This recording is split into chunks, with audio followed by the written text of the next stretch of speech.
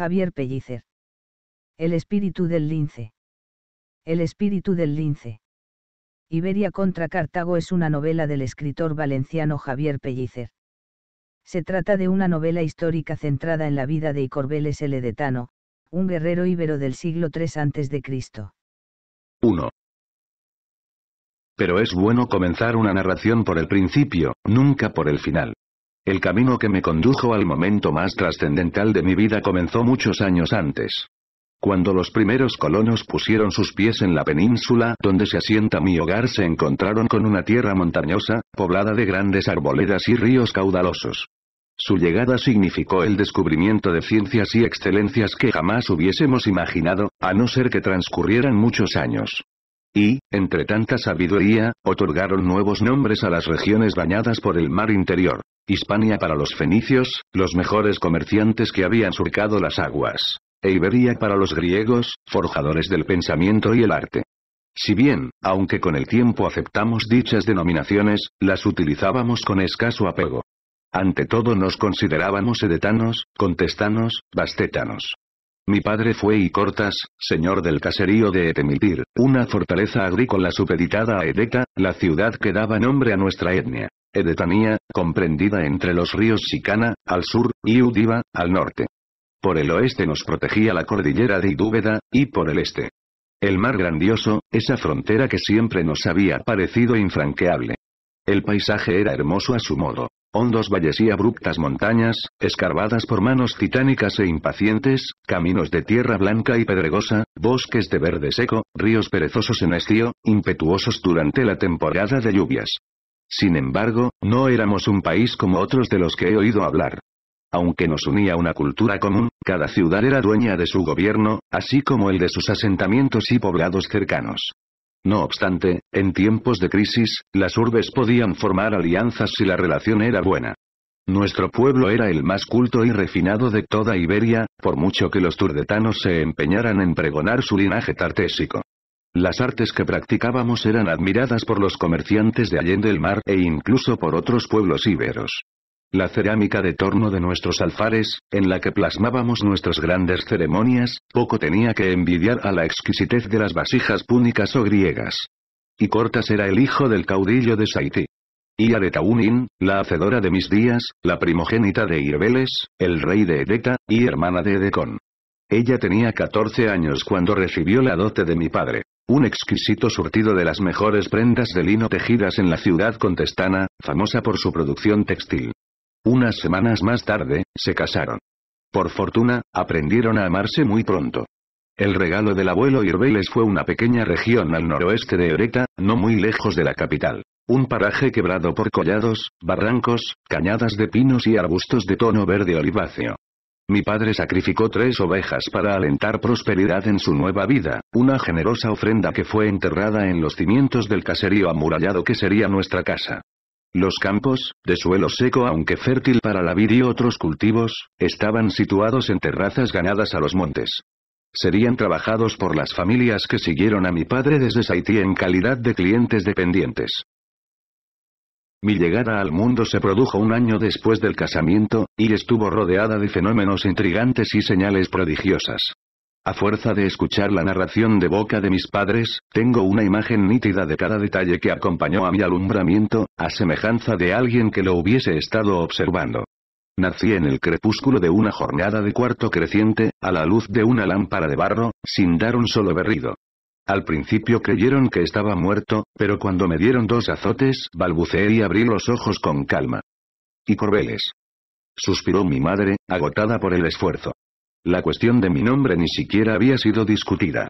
Entre los edetanos y otros pueblos íberos existía la tradición de que los niños heredaran el nombre de sus abuelos maternos. Mi madre solo se permitió una pequeña variación en mi caso. Así sea, asintió mi progenitor, mientras me alzaba por primera vez con una enorme sonrisa en los labios. Inundarás de alegría mi corazón, primogénito. Poco después, Argitiker, el capataz del caserío, entró en la habitación con los ojos desencajados y el rostro lleno de asombro. Mi señor y cortas, debéis asomaros a la ventana. Mi padre torció el gesto con cierto mal humor. ¿Qué es tan importante como para que tenga que interrumpir este momento de felicidad, Argitiker? El cielo. Algo le está sucediendo. Desconcertado, mi padre se acercó a la ventana, abrió los postigos y miró hacia arriba, a un firmamento al que poco le faltaba para quedar completamente velado por la noche. Se frotó los ojos ante la inconcebible visión. Una tras otra, pequeñas estrellas caían del cielo, rasgando el velo oscuro en una lluvia titilante que se perdía más allá de la vista. Parecían gotas de luz que, fugaces, desaparecían por detrás de las montañas. Los hombres y mujeres del caserío observaban desde la plazoleta. Algunas madres sujetaban a sus hijos, atemorizadas por el fenómeno.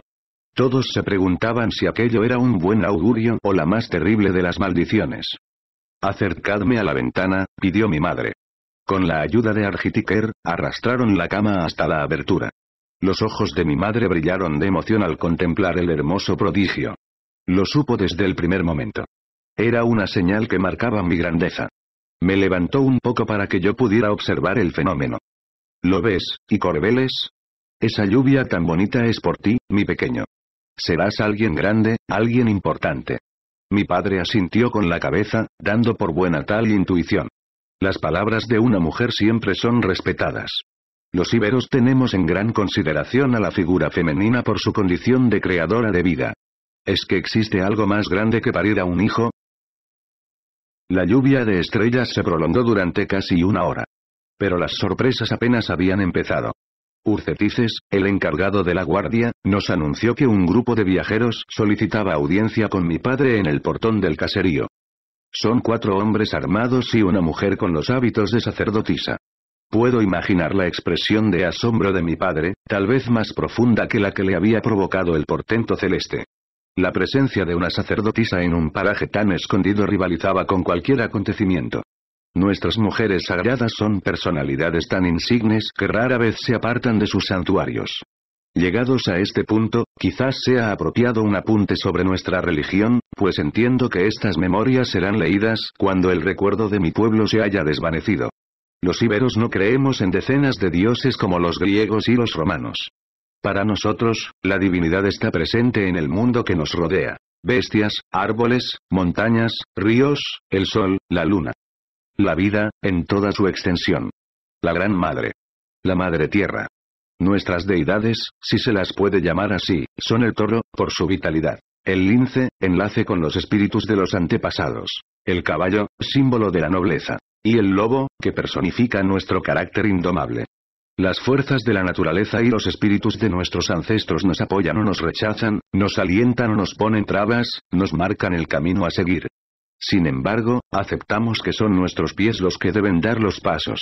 Nuestros actos nos definen. Las sacerdotisas nos representan ante dichas presencias.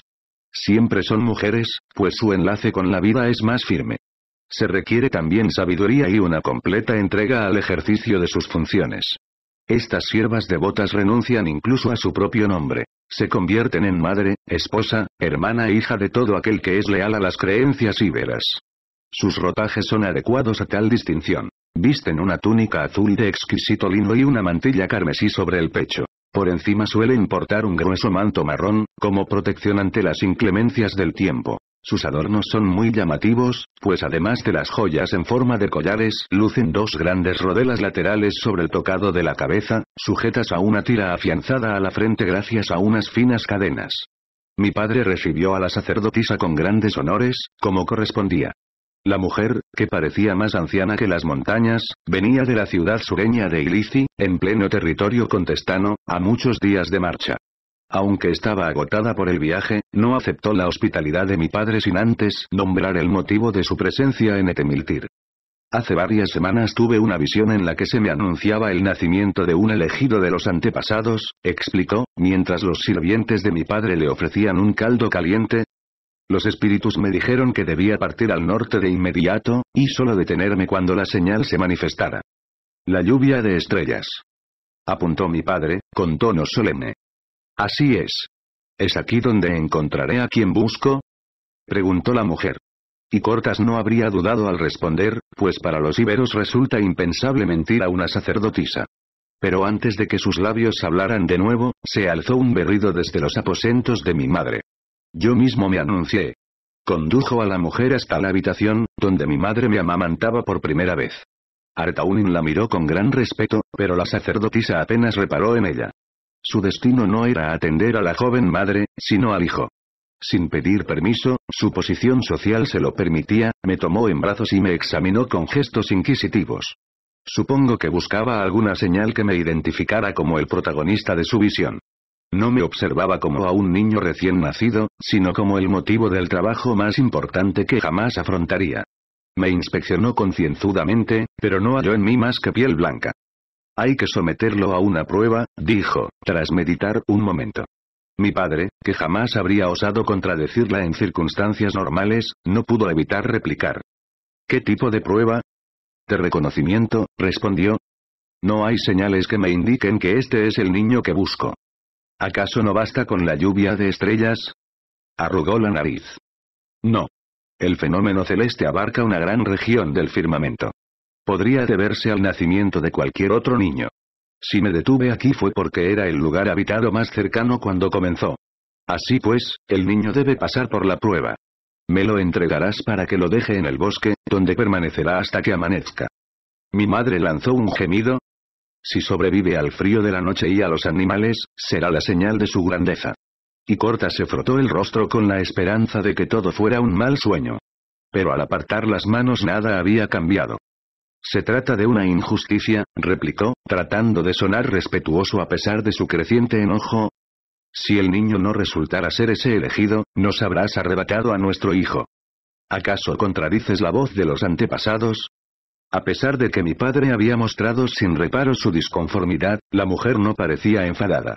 Todavía. Tu esposa es joven, puede darte otros retoños. Sea como sea, es mi dictamen, y no puedes oponerte a él sin sumirte en el total desprestigio. Desesperado, buscó con la mirada a mi madre. Ella nunca olvidaría lo que vio en sus ojos. Un amor absoluto. Una palabra suya habría bastado para que se enfrentara a la sacerdotisa, un delito que habría supuesto su inapelable ejecución. Artaunin solía decir que aquel fue el día en que se enamoró de su esposo.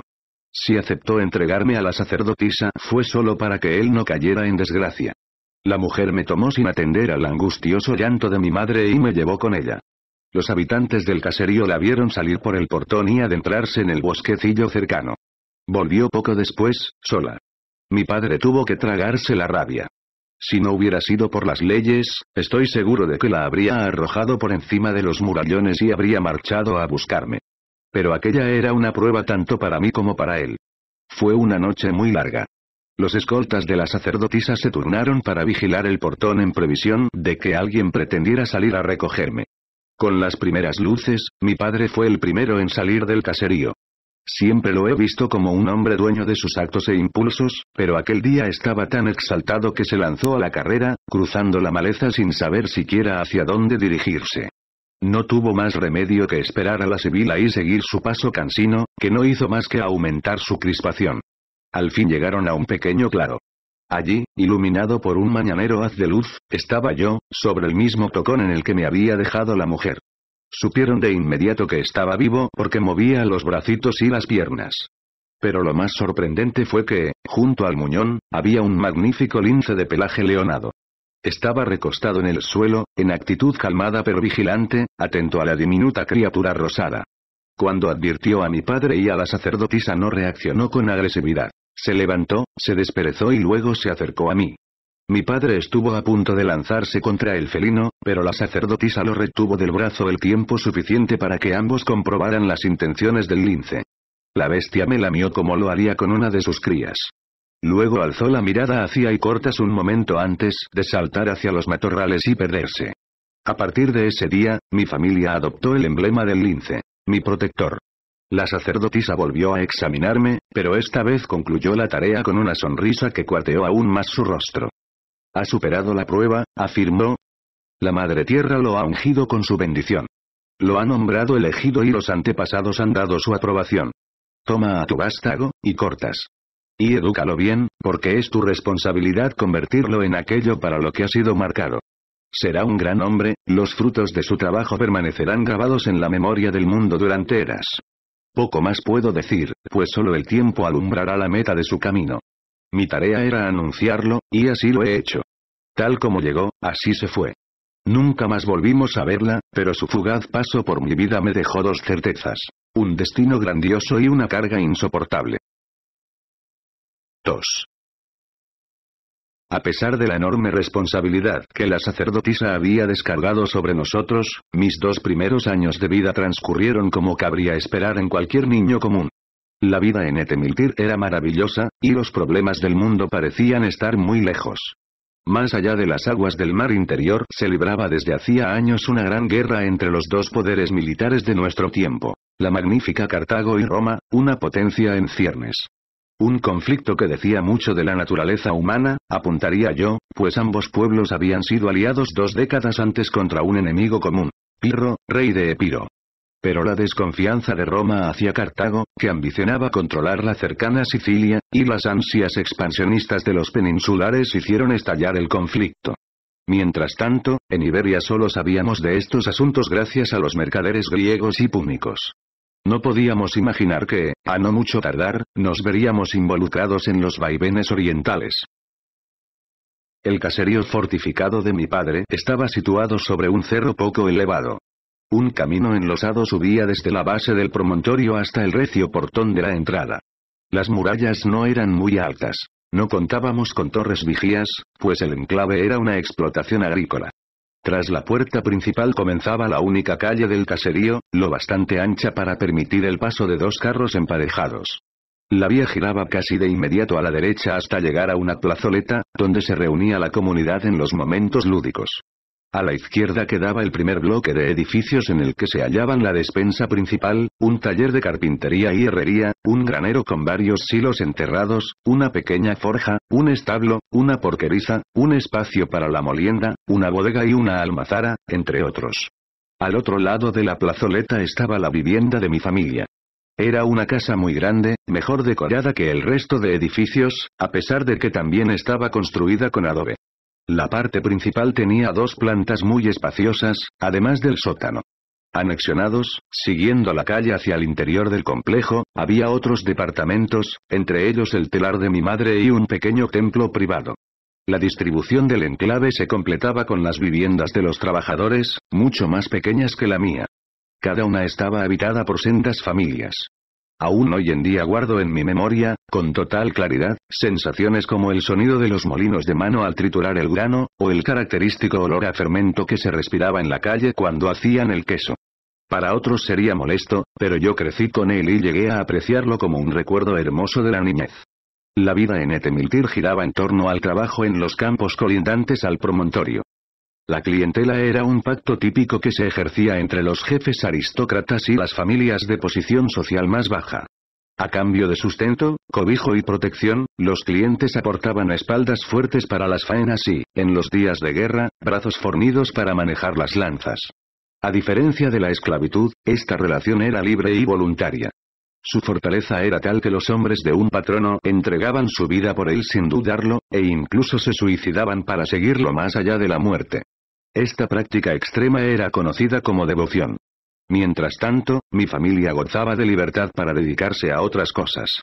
Y Cortas administraba las cuentas y se relacionaba con los mercaderes interesados en nuestros productos. Además, dedicaba mucho tiempo a practicar el arte del combate. La mayor parte del orgullo de un íbero se sustenta en su habilidad con las armas. Por su parte, mi madre revisaba las tareas domésticas de la finca, la organización de las labores del campo, el almacenamiento y revisión de los productos. Su permiso era indispensable para cualquier tarea relacionada con la comunidad. Aunque si guardo en mi memoria una imagen es la de Artaunin hilando en su telar. Durante mi infancia y juventud jamás vestí túnica o sayo que no hubiera tejido ella, e incluso ya de adulto busqué siempre la calidez y el cariño que volcaba en sus prendas. Recuerdo que me quedaba largas horas viéndola tejer, ensimismado por la ligereza con la que pulsaba las hebras. Quizás fuera mi amor de hijo, pero cuando la contemplaba me parecía que estaba rodeada por un halo hermoso que olía a lino, tinte y cuerda de telar. Su belleza no era cristalina y frágil, sino fuerte. Su corazón, como el de todos los íberos, era apasionado, cálido y generoso. La amaba mucho. Entre los habitantes del caserío todos conocían la marca con la que mi familia había sido ungida. Su trato hacia mí era tan considerado como se esperaba por ser el hijo de su señor. Sin embargo, conforme fui adquiriendo conciencia de mi entorno, comprendí que me miraban con un respeto tan exagerado que era imposible cualquier relación de verdadero apego. No tuve amigos durante mis primeros años de vida, aunque el cariño de mis padres alivió esta carencia. Advierto que no estoy siendo justo. En realidad sí tuve un maravilloso compañero de aventuras. Apenas había cumplido un año cuando mi abuelo me trajo el mejor regalo que jamás me hicieron. Un cachorro de perro de aguas. Carbón, lo llamamos, pues era oscuro y a la vez cálido. Fue un amigo magnífico desde el primer día, casi un hermano, pues crecimos al unísono. Era cariñoso y observador, de tamaño mediano y recubierto de un pelo largo, rizado y lanoso. Sus ojillos, diminutos pero muy inteligentes, quedaban ocultos en la distancia por el cabello que le caía por la frente. Tal era la devoción que me mostraba que jamás se separaba de mi lado. Su natural alegría acentuó la mía. Siempre estaba dispuesto al juego, a los saltos, las carreras y los revolcones en el barro. Tenía gran afición a nadar, por lo que con el tiempo se mostró tan buen cazador como pescador. Mi condición, y todo lo relacionado con el presagio de la sacerdotisa, había sido puesto en conocimiento de Irbeles de Edeta desde el primer momento. Aunque la noticia supuso una gran alegría para mis abuelos, decidieron no divulgarla por precaución. Mi reputación podía convertirme en una presa apetecible para cualquier enemigo que quisiera forzar un buen rescate. A pesar de ello, las lenguas hablaban y los rumores se extendieron por la región como un susurro llegado de otros tiempos. Pronto, los edetanos supieron que uno de los suyos estaba destinado a ser importante. Todo cambió cuando cumplí dos años. Al fin, la guerra de Oriente nos afectó, aunque fuera de modo indirecto. El conflicto se había recrudecido. Cartago, que tanto alardeaba de su solvencia naval y militar, había encontrado en los romanos un enemigo más capaz de lo previsto. Roma demostró su poderío infligiendo varias derrotas dolorosas a los cartagineses. La primera tuvo lugar cuatro años antes. Una flota de más de 300 barcos, comandada por Marco Acilio, había dado buena cuenta de una cantidad mayor de naves púnicas. Para Cartago resultó el peor golpe posible, pues se tenían por los señores del mar. Como otras veces en el pasado, los cartagineses volvieron sus ojos hacia Iberia para demandar mercenarios con los que cubrir las bajas. Y así, un día llegó a Etemiltir una comitiva de reclutadores púnicos. Su portavoz, un tal Bodmelkart, era un oficial que había recorrido toda Edetanía buscando a líderes locales que desearan unirse a su ejército. Allá donde he ido me han hablado del buen juicio y el brazo armado de Icortas, señor de Etemitir, lo alabó, con palabras pronunciadas en tono meloso. El caso era que mi padre sí se había ganado el respeto de otros nobles de Edetanía, a pesar del poco tiempo que llevaba en aquellas tierras. Bodmelkart le prometió una gran suma de oro y plata, a la vez que engordaba el orgullo que suponía luchar por su pueblo, grande entre los grandes. Cuando Cartago venza, será generosa con quienes la hayan apoyado, aseguró, tratando de sonar magnánimo. La gloria recibida perdurará en tu familia durante generaciones sin fin. Mi padre no deseaba presentarse, sobre todo porque dudaba de las palabras de Bodmelkart. Eran demasiado dulces y aduladoras. La doble moral de los cartagineses y los griegos hacia los mercenarios era antológica. Los trataban con esmero durante las contrataciones, pero en la batalla todo cambiaba. Entonces se convertían en tropas prescindibles, los primeros en marchar y morir para así salvaguardar en lo posible a los soldados cartagineses. Y no dudaban en abandonarlos a su suerte si la situación lo requería. Sin embargo, a la hora de reclamar la victoria, jamás eran tenidos en cuenta. Como solía decirse, los mercenarios ganaban las guerras. Los cartagineses, el honor. Pero el orgullo le obligaba a aceptar la oferta. Los púnicos conocían bien el carácter íbero, y por eso nos buscaban antes que a otros pueblos. A los libios sin unida se los ganaba con oro, vino y mujeres. A los íberos con menciones al honor. Rechazar aquella propuesta supondría para mi padre mostrar miedo ante otros nobles edetanos, lo cual en su caso era si cabe más impensable. La nobleza de un íbero se defiende en las batallas. No basta con heredar un linaje, hay que fortalecerlo como guerrero, y el padre del elegido debía dar más ejemplo que nadie. Aunque Icortas había participado en varias batallas durante su juventud en Saití, solo fueron combates campales para evitar pillajes o duelos masivos de honor para reconciliar agravios territoriales. La guerra entre Roma y Cartago era mucho más, así como lo sería la recompensa. Le proporcionaría un prestigio sin igual, lo que le permitiría no verse obligado nunca más a participar en un conflicto semejante. Pero existía otro motivo, que solo tiempo después me confesaría. Aprender tácticas avanzadas para poder transmitírmelas a su regreso.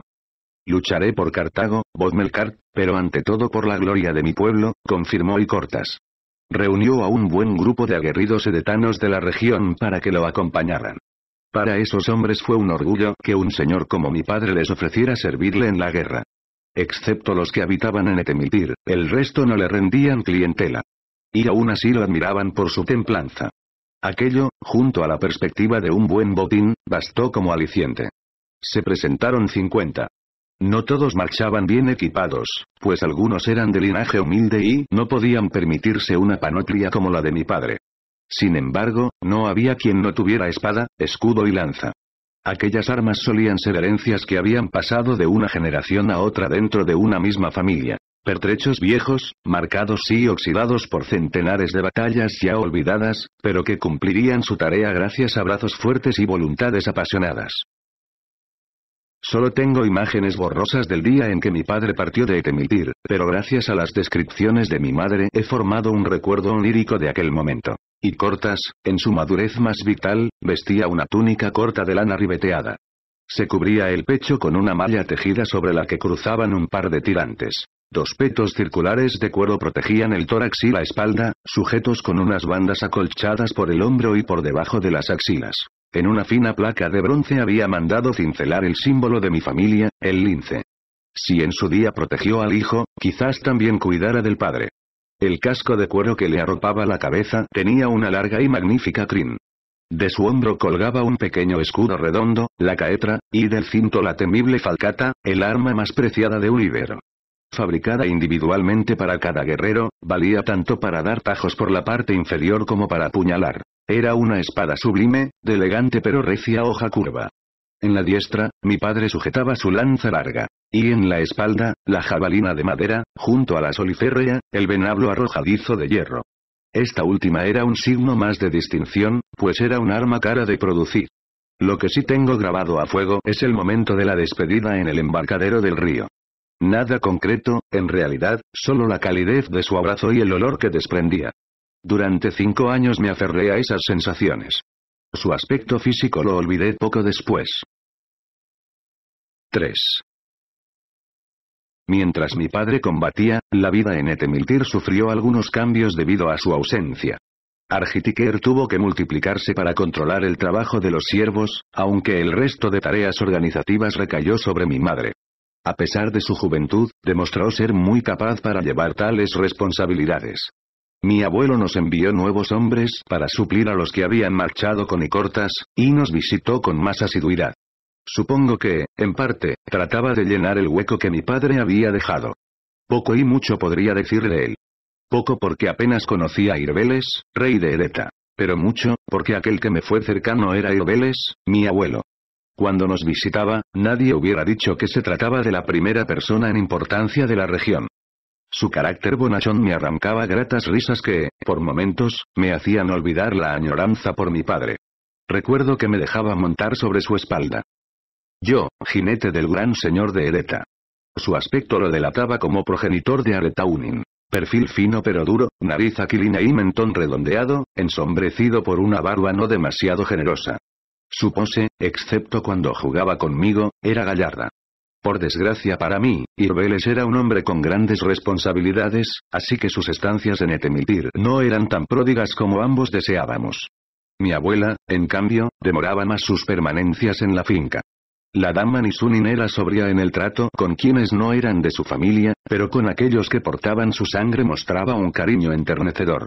Tuvo una salud delicada, pues el parto que trajo al mundo a Edecon la dejó débil.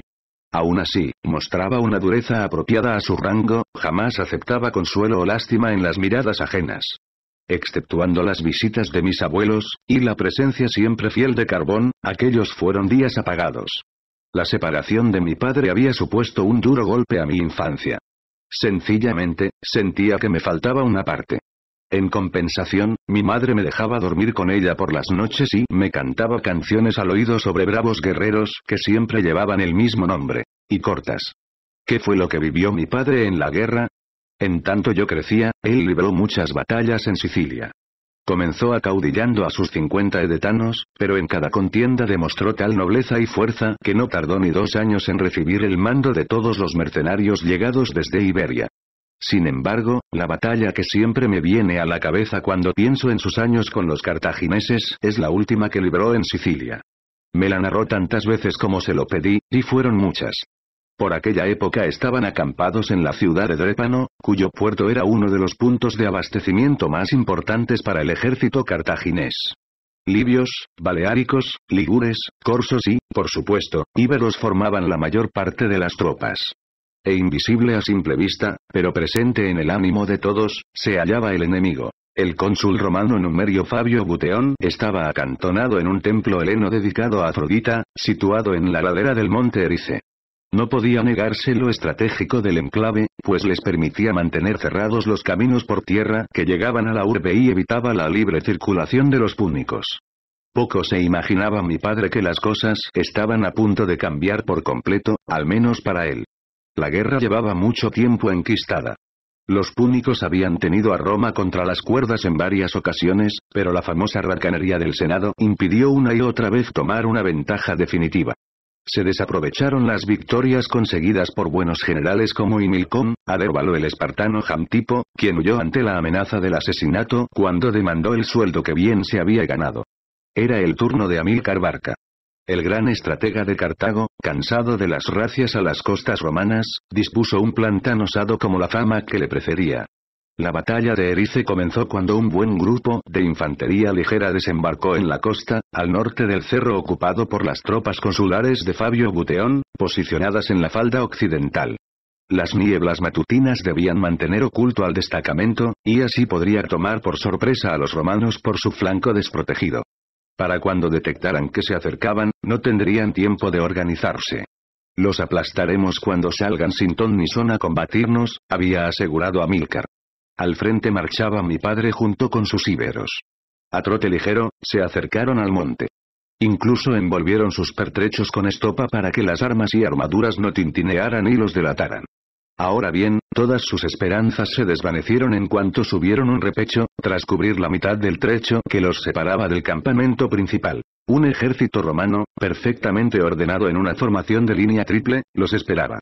Tal vez no era muy numeroso, pero estaba dispuesto a la batalla. Los Astati al frente con sus jabalinas, seguidos de los príncipes lanceros.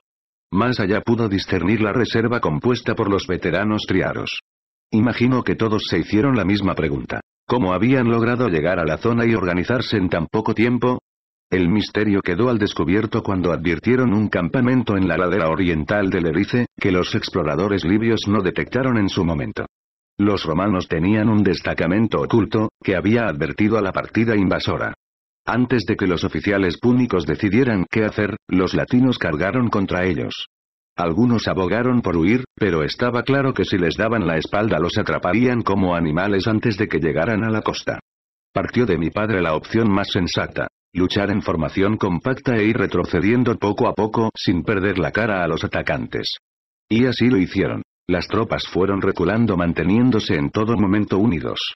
Por supuesto, el ritmo de retirada era mucho menos acusado que el de sus enemigos, cada vez más próximos.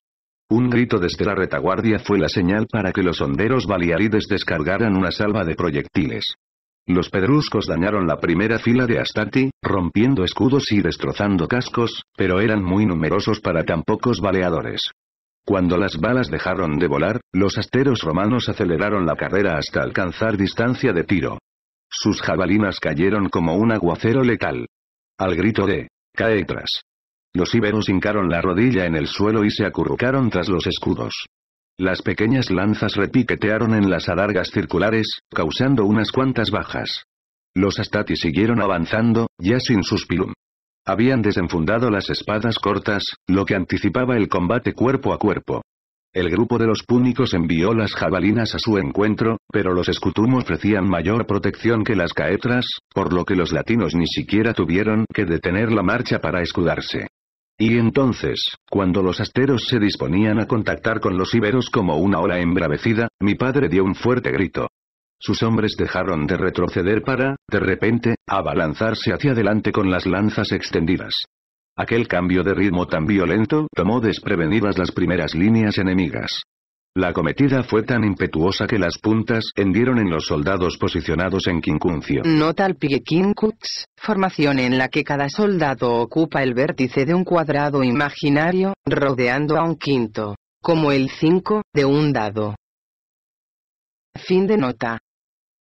Desbaratándoles por completo. La primera sangre fue, pues, romana. Los íberos volvieron a retroceder mientras los astati se recomponían. Eran conscientes de que aquella era la única jugada que podía salvarles la vida. Pero el segundo encontronazo duró más, y las bajas se repartieron. Los asteros resistieron la carga con mayor eficacia, pues sabían a qué atenerse. Las acometidas se sucedieron en oleadas, entre las cuales incluso hubo momentos para buscar el aliento perdido. Ahora bien, en ese aspecto los romanos tenían ventaja.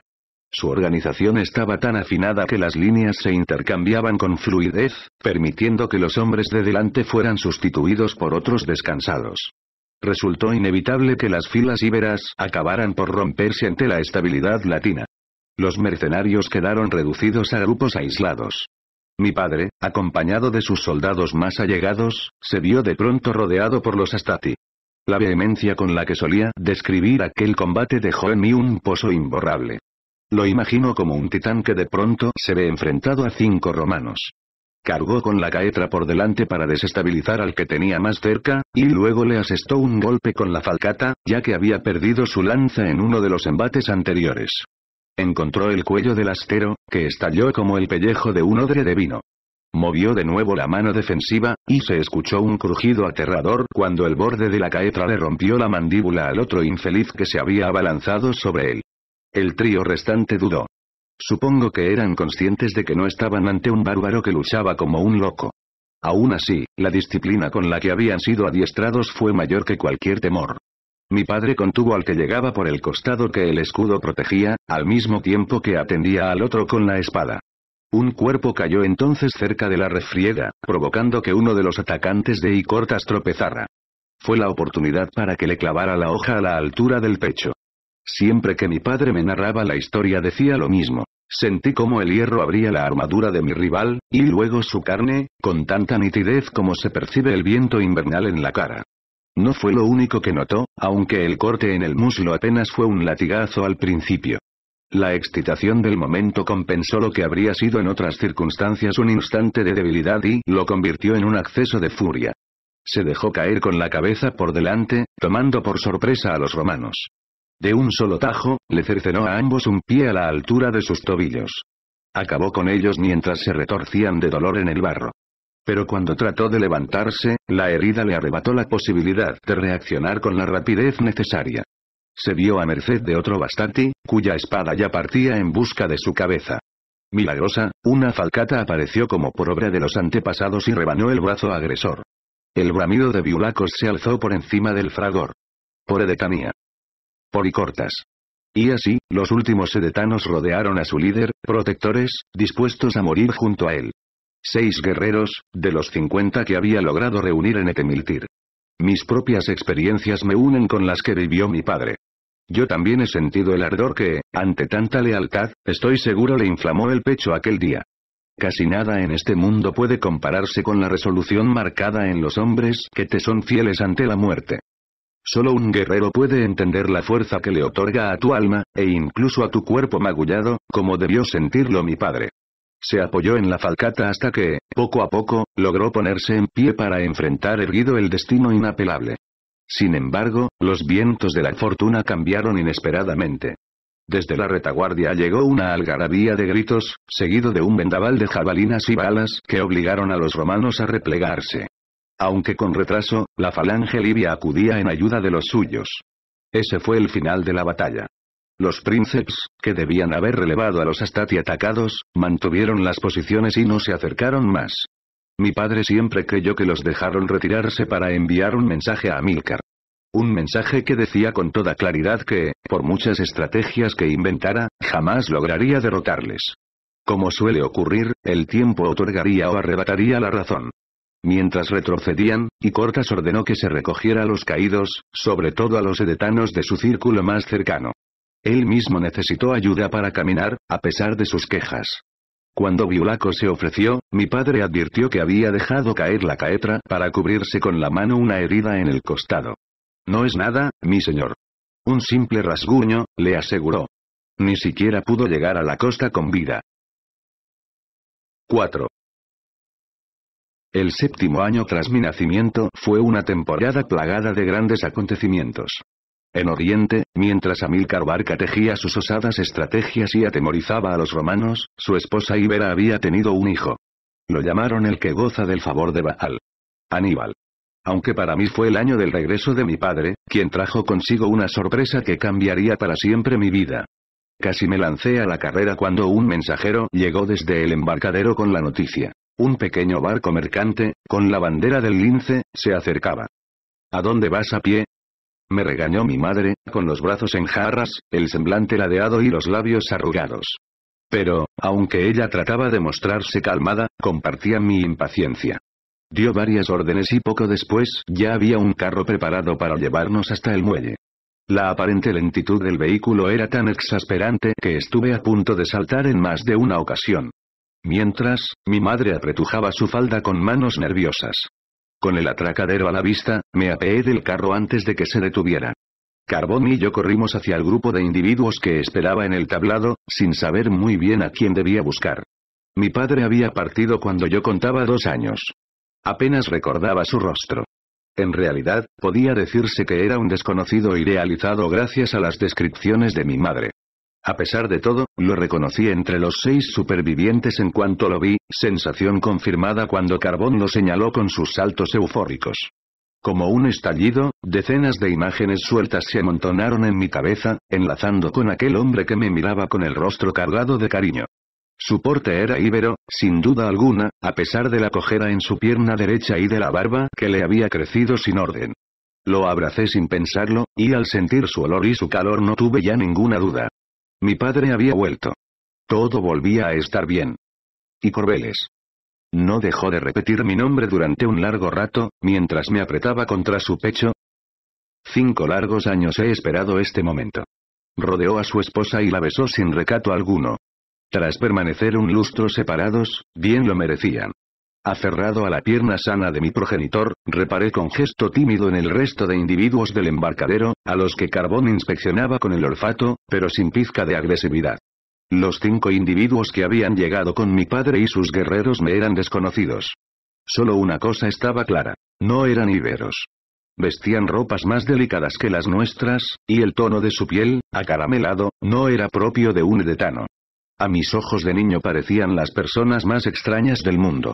Al fin y al cabo, jamás había visto a un cartaginés, pues los mercaderes púnicos dejaron de llegar al caserío años atrás a causa de la guerra. Ahora solo se acercaban los griegos que hacían escala en Masalía. Mis ojos se cruzaron en primer lugar con los de un hombre más alto que mi padre, pero menos fornido. Su barba era negra y muy densa. La túnica púrpura, de mangas tan largas que cubrían sus manos, carecía de cíngulo, por lo que descendía recta hasta rozarle los pies. Portaba una faja enrollada alrededor de la cabeza, con un extremo suelto que le caía por delante del pecho.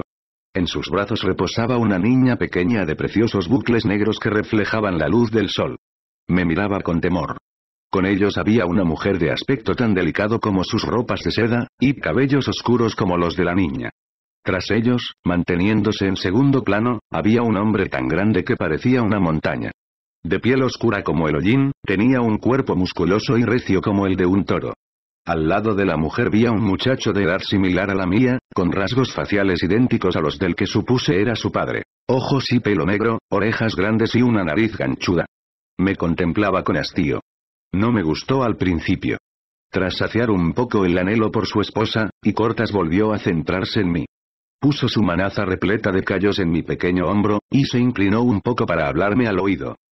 Y Corbeles, quiero que conozcas a alguien, me dijo, a la vez que señalaba a los cuatro desconocidos. Me tomó de la mano y nos acercamos hasta ellos. El hombre y la mujer me miraban sonrientes, a pesar de la pesadumbre que se reflejaba en sus ojos. Esta niñita tan guapa se llama Sofonistán, aunque todos la llaman Istán. El hombre moreno acercó a su hija hacia mí, pero la chiquilla se arrebujó fuerte en su pecho. Rompió a llorar mientras balbuceaba torpes palabras en una lengua extraña. Lo siento. El padre hablaba nuestro idioma, aunque su pronunciación era precaria. Está un poco asustada. Es comprensible, asintió y cortas, con una sonrisa compasiva en sus labios. Me encaró con el muchacho. Él no mostraba miedo, más bien me observaba con un rictus desafiante. Y este, hijo, es Alorco. ¿Sabes que tiene los mismos años que tú? Hola, lo saludé. Como respuesta a mi gesto, el muchacho levantó el mentón en una mueca arrogante. Su madre lo regañó en ese idioma que no entendía, pero Alorco afianzó su mirada insolente. Lejos de amedrentarme, sostuve su desafío mientras y cortas hacía las presentaciones a mi madre. Aquella era mi casa, y no iba a dejar que un forastero se burlara de mí. 5. Así fue como conocí a la familia Macmer. A Vival, su esposa Abdanit y los hijos de ambos, Nistan y Alorco. Mi padre nos contó que eran cartagineses en busca de refugio para alejarse de la guerra en el este. Avival ha hecho posible que pueda volver a casa, le susurró a mi madre. Pero entenderé si no los quieres con nosotros. Tú eres la señora de mi hogar así como lo eres de mi corazón. Podemos alojarlos en alguna granja cercana, aunque sean de sangre noble. Por supuesto, ella no estaba dispuesta a mostrar tal falta de hospitalidad. Serán bienvenidos y los trataremos como si fueran de nuestra familia. Es lo menos que puedo hacer por quienes me han devuelto a mi esposo, dijo Artaunin, y luego los abrazó en señal de bienvenida. A pesar de la novedad de los forasteros, aquel día solo tenía ojos para mi padre. Él me correspondió, tan feliz como yo por el reencuentro. Mi madre aceptó con agrado que aquel era mi momento. El suyo llegaría por la noche despreciando su cojera, y cortas me hizo hasta sentarme sobre sus hombros. Caminamos un poco hasta llegar al carro. Por fortuna, era el más grande del caserío y pudo alojarnos a todos. Aún así, cuando el gigante de piel negra se sentó en él, el carruaje crujió como los huesos de un anciano. Es el siervo de los Macmer, un esclavo númida, me dijo mi padre al oído, al advertir mi curiosidad.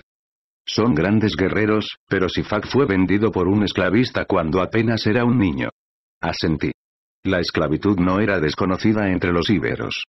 Durante las contiendas con algunos de nuestros vecinos, el vendedor solía volver con una buena comitiva de esclavos que podía emplear para sí o vender como mercancía. Sin embargo, los edetanos éramos reacios a especular con la vida de otros. Lo habitual desde hacía años era devolver a los prisioneros a cambio de un rescate adecuado.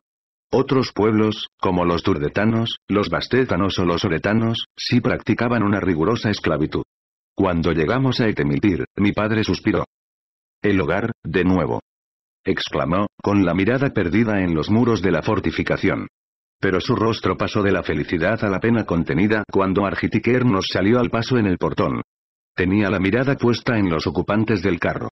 Recordé que, según alardeaba, su hijo fue uno de los primeros hombres a los que había elegido mi padre para acompañarlo a la guerra.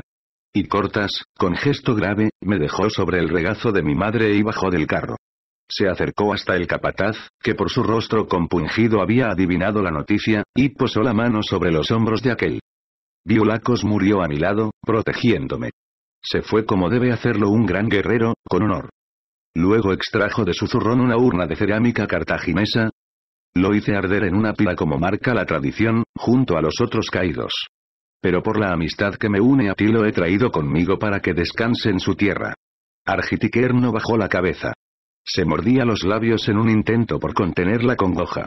Aún así, tal y como aprendíamos todos los íberos, mostró su orgullo más que su dolor. Con el tiempo, ese momento se convertiría en amoroso recuerdo. Esta tarde honraremos su memoria como es debido, le dijo mi padre. Y así lo hicimos. Tras un agradable descanso se preparó la ceremonia fúnebre. Nos alejamos del caserío en procesión hasta el cementerio, junto al sendero del norte. Caminábamos con rostro solemne, armados cada uno con una antorcha y una copa de vino, de la que bebíamos en honor al difunto. Mi madre ejercía de auletris, pues era la única mujer que sabía tocar la flauta doble. Sus notas entretejían una melodía solemne cargada de añoranza, pero también de ilusión. Se perdía por los campos, se alzaba hacia el cielo, pronto a teñirse de oscuro y estrellas. Vestía una túnica larga decorada en su parte inferior con cuadrados negros y blancos. Sobre la cabeza portaba una cofia de la que colgaban unas cintas con cascabeles. El cementerio contaba con pocas tumbas, pues Etemiltir era joven. La mayoría eran pequeños túmulos, pero un par destacaban por su elaboración. Torres de piedra escalonadas que albergaban la urna con los restos incinerados y los objetos personales del fallecido. En ellas reposaban dos guerreros que, años atrás, habían muerto en una escaramuza contra los turboletas. El resto de sepulturas pertenecían a varios trabajadores que murieron de viejos. La del hijo de Argitiker se erigiría al terminar el ritual. Con el tiempo he conocido otras muchas culturas. La mayoría de ellas ven la muerte del individuo como un final que debe ser llorado. Sin embargo, los íberos creemos que nadie abandona el mundo por completo y, por ello, para nosotros solo existe una pena momentánea. Sus espíritus permanecen a nuestro lado para guiarnos en una nueva forma, invisible y aparentemente silenciosa. Son aquellos que nos precedieron en vida, los antepasados, a los que rendimos tributo cada día con nuestros actos. Argitiker colocó la urna en un hoyo excavado. Luego unas muchachas dejaron junto al recipiente un par de vasijas con frutos secos. El alimento que el alma necesitaría antes de independizarse por completo de sus cenizas. El ritual demandaba que los guerreros inutilizaran las armas de Viulacos antes de depositarlas en la tumba. El casco, su caetra, las dos lanzas y el peto circular, todavía con los rastros resecos de su sangre. Aquellas armas habían sido parte del guerrero, amantes leales. Si el dueño moría, también ellas debían hacerlo para acompañarlo en su vida espiritual. Por último, mi padre dobló la hoja de la falcata del fallecido y la dejó junto al resto. Era un ajuar aceptable, aunque pobre en comparación con las pertenencias que solía atesorar la tumba de un aristócrata. Alguien de posición elevada ofrecería una gran cantidad de cerámica diversa como signo de distinción. La esposa de Argitiker entonó el orgulloso cántico de despedida a su hijo. Cuando concluyó cubrió la urna y las armas rotas con tierra.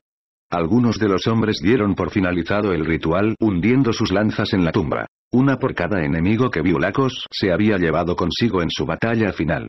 Nada menos que ocho. Ahora, el espíritu del guerrero descansaba en paz junto a sus ancestros. Viulacos ya es parte de nuestra memoria. Que todos seamos dignos de su valor. Buena acogida. Dijo mi padre, con el puño en alto y la voz grave. Llegó el momento de la danza guerrera. Dos de los supervivientes, que habían luchado junto al fallecido, se situaron sobre la tumba y desenfundaron sus espadas. Al compás del tronar de las falcatas y los escudos de los presentes, simularon una batalla con tanta fidelidad que parecía que en cualquier instante fueran a darse muerte. Sus movimientos eran decididos, fuertes y sinuosos. Fuego y agua, tierra y viento, acero y corazón. Muchos han asegurado que los íberos somos bárbaros que solo sabemos atacar como salvajes, o por la espalda, como carroñeros. Se trata de un error que muchos han lamentado demasiado tarde. Cualquiera que haya luchado al lado de un mercenario íbero sabe que no existe compañero más bravo, ni espada más fiel mientras sea correspondida con honor. Aquella noche hubo una gran cena en conmemoración de Viulacos y el resto de guerreros edetanos que habían muerto en Sicilia. Los hombres encendieron una hoguera en la plaza de Etemiltir. Nos sentamos alrededor de las llamas, mientras las copas de cerveza agridulce pasaban de mano en mano. La deliciosa grasa de la carne asada impregnó pronto los labios de los comensales. Mis padres, en un gesto magnánimo, permitieron que se sirviera el lujoso vino importado de Grecia. Incluso los trabajadores pudieron saborearlo, cosa que no era muy común. Hubo risas al recordar las vivencias compartidas con viulacos. Algunas eran dignas de alabanza, otras no dejaban de ser simples chanzas entre amigos. Casi puedo ver el día en que el muy loco aceptó una de mis apuestas. ¿Bromeó uno de ellos? Salió a cazar desnudo, armado solo con su lanza y un escudo. Valiente botarate. Tremenda visión para las mozas. Gritó otro, y los oyentes estallaron en risas. Yo estaba sobre las piernas de mi padre, embotado por el calor danzarín de las llamas, las risas y, sobre todo, el vino aguado que me habían dejado beber. A veces, mis ojos se iban hacia los forasteros, a nuestra izquierda. Aunque y Cortas trataba de darles conversación, se apreciaba que nuestras costumbres los desconcertaban. No recuerdo mucho más de aquella noche. Debí dormirme antes de que terminaran los festejos. Lo que jamás olvidaré es el tremendo malestar que sentí al despertar la mañana siguiente. Acababa de experimentar mi primera resaca. 6. Desde el momento en que llegaron a Iberia, mi casa se convirtió también en la de los Macmer. Avival insistió en que les bastaba con una de las viviendas de los sirvientes. Sifai estaría bien en el establo. Pero mi padre ni siquiera quiso hablar del tema. Para un ibero la hospitalidad es un deber vinculado con el honor. Da el mejor lecho a tu huésped, rezaba el dicho, y mis padres lo cumplieron con creces. Jamás permitiré que gente de alta alcurnia duerma con los criados. Y Cortas negó con la mano, como si aquel fuera un mandato que no pudiera ser discutido. Aunque mis pertenencias no sean tan exquisitas como las maravillas de Cartago, todo lo que tengo es vuestro. Amigo mío, a mis ojos lo que nos ofreces es grandioso, pues nace de la generosidad, respondió un emocionado Abibaal. El gigantón negro fue enviado a una de las viviendas de los trabajadores. Para Abibaal, su esposa y la pequeña Nistán, prepararon la habitación que ocupaba mi abuelo cuando nos visitaba. Al orco se alojó conmigo. Según mi padre, sería bueno para ambos. Seguro que dentro de unos días se hacen inseparables, los muy pillastres, se carcajeó. Pero yo no compartía aquel entusiasmo. Al orco tenía un carácter muy agrio, y sus miradas se inclinaban a la provocación. Supongo que parte de la culpa era mía, pues en lugar de tenderle la mano, le respondía con el mismo ánimo. La diferencia era que él tenía una excusa válida. Escondía la añoranza por su tierra tras una pose altanera. Como no conocíamos nuestros respectivos idiomas, en esos primeros días no intercambiamos ninguna palabra. Escuchando un poco aquí y allá supe quiénes eran los MacMer y por qué habían venido a Iberia. Tras la batalla de Erice, la grave herida en la pierna apartó a mi padre de la guerra. Ahora bien, cuando reclamó su paga, el consejo cartaginés lo ignoró. Y Cortas se encontró de pronto atrapado en Cartago, herido y acompañado por apenas seis hombres, sin medios para regresar. La fortuna quiso que se encontrara con Abibaal, un comerciante que ya había viajado a Iberia en varias ocasiones. El cartaginés le invitó a su hogar y le ofreció los servicios de un buen sanador para su herida. La familia de Alorco tenía cierto peso en Cartago, pues mantenía relaciones de alianza con una de las casas más poderosas, los Bárquidas. El cabeza de esa familia era precisamente Amílcar Barca, para quien mi padre había luchado en Sicilia. Tras descansar unos días, y Cortas le contó a su nuevo amigo las inquietudes que pasaban por su cabeza. Abibaal se ofreció a ayudarlo a cambio de algo. Él le permitiría volver a Iberia con uno de sus barcos si le ofrecía un hogar temporal a su familia. En aquel momento me sorprendió que alguien quisiera dejar su patria de esa manera. Podía entender que Abibaal temiera que la guerra llegara a Cartago, pero en Edetania jamás hubiésemos cedido al miedo. Un verdadero íbero se habría quedado para defender su ciudad a cualquier precio. Sin embargo, el motivo por el que Abibaal quería dejar Cartago era mucho más poderoso que el temor a una conquista romana. Los púnicos tenían una costumbre que incluso a los íberos, a los que siempre se nos ha tenido por bárbaros, nos parece repugnante. El molk. Nota al pie en púnico significaba ofrenda. Fin de nota. El sacrificio ceremonial de los primogénitos, que se realizaba en tiempos de crisis para demandar el favor de los dioses. No era menos cierto que dicho ritual solo se llevaba a cabo en tiempos de auténtico apuro, pero, ¿qué momento más acuciante que una guerra? Si los romanos osaran acercarse a Cartago, el Molk sería demandado por el Consejo Púnico, Abibaal no deseaba arriesgarse a que reclamaran la vida de su hijo, e Iberia era un lugar perfecto para refugiarse. Estaba lo bastante alejado del conflicto para proteger a Alorco, pero suficientemente cerca de la ciudad púnica para que Abibaal pudiera seguir controlando su negocio. Mi padre aceptó el trato sin dudarlo. Estaba ansioso por volver con nosotros. Ayudar a los Macmer era un aliciente añadido después de las bondades que habían tenido con él. Dos días más tarde, un barco mercante partió de Cartago con rumbo a Iberia. Una noche, a los pocos días de su regreso, le pregunté por la guerra. Como cualquier otro niño, me sentía fascinado por el concepto del héroe de armas. Él se acomodó en su taburete de patas de tijera y me alborotó los cabellos mientras sonreía. Quizás otros pueblos íberos describen la guerra como el mayor orgullo, y sin duda lo es cuando las condiciones nos obligan a ella, pero no todo es tan dorado, comentó, un poco para mi sorpresa, pues la cultura guerrera era casi sagrada para la clase aristócrata. La vida del mercenario es muy dura. Las marchas son agotadoras, la comida escasa, la paga tardía o inexistente, y el aburrimiento a veces resulta insoportable. Y eso sin tener en cuenta las enfermedades que se llevan a los más débiles, o la añoranza por el hogar lejano y los seres amados. Sus ojos de mirada dura se enternecieron mientras hablaba. Eso sí, en el momento de la batalla, todo se olvida. Entonces solo cuenta resistir el siguiente ataque, mantenerse vivo y defender al compañero que lucha a tu lado. Se soltó la venda que cubría la herida de la pierna. Recuerdo que tenía un aspecto horrible. Una fea cicatriz cosida con cordel de tripas de cerdo. El corte era tan profundo que había rasgado los tendones. Jamás sanaría por completo. A pesar de ello, mi padre no parecía triste. Las heridas son el mayor orgullo del guerrero, hijo mío, y las más dignas son aquellas que nos acompañan durante el resto de nuestros días. Esas cicatrices son un recordatorio de nuestro coraje, de la importancia de la vida y los valores que defendemos. Sea como sea, puedo alegrarme de haber sobrevivido para verte de nuevo. ¿Cómo te la hiciste? Le pregunté.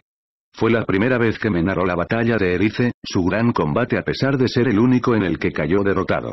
Siempre recordaré su énfasis al contarlo, que tendía a una cierta y comprensible exageración. Algo tuvieron que ver los efluvios del alcohol, no lo niego. ¿Cómo son los romanos? ¿Luchan bien? Pregunté. Ya lo creo. Son muy disciplinados, como una marea de acero que lo arrasa todo a su paso. Pero les falta pasión, no tienen el alma guerrera de un edetano. Posó su mano en el pecho, allá donde estaba el corazón, la mayoría son campesinos reclutados. También nosotros, dije. No, hijo mío. Los íberos somos guerreros que trabajan de campesinos. Hay una gran diferencia. 7. A los MacMer no les resultó sencillo integrarse en la vida cotidiana del caserío, a pesar de que mi padre dispuso que fueran tratados con el mismo favor que nosotros recibíamos. Aunque en esos primeros días me burlé a escondidas del rostro triste de Alorco, el tiempo me ha hecho ver lo duro que debió ser para él y su familia. No resulta fácil pasar de ser señores de un hogar e invitados en otro. En aquellos primeros días se creyeron un estorbo. Nuestros hábitos eran muy distintos. Por ejemplo, los aristócratas cartagineses tienen por costumbre bañarse cada día con agua caliente, aromatizada además con flores exóticas y aceites. Los íberos, incluso los de alto linaje como yo, no solemos limpiarnos a diario, y cuando lo hacemos siempre es con agua fría. Comemos de modo escandaloso, lo reconozco, mientras que ellos aprecian la moderación. También recuerdo que oraban a varios dioses, como hacían los griegos. Baal Hamon, Melkart, Tank, Eshmun. Pero el mayor problema era el idioma. Tras cinco días en Etemiltir aún no había podido comunicarme con Alorco. Avival hablaba íbero ya que había comerciado en nuestras costas. Del mismo modo, mi padre dominaba el púnico tras cinco años recibiendo órdenes de comandantes cartagineses. Pero Abdanit y Alorco no podían entablar conversación con nadie, lo que hacía más complicada su integración. La única solución era que cada uno aprendiera el idioma del otro, así que mi padre y Avival comenzaron a darnos clases. Mi madre y yo tratamos de aprender la lengua púnica, mientras Alorco y Abdanit se esforzaron por conocer las expresiones íberas. Para Nistán fue todo mucho más natural, como un juego. Quizás por ser niños, siempre tan receptivos a las nuevas enseñanzas, los tres progresamos con rapidez. Una semana después éramos capaces de parlotear un puñado de palabras básicas. Tu pueblucho avesta. Apesta, balbuceó Alorco una noche, en nuestra habitación, Hispania está lleno de sabaces. Salvajes. Al menos somos hombres valientes, repliqué, aceptando su provocación. Los cartagineses sois unos cobardes, por eso tiene que ir mi padre a defenderos. Alorco reaccionó como era de esperar en un niño. Y en un ibero. Ese día entendí que los cartagineses también tienen orgullo. Se abalanzó sobre mí y me dio un puñetazo en el rostro, tan fuerte como puede darlo un chiquillo. Por supuesto, yo no estaba dispuesto a tolerarlo. Dejé que mi sangre se encendiera y respondí con igual saña. Un momento después, ambos rodábamos por el suelo, golpeándonos con puños y pies, tirándonos de los cabellos, gruñendo y dándonos mordiscos como animales. Carbón, que siempre dormía en mi habitación, comenzó a ladrar, pero no se lanzó a defenderme, como si comprendiera que en realidad no estaba en peligro. O tal vez porque ya sentía aprecio por Alorco. Alertados por el alboroto, nuestros padres entraron en la habitación y nos separaron. Avival riñó a su hijo. Esto es impropio de ti. Te atreves a golpear al hijo de nuestro anfitrión. Calma, mi buen amigo. Río mi padre, alzando ambas manos. No te enojes con él, solo ha sido una pequeña rencilla entre niños. Es lo más normal del mundo. Al menos aquí lo hacemos a todas horas. Pero podrían haberse hecho daño, dijo Avival. Ga. En primer lugar, estos niños son como el esparto, resisten cualquier cosa. Y unos cuantos moratones no les irá nada mal. Luego nos miró a ambos, aún con la expresión divertida. Bien, muchachos, está muy bien que os desfoguéis un poco. Pero eso no cambiará nada. Tú seguirás durmiendo con mi hijo, al orco. Y tú, y Corbeles, no vas a librarte de compartir tu habitación con él durante mucho tiempo. Así que decidid qué vais a hacer. Golpearos cada noche o convertiros en amigos. Pensad en ello mientras soportáis las consecuencias de vuestros actos. Cuando nos quedamos solos de nuevo, comprendí a qué se refería mi padre. Una vez más calmado, sentí una terrible pulsación en mi mejilla. Estaba ardiendo y ya comenzaba a hincharse. Al orco, con un ojo de repente muy abultado, también pareció entenderlo. Sin embargo, quiso tener la última palabra. Te avería. Ganado. Ganado. A pesar del dolor, me dormí con una sonrisa en la boca. 8. A partir de entonces nuestra relación comenzó a mejorar. Supongo que al orco aceptó al fin que estaría mucho tiempo en Iberia, y que no le serviría de nada seguir enfadado. Dentro de las limitaciones que teníamos para entendernos, entablamos pequeñas conversaciones, que se hicieron más sustanciales conforme aprendíamos a comunicarnos. Al orco, Carbón y yo tomamos por costumbre correr hasta los bosquecillos que había en torno al caserío, donde cada mañana jugábamos a encaramarnos a los árboles. Se convirtió en algo habitual volver a etemitir marcados con cardenales y arañazos. Nuestros padres apenas nos regañaron. Estaban encantados al advertir que entre ambos había nacido la amistad. Por las noches nos sentábamos con toda la familia junto al fuego. Mi padre nos relataba cuentos y canciones acerca de la guerra en Sicilia, que nosotros atendíamos embobados. Abibaal, que era un gran narrador, contaba historias de la Ilíada o de sus muchos viajes por Ecúmene, como los griegos llamaban al mundo conocido. Había conocido a varios pueblos, de los que aprendió sus costumbres helenos, númidas, mauritanos, libios, egipcios, galos e, incluso, los celtas de las islas británicas, al norte de Iberia.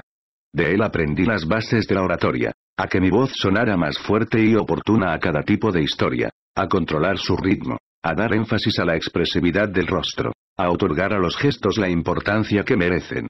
Y practiqué con Nistán, a quien me acostumbré a contarle una historia cada noche. Jamás olvidaré sus enormes ojos verdes, abiertos como los de una lechucita. Permanecía ensimismada en mis palabras, absorta en cada matiz y casi conteniendo la respiración para no interrumpir el relato. Pero no era solo ella quien disfrutaba, porque al verla tan feliz mi corazón también se regocijaba. Varias semanas después de la llegada de los Macmer, mi madre anunció que estaba encinta. Por lo visto, las apasionadas atenciones que mi padre le había dedicado en su reencuentro dieron sus frutos. Se instaló una gran alegría en mi casa, pues nada era más celebrado entre los íberos que la llegada de un nuevo niño. A diferencia de quien esto escribe, Sosimbiur nació entre grandes berridos, como si quisiera anunciarse al mundo entero. Su poderoso llanto hacía justicia al cuerpecito regordete con el que llegó al mundo. Recuerdo que al orco, Nistan y yo nos quedábamos durante horas mirándolo, riéndonos ante cualquiera de sus gestos. Un bostezo, un gemido, un erupto. Era un niño fuerte, y quizás por eso fue tan duro que, cinco meses después de nacer, enfermará de gravedad. Las fiebres nos lo arrebataron en apenas un par de días. Aunque la muerte de infantes era un mal muy común, el pesar que se instaló en mi familia fue grande.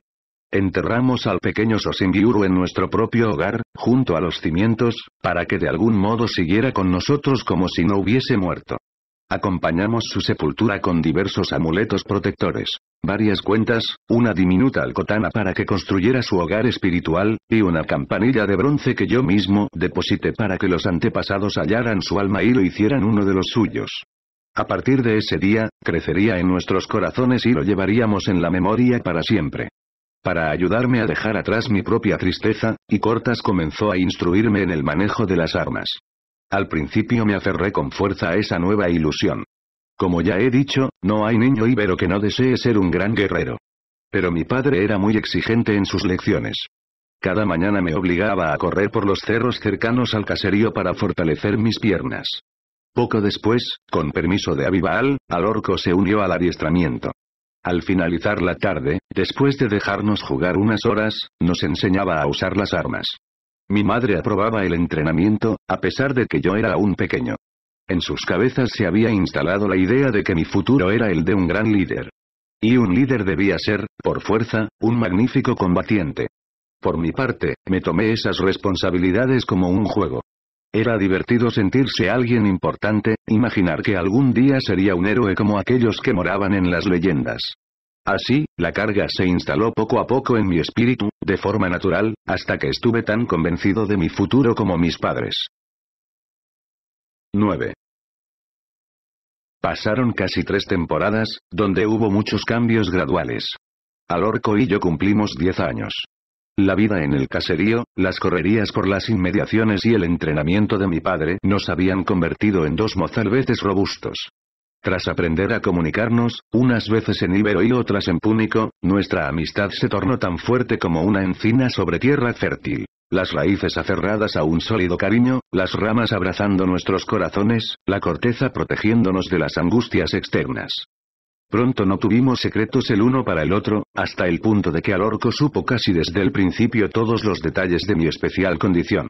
A pesar de ello, jamás me trató de modo distinto.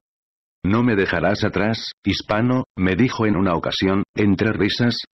Si es verdad que tu destino es ser un gran líder y un guerrero, también yo lucharé para serlo. Y combatiremos juntos. Sentencié yo, cargado con toda mi ingenuidad infantil. Aquella sana rivalidad nos hizo progresar con rapidez, hasta que ambos alcanzamos una gran habilidad con las armas, al menos para lo que se esperaba de dos niños.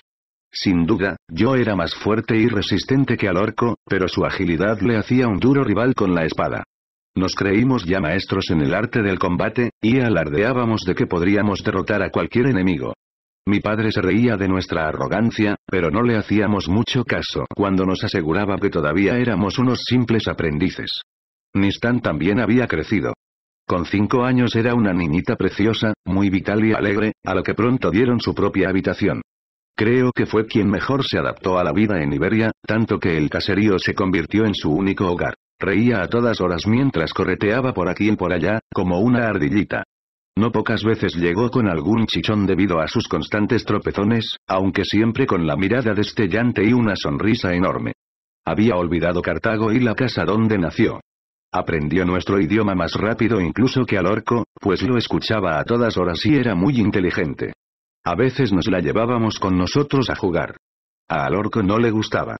Era una niña pequeña y su presencia nos obligaba a estar pendiente de ella todo el tiempo. Pero a mí me encantaba que Nistan nos acompañara. La recuerdo corriendo entre la maleza tras carbón, en busca de flores con las que adornar su cabello. Saltaba mientras su risa clara llenaba el espacio a nuestro alrededor, tan encantada con un lirio como con el zumbar de las abejas. Siempre alegre, así era la pequeña Nistan. Y sentía una devoción absoluta hacia mí. Mira qué azucenas tan bonitas, y corbeles. Me decía. Oh, persigamos a esa ardilla. Para entonces, Avival pasaba poco tiempo en Etemiltir. Tras unos primeros meses en que decidió permanecer con su familia para ayudarles a adaptarse, marchó para atender sus negocios.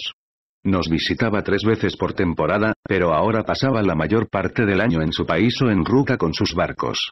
Abdanit sufría mucho por él, pues navegar en las cercanías de Cartago era, si cabe, más peligroso que hacerlo en aguas atestadas por piratas.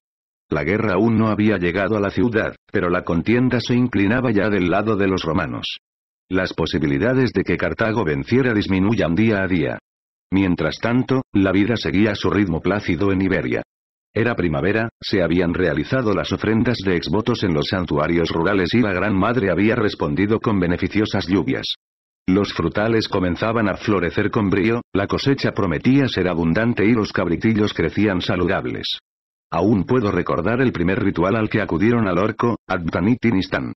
Aunque nuestras creencias no eran las suyas, fueron respetuosos desde el primer día con la Madre Tierra y los antepasados. Al fin y al cabo, estos los habían acogido en su seno y les reportaban bienestar y felicidad. Sin renegar de sus propios dioses, Abdani deseaba agradecer la buena disposición de los poderes iberos. Nos acompañaron al santuario más cercano a Etemitir, enclavado a media altura en la ladera occidental de una gran montaña, junto a un barranco de difícil acceso. Los enclaves de ofrendas iberos estaban situados siempre en paisajes salvajes, allá donde la madre tierra mostraba todo su esplendor. En aquel monte, con la vista puesta sobre un gran territorio de Edetanía, cualquier hombre o mujer se empequeñecía en favor de la naturaleza. Devorados por aquel escenario grandioso, nos sentíamos más humildes y agradecidos por los favores recibidos, y menos agobiados por las penurias. La gruta a la que accedimos apenas estaba iluminada en la entrada por varias antorchas.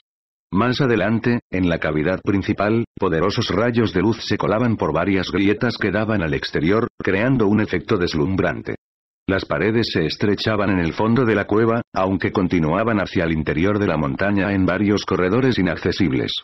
Daba la impresión de que la Madre Tierra no estaba dispuesta a compartir todos sus secretos, ni siquiera con sus hijos predilectos.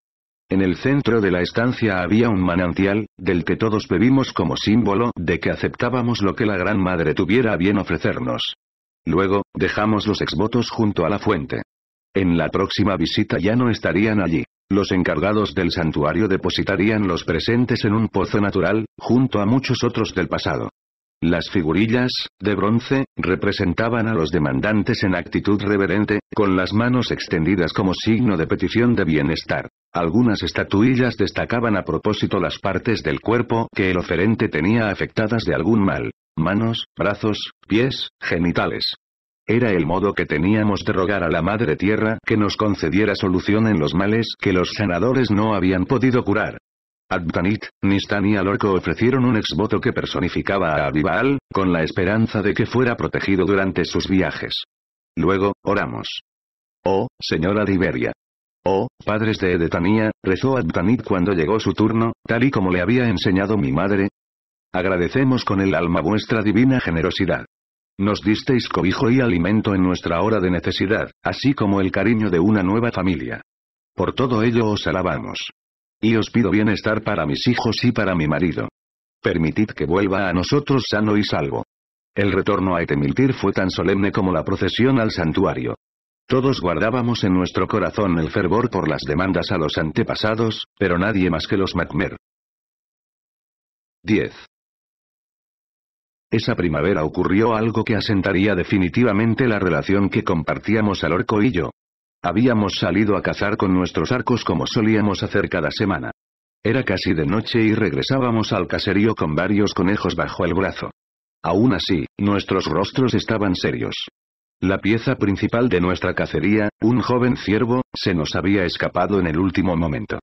Un día decepcionante para un equipo tan compenetrado, más teniendo en cuenta que contábamos con carbón, cuyos sentidos eran tan afilados que era capaz de seguir el rastro de cualquier bestia.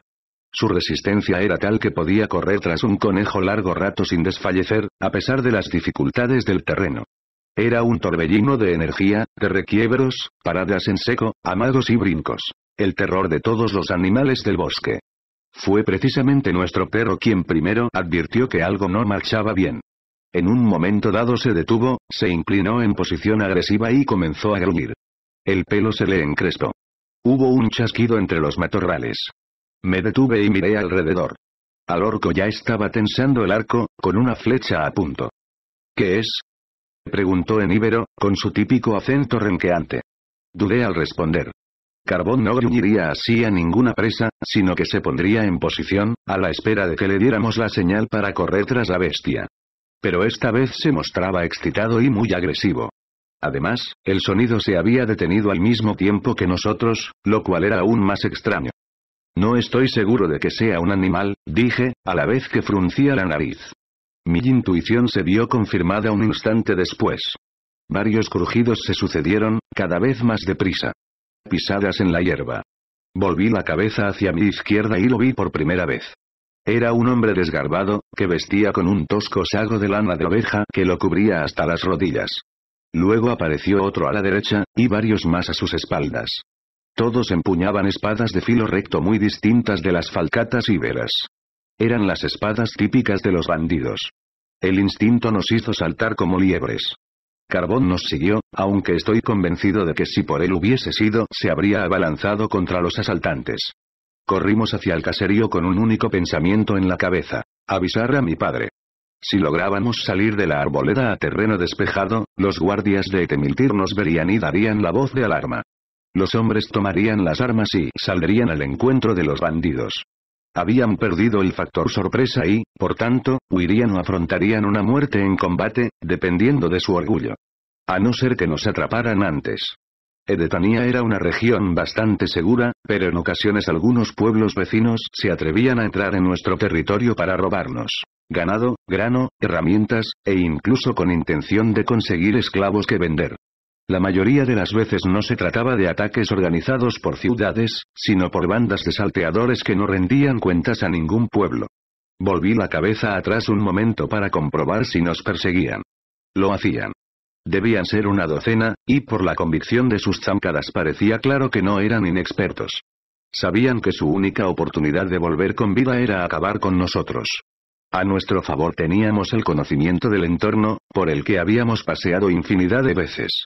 Al orco y yo esquivábamos con destreza los brezales, los troncos caídos, los hoyos en el suelo. Ellos, en cambio, marchaban más previsores.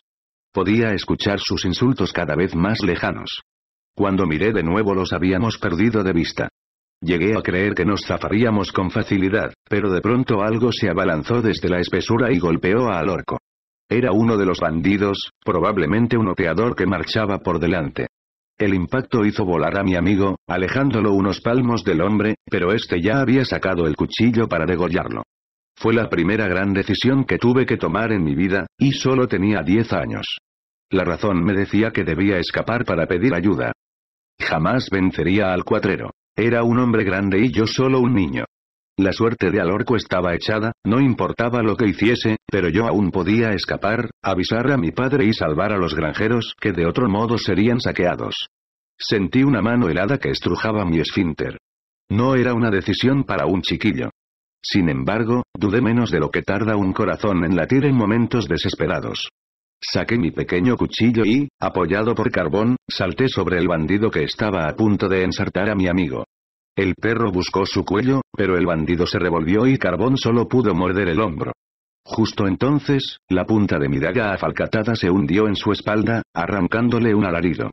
Se revolvió histérico, me hizo caer y luego golpeó a Carbón con la empuñadura de su espada, dejándolo aturdido en el suelo. Iba a apuñalarlo, así que me lancé contra él otra vez, con el cuchillo por delante, gritando para atraer su atención. No tuve miedo, a pesar del rostro enrojecido de mi enemigo, de sus encías desdentadas, la expresión salvaje y las bregaduras en su cara que proclamaban que era hombre de reyertas. Recordé a mi padre, que había luchado en una gran guerra, que mató a muchos y soportó heridas peores que las estúpidas cicatrices de ese criminal. Pero, por encima de todo, reviví una escena imposible, la de un lince protegiendo a un recién nacido. Imposible porque no existía más recuerdo en mi mente de aquel momento que el imaginado tras los relatos de mis padres. Sin embargo, el suceso retumbó en mi cabeza como si lo hubiera visto desde fuera. Me ardió el corazón. Emulando al guardián que tuve la primera noche de mi vida, enseñé mis dientes al bandido y gruñí, a la vez que me inclinaba en actitud agresiva. Era un elegido. Mi destino era mucho más grande que caer muerto por un vulgar ladrón de ganado. Estaba poseído por la furia del guerrero, aunque conservaba el raciocinio. Apliqué las lecciones de mi padre y me movía alrededor de mi enemigo. Me doblaba en tamaño y me superaba en todas las otras facetas. Experiencia, habilidad, fuerza. Pero estaba herido, y aunque el corte era poco profundo, dificultaba sus movimientos. Esquivé su primer ataque rodando por el suelo. Con la ligereza del felino que me había protegido, me deslicé por su costado y le abrí una nueva herida en su gemelo derecho. Por desgracia, me descuidé lo suficiente para que me aferrara por la espalda. Me alzó en vilo y, sin darme tiempo a reaccionar, me tiró contra un tronco. Sentí que el aire escapaba de mis pulmones. No obstante, incluso aturdido, pude escuchar de nuevo los gritos del resto de bandidos. No había tiempo. Mi destino se desmoronaba. La flecha que se clavó en el hombro del asaltante nos recordó a ambos que habíamos olvidado a Alorco. Al bandido le trajo dolor, a mí renovadas fuerzas. De nuevo me abalancé contra él, aprovechando su desconcierto. Lo golpeé en el estómago con mi cabeza, tumbándolo en el suelo. Trató de cogerme el pie, pero me zafé desprendiéndome de la esparteña. Antes de que pudiera hacer algo, un recuperado carbón se unió de nuevo al combate. Esta vez, sus colmillos se acercaron el cuello del bandido. Hubo un estallido de sangre que empapó el hocico del perro. El enemigo se revolvió en un vano intento de soltarse de la presa de carbón, pero entonces la daga de Alorco se clavó en su pecho una y otra vez, mientras mi amigo bramaba fuera de sí en un arrebato de furia. Lo detuve cuando fue evidente que el bandido había muerto. Alorco tenía la mirada perdida, los ojos vidriosos y temblaba. Vomitó sin reparos, pero lo obligué a levantarse. Vamos. Están muy cerca. Exclamé. Iniciamos una nueva carrera desesperada, con el aliento de los bandidos casi en nuestras nucas. Pero los árboles se espaciaban, anunciando nuestra salvación. Los asaltantes se detuvieron, dieron la vuelta y echaron a correr en dirección contraria. Sabían que ya no podían darnos alcance. Como había imaginado, los guardias de Etemiltir dieron la alarma en cuanto nos vieron salir de la arboleda. Armas en mano, salieron a nuestro encuentro. Mi padre iba con ellos, cojeando. Al ver nuestro deplorable aspecto nos abrazó a ambos. Bandidos, padre. Hemos escapado de ellos tras matar a uno. Huyen por los bosques. Y Cortas entrecerró los ojos en una mirada asesina. No por mucho tiempo. Un barrilete de vino para cada uno si me traéis sus cabezas. Ofreció a los hombres. Gritaron al viento y alzaron las falcatas para aceptar la propuesta de su señor, que con gusto los habría acompañado de no haber estado tullido. Estoy convencido de que los bandidos escucharon aquel bramido, un auténtico desafío íbero que sin duda debió helar sus corazones. Pero, por mucho que apremiaran el paso, los edetanos de Etemiltir los encontrarían. Así fue. Regresaron dos horas después, portando con ellos catorce cabezas. Nunca olvidaré las horripilantes muecas de los trofeos. Labios torcidos en un último grito, ojos agrandados hasta el infinito. Los bandidos no habían tenido una muerte rápida. Según dijeron los nuestros, por el dialecto dedujeron que se trataba de Turboletas, el pueblo situado al noroeste. Mañana colgaremos estas cabezas en los caminos de acceso, así esos pordioseros se lo pensarán dos veces antes de volver a amenazarnos. Proclamó mi padre, y entonces sonrió hacia nosotros. Y ahora, festejemos esta victoria y el valor de estos dos mozalbetes. Al orco, que se había arrebujado con su madre preso de los nervios, tardó en recuperarse. Había un reflejo triste en sus ojos, pero al fin se unió a la celebración. Así somos los íberos, siempre dispuestos a una buena comilona. Y al orco tenía el espíritu de un íbero. Para animarlo, alcé su brazo y grité que le pertenecía la muerte del bandido. Los hombres lo aclamaron, y él se mostró tan desconcertado que no logró reaccionar con palabras. En medio de la fiesta, mi padre me apartó un poco de la mesa para hablar conmigo. Me palmeó la espalda con fuerza, como si ya fuera un adulto, llenándome de satisfacción. Al orco me ha contado los detalles de lo ocurrido, me dijo, enarcando una ceja. Has sido muy valiente, hijo. No tuve mucho tiempo para pensar. Cierto. Y tal vez lo adecuado, en esas circunstancias, habría sido que lo abandonaras para dar la voz de alarma. El reproche era tan suave que me costó captar la idea. La razón nunca debe dejarse de lado. Hijo mío, algún día serás un gran líder y tendrás que tomar decisiones muy duras. Debes estar preparado para renunciar a lo que tu corazón ama a favor de lo que es mejor para tu pueblo. Recuerda mis palabras cuando lleguen esos momentos difíciles. Pero esta noche mi espíritu se engrandece ante tu gesta de valor. Y, sin duda, los antepasados también. Sentí una repentina punzada de miedo en mi interior. Era el primer aviso, la primera vez que tomaba conciencia de que mi destino no me iba a reportar simple brillo. Hasta entonces todo había sido un juego. Prepararme para ser un gran guerrero, alabado por muchos, invencible. Pero la cruda realidad se coló aquel día en mi pecho, rincón que ya no abandonaría. Avanzada la noche, y embotados por la cerveza y el vino aguado, nos tumbamos en nuestros camastros. Yo me habría dormido enseguida, pero Alorco me zarandeó con la mano. Me salvaste la vida, me dijo. Y tú la mía, murmuré, a medio camino del sueño. Esa acción fue provocada por tu valor.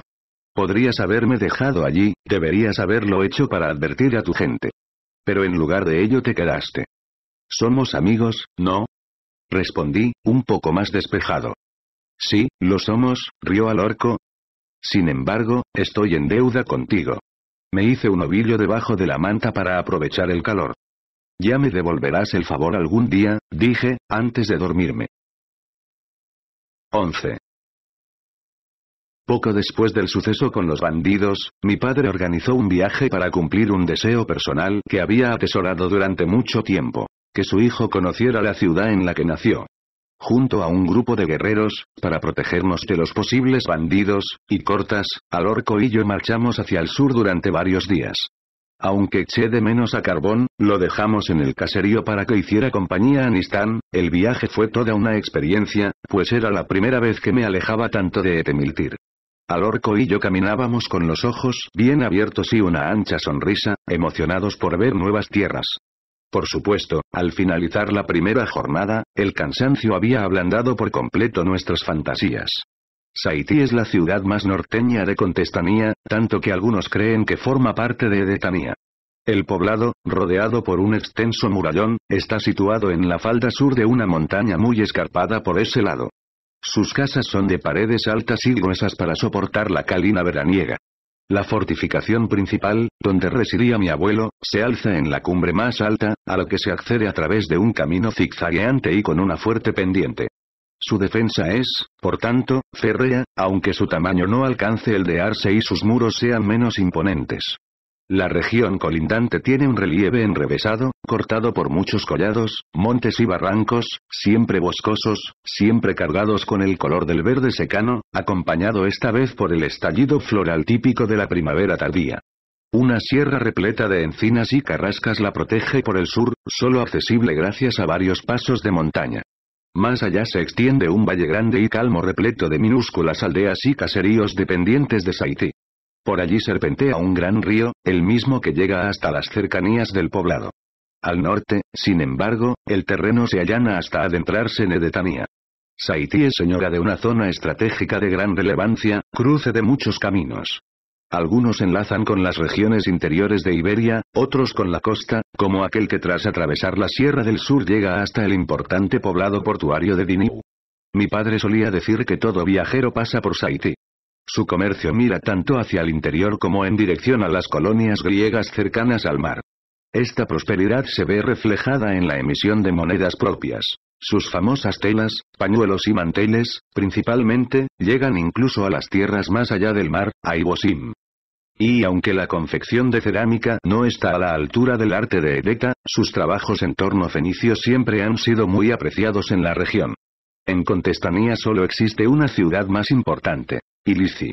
Nos recibió un hombre de avanzada edad, grande como mi padre pero aún más robusto. Aitabietar, mi abuelo. En todo era como ver a cortas con 30 años más. La misma mirada acerada, la sonrisa franca, la risa bronca y a la vez agradable. Recuerdo que, como había hecho con mi padre, me palmeó la espalda con tanta fuerza como si fuera un adulto. De nuevo me sentí henchido de satisfacción. Solo un lamento. No pude conocer a mi abuela, que había muerto poco después de mi nacimiento. Al fin te has dignado a traernos al muchacho. Le dijo a Itabietar a mi padre, entre carcajadas. He llegado a creer que querías esconderlo de nosotros. Solo de tu efusividad, padre. Tenía que descoyuntar a sus huesos con uno de tus abrazos de oso, respondió y cortas, siguiendo la broma. Vamos, hijo. Bramó mi abuelo, Hace falta mucho más que unas caricias para arrugar a quien porta sangre de Saití. Como era típico, se organizó un gran banquete en nuestro honor. La comida fue buena y generosa, y a ella asistieron los más insignes de la ciudad. Mi padre se reencontró con los buenos amigos que había dejado atrás. Abrazó a muchos mientras recordaba viejos tiempos de juventud, y ellos nos trataron con amabilidad. Todo parecía cercano, el trato agradable. Excepto por parte de un hombre. Noté que observaba a mi padre con mirada dura, cargada de un reproche que apenas podía contener en silencio. Su rostro estaba ajado no solo por su expresión torva, sino también por unos surcos que le afeaban la piel de las mejillas. Tal vez una viruela mal curada había convertido su faz en tierra seca y resquebrajada. De pronto advirtió que lo observaba.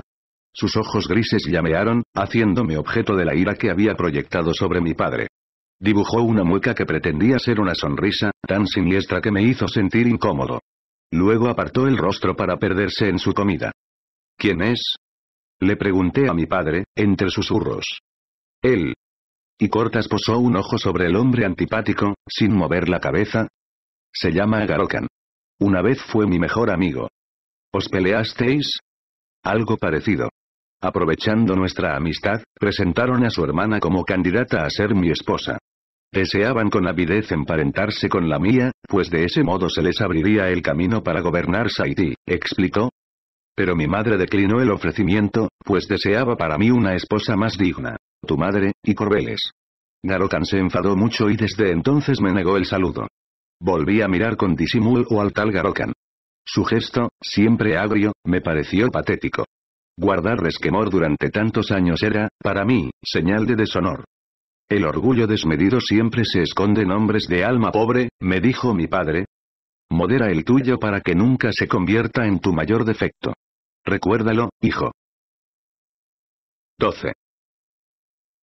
Pasamos tres semanas en Saití, entre risas, chapoteos en el río cercano y juegos con otros niños. Todos nos atendían con agrado, y pronto nos miraron con admiración. Alorco se encargó de que así fuera al alardear sobre la hazaña de los salteadores. Sus alabanzas se volcaban en mí, en cómo le había salvado la vida sin atender a mi propia seguridad. Tuve que ser yo quien recordara que suya fue la mano que dio el golpe final al bandido. Pero también despertamos envidias. Sakarisker era el hijo de Garokan, en todo fiel vástago de su padre. Y, sin duda alentado por este, había abrazado el rencor hacia mi familia. Era un muchacho regordete y de mirada maliciosa que siempre mostraba burlón con los otros niños. Los despreciaba y los ponía en evidencia para ensalzarse a sí mismo.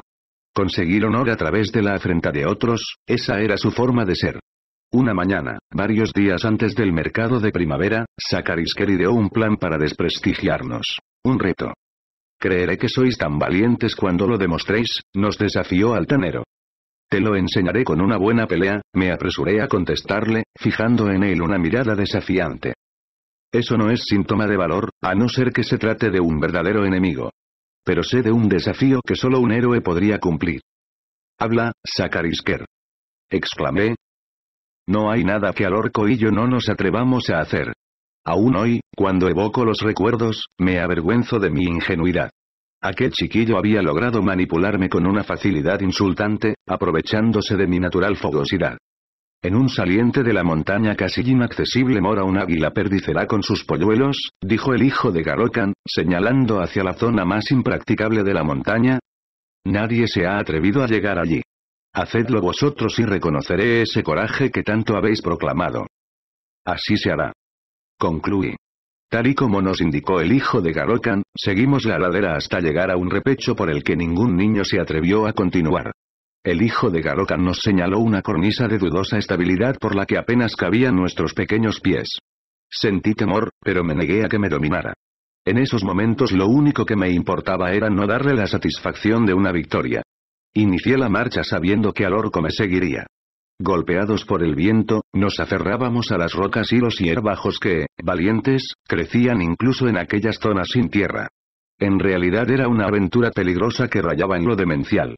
Un traspiés y la caída acabaría con dos estúpidos chiquillos destrozados contra las rocas. Y casi ocurrió. Cuando ya divisaba el saliente ocupado por el nido, al orco pisó en falso. La cornisa se desmenuzó y perdió el equilibrio. Lo sujeté por el pecho, pero si él no se hubiera recuperado ambos nos habríamos despeñado. Cuando nuestros pulmones dejaron de subir y bajar descontroladamente, continuamos avanzando. Llegamos al diente de roca donde estaba asentado el nido. La zona era más amplia y pudimos serenarnos un poco. El nido estaba formado por una masa de ramas encorvadas, recubierta en su interior por hojas frescas. Era tan grande que habríamos podido meternos en su interior. Apenas vimos los cabezones de los aguiluchos, que por su tamaño y el plumaje debían estar prestos a volar por primera vez. Al reparar en nuestra presencia comenzaron a piar. Debemos darnos prisa antes de que sus padres acudan a su llamada de auxilio, dije. Con pasos medidos, avancé hacia el nido. Cogería uno de los aguiluchos, lo estrangularía para que cesara su griterío, y se lo llevaría a Sakarisker. No volvería a burlarse jamás de Icorbeles, hijo de Icortas. Al orco me retuvo tomándome del hombro. Espera, y Corbeles. Es horripilante matar a unas criaturas indefensas, dijo. ¿Qué honor hay en ello? Si no lo hacemos, ese engreído de Sakarisker creerá que somos unos cobardes. ¿Y qué si lo cree? Al orco levantó los hombros. Tú y yo sabemos que no lo somos. No debería importarte tanto lo que piensen los otros. Nunca serás un líder si desprecias la opinión de los demás. Es lo que dice mi padre, le respondí. También dice que hay que respetar a la madre tierra. Su argumento logró hacerme dudar. Al contemplar de nuevo los aguiluchos, comprendí que tenía razón. ¿Y si en lugar de unas crías de águila fuesen los cachorros de un lince como el que me eligió al nacer? Cada bestia era digna de respeto, pues eran tanto hijos de la tierra como nosotros. Y el águila era una de las más nobles. Volvimos junto a los demás con las manos vacías, lo que nos valió sus burlas durante nuestra estancia en Saití. El resto de niños, agradecidos de librarse de las mofas de Sakarisker, también nos repudiaron. No me sentí demasiado molesto, pues ya estaba acostumbrado a que al orco fuera mi único amigo. Me bastaba con eso. Regresamos a Etemiltir cargados de preciosas telas para mi madre, Adtanitinistan, así como otros presentes. Al orco recibió de mi abuelo un brazal que, quizás algún día, podría portar, pero que aún le venía grande debido a su complexión delgada. A mí me entregó un hermoso cinto de bronce grabado con la leyenda Alma de Saití, que me acompañaría desde entonces. Sin embargo, mi mejor regalo fue la satisfacción de conocer por completo el origen de mi sangre. Hijo de Edetanía y Contestanía, pueblos distintos unidos para formar un nuevo ser. Si tal alianza podía ser realidad, ¿por qué detenerse con eso? ¿Por qué no ser más ambicioso? ¿Por qué no soñar con una Iberia unida? 13. Pasaron otros tres años. Alorco y yo estábamos a punto de cumplir los trece. Según la costumbre de mi pueblo, no me convertiría en adulto hasta los 17, cuando se celebrara la ceremonia de la responsabilidad. En cambio, según las costumbres cartaginesas, Alorco lo sería cuando cumpliera 15 años. Él solía burlarse diciendo que estaba mucho más cerca que yo de ser un hombre. Nuestras madres pasaban horas discutiendo sobre lo apuestos que se habían vuelto sus hijos. Las chiquillas de nuestra edad que vivían en el caserío nos miraban con ojos ilusionados. Alorco y yo lo aprovechábamos para alardear delante de ellas. En realidad se trataba de una competición entre ambos, porque ninguna muchacha nos interesaba en realidad. Por nuestro linaje sabíamos que nuestro destino no era acabar junto a una mujer de baja alcurnia. Ellas también lo sabían, pero todos nos dejábamos engañar. Era un juego. Recuerdo con claridad lo que ocurrió una noche, cercana a la recogida de los campos. Yo había tonteado durante días con Canine, la hija del herrero, con la mente puesta en dejar atrás las miradas coquetas para llegar a algo más sustancial. Desde hacía meses me sentía diferente cuando observaba a una muchacha. La fogosidad me apretaba el pecho y la parte baja del estómago. Desde la perspectiva que da el tiempo, tomo aquellos días con hilaridad y no poco sonrojo. Qué ingenuidad la mía. Apenas podía controlar aquellas nuevas y desconcertantes pasiones. Tras convencerla con promesas insustanciales, Canine y yo nos escondimos en el armero de mi padre después de la cena. Iluminados por los haces lunares que se filtraban por los resquicios de la puerta, comenzamos a tocarnos. Luego nos besamos en la boca. La sangre me hervía al sentir bajo mis manos sus curvas de mujer a medio formar. Canine tenía 12 años, pero sus pechos eran más grandes que los del resto de muchachas. Su silueta redondeada me alteraba de tal modo que perdí la razón. Y entonces la puerta se entreabrió, solo un poco. El chirrido fue casi inexistente. Canine no lo advirtió, pero yo estaba entrenado en el arte de la caza. Abrí los ojos y vi una pequeña figura oscurecida, pues la luz iluminaba su espalda pero no su rostro. A pesar de todo, la reconocí al instante. Nistan. La escuché lanzar un sollozo antes de salir corriendo por la calle de Etemiltir. De pronto todo cambió. No podía concentrarme en Canine porque sentía una gran pena. Mi excitación se desvaneció al instante. Sin darle explicaciones, dejé a la muchacha y me lancé tras la pequeña Nistan. La encontré al final de la calle, acurrucada en el hueco que formaba el depósito de agua. Se aferraba las rodillas con las manos mientras escondía la cabeza en sus muslos. Su espalda temblaba. Estaba llorando. Nistan, ¿qué te pasa? Le pregunté. Déjame. No lo hice, por supuesto. Me senté a su lado y le acaricié la sedosa cabellera. Tenía un pelo precioso, como su madre. Era muy bonita. Sus ojos grandes tenían el don de abrazarte, de iluminar el corazón. Su naricita respingona, tampoco característica de los púnicos, y sus mejillas siempre sonrosadas y moteadas de pecas le daban un toque infantil adecuado a sus nueve años, pero a la vez coqueto. Sus labios eran como un pequeño capullo que estallaba en flor cuando reía, aunque en ese instante tenía la boca encogida en un mohín pesaroso. Venga, cuéntamelo. ¿Por qué me buscabas? Nistan se sorbió la nariz y, al fin, alzó la cabeza. La luna le arrancaba bellos destellos a su melena. Mi cuento. Dijo. Me maldije de inmediato. ¿Cómo había podido olvidarlo? Se me hizo un nudo en la garganta al pensar que había puesto a alguien que no me importaba por encima de Nistan. Me entraron ganas de llorar, lo siento, pequeña, la abracé muy fuerte. Perdóname, por favor. Me acarició el rostro y vi que se le había pasado el enfado. Volvía a sonreír. Te perdono si me cuentas el cuento ahora. Yo también reí. Junto a Nistan la tristeza parecía no tener cabida. De acuerdo. Dime, ¿qué te apetece hoy? Un relato romántico, pidió, mientras se recostaba sobre mi pecho como una garita. Me quedé un poco sorprendido. Siempre solía contarle historias sobre héroes, guerreros, viajes fantásticos o criaturas míticas. Pero jamás me había planteado narrarle un cuento de amantes. Al fin y al cabo, hasta hacía poco ese tema ni siquiera me interesaba. Sin embargo, aquella noche sentí que su demanda era adecuada. Bueno, no es mi especialidad, pero lo intentaré. Hace muchos años, tantos que ya nadie recuerda los nombres de los personajes y la tierra donde acontecieron los sucesos, existía una hermosísima princesa, de cabellos negros como la noche, piel tintada por el sol y sonrisa maravillosa. La miré acariciándole las mejillas y Nistan gimió de placer. Era tan bella que hasta el sol se había enamorado de su gentil mirada. Pero su corazón ya estaba ocupado por un rey que vivía muy lejos, tras un desierto de olas de arena tan grande que ni el caballo más poderoso podría atravesarlo. ¿El rey era íbero? Me interrumpió Nistán. Si tú quieres. Respondí, sin advertir los derroteros de su corazón. La princesa y el rey eran muy infelices porque su amor no podía ser. Se habían conocido tiempo atrás, gracias a sendos espejos mágicos que hallaron por separado. Se observaron cada mañana hasta que el amor nació y la simple contemplación ya no les pareció suficiente. Querían conocerse, pero el desierto era una barrera insuperable. Un día, harto de la situación, el hombre decidió intentar lo imposible. A pesar de sus muchas y grandes responsabilidades, eligió su caballo más resistente y se adentró en el desierto, solo. Gracias al espejo mágico, su amada lo guiaba y le daba ánimos. Pero por mucho que el rey cabalgara, el desierto no mostraba su final. Su caballo se desplomó, muerto. Su odre de agua se vació. La piel se le quemó por el sol hasta que ya no pareció un monarca, sino un mendigo zarrapastroso. A pesar de todo, continuó su viaje, paso a paso, como el guerrero que lucha una batalla tras otra. Llegado el momento, su cuerpo dejó de responder y cayó.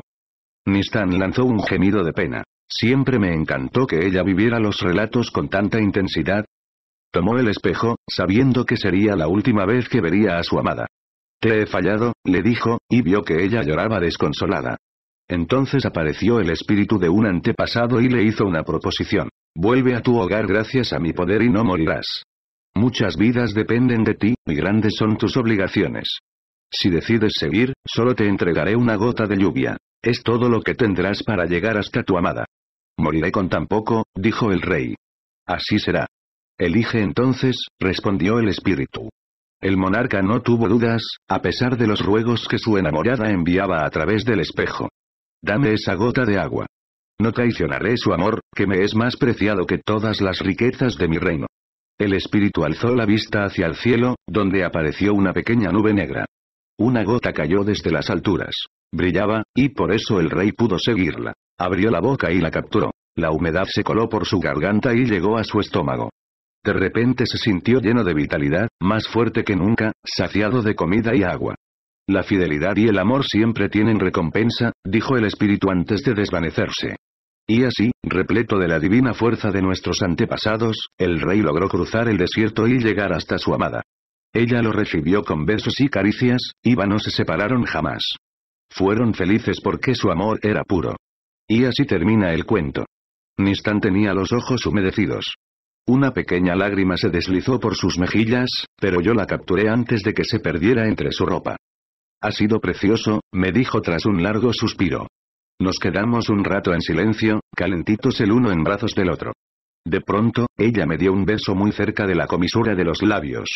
sin darme tiempo para reaccionar, saltó por encima de mí y se escapó corriendo hacia el edificio principal, dejándome más confuso de lo que jamás había estado. 14. Apenas había comenzado la primavera cuando Abibaal volvió. Todos advertimos que su mirada no era la misma.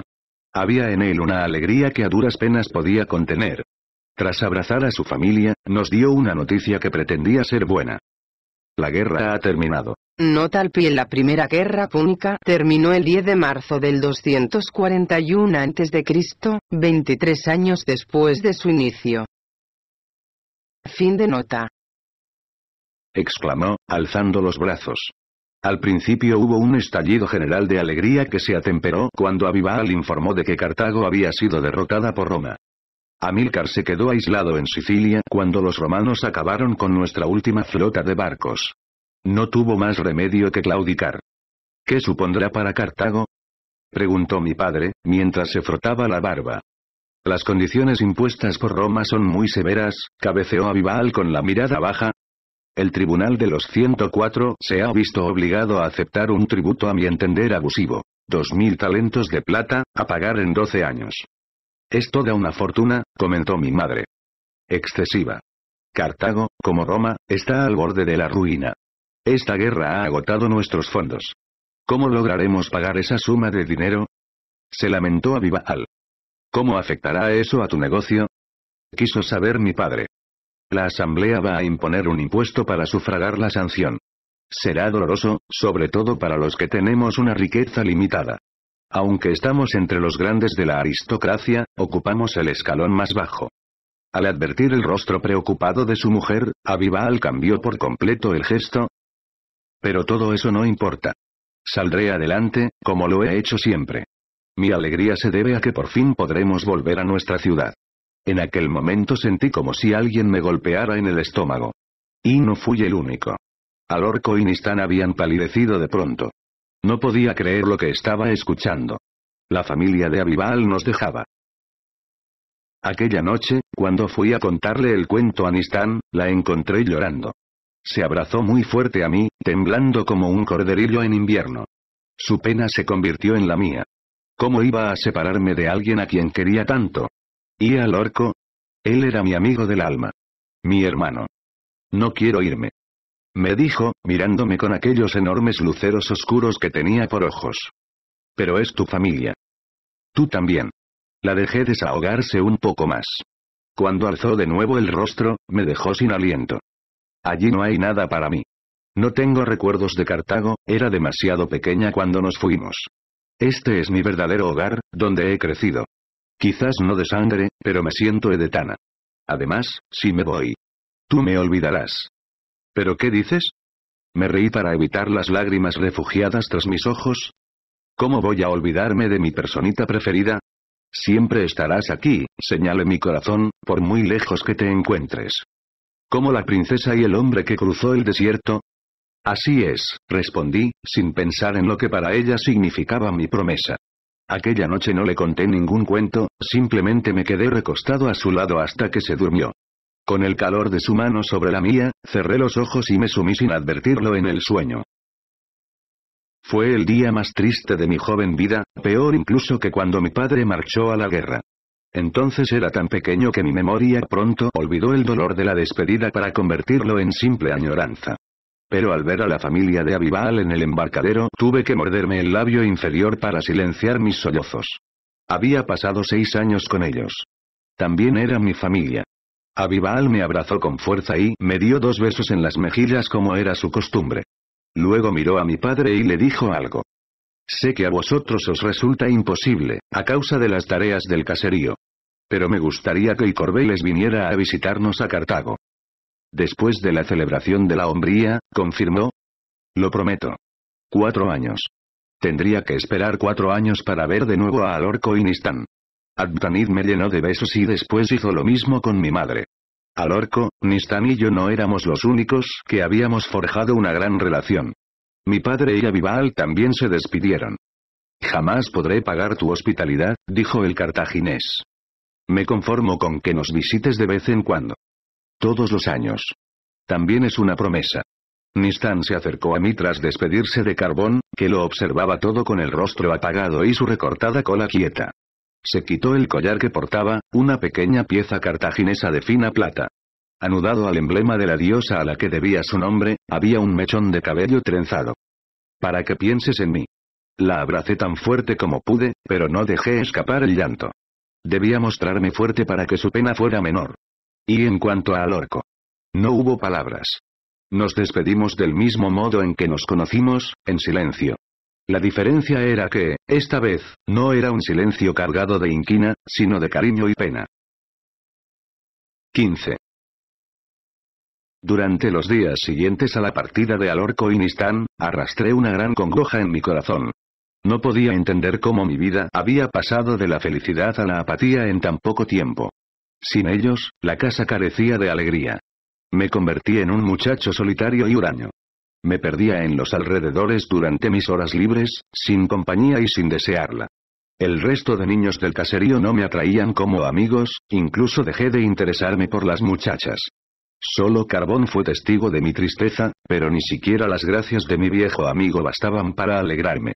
Aunque al principio no dijo nada, mi padre pronto se mostró disgustado con esa actitud. Una semana después de la marcha de los Macmer, decidió que mi tristeza debía acabar. Ya te dije que vendrían golpes muy duros. Tendrías que haberte preparado.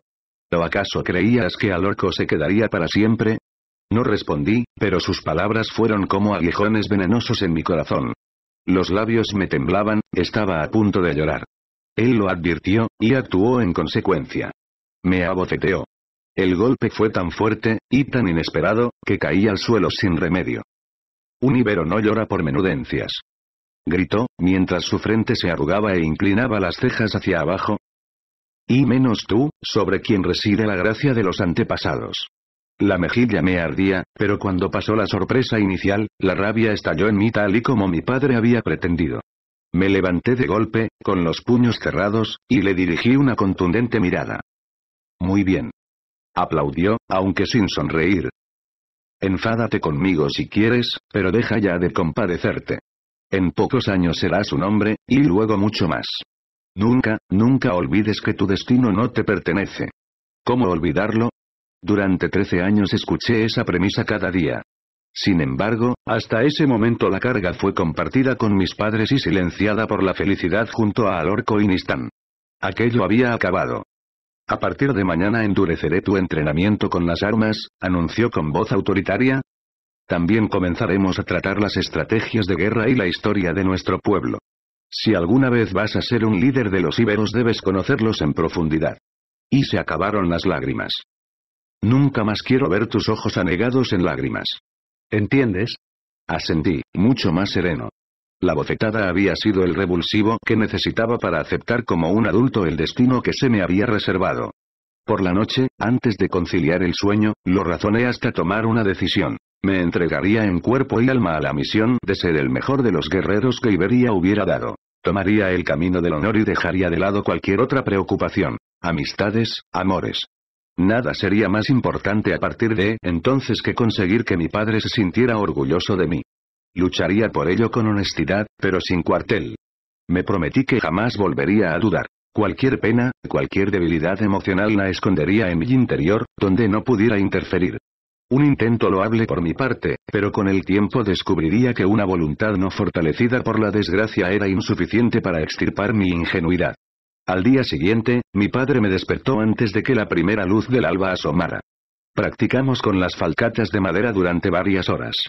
Pude sentir en mis brazos la convicción de Icortas. Sus golpes eran terribles, ya no se contenía como antes. Quizás su herida no le permitía luchar en una batalla, pero seguía teniendo la potencia de un gran guerrero. Cuando terminó la sesión estaba lleno de cardenales y era incapaz de alzar los brazos. Tras el almuerzo, me enseñó las primeras lecciones teóricas acerca del arte de la guerra que había aprendido durante su servicio en Sicilia. Los romanos y los cartagineses aseguran, más por recelo, que los íberos no conocemos más táctica militar que los ataques furtivos. Creen, o al menos así lo proclaman, que no sabemos luchar en formación. Se equivocan. Aunque nuestras incursiones bélicas suelen consistir en asaltos rápidos, a menudo practicamos el duelo masivo, en el que luchamos formando un guerrero junto a otro. ¿Podrían unos ignorantes salvajes haber servido como mercenarios entre los griegos y los cartagineses? Por supuesto, la organización de nuestros ejércitos no podía compararse en aquellos tiempos con la de Roma y Cartago. Pero tampoco ellos poseían nuestra pasión. Debo reconocer que la estrategia siempre fue mi lección favorita. Me agradaba rumiar tácticas, quizás porque era dado a la reflexión y a la imaginación. Ambas cualidades son indispensables para un buen estratega. Pensar en cada detalle, pero también buscar la originalidad para sorprender al enemigo. A veces, el mejor plan es el más descabellado, porque nadie lo espera y por tanto nadie puede enfrentarlo. Así pasaron los días, entre espadas, mapas y discursos. Mi padre no dejaba de alabar las excelencias de la vida del guerrero, inflamando mis ánimos y fortaleciendo mi convicción. La osadía debe formar parte de tu modo de ser, siempre, así como la independencia. Escucha lo que otros tengan que decir, pero piensa por ti mismo, pondera cada opinión con tu propio razonamiento. Honor, juicio y pasión, esas deben ser las leyes que rijan tu vida. Recuerda que una batalla perdida honradamente no es una desgracia. Y no olvides tampoco que el mayor enemigo de un guerrero es el miedo. Anquilosa a tus miembros, enloquece tu mente y desbroza la razón. Para superarlo, tu voluntad debe ser como una espada, de acero y sujeta por un brazo fuerte. Lealtad a un señor, defensa de su tierra. Cada hombre posee una razón para seguir adelante. Cuando luché en Sicilia, mi motivo eras tú, hijo. Mostrarme digno de ti y lo que representas me aupó en las horas oscuras. Hubiera apreciado que dijera que su deseo era volver a verme, estar a mi lado, sentir mi cariño. No lo hizo, por supuesto, pues no entraba en su carácter exteriorizar sus sentimientos de apego. Y aunque yo sabía que existían, enterrados en algún rincón profundo de su pecho, eché en falta que no hubiera más abrazos como aquel que nos unió a su vuelta. Entonces inclinó la cabeza, y su mirada pareció cobrar más fuerza. Cruzó los brazos sobre su pecho y arrugó las cejas. Y, ahora, yo te pregunto, ¿cuál es tu motivo? ¿Por qué lucharías? ¿Por qué estarías dispuesto a morir? No por qué, sino por quién, pensé. Por Alorco y por mis padres. Eran los que ocupaban mi corazón. Pero sabía que esa no era la respuesta que él deseaba escuchar. Por Iberia, dije al fin. Y Cortas arrugó el cejo de nuevo. Para mi sorpresa, no se mostró muy complacido con mi contestación. O tal vez le molestó la apatía con que me había pronunciado. Cuando creas lo que dices estarás listo para asumir tu destino. No solo aprendí las artes guerreras íberas, incluso la lucha de agarre, poco práctica en la guerra. Mi padre quiso que supiera cómo combatían otros pueblos. Los griegos, un bloque indivisible cuyo escudo siempre protegía al compañero mientras la lanza hendía al enemigo. Los libios, amantes de la ligereza y la movilidad. La agresividad de los casi olvidados asirios. La disciplinada conducta romana y su eficacia. Y Cortas vio conveniente que viviera como lo hacen los mercenarios en época de guerra. Daba largas caminatas junto a otros hombres, simulando que acechábamos a algún enemigo. Dormíamos a la intemperie, comíamos gachas frías y me hacían entrenar con falcatas de verdad. Durante esas salidas nunca se me trató como al hijo del jefe, por mandato expreso de mi padre. Incluso tuve que realizar las tareas más deplorables. Rellenar los odres, cazar, sin la ayuda de carbón, destripar las piezas, encender las fogatas. Todo aquello me enseñó disciplina. Según mi padre, si algún día debía dispensarla antes tenía que experimentarla. Por supuesto, aquel razonamiento no resultaba del agrado de un chiquillo. ¿Crees que soy demasiado duro? Deberías conocer a los espartanos. Uno de ellos, Jantipo, fue general del ejército cartaginés en Sicilia poco antes de llegar yo, y dicen que era un hombre de hierro, inflexible. Lo hubiera conocido si esos avaros púnicos no lo hubiesen hecho huir. Les consiguió grandes victorias y ellos a cambio le recompensaron tratando de matarlo para ahorrarse una paga que merecía con creces. Pero eso se decía, al menos. También puedo recordar las narraciones de mi abuelo, cuyo padre fue mercenario de los lacedemonios cuando apenas contaba unos pocos años más que tú. Allí supo de su forma de vida, consagrada por completo a la guerra. Y aunque su poderío ha decaído, aún conservan la fama de antaño. Son adiestrados del modo más severo que puedas imaginar. Se le endurece el físico con la lucha, el ejercicio extremo y el manejo de las armas. Tal vez deberíamos adoptar algunas de sus costumbres. Y así lo hizo. En adelante, mi padre me obligó a marchar desnudo por el bosque en las gélidas mañanas de invierno, cuando el sol aún no caldeaba. Al terminar la primera semana, tenía las plantas de los pies en carne viva. Puedo asegurar que no existe suplicio más duro que caminar por encima de matorrales espinosos con los pies en semejante estado. El dolor es tal que se pierde la razón, hasta que el simple roce de un tierno brote de hierba se convierte en un zarpazo agónico. Diez jornadas más tarde, enfermé. Pero aunque el cuerpo me temblaba por la fiebre, y Cortas no se apiadó de mí. Me sacó a rastras de la cama y me hizo correr hasta que me desplomé casi sin vida. Hubo momentos en que llegué a odiarlo, en que aquel padre atento y cariñoso me pareció un sueño casi olvidado. Mi madre también se lo reprochó, a pesar de su convencimiento acerca de mi destino. Era la primera vez que los oí discutir en tono agrio, y me sentí culpable por ello. Acabarás por matarlo. Gritó Aretaunin, más enfadada de lo que jamás la había escuchado, o peor aún, lo convertirás en una bestia salvaje. Debe endurecerse. Respondió mi padre. Tú misma viste cuán apático se mostró tras la marcha de los Macmer. Entiende lo importante que eran para él. Demasiado bien lo entiendo, esposa. Pero si no es capaz de soportar algo así, ¿cómo podrá enfrentarse a las exigencias de una guerra? No puedo permitir que se ponga a llorar cuando uno de sus compañeros caiga muerto por una lanzada enemiga. Y Corbeles es como una espada. Debe forjarse a base de golpes de martillo.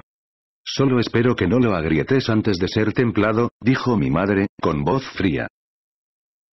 Pero mi sangre íbera fue lo bastante fuerte y me sobrepuse a todo, demostrando a la larga el valor de un entrenamiento como aquel. Mi cuerpo se fortaleció a la vez que la edad lo cambiaba. Cada día se parecía más al de un adulto. Los compañeros de patrulla solían burlarse de mi incipiente barba, pero su tono me hacía sentir importante. Aprendí a soportar el dolor del cuerpo y creí dominar los impulsos del corazón. Como descubriría más adelante, solo hasta cierto punto. Entre tanta exigencia, mi padre también supo ser generoso, lo que sirvió para no hastiarme. Una mañana llegó arrastrando de las riendas a un caballo. Ahora es tuyo, cuídalo como si fuera parte de ti, me dijo. Recuerdo que me sentí exultante. Nada distinguía más a un íbero que tener un corcel propio, hasta el punto de que era demanda obligada para alcanzar un cargo de relevancia. Mi padre tenía el suyo, Riada, una yegua poderosa cuyo tronar al cabalgar espantaba toda criatura. Tronador, el nombre que elegí para mi nuevo amigo, era un macho más estilizado pero igual de veloz, con pelaje pardo y orgulloso como un rey. Tuve que sufrir muchas caídas antes de lograr enseñarle que yo era su jinete, pero cuando me aceptó, fue para siempre. A principios del año siguiente nos llegó por sorpresa una mala noticia. Un mensajero de Edeta nos informó que mi abuelo había tenido un accidente mientras cazaba y estaba tan malherido que no esperaban que sobreviviera. Mis padres viajaron a la capital para estar con él, pero yo me quedé en el caserío. Para calmar mi decepción, y Cortas puso su gobierno en mis manos durante el tiempo que estuviera ausente. Tuve que esforzarme para no dejar que el orgullo me cegara. Me aferré a las enseñanzas de mi padre y mantuve la cabeza fría. No peco de prepotencia si aseguro que durante esos días ejercí una gran labor. Me dejé aconsejar por los más expertos, como el capataz Argitiker, pero siempre traté de mostrar que controlaba lo que sucedía. Fue la mejor lección posible sobre el liderazgo y el gobierno. Cuando mis padres volvieron, encontraron la hacienda perfectamente organizada, sin el más mínimo contratiempo. Hubieran mostrado su orgullo hacia mí, pero traían una pena que endurecía sus expresiones, en especial la de mi madre. Irbeles había muerto, no luchando en el campo de batalla como hubiese deseado, sino pisoteado por un jabalí alocado. Los más viejos dijeron que no era una buena señal. Se avecinan malos tiempos, aseguraron, a pesar de que el rey de Edeta iba a tener el mejor sucesor posible. Mi tío Edecon tomó posesión de la región tras la aprobación de los consejeros edetanos. A pesar de sus jóvenes 25 años, nadie dudaba de su capacidad. Había sido preparado desde su nacimiento para tal menester. Entretanto, mi abuela se instaló con nosotros. Nisunin, aunque permanecía estoica, había perdido el brillo en sus ojos. Fue un año lleno de noticias. Los comerciantes que llegaban al embarcadero contaban inquietantes rumores referentes a Cartago. Había estallado una rebelión entre los mercenarios que tomaron parte en la guerra contra Roma. Por lo visto, mi padre no fue el único al que escatimaron la paga. Pero, a diferencia de él, que en aquellos días estaba solo e indefenso ante los abusos del Senado cartaginés, los mercenarios que permanecían en Cartago decidieron reclamar con las armas lo que era suyo. Era de esperar, dijo y cortas, mientras movía la cabeza. Si los cartagineses fueron avaros durante la guerra, más lo serán ahora que arrastran el terrible tributo a los romanos. ¿Crees que podrán solucionarlo? Pregunté, pensando en Alorco y su familia. No lo sé. Se trata de una situación muy complicada. Las arcas de Cartago deben estar vacías tras la contienda con Roma. Pero si no pagan a los mercenarios pronto, se arriesgan a ser derrotados por completo por quienes una vez lucharon por ellos. Mi padre me observó con atención para ver si mostraba pena por los Macmer. Me mantuve impasible, ahogando la preocupación que sentía. Pero en mi alcoba no pude evitar pensar qué ocurriría si Cartago era atacada. Imaginé a Alorco y a Vival defendiendo a su familia, cayendo ante la mirada horrorizada de la pequeña Nistán y su madre. Él repetí una y otra vez que solo el destino importaba, pero supongo que no llegué a convencerme, pues aquella noche no logré conciliar el sueño. 16. Una mañana llegó un visitante zarrapastroso hasta las puertas del caserío. Se presentó como Azarbaal y pidió ser anunciado ante mi padre. Cuando traspasó el portón de Etemiltir no supe qué pensar. Tenía el cabello alborotado, como si jamás se lo hubiera cargado, y su frente estaba surcada por una banda de tela sucia. La barba tenía el mismo aspecto desaliñado, y su cuerpo era delgado y menudo, rozando la malformación. Debajo de su capa de lana vestía una túnica de piel de carnero a rayas, manchada por el polvo del camino y ceñida por un cinturón trenzado. Parecía mayor que mi padre, aunque luego supe que en realidad era más joven. Lo atendí con expresión de pocos amigos. Carbón le gruñó al principio, pero el hombrecillo se ganó su aprobación rascándole debajo del hocico. Tú debes ser Icorbeles. Tienes la mirada de Icortas, sin duda, dijo mientras se hurgaba la nariz. ¿De qué lo conoces? Pregunté, sin comprender que podía unir a aquel despojo con mi padre. Fuimos compañeros en la guerra de Sicilia. Solo que a mí no me hirieron y me quedé más tiempo. En mala hora. Tú, un soldado. No pude creerlo. Los guerreros iberos eran hombres fuertes, robustos. Nadie con una constitución tan endeble soportaría los estragos de una batalla. Muchacho, huelo tu desprecio como si fuera el hedor de una furcia barata. Entonces se rió escandalosamente, como una hiena. Claro, me sacas cuatro palmos y piensas que no puedo levantar un arma. ¿Te apetece medirte conmigo? Sin espadas, con las manos desnudas. Entonces fui yo quien me reí. ¿Un duelo con un enano? Acepté sin dudarlo. Lo derrotaría en un solo movimiento. Nos reiremos en la próxima partida de adiestramiento, pensé. Venga, empieza, le dije, haciéndole un gesto con las dos manos para que viniera a por mí. Y lo hizo. Alcé el puño dispuesto a golpearle en la mejilla. No le daría muy fuerte, porque temía malherirlo. Pero mi golpe no dio en el blanco. El hombrecillo se escurrió por mi costado, y cuando quise darme cuenta me había propinado un puntapié en la espinilla. ¡Qué dolor tan intenso! Aún lo recuerdo. Fue como un latigazo que se extendió desde la pierna hasta la columna vertebral. Eres tan lento como tu padre, se burló, mientras yo trataba de contener un grito. Henchido de rabia, lo ataqué de nuevo. Y una vez más se deslizó fuera de mi alcance, caminando a mi alrededor con la ligereza de un tejón. Cada vez que me abalanzaba sobre él se apartaba o bloqueaba mi intento desviando con destreza mis puños. Me golpeó pocas veces, pero todas ellas fueron una auténtica tortura. Conocía muy bien los puntos dolorosos de un hombre. Cuando mi padre llegó y detuvo la contienda, estaba exhausto y magullado. Me ardían las costillas y casi no podía utilizar la pierna derecha. Maldito granuja. Dijo y cortas, entre carcajadas. Acabarás con mi hijo. Se abrazaron. Era una imagen cómica. Mi padre casi doblaba en estatura al forastero. Si lo hubiese deseado, le habría estrujado todos los huesos. Solo estaba entrenando un poco con él. Lancé un resoplido mientras Carbón me lamía la cara. Si aquello había sido una simple práctica, no pude imaginar cómo sería Azarbaal durante una batalla de verdad. Además, hace falta mucho más para someter a un muchacho tan recio. ¿Con qué lo alimentas? Está tieso como una soliferria y robusto como un olivo. Al estilo ibero. Carne y muchos azotes. Bueno, debo reconocer que has aguantado con dignidad, dijo. La próxima vez aparta tu fanfarronería y céntrate en observar los movimientos de tu rival. No seas tan duro, Azarbaal. Aún es un cachorro. Seguro que a su edad eras mucho peor, me defendió mi padre, aumentando con ello mi vergüenza. Sí, era un alocado y un mujeriego. Entonces no has cambiado nada.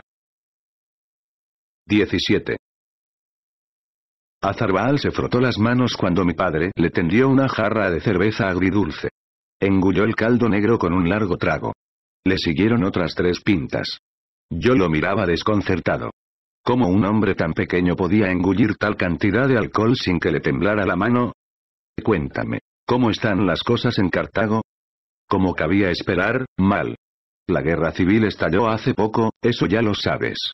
Los cabecillas de los mercenarios, el libio Mató y el campanio Expendios, lograron reclutar a más de 70.000 libios y 20.000 mercenarios. Actúan con osadía, han logrado cortar las comunicaciones por tierra y mar con Cartago. En respuesta, Anón el Grande, el mismo que se mostró favorable a la rendición ante Roma, fue nombrado general de las tropas que debían apaciguar a los mercenarios, explicó Azarbaal entre una jarra y otra, su chapuza fue de tal magnitud que los cartagineses pidieron a Amílcar Barca que arreglara el asunto. En su primera incursión ha demostrado su valía como estratega. Ha roto parte del cerco que había sobre Cartago. Según las últimas noticias que recibí antes de partir, Amílcar ha logrado una sonada victoria ante Espendios cerca de la ciudad de Útica. Entonces, Cartago ya no está en peligro directo. Aunque velada, advertí la preocupación que mi padre albergaba por el bienestar de la familia Macmer. Sigue asediada, pero ahora los rebeldes tienen algo más importante de lo que preocuparse. Amílcar los tiene aterrorizados. Y tienen motivos.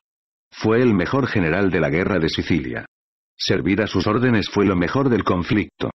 Si su estúpido senado no hubiese sido tan avaro, quizás habríamos derrotado a los romanos.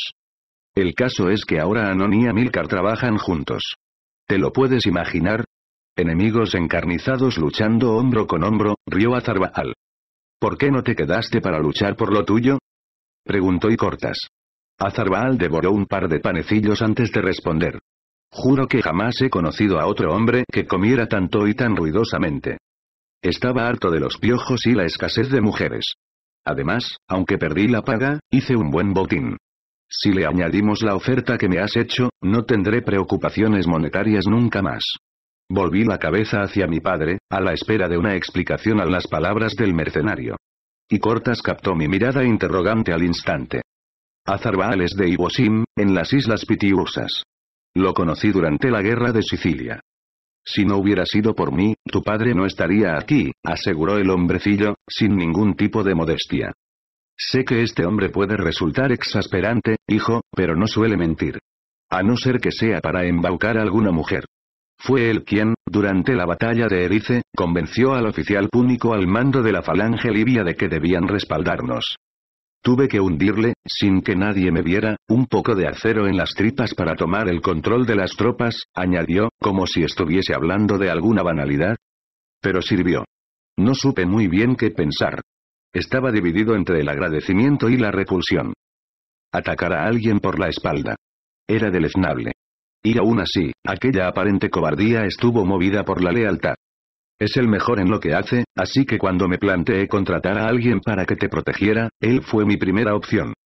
Yo no necesito un protector, repliqué, aún dolido por la humillación sufrida. Por la forma en que has luchado hoy, jovenzuelo, yo diría que sí, se burló Azarbaal. Me alcé de mi asiento y lo fulminé con una mirada enfurecida. Maldito personajillo repelente. Habría saltado de nuevo sobre él, pero la voz autoritaria de mi padre me disuadió. Se hará como yo digo, y no se hable más. Azarbaal es más de lo que parece, y Corbeles, ya lo has comprobado. Espero que esa sea la primera lección de las muchas que te inculque. No todos los guerreros son hombres fornidos como tu padre, muchacho. Mi habilidad es la destreza. Estoy acostumbrado a encontrar y aprovechar los puntos débiles de mis enemigos. Tenía que admitir su afirmación, la había sufrido en mis propias carnes. Tanto si es a distancia como con una daga, no hay quien pueda igualarme en ese campo. Además, cuento con una ventaja añadida. Nadie me toma en serio como rival gracias a mi aspecto físico. Enrojecí hasta las orejas al sentirme protagonista de ese engaño.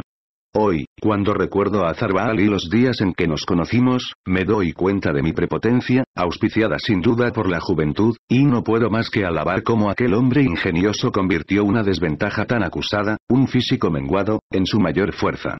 Cualquier otro se habría sentido acomplejado, pero él demostró que tenía un espíritu indomable. A partir de hoy, Azarbaal te acompañará a cualquier sitio. Y también te enseñará un par de cosas de interés. Espero que aprendas a apreciarlo. Asentí, simulando con orgullo que era yo quien aceptaba una disposición que ya había sido acordada de antemano. Si hubiera imaginado de los apuros que Azarbaal iba a sacarme, sin duda no me habría mostrado tan arisco con él. 18. Azarbaal se convirtió a partir de entonces en mi guardián. Al principio me desquició, pues me seguía incluso cuando iba al arroyo a bañarme. Incluso se llevaba de maravilla con carbón. La única intimidad que me permitió fue los momentos de sueño, siempre y cuando fueran en Etemiltir. Tuve que aprender a soportarlo con estoicismo. Pero, como dijo mi padre, me enseñó muchas cosas. Era un hombre extraño como nadie que hubiese conocido antes. Aunque como soldado su especialidad era la onda, era letal con cualquier arma ligera. De él aprendí cómo acercarme por detrás a un hombre y matarlo sin que sus compañeros lo advirtieran. Supe lo que era el auténtico sigilo, y cómo detectarlo si era a mí a quien acechaban. Y me enseñó a usar la onda. Era más difícil de lo que imaginaba. Los honderos tenemos tres cueros adecuados para alcanzar longitudes distintas. Corta, media y larga distancia. Durante la batalla anudamos las que no usamos en nuestra cabeza y cintura. Creí que los honderos eran originarios de las Balearides, le repliqué yo. Los mejores lo son, respondió, alzando los hombros, pero mi padre comerciaba en Cromiusa, la isla más grande de las Balearides, y yo lo acompañaba siempre. Durante mis estancias aprendí de ellos el manejo de la onda. Y te aseguro que es mucho más útil que un arco o una lanza. Parecía sencillo utilizarlas, pero era engañoso. Se daban tres vueltas y luego se soltaba un extremo de la onda para que el proyectil saliera disparado. Debo decir que recibí muchas pedradas en el rostro antes de poder dirigir una bala en la dirección correcta. En las Balearides entrenan a los niños desde que apenas levantan dos palmos del suelo, me dijo Azarbaal, divertido con mis intentos fallidos. Si no logran dar al pan no lo catan, amigo mío. Y como tu padre me ha dicho que no debo temer ser duro contigo, adoptaremos esa costumbre contigo. Pasé mucha hambre durante varios días, pero al fin aprendí a tirar con onda. En honor a la verdad, nunca llegué a ser tan diestro como lo fui con la falcata o la lanza, pero al menos podía darle a un conejo en movimiento. Quienes rebajaban este arte en favor de la jabalina no sabían de lo que hablaban. Podía parecer que una pedrada era algo insignificante en comparación con una flecha, pero la fuerza que las ondas imprimían a sus proyectiles era mayor a cualquier venablo, y su alcance muy superior. Una bala de onda era capaz de atravesar un casco de bronce o un escudo de madera situado a más de mil pies de distancia. Los cartagineses lo sabían bien, por eso mostraban tanto aprecio por los mercenarios de las Baleárides. Poca defensa había contra la lluvia de piedras proveniente de un batallón de honderos. Mientras entrenábamos, Azarbaal me habló de su hogar, aunque él jamás lo llamó así. No era un hombre de patria, aseguraba. Solía decir que prefería seguir a los hombres que a las naciones. Las Pitiusas son las islas más pequeñas del archipiélago, pero también más prósperas que las cercanas Balearides. Las colonias cartaginesas nos han aportado un gran progreso, sobre todo gracias al comercio. El bien que más aprecian los mercaderes forasteros es la sal, a lo que llaman oro blanco. Nuestros puertos no tienen nada que envidiar a otros más nombrados, y las ciudades cuentan con grandes murallas. Incluso acuñamos moneda propia. A pesar de su falta de patriotismo, Azarbaal pasó mucho tiempo hablando de Iwosim. Como yo mismo aprendería con el tiempo, ningún hombre puede escapar por completo a la añoranza por la tierra en que nació. Era otoño y acontecieron más cosas. Edecon contrajo matrimonio con una joven noble de Kelin, Edebeta, bella muchacha de bucles dorados y sonrisa sumisa. Se celebró una gran fiesta. Por mi parte, tuvo lugar un paso más de los muchos que mis padres habían dado para preparar el mañana. No ignoraba los contactos entablados con familias nobles de la región para encontrar a mi futura esposa. Cuando me anunciaron sus intenciones no me sorprendí en absoluto, pues tenía la edad propicia para establecer un compromiso. Sin embargo, sentí una repentina tristeza, como una melancolía interior que no supe a qué atribuir. Como dictaba la costumbre, fue mi madre la que se encargó de las entrevistas con las familias candidatas. Debido a lo especial de mi situación, mis opciones se reducían a lo más selecto de la aristocracia edetana. Un puñado de familias de Edeka, Kelin, Sikana y Arse. La visita más importante llegó de esta última ciudad. Junto a Edeka, Arse era la población más importante de nuestra región.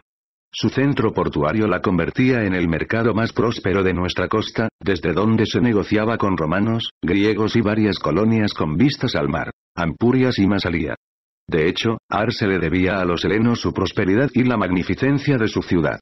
Lo que había sido un poblado más entre tantos, se enriqueció gracias a la llegada de los colonos griegos de Zante, isla de poetas, que llamaron al nuevo hogar Zacinto.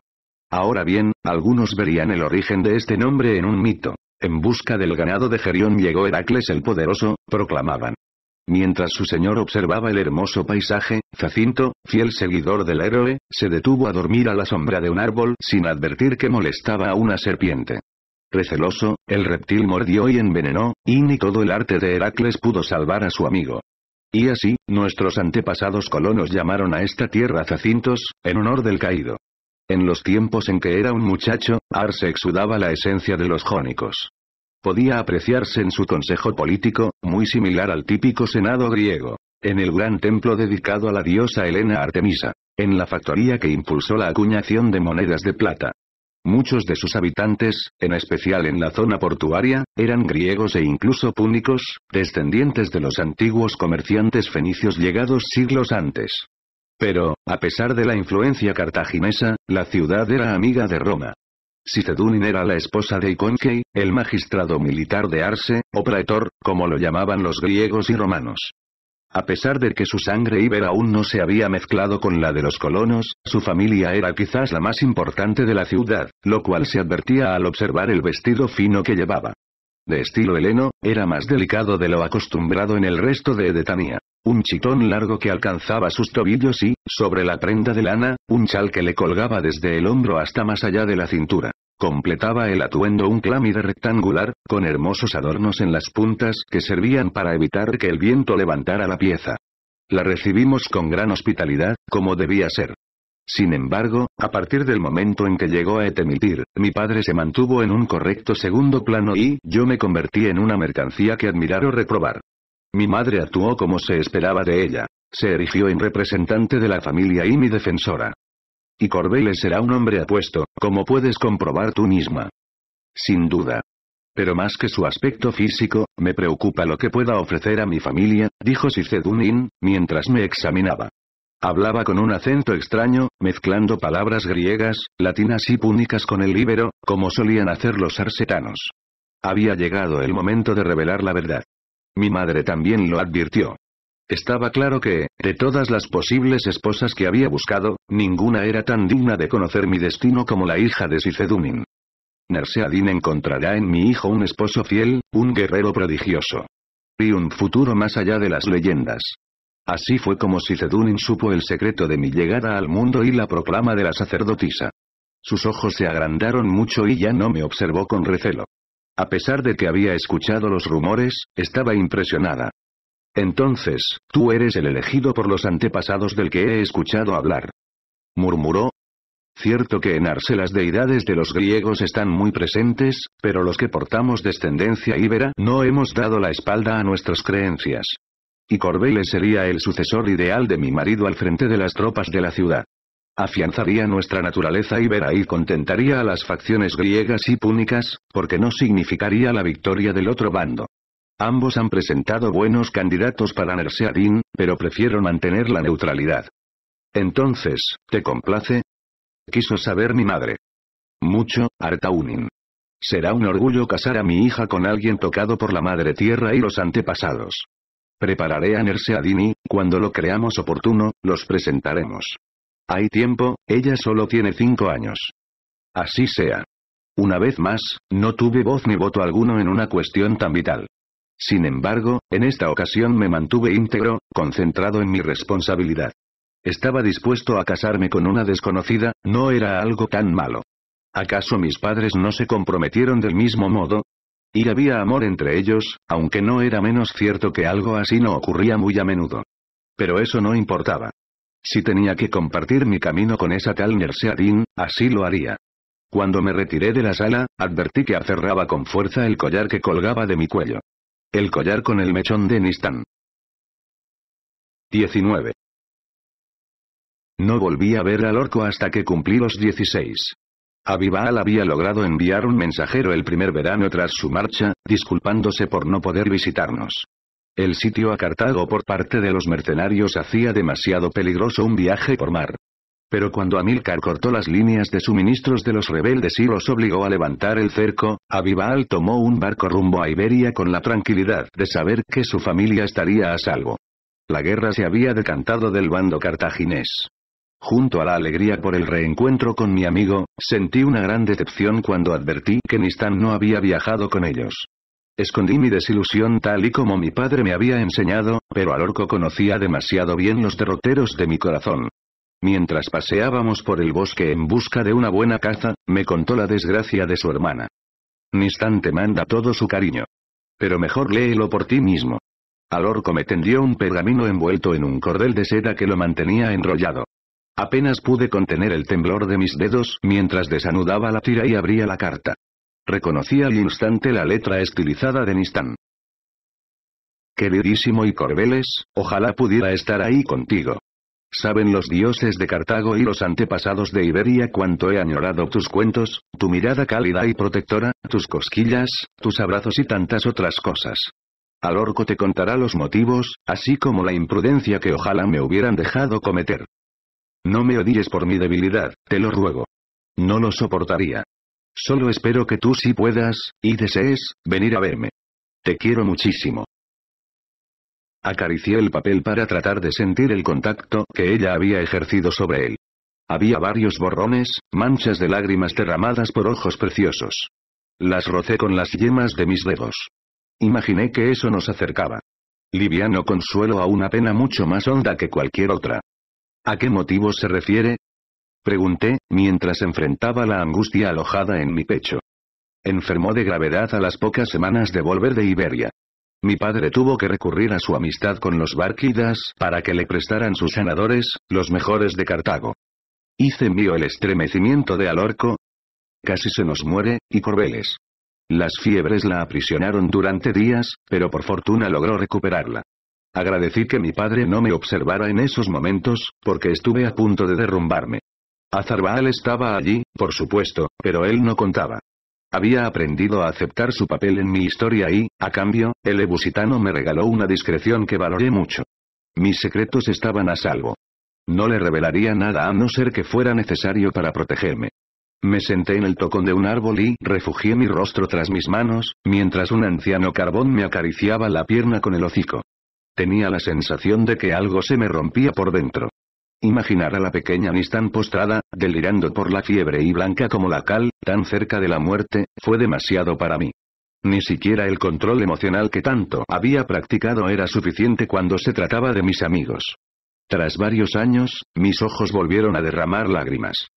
No te preocupes, ahora está bien, me dijo, tratando de calmarme. Pero los senadores argumentaron que su mal se debía al cambio de aires. Tras años en Iberia, su cuerpo se resintió ante las enfermedades propias de Cartago. Han aconsejado que evite los viajes largos. Por eso mis padres no le han permitido venir conmigo, muy a su pesar. Pero cuando llegó a Iberia no se puso enferma. Por entonces aún se alimentaba de la leche de mi madre y eso fortalecía su cuerpo. Levanté la cabeza mientras me restregaba las lágrimas. ¿Y la imprudencia de la que habla en la carta? Quise saber. Fue mucho más que eso, hermano. Una auténtica locura.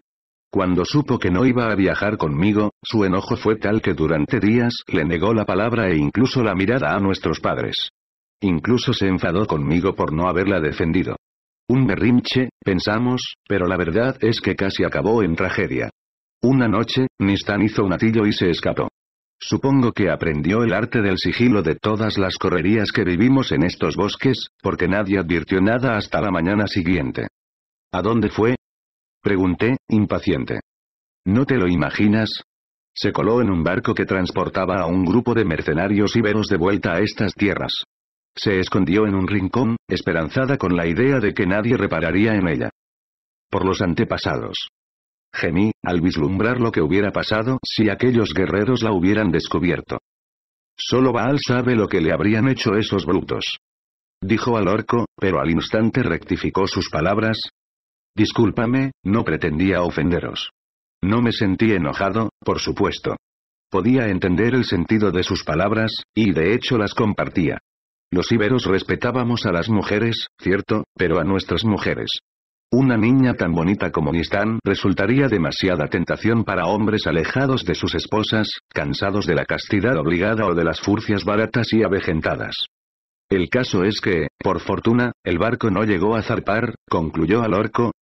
Mi padre imaginó sus intenciones y logramos rescatarla a tiempo. Me froté el rostro con fuerza, angustiado como si hubiese vivido aquella situación en persona. Tanto deseaba verme Nistán para perder toda razón, cuando vuelvas, dile que la echo mucho de menos, que no me olvido de ella y que iré a visitarla en cuanto cumpla con mi ceremonia de hombría, le dije a Alorco. Lo prometo. Eso la complacerá mucho. Y Corbeles, ella te adora. Quizás sea un amor infantil, pero es muy fuerte. Durante los delirios de su enfermedad, tú fuiste a quien más nombró. No supe qué decir. Sentí un gran ardor en mis mejillas. Yo no había pensado en Nistán de ese modo, jamás. O tal vez sí, y me estaba engañando. Que no la amara como mujer no significaba que la quisiera menos. Mi cariño por ella fue mucho mayor que cualquier arrebato pasional por las jóvenes de mi edad. Las hubiera cambiado a todas por ella, sin dudarlo, solo para poder contarle un cuento una vez más. Me temo que, en ese aspecto, mi camino ya está marcado. Estoy comprometido con una niña a la que ni siquiera conozco, la hija de un hombre importante de Arse. Ya veo. Algunas de nuestras costumbres se parecen, dijo él, pero no entendí el comentario ni la mirada esquiva de mi amigo. Sin embargo, creo que en tu caso prima algo más profundo. ¿Me equivoco si supongo que tiene algo que ver con la profecía sobre tu futuro? No, tuve que admitir. Es el matrimonio más adecuado para convertirme en un gran líder algún día. Alorco negó con la cabeza mientras esbozaba una media sonrisa de circunstancias. Al contemplarlo, advertí un brillo extraño en su mirada. Vislumbré un destello de madurez. ¡Ay, hermano! ¡Qué mañana más negro te auguro! exclamó. ¿Es que ahora ejerces de oráculo? Me burlé, para tratar de ocultar la inquietud que me produjo su afirmación. No hace falta serlo para ver que te has dejado atrapar por el sueño idealizado de tu padre. En boca de otro tildaría eso como una ofensa, hermano, dije, enfurruñado. Conoces las señales que me precedieron. Los antepasados me eligieron, así como la Madre Tierra. ¿Es que acaso tú no sigues las proclamas de tus dioses? También tú sabes que si mis padres hubiesen sido tan obstinados en sus creencias como tú, yo no estaría aquí. Habrían permanecido en Cartago y me habrían sacrificado en el Molk. Alorco posó una mano en mi hombro y sonrió con más afabilidad. Hermano, no me atrevería nunca a despreciar la adoración que sentís por vuestros ancestros y por la tierra que os alimenta. También yo los aprecio. Pero no confundas respeto con fe ciega. En tu ciudad te apedrearían por esas palabras. Pero no estoy en Cartago. Estoy en Iberia, junto a mi hermano, y a ti puedo expresarte sin reparos lo que mi corazón siente. Y ahora, permíteme que te diga. Deja ya de ver solo noche o día. También existe el amanecer, el mediodía o el atardecer. Los dioses, los tuyos, los míos, los de los romanos, viven en sus moradas celestes, muy lejos de nosotros. ¿Realmente crees que les importamos? ¿Te preocuparías por unas criaturas que no son más que hormigas en comparación? Más bien creo que somos nosotros los que nos empeñamos en involucrarlos en nuestros asuntos. Entonces, ¿abogas por dejar de adorarlos como marcan nuestras costumbres? Eso sería como perder lo que nos identifica como pueblo. No, y Corbeles. Hablo de ser consecuente. Mis dioses están ahí, así como tus ancestros. Nunca lo negaré. Pero no guían nuestros pasos. El camino lo construyes tú mismo, aunque en tu caso te dejas llevar por los deseos de otros. Deberías encontrar tu objetivo en la vida en base a lo que mueve tu alma. El corazón está por encima de todo. No supe qué decir, pero si algo tenía claro era que Alorco había madurado, y de qué modo. Sus palabras eran tan sabias, y a la vez tan impropias de alguien de su edad. Se apreciaba que había abrazado unos ideales por iniciativa propia. Su voz no contenía duda alguna. No lo negaré. Sentí envidia, pues mi corazón era un revoltijo de incertidumbres. Casi no te reconozco. ¿Qué hay de ser un gran guerrero, un líder? ¿Qué hay de luchar juntos? Seguro que no has olvidado el combate con aquel bandido, en este mismo bosque. Negué con la cabeza. ¿Cómo olvidar algo así? Ese día tuviste que tomar una decisión terrible, y Corbeles. Debiste elegir entre la obligación y el aprecio. Seguiste el camino del cariño, pero ese destino del que hablas algún día extinguirá tus elecciones. Ojalá me equivoque, pero perderás el control de tu vida. Yo no puedo, ni deseo, cargar con un peso semejante. Quiero que mi vida me pertenezca, quiero tomar cada elección con el corazón. Y en él siempre estarán por delante de todos mis seres queridos. Por eso jamás podré ser un líder. No me gustaba el cariz que estaba tomando la conversación. Durante nuestra infancia, Alorco y yo siempre habíamos compartido un mismo sueño. Una visión infantil de la realidad guerrera, cierto, pero que en mi caso había derivado en una intensa responsabilidad hacia las obligaciones de mi especial condición. Alorco, en cambio, se había apartado de ese ideal. ¿Cuándo había ocurrido? Recordé entonces el incidente con el nido de águila de Saití. ¿Fue por entonces cuando comenzó a pensar de ese modo? Me sentí como si, de alguna manera, nos estuviéramos alejando el uno del otro. Y como tal cosa me resultaba insoportable, decidí cambiar de tema. No le digas a tu hermana que estoy prometido. Si es verdad que siente algo por mí, eso la entristecería. Lo harás tú cuando vengas. Ella debe saberlo. Asentí. Luego la conversación se desvió por otros derroteros menos espinosos. Al orco no solo había cambiado por dentro, también por fuera. No era tan musculoso y alto como yo, pero tenía un aspecto atractivo. Aunque jóvenes, ambos teníamos la apariencia de adultos. Además, puedo decir que ya soy un hombre. En todos los sentidos, dijo, con gesto pícaro. Tú. ¿Has yacido con una mujer? Claro. Tú no. Miré de soslayo a Zarbaal, recordando aquel día en que, sin que lo supiera mi padre, se ofreció a llevarme al prostíbulo de Ereta.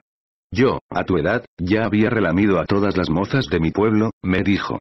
Lo creí, por supuesto, pues en el poco tiempo que llevaba con nosotros se había ganado una merecida fama de mujeriego en la región. Su fealdad no parecía espantar a las mujeres, que veían en su descaro natural una cualidad irresistible.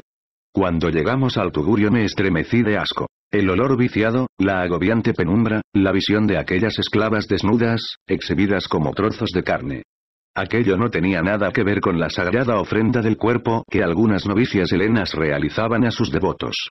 Allí no había pureza, solo lujuria, una total denigración hacia la figura femenina que iba en contra de lo que me habían inculcado desde siempre. Cierto que se trataba de esclavas conseguidas en saqueos a los turboletas u otros pueblos, pero eso no mermó mi angustia. Me di cuenta de que aquello mismo podía pasarle a mi madre, a la madre de Alorco. Anistán. Si ellas fueran raptadas en un asalto, si fueran apresadas, sufrirían lo mismo a manos de nuestros enemigos. ¿Cómo podía entonces participar en una aberración como esa? Me marché corriendo, enrojecido por la vergüenza, amargado conmigo mismo por no poder ser como el resto de mis compatriotas. A pesar de mi escaso interés, Alorco se empeñó en contarme los detalles de sus correrías de cama, aunque en realidad debería decir su correría de cama. Su experiencia con mujeres se limitaba a un escarceo que había tenido con una prostituta de Cartago durante una noche de juerga con sus compañeros de la milicia local. Una cosa llevó a la otra, y así supe que, tras su mayoría de edad, Alorco se había unido al cuerpo militar de élite de la ciudad, el Batallón Sagrado. Era su privilegio como hijo de padres aristócratas. De momento solo soy un aprendiz, pero estoy convencido de que llegaré lejos, aseguró, mientras dibujaba una sonrisa enorme. Acabas de decirme que no quieres cargar con el peso del liderato, le recordé. No seré un líder, y Corbeles, como mucho un oficial de alto rango. Mi ilusión es llegar a ser consejero de guerra. Ya sabes, ofrecer recomendaciones sin tener que pensar en tomar decisiones duras.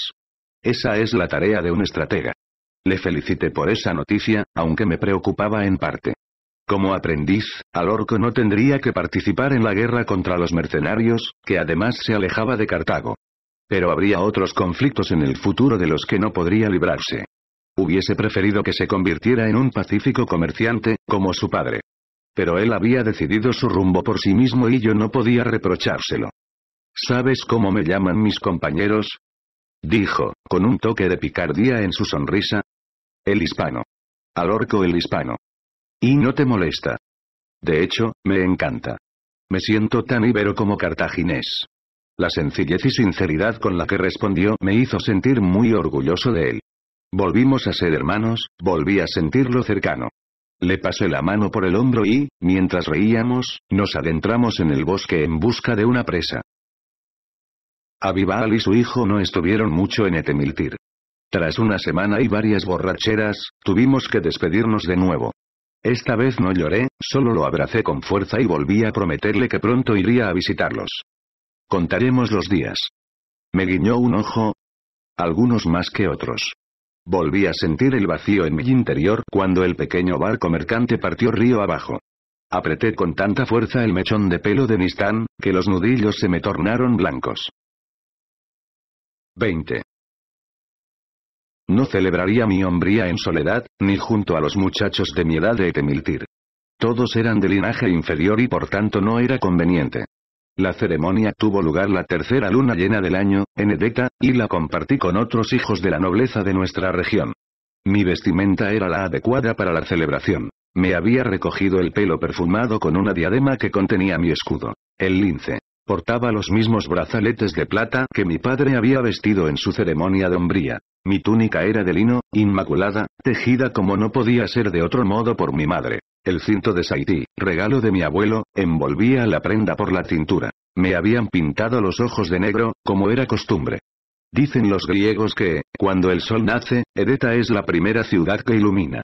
Y aquel día estaba más radiante que nunca, o así lo recuerdo yo. Las casas blancas fueron engalanadas con guirnaldas de flores, las sinuosas calles de tierra regadas para no levantar polvo. El olor de ganado y cuero parecía menos intenso que en Etemiltir. Para mí, la ciudad era un monumento a la grandiosidad, a pesar de que mi padre aseguraba que había urbes mucho mayores que Ereta. Estaba situada en la ladera de un montículo, por lo que las viviendas se escalonaban en terrazas estrechas y alargadas, como si de bancales se tratara. Cada edificio, adosado por la parte posterior, tenía salida a dos calles, la propia isla inmediatamente superior. Sus murallas no eran tan imponentes como las de Arce, aunque no por ello estaba mal defendida. Alrededor de la ciudad, en las cercanías, había varias atalayas desde donde se vigilaban los pasos que llevaban a la ciudad. Eran fortines con torres, similares a Etemiltir pero centrados en tareas militares.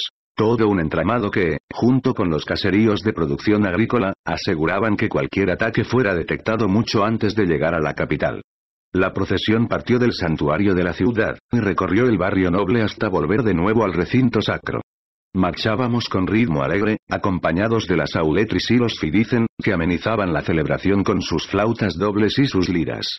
Nos precedían dos jinetes adultos, engalanados como auténticos guerreros con sus lanzas y falcatas. Montaban con las piernas colgando de un lado del caballo, como era costumbre en las ceremonias. Los jóvenes danzábamos cogidos de las manos con varias muchachas, en dos grupos.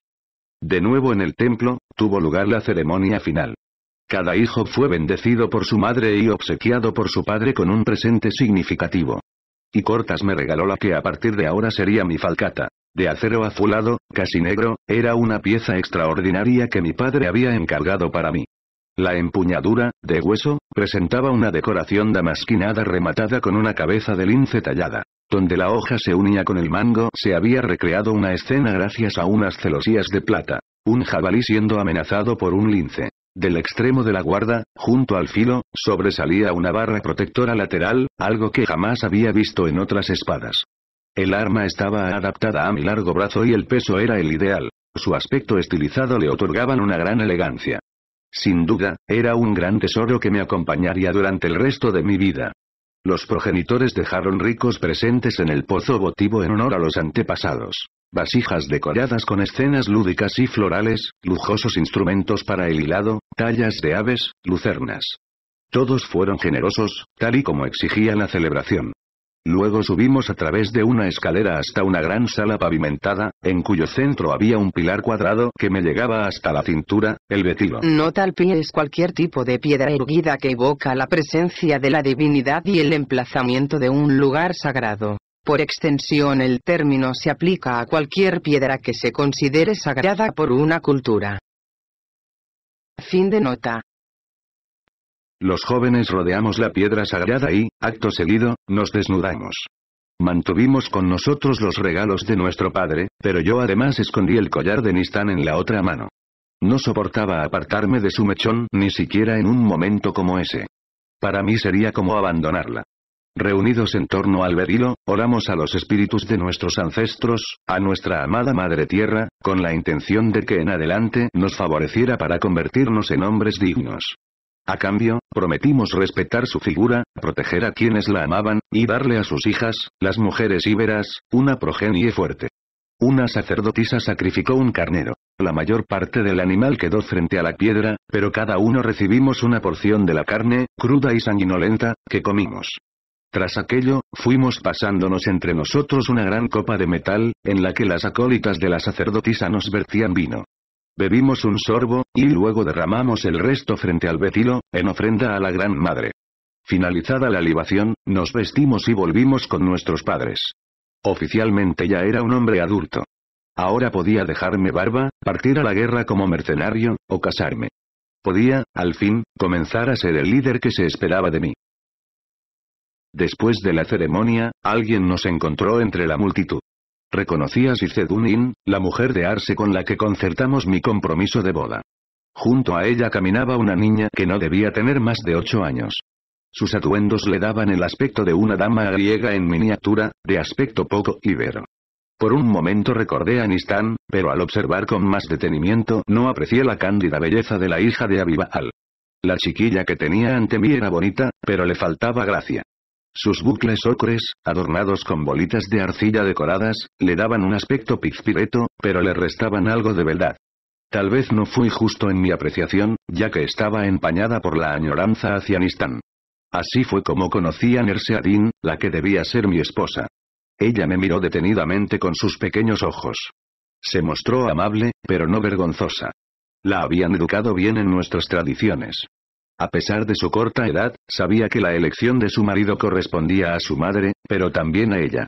De todos los que estábamos reunidos, yo era quien menos voz tenía en este asunto.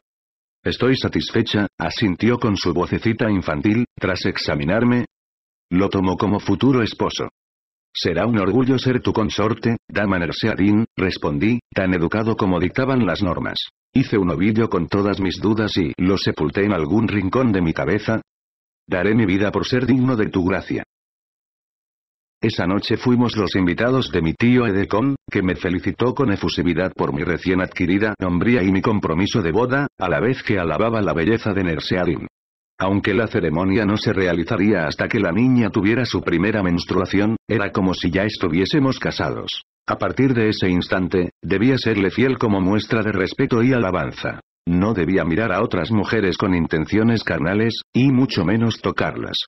Las aventuras con prostitutas o esclavas quedaban para las largas campañas militares, cuando la lejanía del hogar hacía recomendable aliviar las pasiones carnales. La esposa lo asumiría mientras el marido no volviera de la guerra con un hijo ajeno a su sangre. Me senté con Edecon a un lado y Nerseadin al otro, con quien, en vano, traté de entablar conversación. ¿De qué pueden dialogar una niña de ocho años y un joven de 17? Por lo visto, ella también dudaba, pues hablaba un poco y luego volvía a bajar el rostro hacia la comida. No existía complicidad entre ambos. Si hubiese sido Nistan. Por fortuna, Edecon se mostró más abierto y pude entretenerme. Repitió muchas veces que le hubiera gustado estar más pendiente del hijo de su única hermana, pero que sus obligaciones como rey le impedían viajar a Etemiltir. En esos días le tuve por un hombre admirable. Estaba en el inicio de su madurez, aún sin arrugas ni canas en el cabello. Era fornido, aunque no demasiado alto. En eso se parecía a la mayoría de iberos. Su mirada calmada podía entrar en cólera en apenas un chasquido, pero desde que había tomado las riendas de Edetanía controlaba mucho más su ímpetu. Ya no era el joven alocado que me visitó durante mi infancia. Sin duda, la presencia de Edereta en su vida también debió ayudar a sofocar ese carácter díscolo.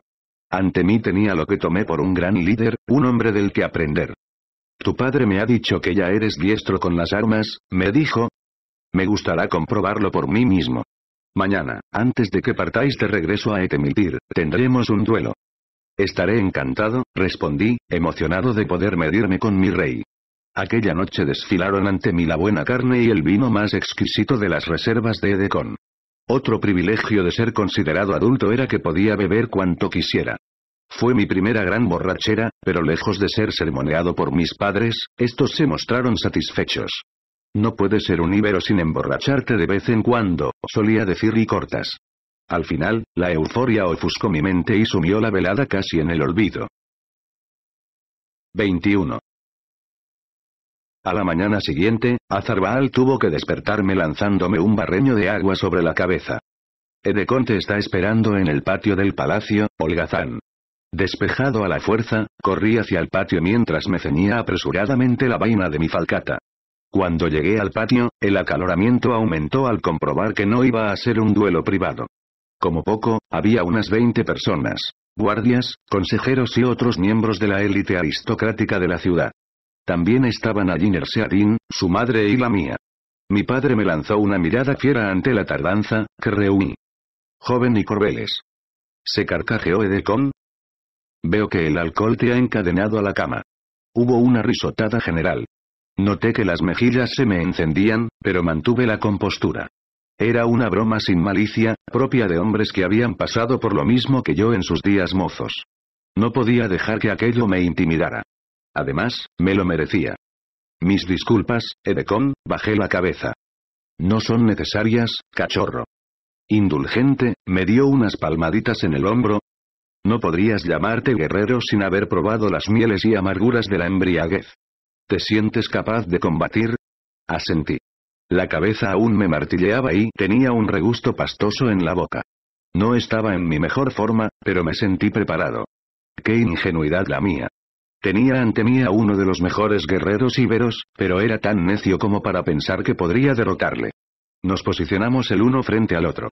Clavamos las falcatas de duelo en la tierra aplastada y luego nos retiramos cinco pasos atrás, con el pequeño escudo en la otra mano. Un asistente de Edecon se encargó de dar la señal de inicio haciendo bramar la tuba, que sonó grave, áspera pero titánica. Por ese motivo jamás se utilizaba en los desfiles y bañes, solo para la toma de armas en duelo o batalla campal. Nos lanzamos hacia nuestras espadas. Yo fui más rápido en aferrar la falcata, pero Edecon esquivó con facilidad el tajo vertical a su cabeza. He de decir que, aunque luchábamos con armas romas para evitar heridas importantes, un impacto directo bien podía romper algún hueso o producir contusiones de cierta relevancia. Edecon no contraatacó de inmediato, así que volví a intentarlo.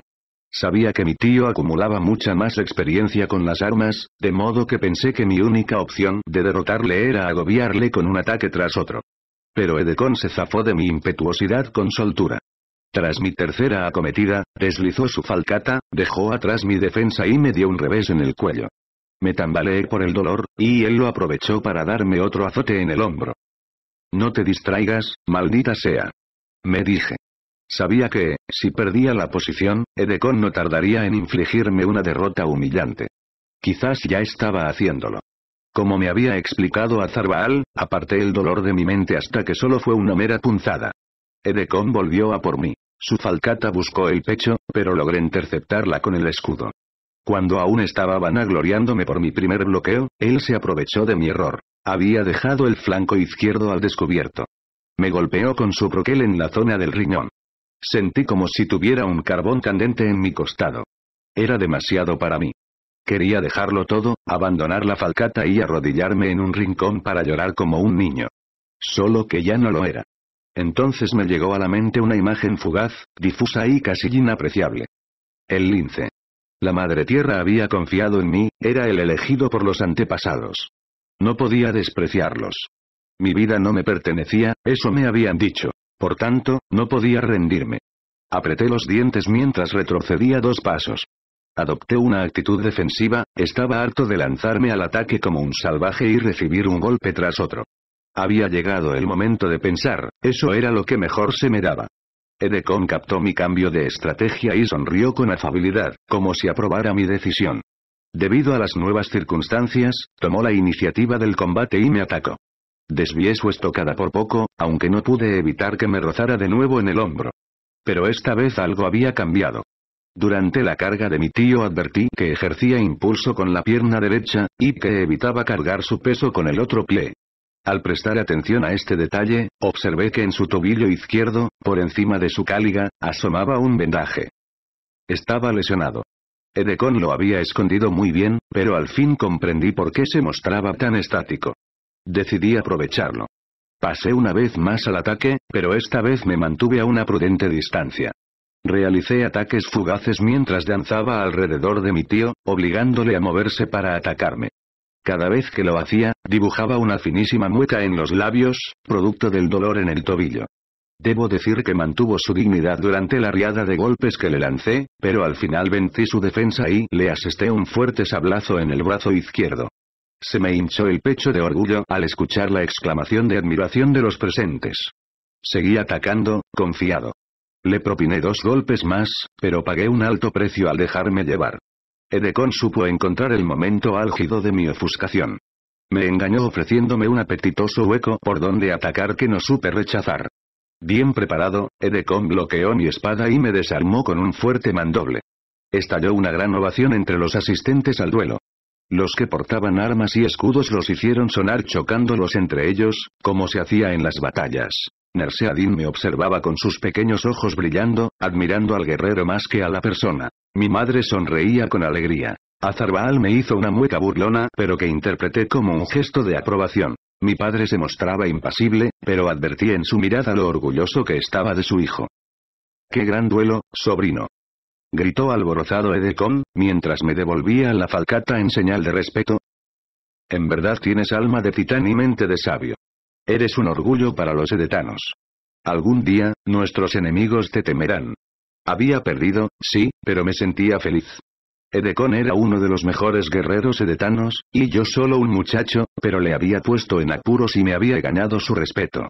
Pensé que quizás el destino que me habían augurado no era inalcanzable. 22. Recibí la recompensa a mi paciencia cuando faltaban tres meses para finalizar el año.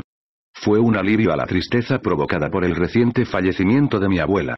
Nisunin se fue en la calma de la noche, sin anunciarse. El amanecer bañó un cuerpo sin vida, un rostro que esbozaba una sonrisa de paz. Había vuelto con su esposo. Avival llegó a Etemiltir para llevarme a Cartago. La guerra contra los mercenarios rebeldes había acabado el año anterior, así que la ciudad volvía a estar en paz. De nuevo a un alto precio. Roma, con gran sagacidad, había aprovechado aquella guerra ajena entre los cartagineses y sus antiguos mercenarios para mostrar interés por la anexión de la isla de Sardinia, en manos púnicas hasta que las tropas mercenarias allí guarecidas se habían revelado. Por supuesto, Cartago protestó ante la intrusión romana, e incluso amenazó con mandar tropas para recuperar la isla de manos de los rebeldes antes de que Roma lo hiciera por ellos. Los itálicos acusaron entonces a Cartago de pretender utilizar Sardinia como punta de flecha para invadir Roma. Bajo amenaza de una nueva guerra, los romanos impusieron un nuevo impuesto de 1200 talentos y la cesión de Sardinia. Cartago, debilitada por los conflictos anteriores, no tuvo más remedio que aceptar. En los días previos al viaje, tuve que contener mis emociones delante de mi padre, a pesar de que ardía en deseos de reencontrarme con Alorco y Nistán. Mi madre, por su parte, dudaba de la aventura. Resultaba irónico. Todos sus esfuerzos se habían encaminado a hacer de mí un hombre, y ahora que por fin lo era, seguía viéndome como su niño. Le preocupaba especialmente el peligro que anidaba en una travesía tan larga y en una estancia tan prolongada fuera de casa. Unas noches antes de la llegada de Abibaal les escuché discutir sobre el asunto. Los Macmer no permitirán que le pase nada malo. Además, llevará consigo a Zarbaal, dijo mi padre para tranquilizarla. Nunca me ha inspirado mucha confianza ese pendenciero. ¿Su isla no es una colonia cartaginesa? ¿Cómo podemos estar seguros de su lealtad? planteó Aretaunin. Porque le salvé la vida durante la guerra de Sicilia, respondió mi padre, Azarbaal tiene una deuda conmigo, y además está resentido con Cartago por negarle su paga. Por si fuera poco, aunque no lo demuestre, aprecia a Icorbeles. Cuidará de él como si fuera su propio hijo. Seguro que tiene un buen puñado de vástagos por ahí de los que no se preocupa, bufó mi madre, haciéndose eco de la fama de mujeriego de Azarbaal.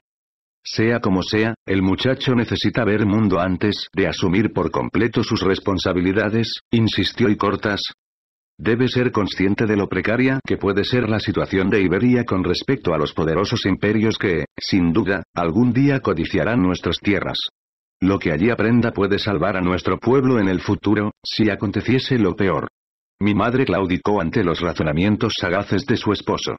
La mañana en que partí con Abibaal, mi padre me repitió aquellas consignas. Observa bien y aprende mucho, hijo. Recuerda que la mejor arma del guerrero es su cabeza. Puedes estar tranquilo, viejo amigo, dijo Abibaal. Lo cuidaré también como tú cuidaste a los míos.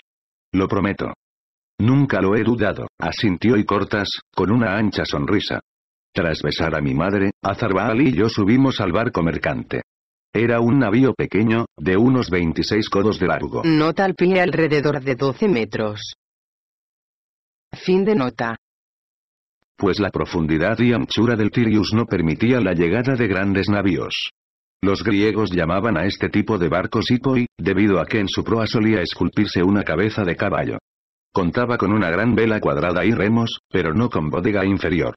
Por tanto, los productos se transportaban en los espacios que quedaban entre las bancadas de los remeros, que no solían superar los 15 hombres. Los remos, instalados al aire libre, solo se tomaban en caso de falta de viento o para remontar los ríos. Eran naves perfectas para el comercio interior por su maniobrabilidad y escaso calado, pero también se utilizaban en trayectos medios, ya que el mar que unía Iberia con Oriente era de trato calmo. Su capacidad de carga era limitada, pero la velocidad del bajel compensaba esta carencia. Su mayor desventaja. Eran muy incómodos debido a su reducido espacio. Partiremos enseguida, me dijo. Seguro que estás impaciente por reencontrarte con Alorco. Y con Nistán, respondí, sin darle mucha importancia a mi propio comentario. Cuando perdimos de vista la costa sentí asombro, pero también un atisbo de duda, ya que jamás me había alejado tanto de mi hogar. Rocé la empuñadura de la falcata con mis dedos para sentir que Iberia venía conmigo. Los remeros, que habían tomado los útiles durante un rato, cantaban canciones de ánimo, algunas tan groseras que prefiero obviarlas. Decidí rendirme a la ilusión y apartar cualquier preocupación por mi seguridad. Con Azarbaal siempre a mis espaldas, pobre de aquel que pretendiera hacerme algún daño. Esa fascinación se desvaneció muy pronto. Pasé la primera jornada de trayecto aferrado a la borda del navío, vomitando hasta que mi estómago quedó tan vacío como un barril de cerveza en un banquete. Avival bromeaba sin mala intención, diciendo que los íberos no estaban hechos para cabalgar las olas del mar. La risa de llena de Azarbaal se metió en mi cabeza. Tu padre pasó por lo mismo al volver de Cartago, me comentó Avival. Mejoré el segundo día, aunque en ningún momento me sentí cómodo sobre un entarimado que se balanceaba tanto. Después de todo, Abibaal tenía razón. Los íberos éramos criaturas de tierra. 23. Después de varias jornadas, llegamos a las inmediaciones de Cartago. Y entonces sí tuve motivos para exclamar de admiración. Jamás imaginé que pudiese haber una ciudad tan grandiosa, tan opulenta. Estaba por encima de cualquier cosa que hubiese concebido. Cartago, fundada según los propios cartagineses por la mítica reina Dido, miraba al mar desde una península. La ciudad se dividía en varias zonas diferenciadas. La ciudad baja, la más cercana al puerto, repleta de almacenes para albergar las mercancías comerciales, donde además se alzaban las casas más humildes. La ciudad alta, morada de la aristocracia. A la ciudadela, en la colina de Birsa, se llegaba tras salvar una amplia escalinata de 60 peldaños. Allí se alzaba la fortaleza del mismo nombre y el templo de Eshmun. Y, por último, Megara, el barrio agrícola donde se producía el sustento de la ciudad. Estas áreas estaban separadas unas de otras por sus propias murallas. Incluso el puerto, la mayor parte asentado sobre una costa escarpada e impracticable, estaba fortificado. En total, las barreras se extendían más de 20.000 pasos, y se alzaban 30 codos de altura. Además, los muros estaban reforzados con torres defensivas que podían albergar a más de 20.000 infantes. Junto a los murallones se encontraban los cuarteles, las viviendas de los soldados, las armerías y los establos de las bestias. Las calles, en general, eran anchas y rectas, y estaban bien cuidadas. La muralla del puerto, de brillante estuco, contaba con una entrada flanqueada por dos torreones y podía cerrarse con una cadena de hierro. Se observaban dos espacios distintos. El exterior, más menudo, estaba destinado a la flota mercante y se comunicaba con el mar a través de un canal. Aquel era uno de los centros neurálgicos de la ciudad, pues nada había más importante para los cartagineses que el comercio. Cartago era la mayor potencia mercantil del mundo, superando incluso el prestigio que alcanzaron sus antepasados fenicios. Aunque limitados por las severas imposiciones de Roma tras la guerra, los mercaderes púnicos tenían abiertas muchas rutas comerciales con sus numerosas colonias en Libia e Iberia junto con los griegos, habían fortalecido el uso de monedas, consiguiendo una economía fuerte que permitía a la ciudad realizar préstamos y soportar la corrupción de las administraciones. Y todo ello sin exigir a los habitantes de la ciudad ni el más mínimo tributo. Pero el orgullo de los cartagineses era el Cotón, el puerto interior, dedicado al resguardo de los navíos de guerra. Tenía forma circular y podía alojar alrededor de 200 buques en sus respectivas atarazanas. En un islote central artificial se alzaba por encima de las murallas el cuartel general de la flota militar. Desde allí se anunciaban a trompeta las maniobras y se vigilaba el mar. Ambos puertos estaban unidos por un estrecho canal que, sin embargo, permanecía cerrado para los barcos mercantes, manteniendo la zona militar oculta. De hecho, mi descripción está basada en lo que Avival y Alorco me contaron, ya que jamás tuve la oportunidad de visitar esa sección de la ciudad. Lo que sí pude ver fue un barco de guerra púnico, pues nos cruzamos con uno que se alejaba del puerto. No debía marchar muy lejos, ya que la prohibición de Roma pesaba sobre sus naves militares. El barco tenía un aspecto estilizado gracias a su proa recta. La popa estaba rematada con un espolón en punta que servía para embestir al barco enemigo y abrirle grandes vías de agua. Un puente superior se elevaba a popa, una especie de fortín para la protección de los tripulantes. Contaba con dos velas rectangulares, una en el centro del barco y la otra en la parte delantera, más pequeña. Varias hileras de remos superpuestas otorgaban más potencia de desplazamiento. La visión de la urbe era abrumadora. Me hizo sentir más pequeño que nunca, y quizás tan bárbaro como nos tachaban los cartagineses, griegos y romanos. Según me contó Avival, antes de la guerra con los romanos Cartago contaba con cerca de un millón de habitantes. Me mareé ante una cifra tan inimaginable.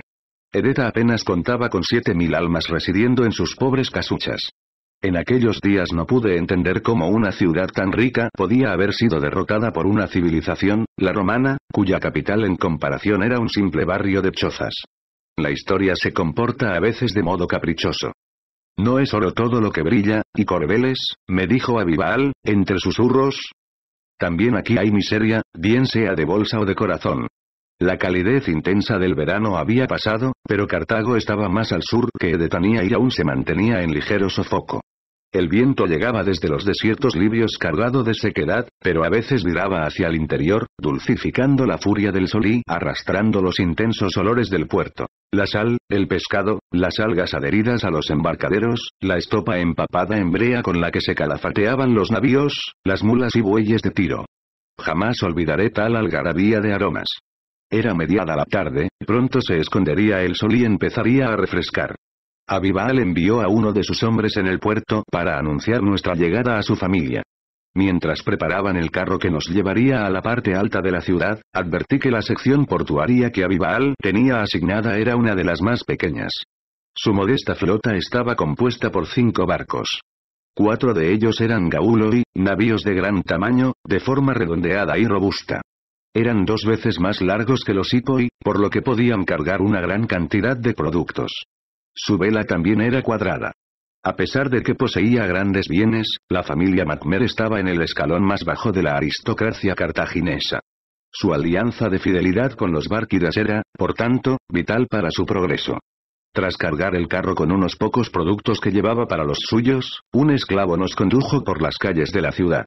Nos cruzamos con muchos habitantes que ultimaban los recados del día.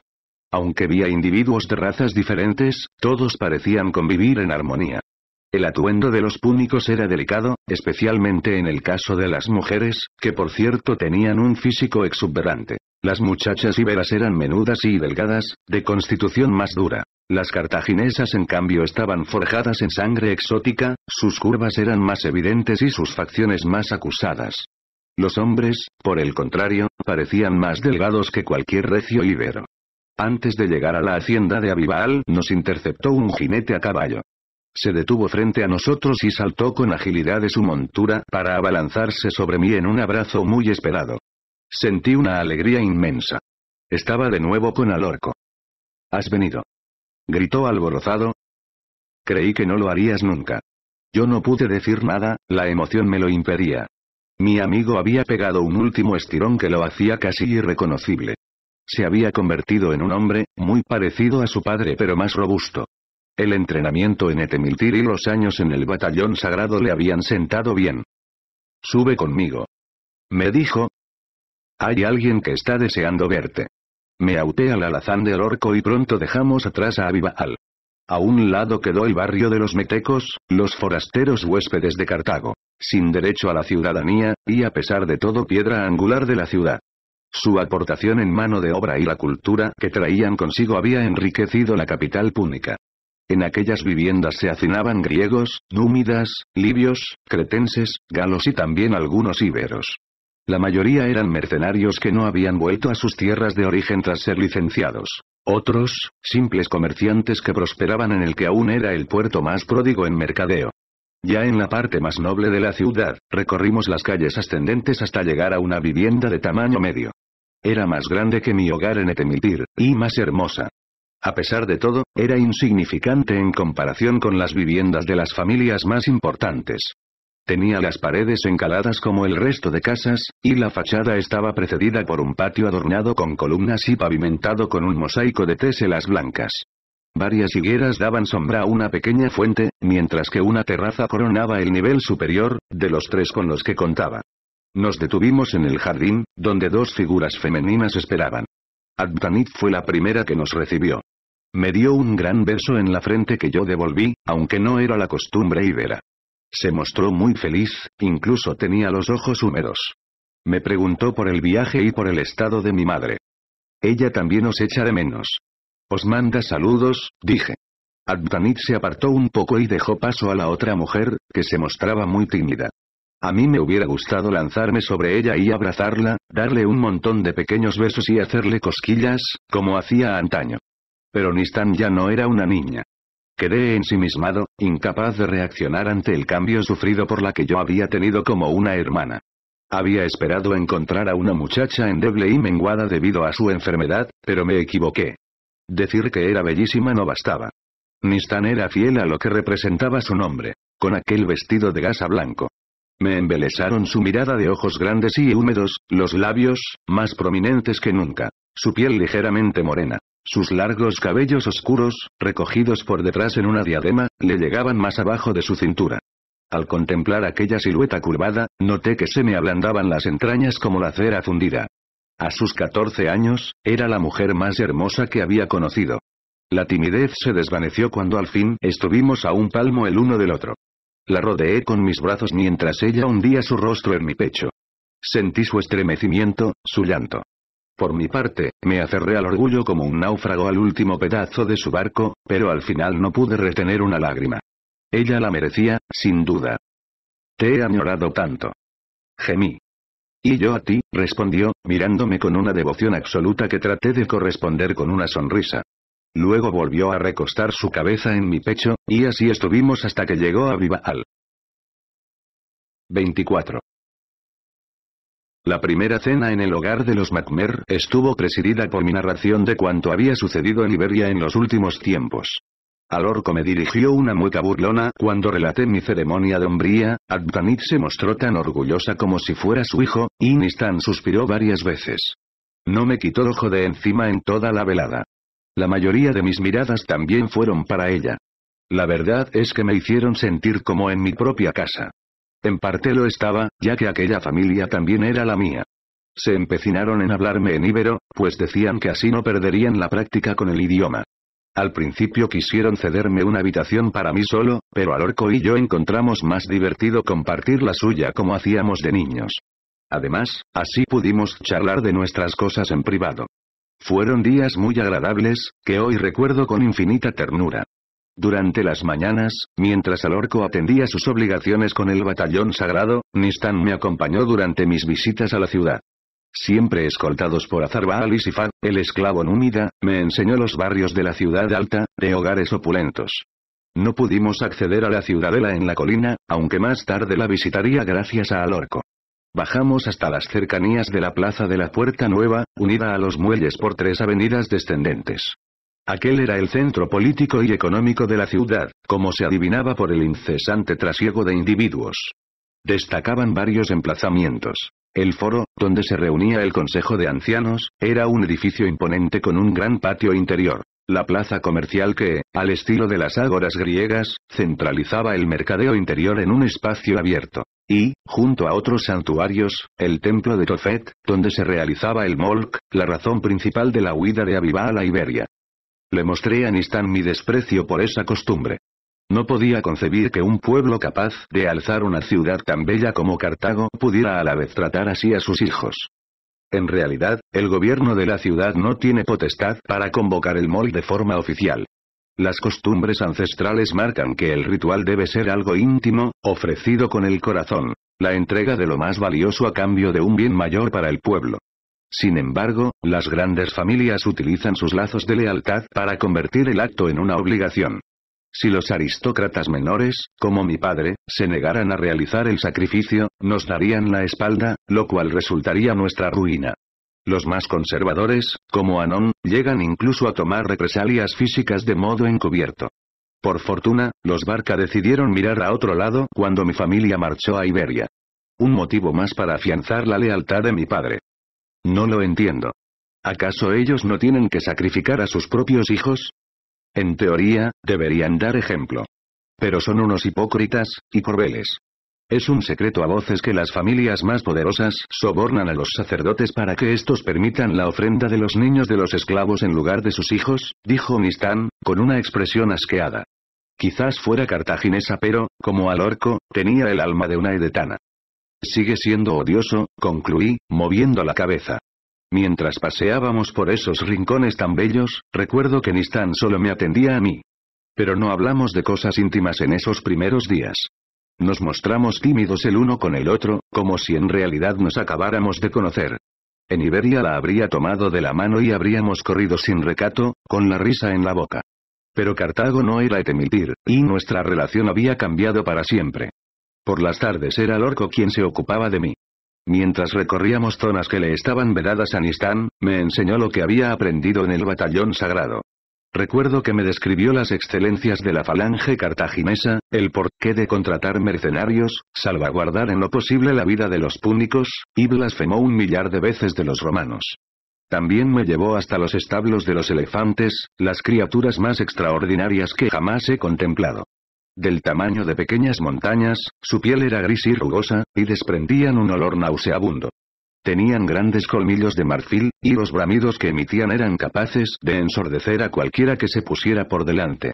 Su utilidad en batalla estaba fuera de toda duda. Aquellas bestias ciclópeas podían aplastar cualquier contingente de caballería, mientras un grupo de arqueros o lanceros acompañaba el ataque desde su lomo. Su inteligencia es tal que jamás olvida, y Corbeles, aseguró, mientras señalaba una de las bestias, un elefante está unido a su cuidador por un lazo irrompible, pues lo ha cuidado desde su nacimiento como una madre solícita. Si el guía fallece, en la mayoría de los casos el elefante muere de pena a los pocos días. A primera vista parecían invencibles. Pero no lo eran.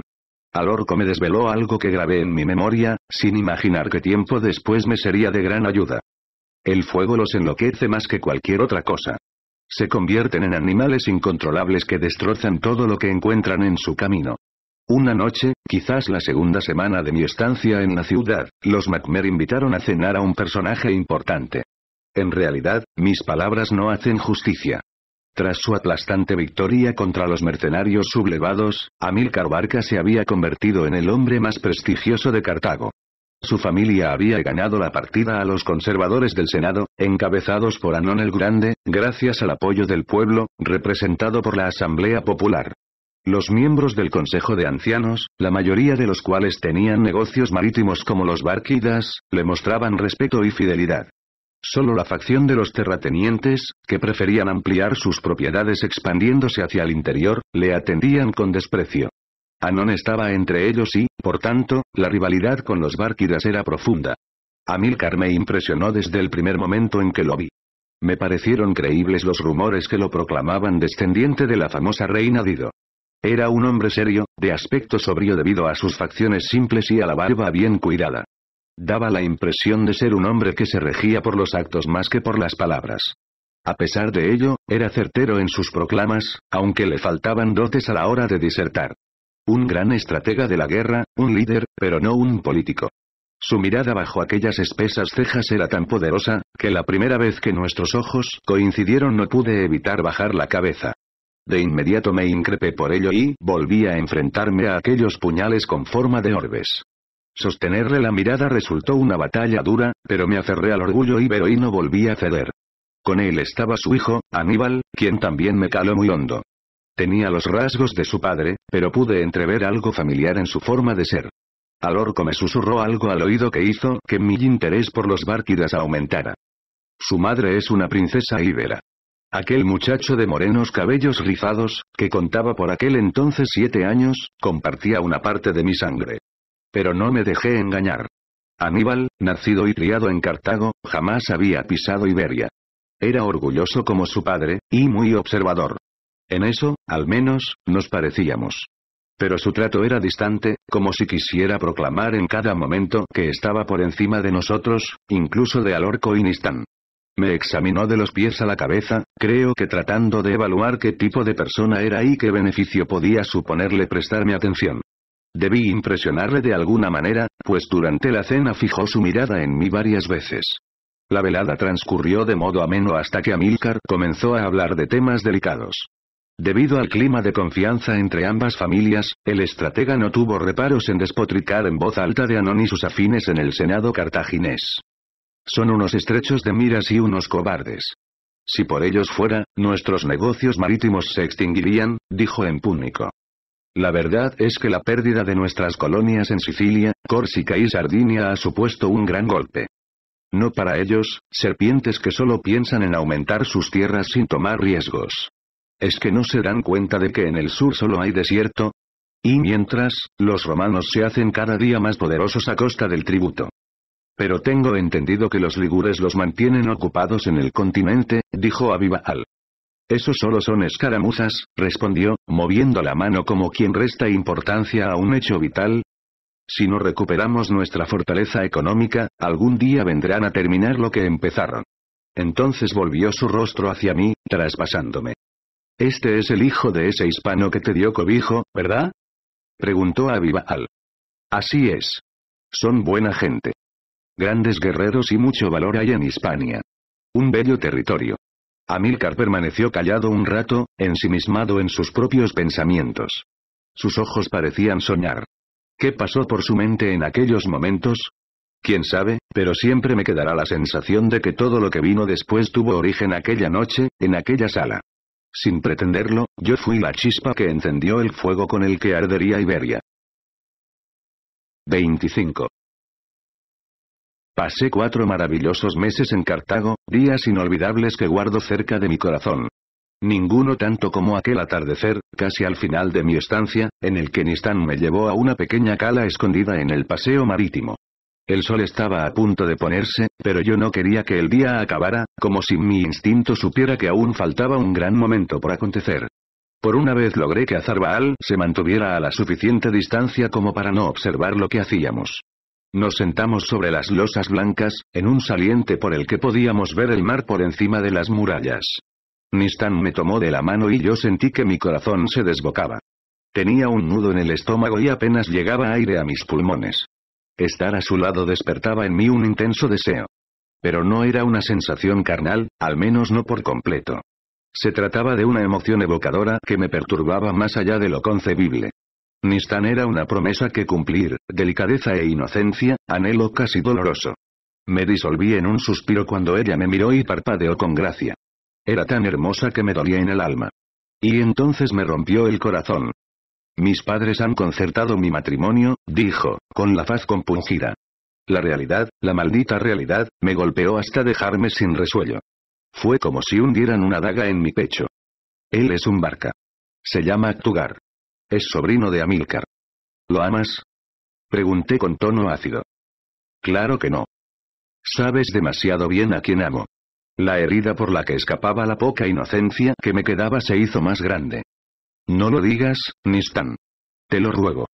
Debo hacerlo, aunque solo sea una vez en la vida. Te amo, y Corbeles. Siempre te he amado. Tendría que haberle dicho que también la quería, que no había dejado de pensar en ella en todos estos años sin saber que la amaba, pero sintiéndolo de algún modo. No hubiera servido de nada. ¿Quién mejor que yo para saber que no éramos amos de nuestro destino?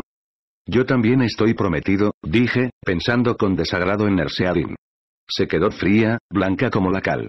Si para mí había sido un golpe duro, puedo imaginar cómo fue para ella, que había sido consciente de su amor desde niña. ¿Es hermosa? Preguntó, mientras trataba de contener las lágrimas. La miré entonces. Una fuerza imparable levantó mi mano trémula hacia su rostro. Acaricié sus mejillas, arrasadas por el llanto. Juro que si ella me hubiera pedido que nos fugáramos lo habría hecho.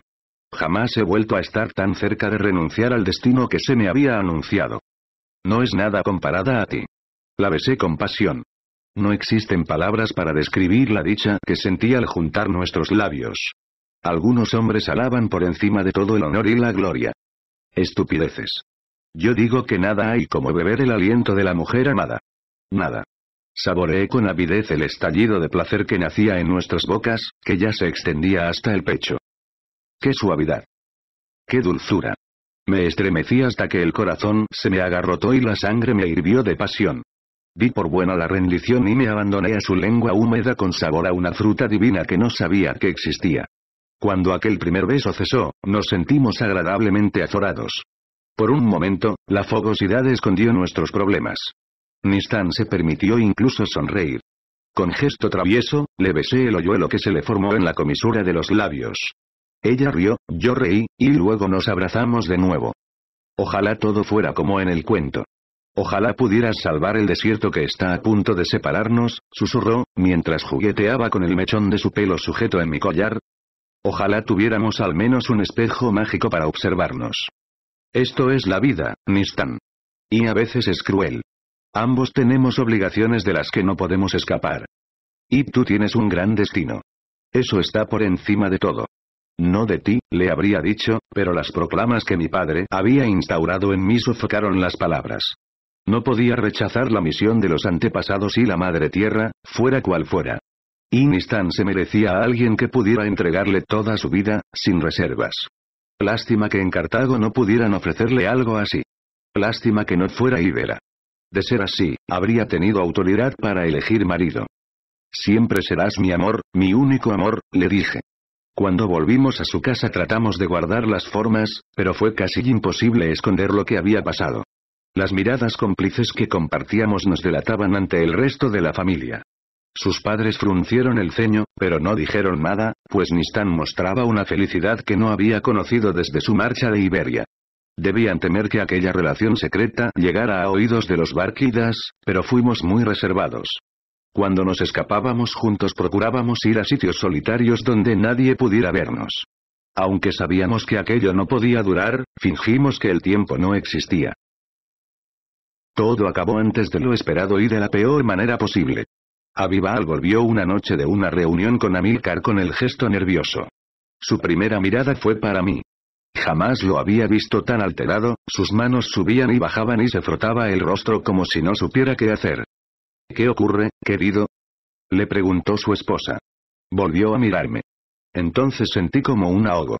Algo ocurría, y tenía relación conmigo. Nada, nada, dijo, con palabras entrecortadas que no engañaron a nadie. Muchachos, iros a vuestras habitaciones. Fue la última noche que dormí en Cartago. 26. Avival sacó del sueño cuando aún estaba oscuro. Me preocupé mucho al comprobar que seguía tan nervioso como unas horas antes. Al orco también se despertó. Nos pidió que nos sentáramos un momento al borde de la cama para decirnos algo. Y Corbeles, sabes que para mí eres como un hijo. Entiende entonces que hago esto por tu bien. Debes volver a Iberia, hoy mismo. ¿Qué? Se me adelantó al orco. ¿Por qué? ¿Qué ha pasado?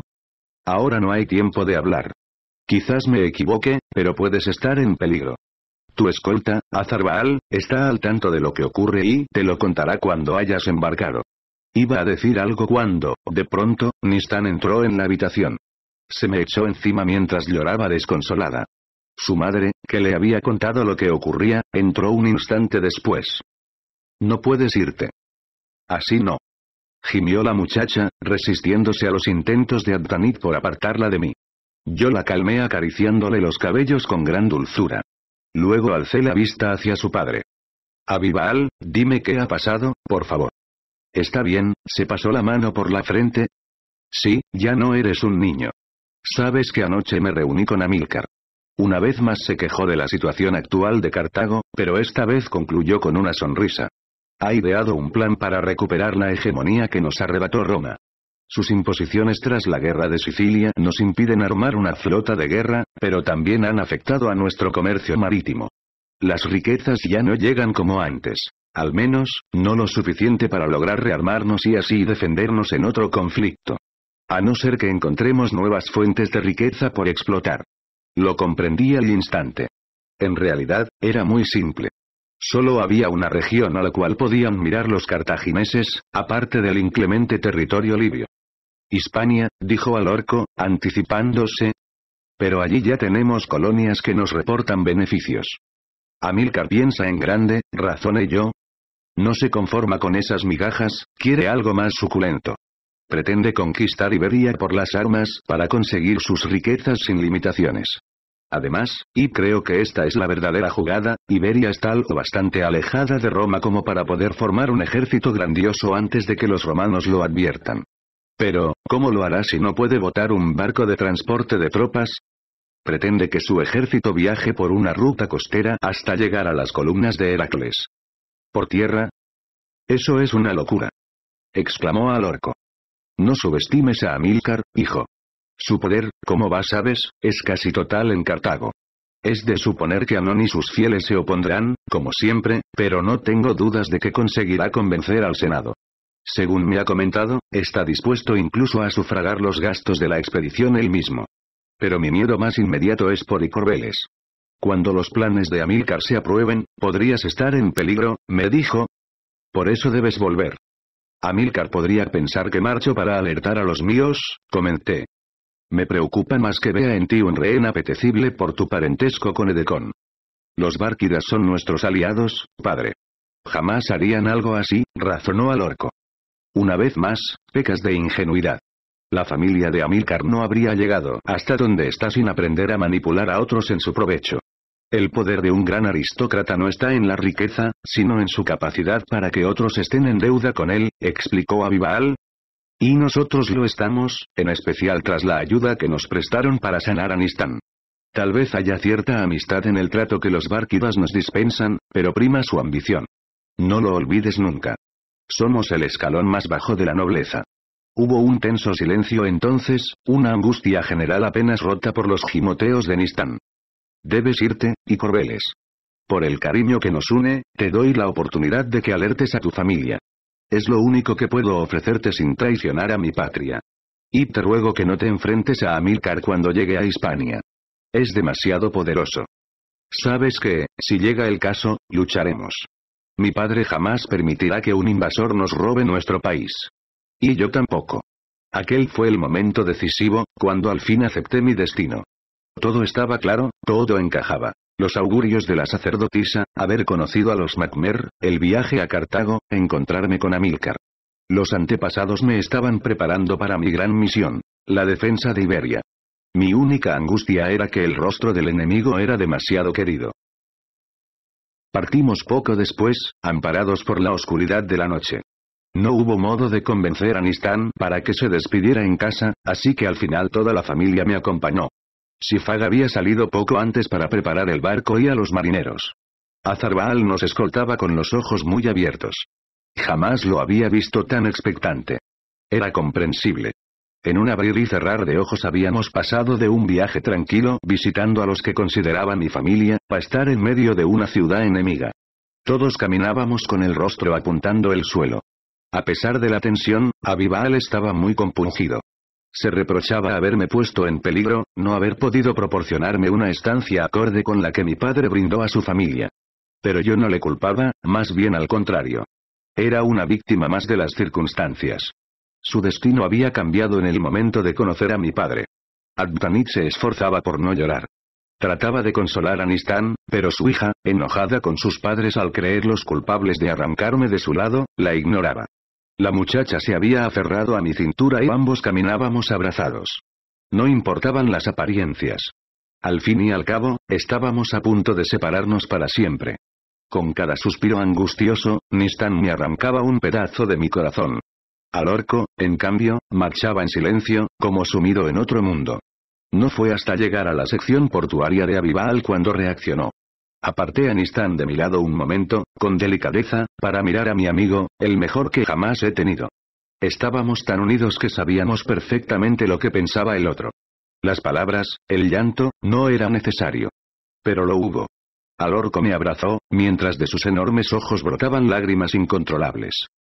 Pase lo que pase a partir de ahora, siempre seremos hermanos, me dijo, si nos encontramos en un campo de batalla, prometo que no lucharé contigo. Mejor para ti. No me gustaría humillarte delante de tus hombres, me burlé para calmar la tensión. Él reaccionó con una risa entrecortada por el llanto. Luego me despedí de su madre, que una vez más me llenó la frente de cálidos besos. Te quiero como si te hubiera llevado en mis entrañas. No tengas un mal concepto de nosotros, dijo Abdanit. Eso jamás, respondí con una sonrisa pesarosa. Abibaal, aunque acostumbrado a contener sus emociones, rompió a llorar allí mismo.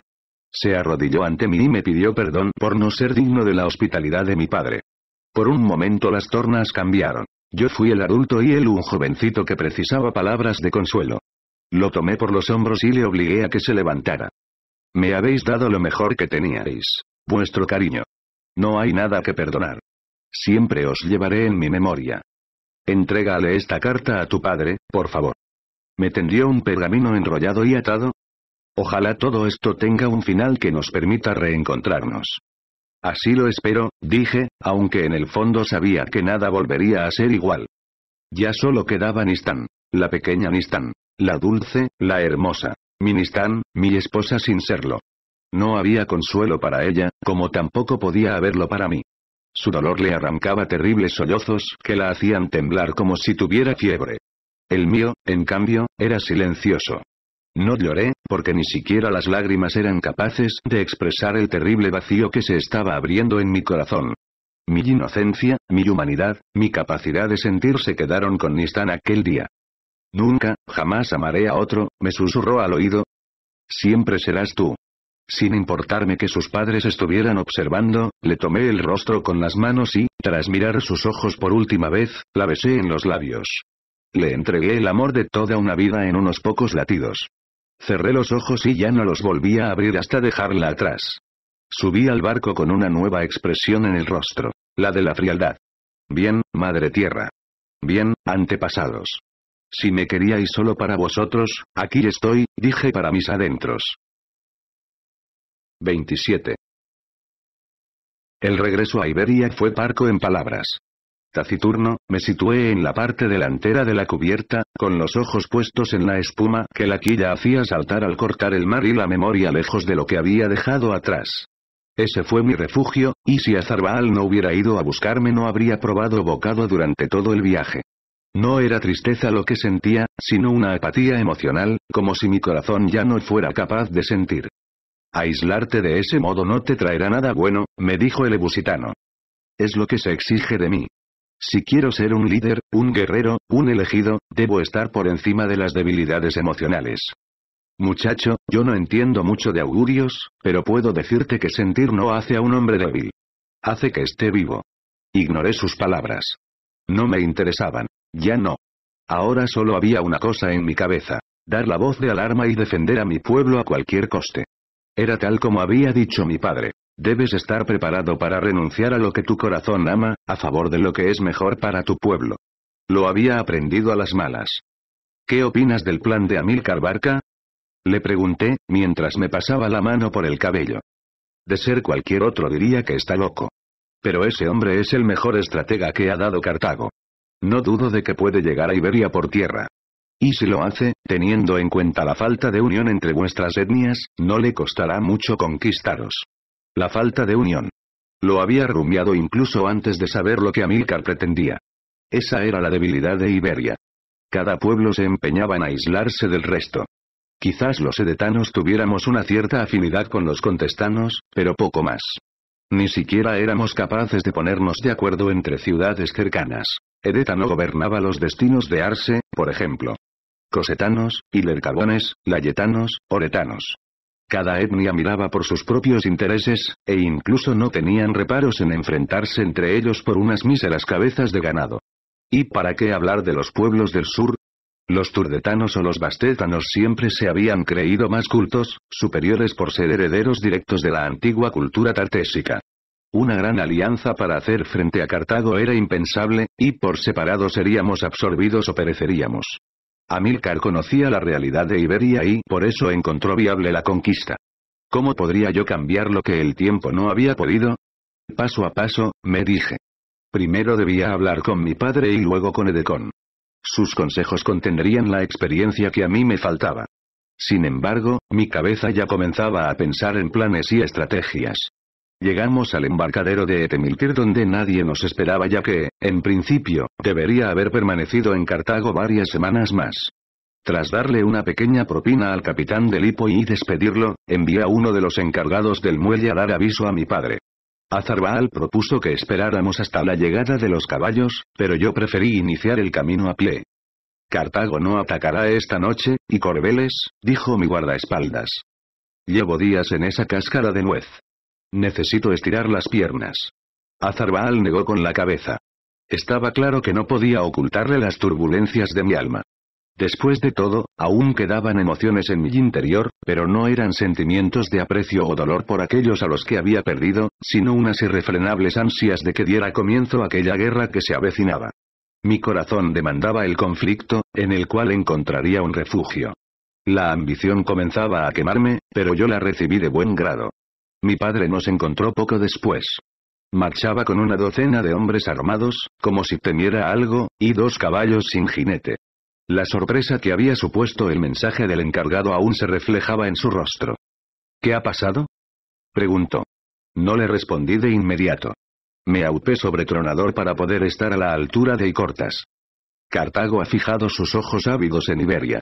Van a invadirnos. Le narré todo lo que sabía, incluido mi encuentro con Amílcar. Tomó las palabras que Avival me había transmitido, y las que escribió en el pergamino, como ciertas desde el principio. Confiaba en él.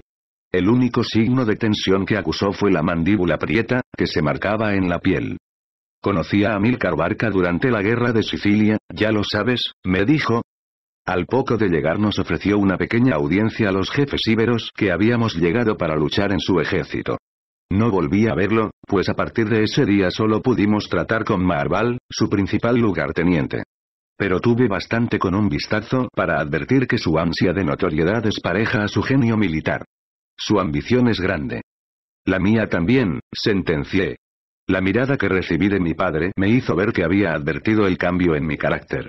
El niño había dejado paso a un adulto, a alguien comprometido, al fin. Sin embargo, no se mostró contento. La frialdad en mis ojos le preocupaba. Abrió la boca para decir algo, pero le interrumpí imaginando que, como Azarbaal, iba a sermonearme sobre la falta de sentimientos. Ya había tenido bastante. Hay que hablar con Edecon cuanto antes. Sí, claro. Animé a Tronador a que volviera al caserío fortificado. Al llegar, Carbón fue el primero en recibirme. Marchó hacia mí con un trote cansino, pues debido a su edad comenzaban a fallarle las fuerzas. Algo debió percibir en mí, pues lanzó un gemido triste al lamerme el rostro. Más intensa fue la reacción de mi madre. Al abrazarla sintió de inmediato mi total falta de calidez. Me miró el rostro y lloró. Ella sí supo de dónde venía mi mal. Del corazón.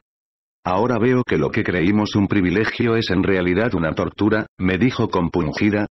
Siento que hayas tenido que pagar semejante precio. Le limpié el llanto con los dedos, incapaz de tolerar que una dama como Artaunin derramara lágrima alguna. Ni siquiera por su hijo. Más bien, por lo que quedaba de él. Entregaré mi alma si es necesario para servir a los antepasados. Pero mi madre sabía que aquellas palabras no tenían valor. Mi alma ya había sido entregada a una muchacha cartaginesa con la que jamás podría estar. 28. Edecon se mostró consternado ante las noticias. Sin embargo, había aprendido bien las lecciones de su padre y reflexionó antes de opinar. Sus palabras fueron certeras, aunque detecté un ligero nerviosismo en su voz impropio de un rey. La sensación desapareció rápidamente. No estamos hablando del ataque de un pueblo vecino. Si lo que aseguras se cumple, sobrino, nos veremos envueltos en una guerra desconocida para los íberos, dijo, con tono hierático. No del todo, intervino mi padre. Muchos de nosotros hemos intervenido en grandes contiendas. Conocemos a los cartagineses y sus modos militares. También ellos los nuestros, apuntó con acierto Edecon mientras se acariciaba la barbilla. Los edetanos no estamos preparados para hacerles frente, y cortas. Somos aguerridos, sí, pero estamos en inferioridad numérica y técnica. No si logramos que todas las etnias iberas unan sus fuerzas, comenté. Mejor sería pedir que los cartagineses se perdieran de camino hacia aquí. Gimió Edecon, alzando la vista al cielo, y Corbeles, eres inteligente, sabes que cada pueblo de la zona íbera se rige por sus intereses. Más allá de un tímido comercio y algún casamiento de conveniencia, jamás hemos intentado un acercamiento. Eso debe cambiar, y somos nosotros quienes tenemos que dar el primer paso. La unión es esencial para la supervivencia. Imagínate una Iberia unida. Esta tierra es rica en todo tipo de recursos, materiales y humanos. Si dispusiéramos de ellos para nuestro propio beneficio, podríamos ser una potencia equiparable a Cartago o Roma. Los púnicos han prosperado siendo señores de un pedazo de tierra. Nuestras posibilidades son mucho mayores. Podemos hacer historia.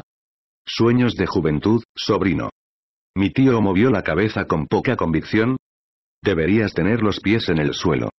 Edecon, mi nacimiento está relacionado con estos sucesos, estoy convencido. ¿Cómo explicas tal cadena de acontecimientos? He convivido con una familia cartaginesa durante años, he aprendido de ellos, visitado su capital, conocido a su general. Y ahora soy yo quien os trae el anuncio de su próxima campaña de conquista. ¿Es que acaso dudas de los augurios de la sacerdotisa? Mi padre me fulminó con la mirada por el tono atrevido de mis palabras. Por un momento había olvidado que Edecon, aunque mi tío, era por encima de todo mi señor. Pero su indecisión me exasperaba. Parecía que la bravura propia de los íberos había desaparecido de su carácter.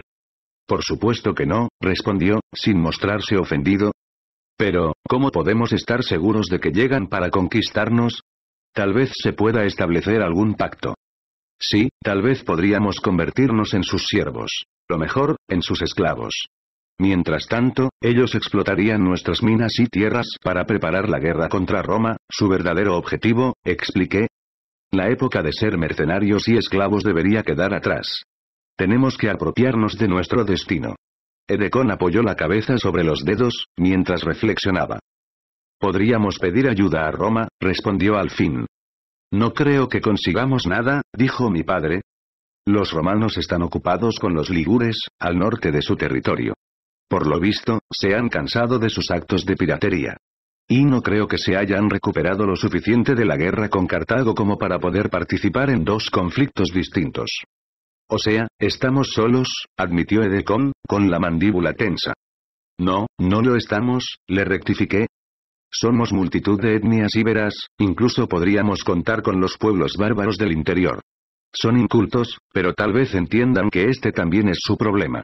En realidad, superamos en número a los cartagineses. Edecon seguía poco convencido. Planteó otros muchos inconvenientes. Algunas ciudades del sur tenían un largo arraigo cartaginés por su origen como colonias fenicias y no dudarían en apoyar a Amílcar desde el principio. Otros se dejarían seducir por las promesas y el oro. Pero ante mi voluntad inquebrantable, apoyada por mi padre, mi tío se dejó llevar. Está bien, asintió, mientras levantaba las manos como quien cede a unos ruegos, Enviaré mensajeros a los cabecillas de las etnias más importantes y les pediré su asistencia a un concilio urgente. Espero que al menos no los maten. Pero las semanas pasaron y Edecon no recibió ninguna respuesta. Los mensajeros volvían diciendo que los reyes y caudillos se habían reído ante su aviso y que, por supuesto, no estaban dispuestos a una reunión tan banal. No fue una sorpresa para nadie, aunque yo me mostré muy enojado. Trata de calmarte, hijo, me pidió mi padre, a veces, el hombre necesita que hieran sus ojos para comenzar a ver. Para entonces ya no habrá remedio a su ceguera. Mientras tanto, en Cartago, el Consejo de Ancianos aprobó el plan de Amílcar Barca, tal y como Abibaal había temido. Pero la tacañería del Senado, afianzada por Anón, obligó al estratega a partir con unos pocos miles de sus mercenarios más leales, a los que se unieron unos cuantos jinetes númidas durante su trayecto por las costas libias. Llegó a Iberia poco antes del invierno, cruzando en barcazas las columnas de Heracles, o de Melkart, como ellos las llamaban. Se instaló en un primer momento en Gadir, una antigua colonia fenicia que los recibió con agrado, pues nunca habían roto el comercio con Cartago. Y así, la noticia de su llegada se extendió de una etnia a otra. Los rumores, engordados desde Gadir, hablaban de un mar de tropas. Infantes, falanges, jinetes y los siempre temidos elefantes. Amílcar utilizó la astucia para intimidarnos y conseguir así que no opusiéramos resistencia. Solo entonces, algunos reyes se dignaron a contactar con Edecon. Los primeros fueron los bastétanos, que vivían al sureste de la península y eran vecinos de los turdetanos, la primera etnia íbera que habría de recibir a los cartagineses. También llegó una delegación de los oretanos. Eran los más dispuestos a la guerra, y así se lo hicieron saber a Edecon. Pero todavía no estaba claro qué camino iba a seguir Amílcar, por lo que nadie habló de enfrentamiento. Sin embargo, todos comenzaron a hacer acopio de recursos y prepararon a sus guerreros. Mi padre y yo logramos convencer a Edecon de que precisábamos formar a nuestras tropas adecuadamente. El tiempo de orgullosas, pero inocentes, batallas campales había quedado atrás. Otra era comenzaba en Iberia, una en la que tendríamos que combatir contra tropas curtidas en otros estilos de guerra más avanzados. Insistimos mucho en la conveniencia de entrenar buenos jinetes, pues hasta el momento los íberos no contábamos con una caballería especializada. También fomentamos el aprendizaje del ataque a distancia, sobre todo con ondas. Azarbaal ayudó mucho en esa tarea. Incluso comenzamos a promover la ganadería por encima de la agricultura, pues resultaba más fácil defender un rebaño móvil que un campo sembrado. Trasladamos estas instrucciones a las etnias con las que más relación teníamos, que siguieron nuestro ejemplo. Amílcar no permaneció en Gadir mucho tiempo. A las pocas semanas de su llegada se adentró en la península para encontrarse con los turdetanos. Hubo negociaciones con ellos, y algunas ciudades se apresuraron a pactar con el estratega. Pero conforme se alejaba de la costa, y de la antigua influencia fenicia, Amílcar encontró más oposición a sus ofertas. Las primeras contiendas eran inminentes. Los turdetanos no pidieron ayuda, pero contrataron mercenarios celtíberos y oretanos. De todos los pueblos íberos, los sureños eran los que peor dominaban el arte de la guerra. Yo me enteré de todo esto gracias a Azarbaal. Cuando las conversaciones entre los turdetanos y Amílcar se iniciaron, le dije a mi padre que no podíamos confiar en los rumores que llegaban a través de los mercaderes y mensajeros ocasionales. Él estuvo de acuerdo en enviar un espía, y ambos sabíamos que nadie mejor que Azarbaal, originario de Ibosim, ciudad colonial de Cartago, podría infiltrarse en las filas de Amílcar sin levantar sospechas. A Cortas no le agradó que decidiera mantenerlo en secreto, aunque lo aceptó. Como no confiaba en nadie más, yo mismo acudía para encontrarme con Azarbaal, a medio camino de la posición del ejército invasor. Así supimos del primer ataque de los cartagineses a los turdetanos. Amílcar se adelantó a las tropas celtíberas que llegaban desde el norte, comandadas por los caudillos Istolacio e Indortes, y conquistó con suma facilidad los poblados y minas más importantes. La rapidez era la mayor ventaja del ejército invasor. Más disciplinados y experimentados, se movían sin perder tiempo, a pesar de desconocer el terreno. Dejaron atrás algunos de los libios para que cuidaran las posiciones que habían conquistado y remontaron el río Tertis para interceptar a los celtíberos y oretanos. Azarbaal me contó con todo lujo de detalles cómo acabaron con ellos. Tras tomarlos por sorpresa en su campamento, Amílcar los engañó para evitar que se acuartelaran. Hubo un primer intercambio de golpes de espada, la infantería cartaginesa fingió que se amedrentaba ante el ímpetu de los bárbaros e iniciaron una falsa huida. Indortes, que comandaba a las tropas de infantería, ordenó a sus hombres que cargaran contra los que escapaban sin advertir que la caballería númida atacaba por uno de los flancos. Cuando se dio cuenta del error ya era demasiado tarde para reorganizar sus tropas. Tuvo que enfrentarse a los jinetes libios, pero también a los infantes que habían simulado huir. Istolacio trató de ayudarle, pero pereció en el intento. Tras el fugaz, aunque severo, correctivo, Indortes fue capturado vivo. Amílcar no mostró compasión por él. Lo crucificó, pero no antes de torturarlo de mil y una formas distintas. Le provocaron abundantes laceraciones que luego cubrieron con sal. Le arrancaron tiras de piel del rostro hasta desfigurarlo. Lo castraron con unas tenazas. Le rompieron los dientes a martillazos. Le arrancaron las uñas de todos sus dedos. Le cortaron la lengua y le obligaron a enjuagarse la boca con vinagre. Le sacaron los ojos.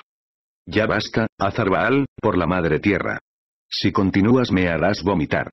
No necesito ni deseo conocer tantos detalles. Es solo para que entiendas la convicción de Amílcar. Y el valor de Indortes. A pesar del insufrible castigo, el líder celtíbero murió con cantos guerreros surgiendo de sus labios. Bueno, más bien gemidos guerreros, dijo, con su habitual mordacidad. Al menos dieron a sus hombres más leales la oportunidad de degollarse entre ellos para seguirle en la muerte. Torpes, pero bravos, son los celtíberos. La devoción, musité yo.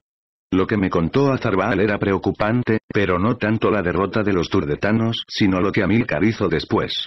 Él sabía que una guerra por desgaste no le convenía, así que fue generoso con los vencidos y les ofreció incorporarse a su ejército. Aquella victoria, además de las parcelas mineras en la sierra de Oróspeda, le reportó 3.000 nuevos jinetes celtíberos, mucho mejores para la carga que los ligeros númidas. Sus fuerzas aumentaban, mientras que aquellos que hubieran podido ser nuestros aliados eran borrados del mapa de un modo u otro. 29. La campaña en Turdetania, aunque dura, fue breve. Amílcar se retiró a una nueva ciudad que fundó de los cimientos de una aldea íbera venida a menos, Libana. El Bárquida le dio nuevo nombre, Acraleuque, y allí se refugió mientras recibía los beneficios de las primeras minas conquistadas. La guerra se alimentó a sí misma. Las nuevas riquezas servían para pagar las soldadas, pero sobre todo para callar muchas bocas en Cartago. Aunque no todas. Anón, que se había opuesto a la aventura de Amílcar, seguía criticándole, pues la política que promovía el Barca dejaba en mal lugar su programa latifundista al norte de Libia. Pero los talentos de plata, las piedras preciosas, la madera, el hierro, las telas y el grano que enviaba a Cartago restaron efectividad a la lengua envenenada de Anón.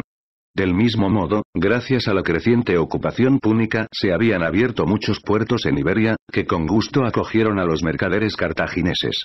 Incluso los griegos y algunos romanos se atrevían a fondear en nuestra tierra, reconociendo así el buen negocio que podía hacerse en los nuevos mercados. Pero los pensamientos de Amílcar debían estar puestos ya en su siguiente objetivo. Itique, apodada tiempo atrás por los griegos como Élike. Se trataba de una ciudad de gran importancia, pues estaba muy cerca de los límites de Oretanía, etnia a la que el estratega cartaginés tenía por los mejores guerreros de Iberia. Además, ambicionaba las ricas minas cercanas a Castilo, la capital gobernada por Orisón. Al conocer el imparable avance de Amílcar, algunas colonias griegas y ciudades del norte alertaron a Roma. Entre ellas estuvo Arse, a lo que viajé aprovechando aquella coyuntura. La familia de Nerseadín me recibió como cabía esperar al prometido de su hija. La muchacha había crecido mucho. Era hermosa, aunque sus formas todavía no eran las de una mujer. Al contemplarla comprendí que el día de mi boda se acercaba. Cuando Nerseadin sangrara por primera vez, sería considerada mujer casadera. Aparté la imagen fugaz de Nistán que se cruzó en mi cabeza. No podía aportarme nada bueno. Me entrevisté con Nikonkei por primera vez, pues hasta el momento solo había conocido a su hija y a su esposa, Sitedumin. Recostados en sendos divanes, frente a una jarra de vino y una bandeja de dátiles importados de Libia, me habló del enrarecimiento que se había apoderado de la ciudad. Su mayor temor por el momento era que aquello derivara en algún conflicto dentro de las murallas de Arse. Los que siempre han apoyado a los púnicos se muestran encantados con la llegada de Amílcar, lo cual está enervando a los comerciantes que tienen tratos con los griegos. Temen que Cartago llegue a la ciudad y corte sus líneas de negocio, comentó, mientras tamborileaba el brazo de su diván con gesto preocupado. ¿Tenéis motivos para el miedo? dije. La campaña apunta al norte. Ahora descansan, pero veo sus intenciones. Tras conseguir las ricas minas del sur, buscarán apoderarse de la costa de Levante. La trémula luz del candil que iluminaba la mesa reveló el temor en el rostro ajado de Ikonkei. Si por lo común ya era un hombre de aspecto tosco, cabeza coronada por una calva rodeada por una mata de pelo, frente prominente, piel quebrada por arrugas impacientes, papada abundante. Las preocupaciones no hacían sino aumentar el paisaje abrupto de su faz. Todo esto tiene un objetivo final, ¿verdad? Dijo, mientras se pellizcaba el entrecejo.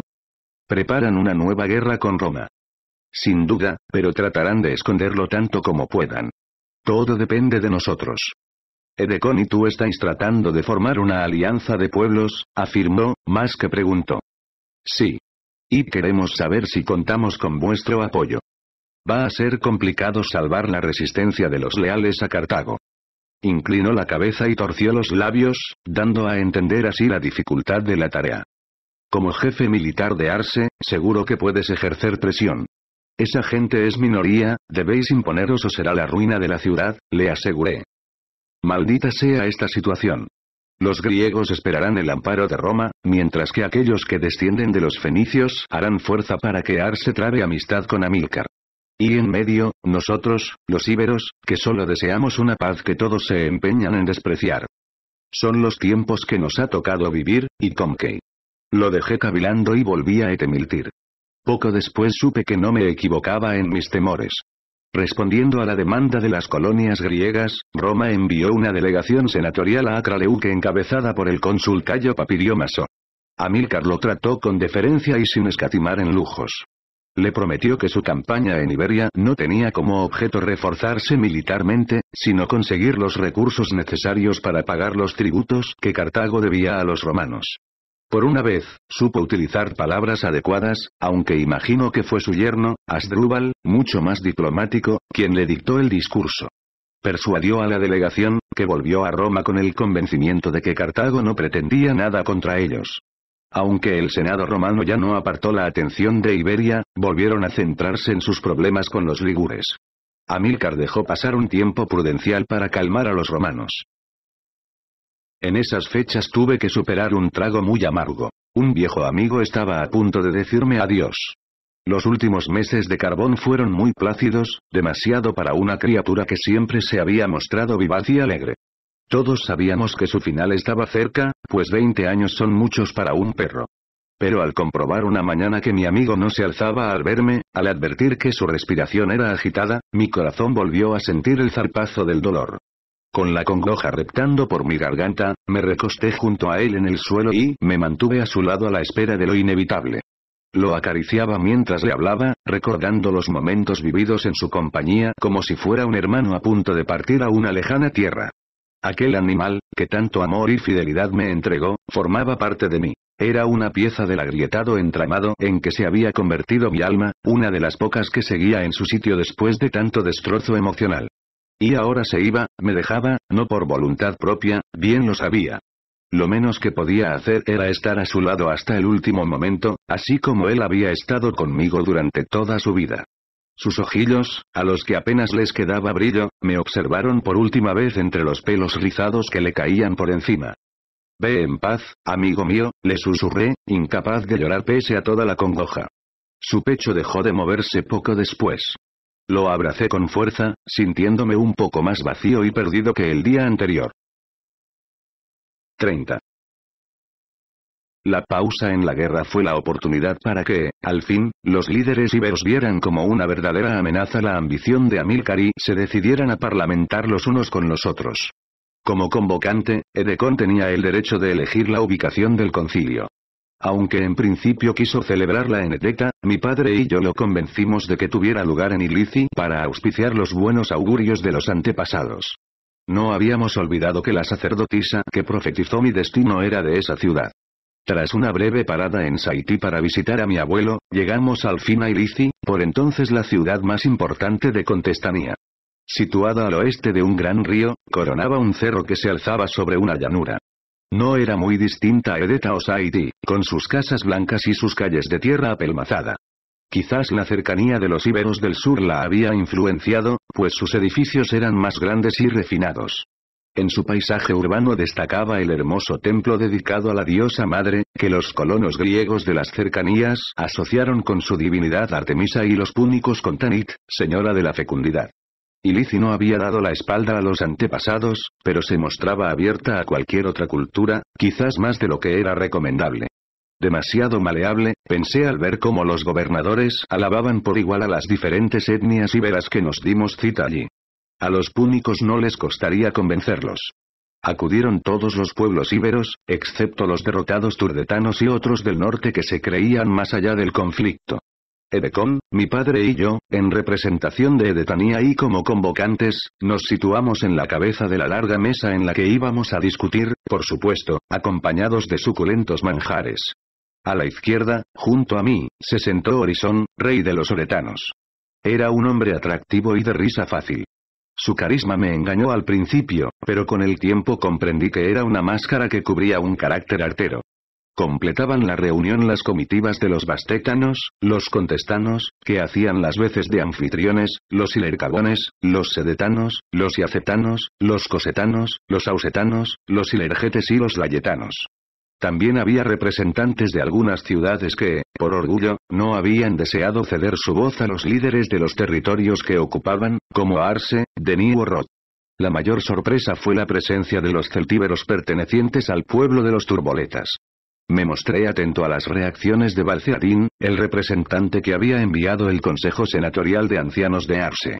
Era un ibero de confianza de Iconkey, neutral para evitar las iras de las facciones a favor y en contra de los cartagineses, aunque sabía bien de la enemistad existente entre los turboletas y los arsetanos. Unos y otros se acusaban constantemente de robos de ganado y hierro. Cruzaron sus miradas, encendidas con el rencor de muchos años de odio. Por fortuna, Balcar, el rey contestano, había tenido la precaución de sentarlos en lados opuestos de la mesa. No narraré con detalle las muchas cosas que se hablaron aquel día, porque la mayoría no harían más que desmerecer a los presentes. Fue una reunión bronca y, desde el principio, condenada al fracaso. Las etnias que ya habían decidido abrir los brazos a Amílcar boicotearon cualquier propuesta de unificación. Los ausetanos, con Amusico a la cabeza, fueron los más claros. No condenaré a mi pueblo al exterminio, dijo, en tono prepotente. Habláis mucho de unión, pero incluso entre vosotros no la hay. Señaló a Balceadín, y todos comprendieron que se refería a las facciones enfrentadas de Arse. Para eso nos hemos reunido hoy aquí, a Músico, para cambiarlo. ¿Es que acaso no te agrada la idea de convertirnos en una potencia capaz de plantar cara a Cartago? Le preguntó Horizon. ¿Y quién nos gobernará? No me hagas reír. Además, si los cartagineses no nos conquistan, lo harán los romanos tarde o temprano, apuntó a Balarban, el caudillo de los layetanos. Prefiero mantenerme neutral. Di mejor que prefieres apoyar al que te convenga en cada ocasión para salvar tu pellejo. Eres como una veleta.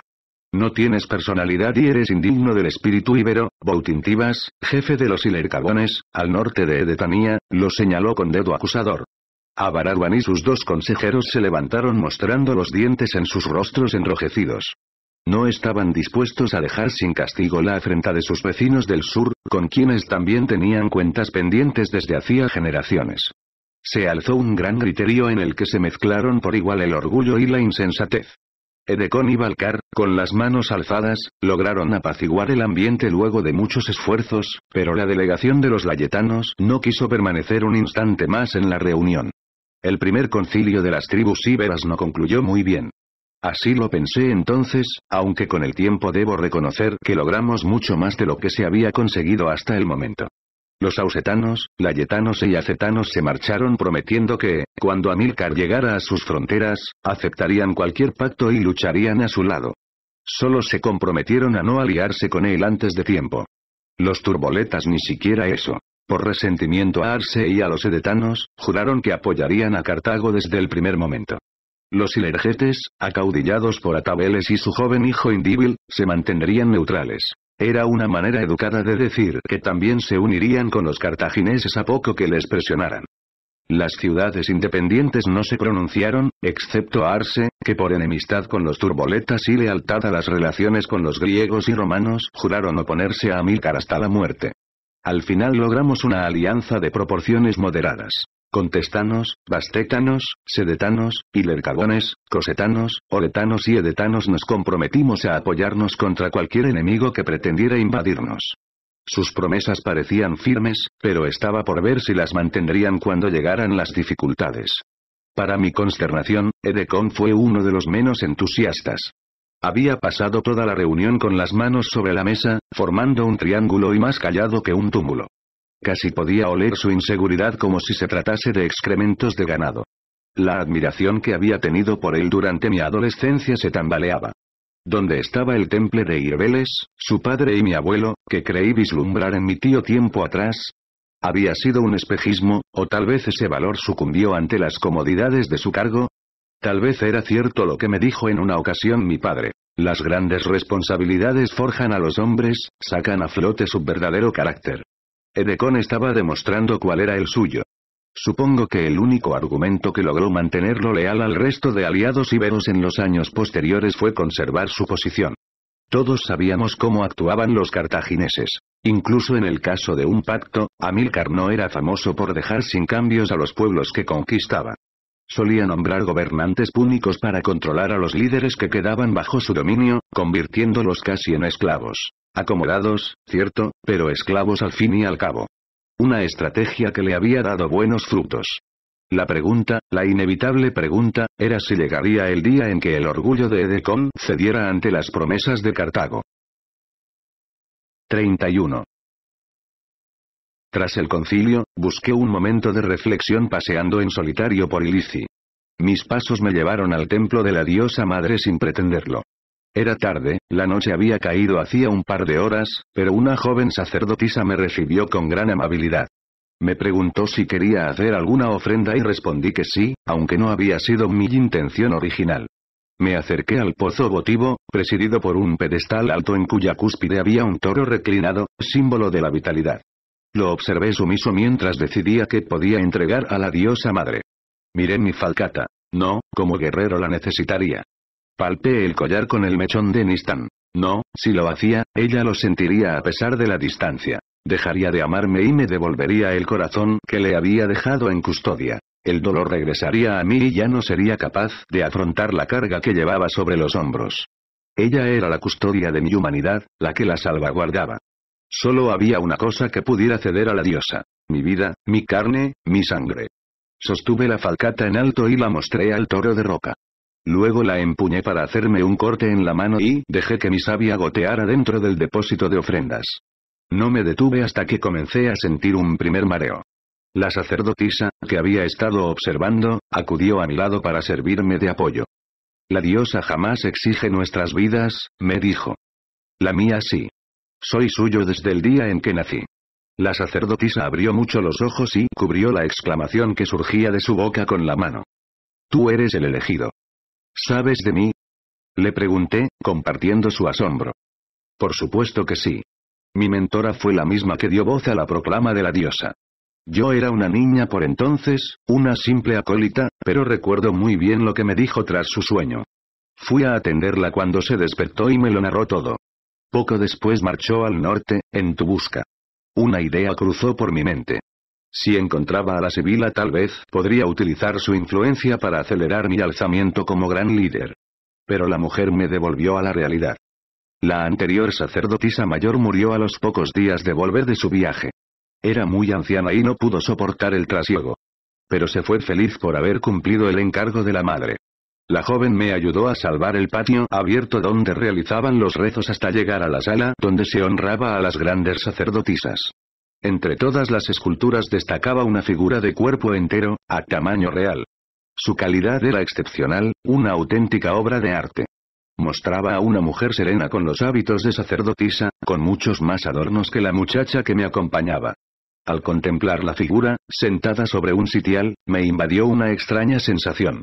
Llenaron mi cabeza las imágenes difusas de una anciana, entremezcladas con las descripciones que había hecho mi madre de aquella sacerdotisa que me puso a prueba cuando no era más que un recién nacido. Aunque la figura que tenía ante mí representaba a una mujer joven, supe que se trataba de la misma persona.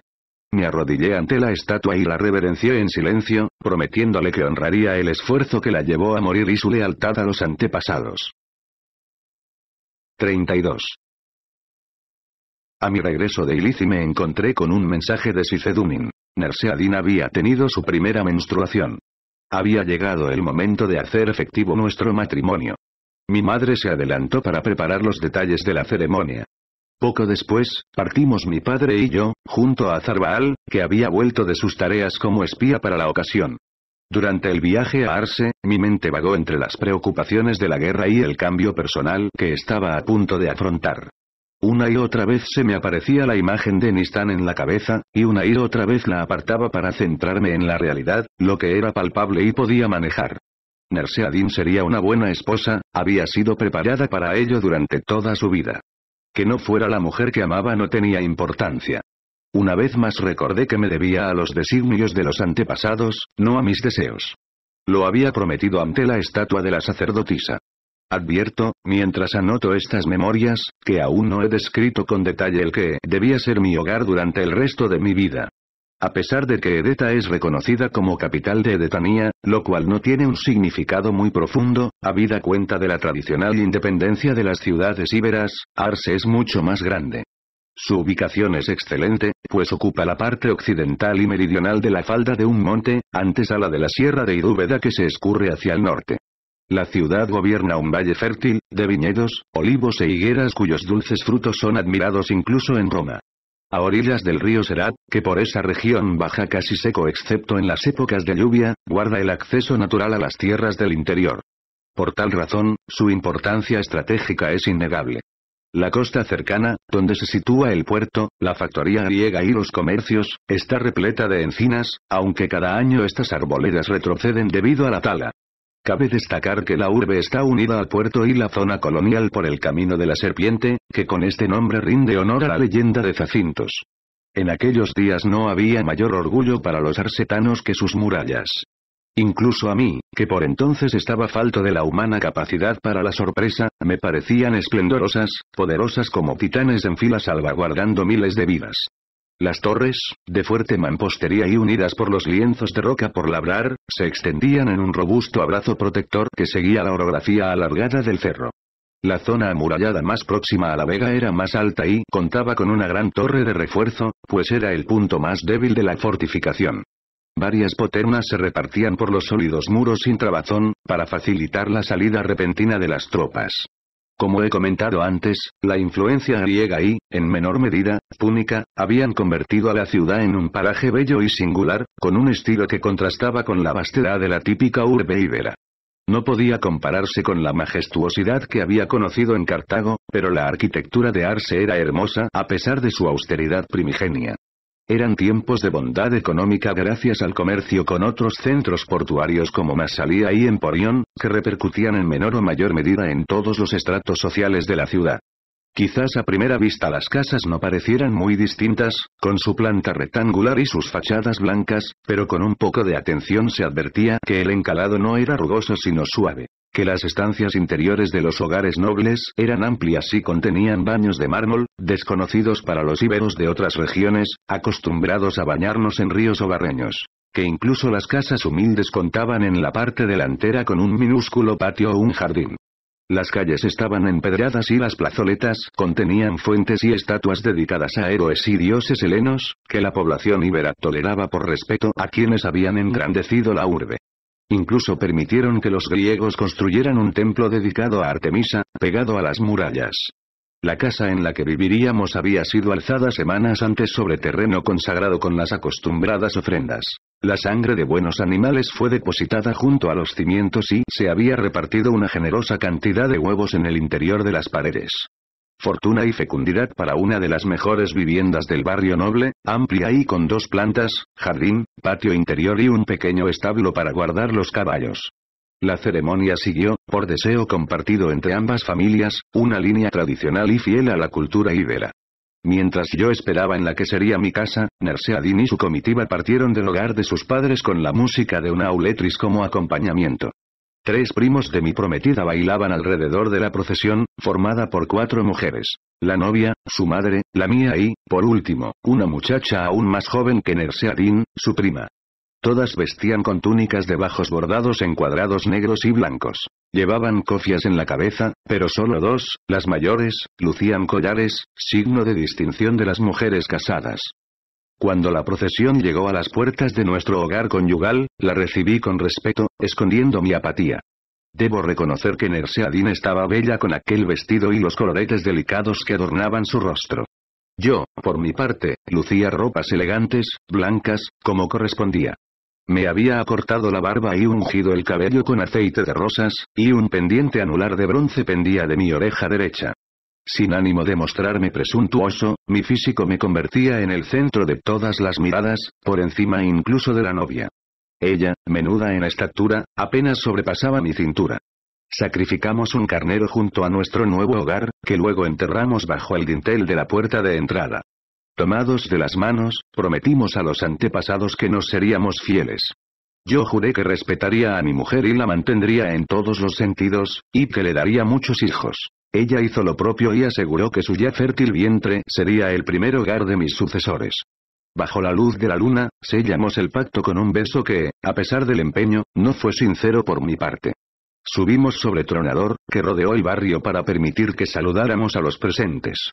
Luego nos llevó de vuelta a nuestra casa en común, donde entramos solos. Como debía ser, consumamos nuestro matrimonio.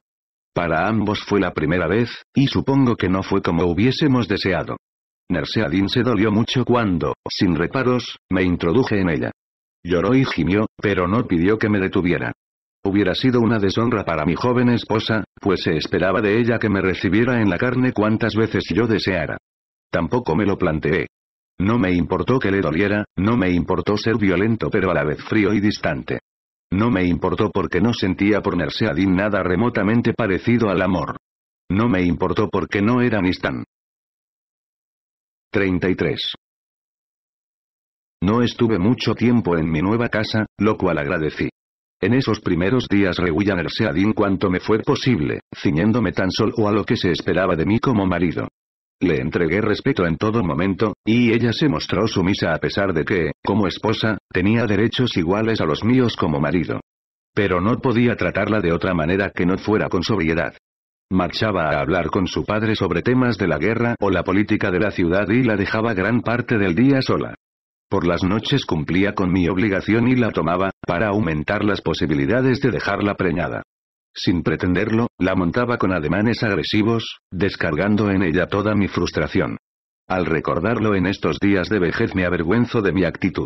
Aunque nunca hubo palabras de amor entre ambos, yo siempre supe que, en el fondo, ella me amaba, y por eso consintió aquellos momentos vulgares en los que la traté como a una simple yegua de crianza. Pero, ¿cómo amarla si en mi corazón solo quedaban escombros? Me fui de Arse dos semanas después con destino a Oretanía, aunque antes hice una parada en Ereta. Había novedades importantes en la guerra. Amílcar, al fin, parecía despertar de su letargo y afilaba sus armas contra la deseada Élike.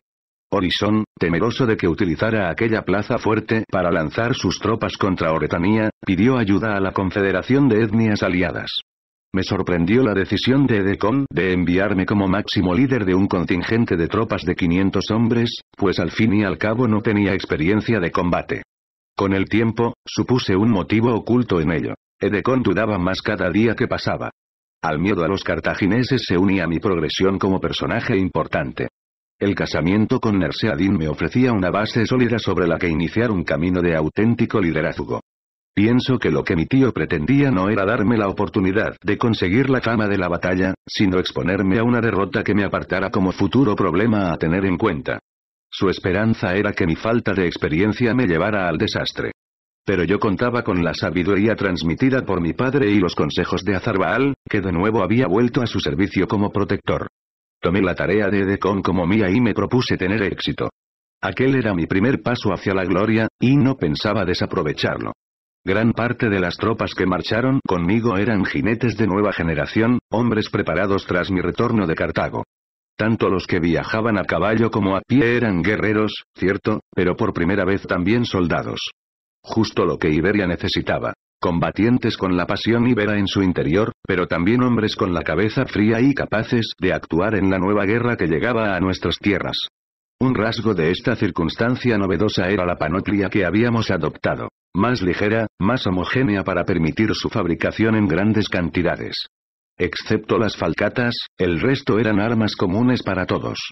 Nuestros caetras, por ejemplo, estaban adornadas con la misma decoración, identificándonos a todos como edetanos. Se confeccionaron soliférreas para los infantes, pues, aunque eran armas caras en comparación con las lanzas de madera, su penetración no tenía rival. Atrás quedaron los días en que cada guerrero iba vestido de modo distinto y con armas propias que ponían a unos por encima de otros. Si deseábamos enfrentarnos a los grandes ejércitos dominantes, por fuerza debíamos adaptarnos a las nuevas reglas del juego. Nos encontramos con Horizon en su ciudad principal, Castillo, asentada en un alto cerro junto a un afluente del río Tagos. Desde allí controlaba las rutas hacia Levante, pero sobre todo los caminos que llevaban a las ricas minas de Oretanía. Aquel era el objetivo de Amílcar. Si en Edetanía la tierra nos regalaba vides, legumbres y aceite, los oretanos tenían a su alcance plata y plomo en abundancia. También había densos bosques, de donde se extraía la madera para la construcción de viviendas, cercados y la obtención de carbón. No era extraño que la metalurgia fuera la profesión predominante en Oretanía. Aunque se tenían por íberos, los oretanos no podían negar su influencia celtíbera. Eran ricos, pero sus costumbres aún no se habían apartado del todo de la tosquedad de los norteños. Incluso la arquitectura de su ciudad amurallada era vasta en contraposición con el refinamiento turdetano o edetano. Sus casas eran tan humildes que ni siquiera estaban encaladas, excepto las mansiones de los nobles. Como otras grandes ciudades, Castillo poseía un barrio donde se aglutinaban las pequeñas industrias de alfarería, curtiduría y, sobre todo, fundición.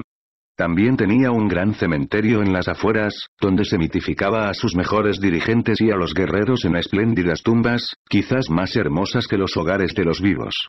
Fui el primero de los líderes en llegar. Horizon me recibió con mucha pompa, aunque vislumbré su desilusión al no advertir a Edecon en la comitiva.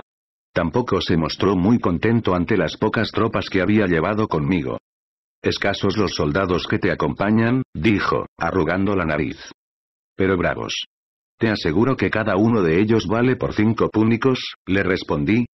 Además, de este modo nos ha amparado el sigilo durante nuestro viaje. Horizon aceptó aquella premisa a regañadientes. Imagino que por dentro estaría acordándose de Edecon, del que sin duda había esperado un apoyo mayor. Pero su situación era desesperada y prefirió tomar lo que le ofrecían sin rechistar. Según nos confirmó, el asedio a Eli que había comenzado poco después de nuestra partida de Odeta. A lo largo de los días fueron llegando otras comitivas. Contestanos, bastétanos, y y sedetanos.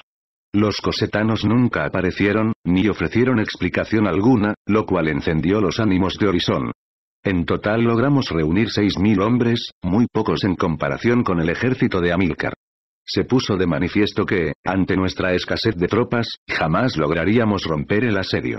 Horizon nos transmitió las informaciones de sus espías. Amílcar contaba con un contingente abrumador, tan superior que se había permitido dejar buena parte en su fortín de Acraleuque, al mando de Asdrúbal. Infantería de falange, honderos, jinetes númidas y celtíberos, elefantes. Al mencionar a las bestias gigantescas, un recuerdo de mis días de solaz en Cartago volvió a mi mente. Pasé toda la noche madurando una idea. Era tan atrevida que debía estar seguro antes de exponerla.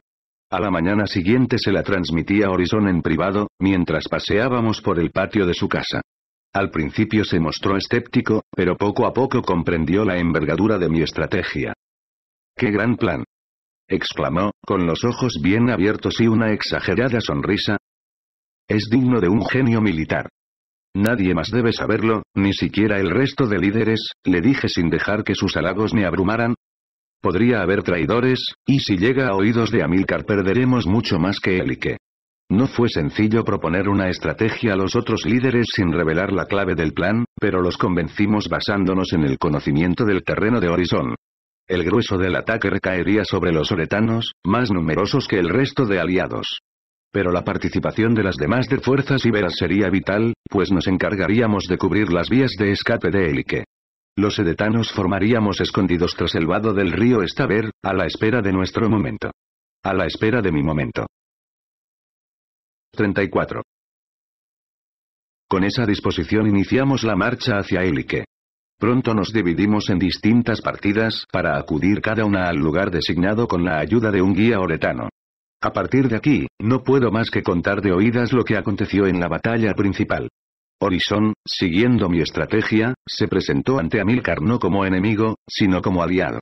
Esgrimió poderosas proclamas de odio hacia los eliquenses, asegurando que por antiguos conflictos territoriales aquellos habían tomado como rehenes a su esposa e hijos. La verborrea y natural artería de Horizon bastaron para convencer al estratega. No me había equivocado. La perspectiva de acabar rápidamente con un asedio que bien podría haberse prolongado durante muchos días, sumado a la inesperada posibilidad de conseguir como aliados a los oretanos, la única etnia que Amílcar consideraba peligrosa para sus intereses, ofuscó su razón. Nadie pareció darle importancia a los carros tirados por bueyes que Horizon había traído consigo, que portaban víveres y pertrechos de guerra. ¿Cómo iban a imaginar que las bestias de carga tenían reservado un papel muy especial? Horizon aprovechó la caída de la noche para preparar la jugada tal y como habíamos acordado. Permanecieron en la retaguardia y, mientras las tropas cartaginesas descansaban para iniciar un nuevo día de asedio, ataron a las astas de los toros borlas de paja empapadas en brea. Luego, separaron a las bestias de los carros y las posicionaron para que se dirigieran al lugar oportuno. Los elefantes. Cuando prendieron fuego a la brea, los toros se lanzaron enloquecidos hacia el frente, embistiendo a cuantos soldados cartagineses hallaron en su camino. El caos cundió en el campamento, y fue mucho peor cuando los animales llegaron a la altura de los elefantes. Las montañas vivientes, aún más aterradas que los toros ante el fuego, se convirtieron en fuerzas de la naturaleza incontrolables. Patearon a sus cuidadores e hicieron estragos entre el ejército de Amílcar. Horizon aprovechó la oportunidad. Sus hombres cargaron con gran arrojo para evitar que el líder cartaginés tomara el control de la situación. Su embate fue efectivo, pues los mercenarios enemigos estaban tan ocupados tratando de salvarse de la estampida de las bestias que no mostraron resistencia. Los que escaparon de la furia animal se encontraron con el implacable acero oretano. La matanza fue tal que obligó a Amílcar a ordenar la retirada. Y es entonces cuando la historia retorna a los edetanos. Ante la superioridad de los oretanos, los cartagineses se dispersaron. Con el tiempo se narró que Amílcar huyó con el rabo entre las piernas, pero la verdad fue que su retirada supuso un acto de gran valor. Atrajo hacia sí el grueso de las tropas enemigas, logrando así que sus hijos, Aníbal y Asdrúbal, tuvieran la oportunidad de escapar en otra dirección. Llegó hasta el vado cabalgando junto a un pequeño grupo de hombres a caballo, no más de cien, sin sospechar que marchaba hacia su perdición. Di la orden de ataque cuando Amílcar llegó a la otra orilla. Lanza en mano, el escudo en la otra, los edetanos arremetimos por sorpresa contra los cartagineses. La posibilidad de capturar a su general me alentó, pues la tomé como una señal de los antepasados. Con Amílcar en nuestro poder podríamos dar un vuelco absoluto a la guerra. Estaba tan extasiado que olvidé los nervios de la primera batalla. Me emparejé con él para evitar que nadie más pudiera matarlo por error. Amílcar aceptó el reto y se lanzó contra mí con el ánimo encendido. Pero yo tenía la ventaja que me proporcionaba la longitud de mi lanza, cuyo hierro hirió a su caballo y lo obligó a descabalgar. Yo también desmonté. Ya sin mi arma principal, desenvainé la falcata y me dispuse a estrenarla contra el acero del mejor rival posible. Amílcar luchó bien. A pesar de su edad era un hombre diestro y a la vez contundente. Me puso en apuros en más de una ocasión, pero mi convicción aquel día era muy superior a la suya. Como aquella vez en el bosque de Etemitir, dejé que los instintos del lince que me veló afloraran en mí. Me convertí en un ser ligero, implacable, de movimientos sinuosos y rabia desbordada. Un guerrero capaz de superar el transcurrir del tiempo, que parecía detenerse ante mi ímpetu desbordado. Rabia, sí, Rendido a mis instintos más básicos, sentí ira hacia aquel hombre, pues él había sido el causante primigenio de que abandonara Cartago como lo hice, de que perdiera el contacto con Alorco y no pudiera corresponder a Nistán. Al fin, Amílcar cedió a mis golpes. Bloqueé su última acometida con el escudo. Acto seguido, levanté el brazo, apartando su arma y dejando su axila desprotegida. Era una técnica sencilla que siempre resultaba útil cuando el enemigo estaba agotado. Mi hoja curva saboreó su carne y su sangre. Herrí su brazo, nada grave pero lo suficiente para incapacitarle. Lo desarmé por completo y me dispuse a atarlo. Nos miramos una vez más y juro que sus ojos se agrandaron. ¿Me había reconocido después de tanto tiempo? Sus palabras confirmaron mi sensación. Tú. Eres el hispano amigo de los Macmer. Buena memoria, estratega. ¿Verdad que resulta poético? Aquel que inspiró tu conquista causará tu derrota. Quizá consigas mi perdición, pero jamás la de Cartago, aseguró, mostrando una media sonrisa de superioridad. Tengo que reconocerlo, incluso en aquellos momentos, Amílcar Barca era un hombre imponente. Para algo así se necesita un espíritu unido. Los romanos quizás lo tengan, pero los hispanos no sois más que tribus aisladas. Jamás estaréis a la altura. Esta victoria cambiará eso. Te lo prometo. De repente, de entre las batallas que libraban mis compatriotas edetanos, brotó un pequeño grupo de cartagineses más bravío que el resto. La guardia personal de Amílcar acudía al rescate de su general. Me rodearon. Eran cuatro y actuaban con gran decisión. Podrían haberme puesto en problemas, pero Azarbaal me ayudó desde la distancia con sus infalibles proyectiles de onda. Me quitó de encima a tres, y yo di buena cuenta del último, trazando un fulgurante arco con la falcata. El púnico ni siquiera sintió cómo la hoja decapitaba su cuerpo. Cuando volví el rostro hasta la posición de Amílcar, vi que el estratega trataba de retroceder por el río adentrándose en aguas más profundas. Un error fatal. El ímpetu del torrente venció a sus menguadas fuerzas y lo arrastró sin compasión. Movido por la desesperación, me lancé al río y traté de alcanzarlo. Su salvación era imperativa. Muerto no nos servía. Nadé con todas mis energías, pero yo también estaba fatigado y no logré llegar hasta él a tiempo. Una rama caída detuvo su cuerpo, pero cuando lo saqué del río Amílcar Barca ya había muerto, ahogado. Las maldiciones que proferí aquella noche fueron demasiado vulgares para ser mencionadas. Había dejado escapar una oportunidad de oro, y tuve que contentarme con marchar, casi arrastrado por Azarbaal, antes de que los cartagineses vinieran a buscar a su líder. La marcha a la recién liberada Élique transcurrió entre risas y cantos guerreros de mis hombres. Todos estaban alborozados por la gran victoria, y solo yo me mostraba serio. Solo yo era consciente de que había tenido el final de la guerra en mis manos. 35. Pero hubo más sorpresas antes de la llegada del amanecer. Los habitantes de la ciudad nos recibieron como a héroes, entre vítores, abrazos y todo tipo de ofrendas. Muchos de mis hombres, Azarbaal el primero, durmieron calientes las noches siguientes en compañía de las agradecidas muchachas eliquenses, que se mostraron bien dispuestas a satisfacer todas las necesidades de sus bravios rescatadores. Los festejos se alargarían durante un par de días, al menos para los que no tenían obligaciones. Pero yo no tenía nada que celebrar, así que tras curar la herida que Amílcar me había producido, si no lo haces, se te infectará más rápido de lo que tarda en desahogarse la verga de un adolescente, me dijo Azarbaal, preferí reunirme con Horizon. En mala hora, pues el caudillo me tenía preparada una amarga jugada. Lo logramos, y Corbeles. Vociferó, con los brazos levantados y los puños cerrados en señal de victoria. Hemos derrotado al enemigo. Que esta noche sea recordada como la de los toros bravos. Ingenuo, pensé. Era consciente de que, aunque habíamos dado un severo correctivo a los cartagineses, estos volverían con más fuerza cuando supieran de la muerte de su líder. La venganza es un poderoso estímulo. Sin embargo, traté de ver la parte positiva. Había vencido en mi primera batalla. El triunfo había llegado gracias a mi estrategia. Comencé a acariciar el manto de la gloria que bien me había ganado. Cuando se supiera que la estrategia victoriosa había nacido en mi cabeza, sería aclamado como un héroe. El primer paso hacia la leyenda. Horizon se encargó de devolverme a la realidad con una efectiva puñalada traidora. A partir de ahora, te tendré como a un hermano, querido Edetano, dijo, mientras me pasaba el brazo por el hombro. Y, como hermanos que somos, no creo que importe quién y de o qué. Hará más bien a la causa que esta victoria recaiga sobre un líder ya consagrado. ¿Lo entiendes, verdad? Aún hoy creo que mi reacción fue comprensible, dadas las circunstancias. Perdí los nervios de tal manera que aferré a Horizon por el cuello y lo estampé contra un pilar de madera. Aquel maldito bastardo pretendía robarme la gloria.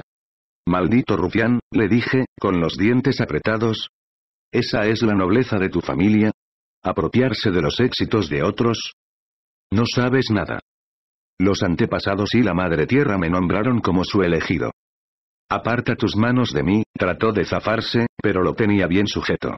No lo solté hasta que uno de los guardias personales de Horizon entró en la cabaña. El caudillo oretano detuvo su acometida con una mano imperativa mientras trataba de recuperar el resuello. Todo está bien.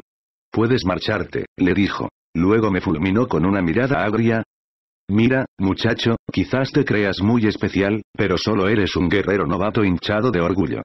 No sabes nada de la gloria y el liderato. Toda tu nobleza no te servirá en los momentos desesperados. Tal vez tengas razón, respondí, señalándole con el dedo. Quizás debí obviar esa nobleza y no acudir en tu ayuda. Entonces habríamos visto qué tipo de hombre eres en realidad, Horizon de los oretanos. Palabras y más palabras. Lo importante es que esta victoria es mía. ¿A quién van a creer? ¿A un rey o al hijo de un jefecillo? Si te sirve de consuelo, te permitiré ver al oficial cartaginés de más rango que hemos capturado. Puedes adjudicarte su interrogatorio. Sentí un irrefrenable deseo de acuchillar a ese malnacido allí mismo, pero eso habría supuesto mi muerte y la de mis hombres. Sin más que decir riasqueado, dejé la casa y vagué sin rumbo durante un rato. Estaba ardiendo por la ira, pero me atemperé con cada paso hasta recuperar la razón. Volví sobre mis pasos y busqué las improvisadas mazmorras de la aldea. Había decidido aceptar la patética ofrenda de interrogar al oficial cartaginés. Le extraería hasta el último dato que tuviera, y ya vería si me convenía ser generoso con los oretanos. Si no era así, mataría al cartaginés para ser el único custodio de la información. La prisión era una simple choza en la que los ocho prisioneros habían sido amarrados a otros tantos pilares. El resto de cartagineses se había desbandado, seguramente de regreso a Acraleuque.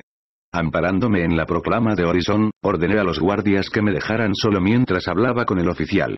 Era un hombre de cierta edad, cuyo pecho fornido disimulaba una gran barriga. Llevaba bigote y su rostro estaba salpicado por las marcas de una viruela mal curada. Me miró con desprecio, pero estaba demasiado agotado para mostrarse agresivo.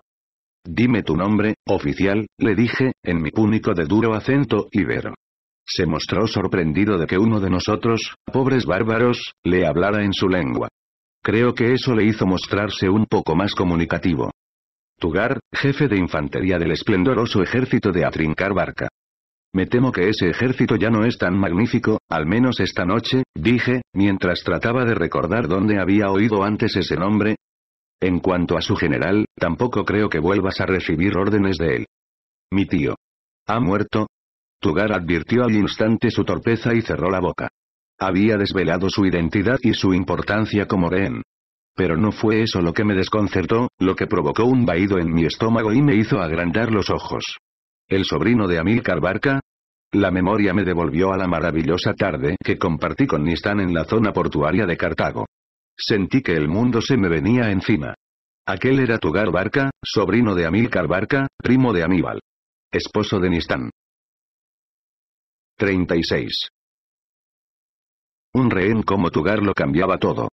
Un oficial tendría poco valor para el sucesor de Amílcar, sin duda Asdrúbal Janto, que había gozado de la confianza de su suegro, pero su sobrino no. Aunque no era una recompensa tan apetitosa como el general muerto, podía servirnos para, como poco, contener la venganza cartaginesa. Cuando Horizon lo supo mostró una sonrisa tan grande que creí que se le partía el rostro. El muy bastardo debía estar pensando que lo tenía todo de cara, y lo cierto es que no se equivocaba.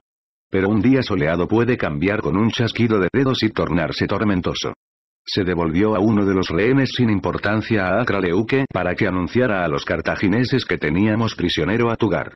Ellos, a su vez, nos enviaron un mensajero que nos transmitió la voluntad de parlamentar del nuevo general, Asdrúbal. Los líderes de la confederación discutimos a quién debíamos enviar. Horizon, tal vez para reducir mi enfado o por miedo a que lo capturaran, me ofreció esa tarea. Nadie se opuso, así que marché con una pequeña escolta comandada por Azarbaal.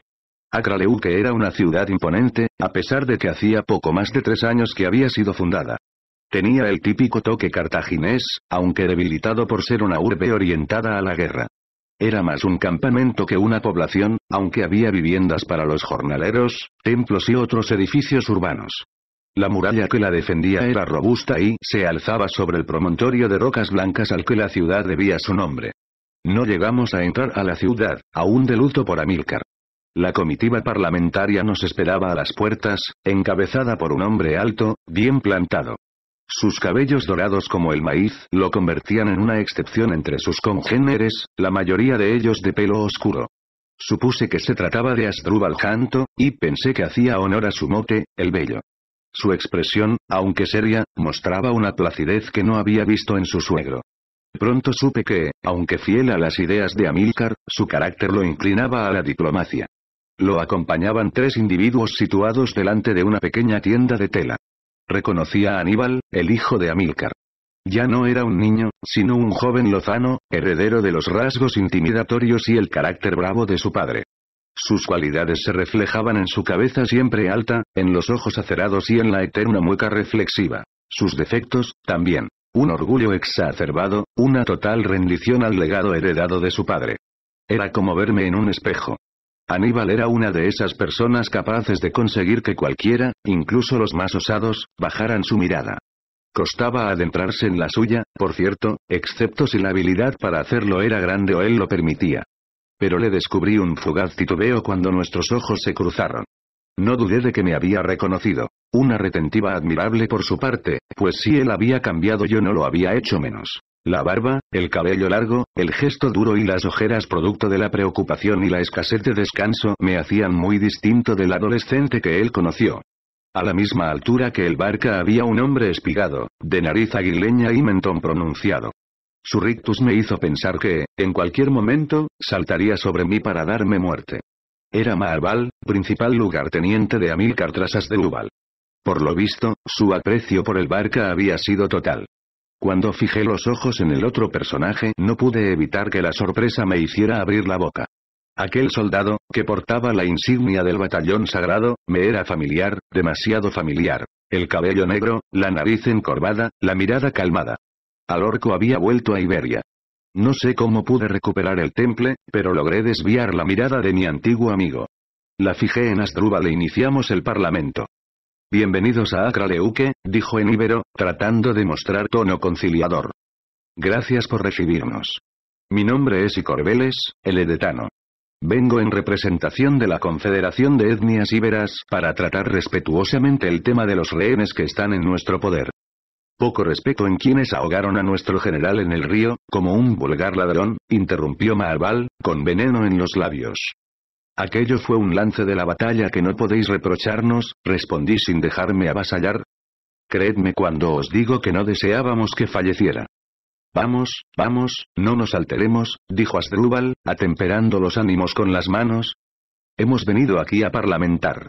Según vuestros mensajes, tenéis en vuestro poder a siete rehenes, uno de los cuales es Tugar Barca, sobrino de Amílcar. No me pasó desapercibido el respingo de Alorco al mencionar a su cuñado.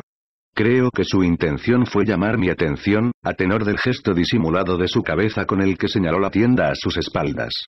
¿Qué me querría decir con eso? Azarbaal detectó el movimiento casi inapreciable de mi pie derecho y supo que debía estar preparado para cualquier cosa. La cuestión era si lo estaba yo. Así es, respondí. Y estamos dispuestos a negociar bajo unas premisas básicas e irrenunciables. Mostrad vuestras exigencias. Os retiraréis de nuestras tierras sin demora. Los íberos no vamos a permitir que nos conquistéis. Podéis disponer de las tierras sureñas que ya habéis ocupado a cambio de vuestra promesa, escrita y sellada con sangre, de que dejaréis libres todos aquellos territorios que deseen ser independientes.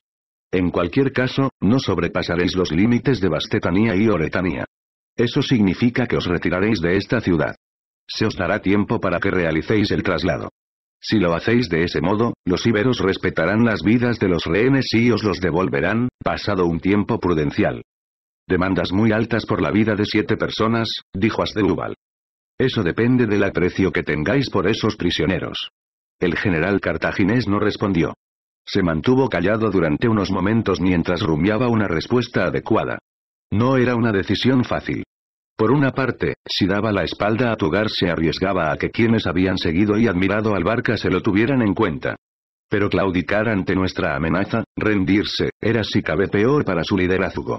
Sería como despreciar todo lo que Amílcar había hecho hasta el momento. Fue Aníbal quien rompió el silencio.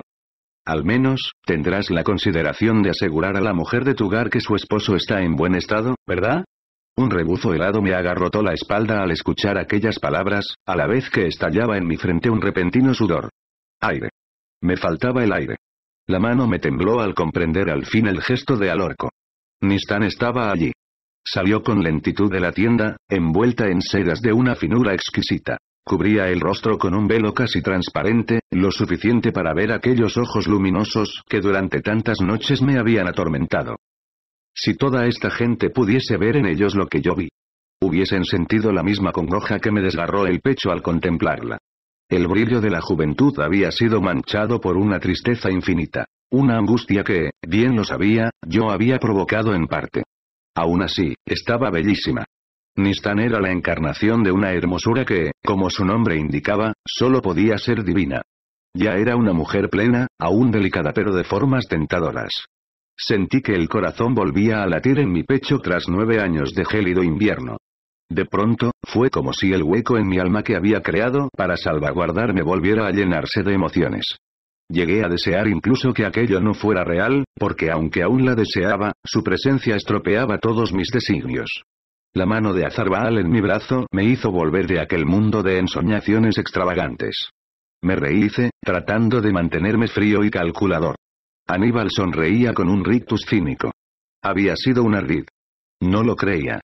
¿Cómo iba a saber antes de tiempo que el parlamentario de Horizon era aquel joven amigo de la familia McMer? Era una coincidencia que, sin embargo, había sabido explotar sin apenas tiempo para planearlo.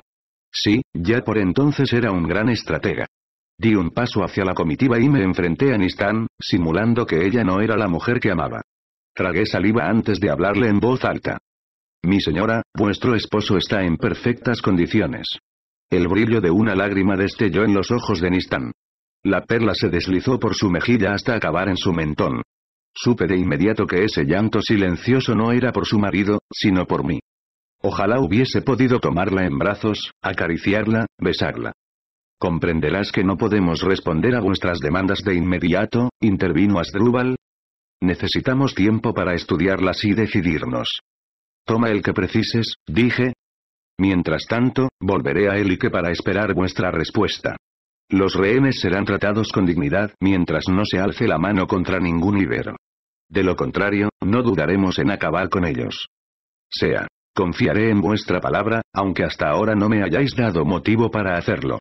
Ordenaré que se os aprovisione para vuestro viaje de regreso. Asdrúbal y los suyos se dieron la vuelta y levantaron el parlamento. Solo Aníbal, Alorco y Nistán permanecieron inmóviles. Incapaz de seguir soportando la mirada piadosa de mi amiga de la infancia, me di la vuelta y caminé hasta un árbol cercano. Oculto tras sus ramas, lloré como hacía años que no lo había hecho. 37. Iniciamos el retorno a él y que al nacer de la tarde. Solo deseaba alejarme más y más de Acraleuque, de Aníbal, de Alorco y, sobre todo, de Nistán. Volver a verla había resultado ser casi insoportable. Tras tanto tiempo rechazando mis propios sentimientos, llegué a creer que mi corazón se había endurecido por completo. Qué equivocado estaba. Nada podía escudarme de Nistán, nada. Ella era tanto primavera deseada como invierno doloroso. Era la portadora de mi pena tanto como lo era de mi amor. Llegada la noche, dejamos el camino a la izquierda y nos adentramos en la profunda exuberancia de un bosque de abetos en busca de un lugar resguardado donde dormir. Recortados contra el oscuro firmamento, los árboles parecían puntas de lanzas. Bajo aquellas inflamadas copas de agujas, el aire estaba cargado del olor a resina, un aroma que siempre me había parecido agradable. Inspiré profundamente, con la esperanza de que la Madre Tierra tuviera a bien otorgarme la serenidad de espíritu que tanto precisaba. De repente, escuché un sonido a mis espaldas, tan ligero que pasó desapercibido para los hombres de mi escolta. Excepto para Zarbaal. Intercambiamos una mirada, pero no nos detuvimos. Encontramos un claro en el que brotaba un manantial, el cual aprovechamos para aliviar nuestra sed. Preparamos una hoguera y nos sentamos alrededor de las llamas. Mientras mis compañeros calentaban el pan y la carne que nos habían cedido los cartagineses, yo me tumbé bajo un pino, recostando mi espalda sobre la rugosa corteza. Poco después, mientras contemplaba ensimismado las doradas lenguas de fuego, la fría hoja de una daga me acarició el cuello. Que nadie se mueva o degüello a vuestro jefe dijo una voz. Mis escoltas dejaron caer la comida y alzaron sus armas, pero no dieron ni un paso. Yo, mientras tanto, sonreía.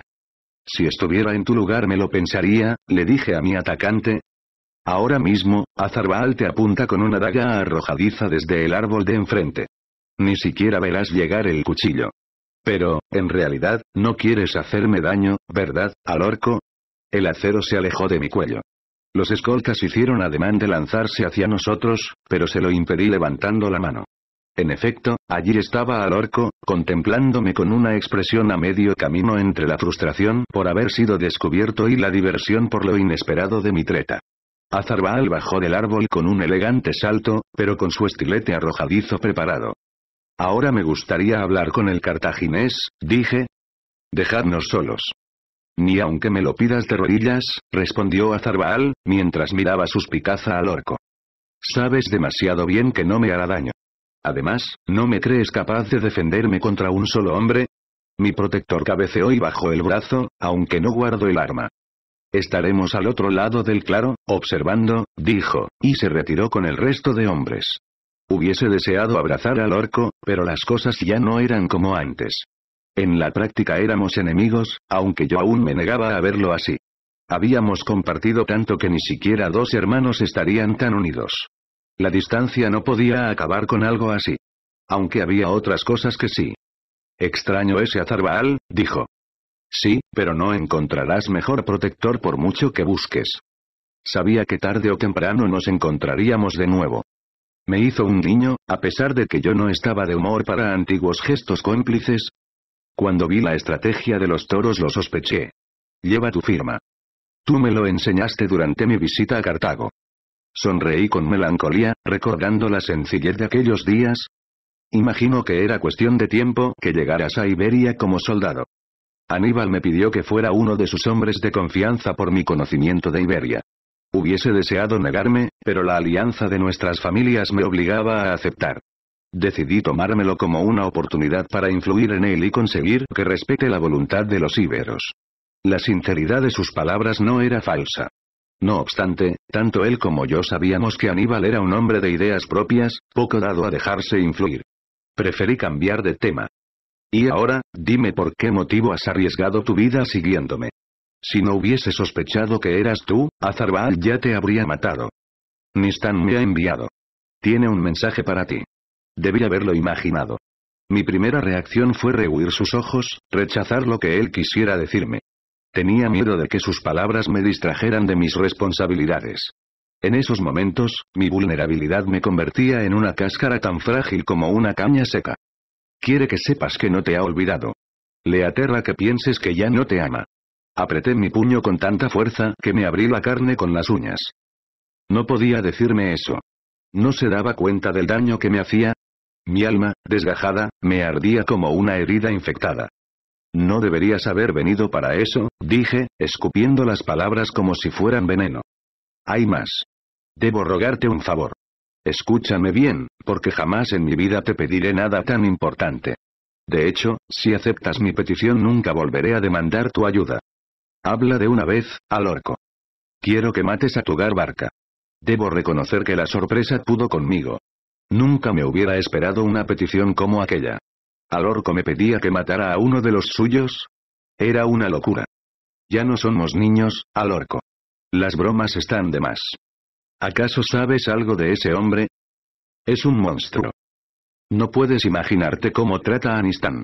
Cada noche la viola, la insulta, la maltrata de mil modos distintos. No soporta que ella no se quede embarazada, a pesar de que el problema es suyo. Ese degenerado es estéril, pero se niega a aceptarlo. La va a matar, hermano. Y si no lo hace, ella misma se quitará la vida tarde o temprano. Cállate. Le señalé con el dedo para que detuviera su discurso. Solo pretendes confundirme para que haga una locura y pierda la ventaja que tenemos. ¿Cómo puedes pensar que utilizaría a mi propia hermana para algo así? Me tomó de los hombros. Y Corbeles, mírame. Soy yo, al orco. Recuerda lo que te dije una vez. El corazón está por encima de todo. No te lo pido por mí, sino por Nistán, nuestra Nistán.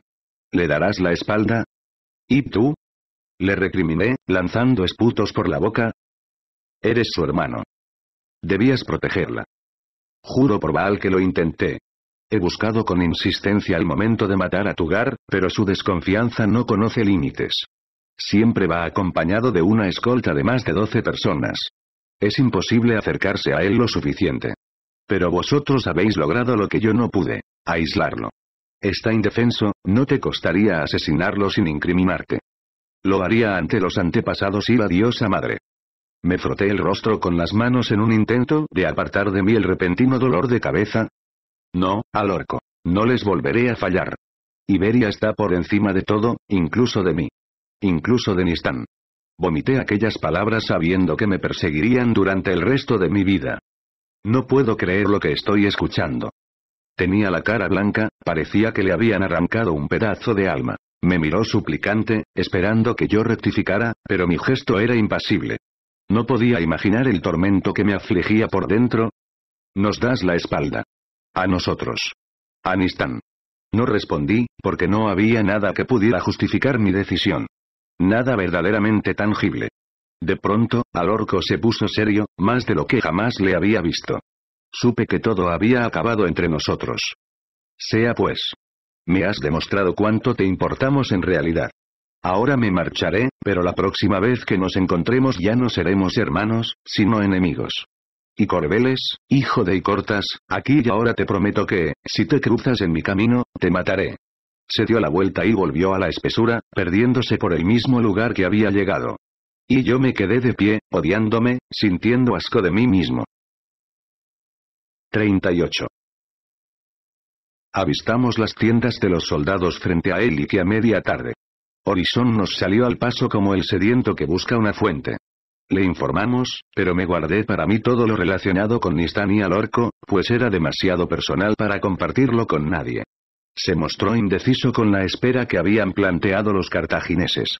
Me preguntó qué opinaba, pero yo no estaba de humor para dar consejos, y menos a un mentecato incapaz de pensar por sí mismo. Le dije que no me encontraba bien y que necesitaba descansar. Me creyó. Mi rostro estaba surcado por las marcas del dolor interno. Los ojos hundidos y oscurecidos, el gesto debilitado, la piel blanquecina.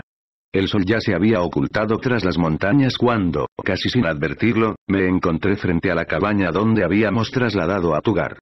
Había sido decisión de Horizon aislarlo de sus compañeros para que los interrogatorios fueran más efectivos, pues delante de sus hombres la voluntad se le endurecía. Dudé si debía entrar. Sabía que no era una buena idea.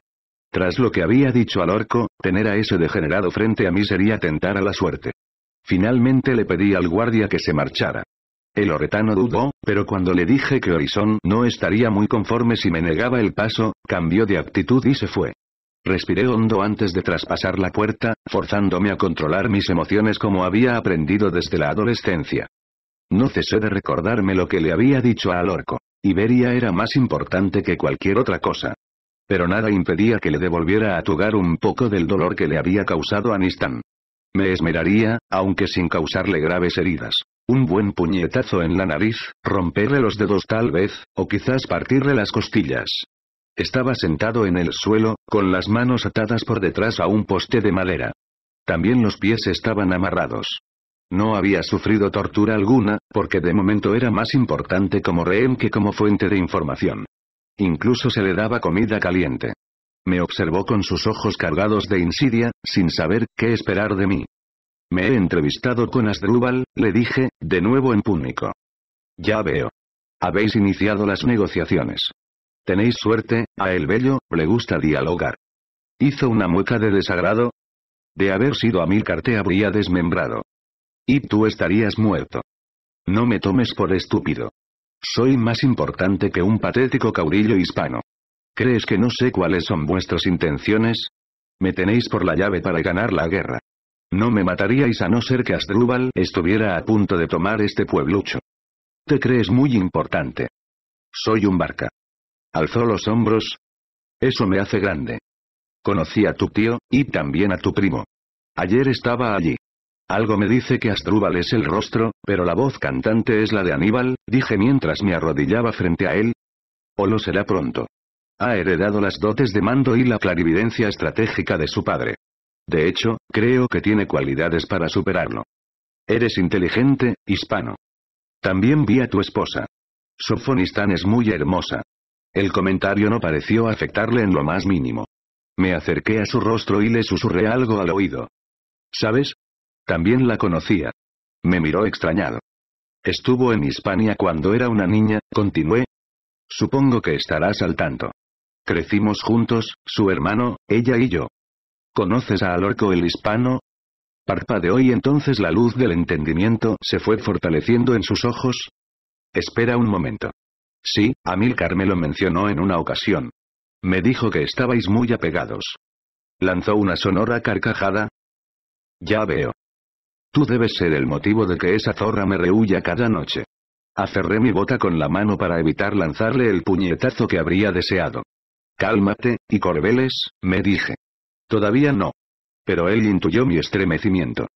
Y por lo que veo, tú también sientes algo por ella. Un hispano enamorado de una cartaginesa en plena guerra. Digno de una tragedia griega. Volvió a reír, con un sonido cargado de malicia. No debes preocuparte, está bien atendida. Le doy lo que se merece, y ella parece disfrutarlo, a tenor de sus gemidos. O, tal vez no sean gemidos de placer, después de todo, sino de dolor. Y cómo llora la condenada. No pude soportarlo. Cerré el puño y lo hice volar hacia el rostro de aquel miserable. Se escuchó un crujido, sentí los huesecillos de su nariz resquebrajándose. Pero Tugar escupió un poco de sangre y siguió riéndose. Deberías escuchar cómo chilla esa zorrita. Insistió. Si te soy sincero, me encanta que se resista. Lo hace todo más divertido. Algo se encendió en mi pecho, una ira incontrolable, el estallido de algo negro, oscuro, odioso. Una serpiente espinada retorciendo mi corazón, una sombra insondable eclipsando mi alma. Algo que no podía contener, que ni siquiera deseaba contener. Me dejé llevar por el nuevo veneno que emponzoñaba mi sangre. El veneno del odio. Mi mano volvió a mi bota. Tomé el pequeño cuchillo de caza que guardaba allí, apenas más largo que mi dedo índice, y lo alcé de golpe hasta hundirlo en su maxilar. La hoja atravesó la carne y la mandíbula, agujereando su lengua pero apenas hiriendo el paladar debido a su escasa longitud. La sangre comenzó a manar de la herida, pero la mayoría surgía por el interior de su boca como un manantial imparable. Tugar se convulsionó mientras la garganta se le llenaba de su propia savia vital. Incapaz de escupir el torrente que amenazaba con ahogarlo, trató de desasirse las manos.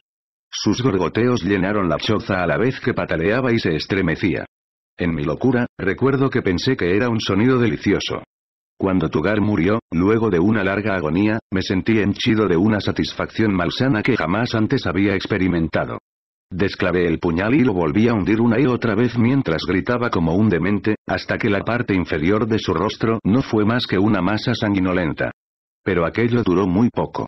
Cuando una chispa de cordura volvió a mí, solté el cuchillo, me dejé caer de rodillas y me hice un ovillo. Una idea comenzó a martillearme la cabeza.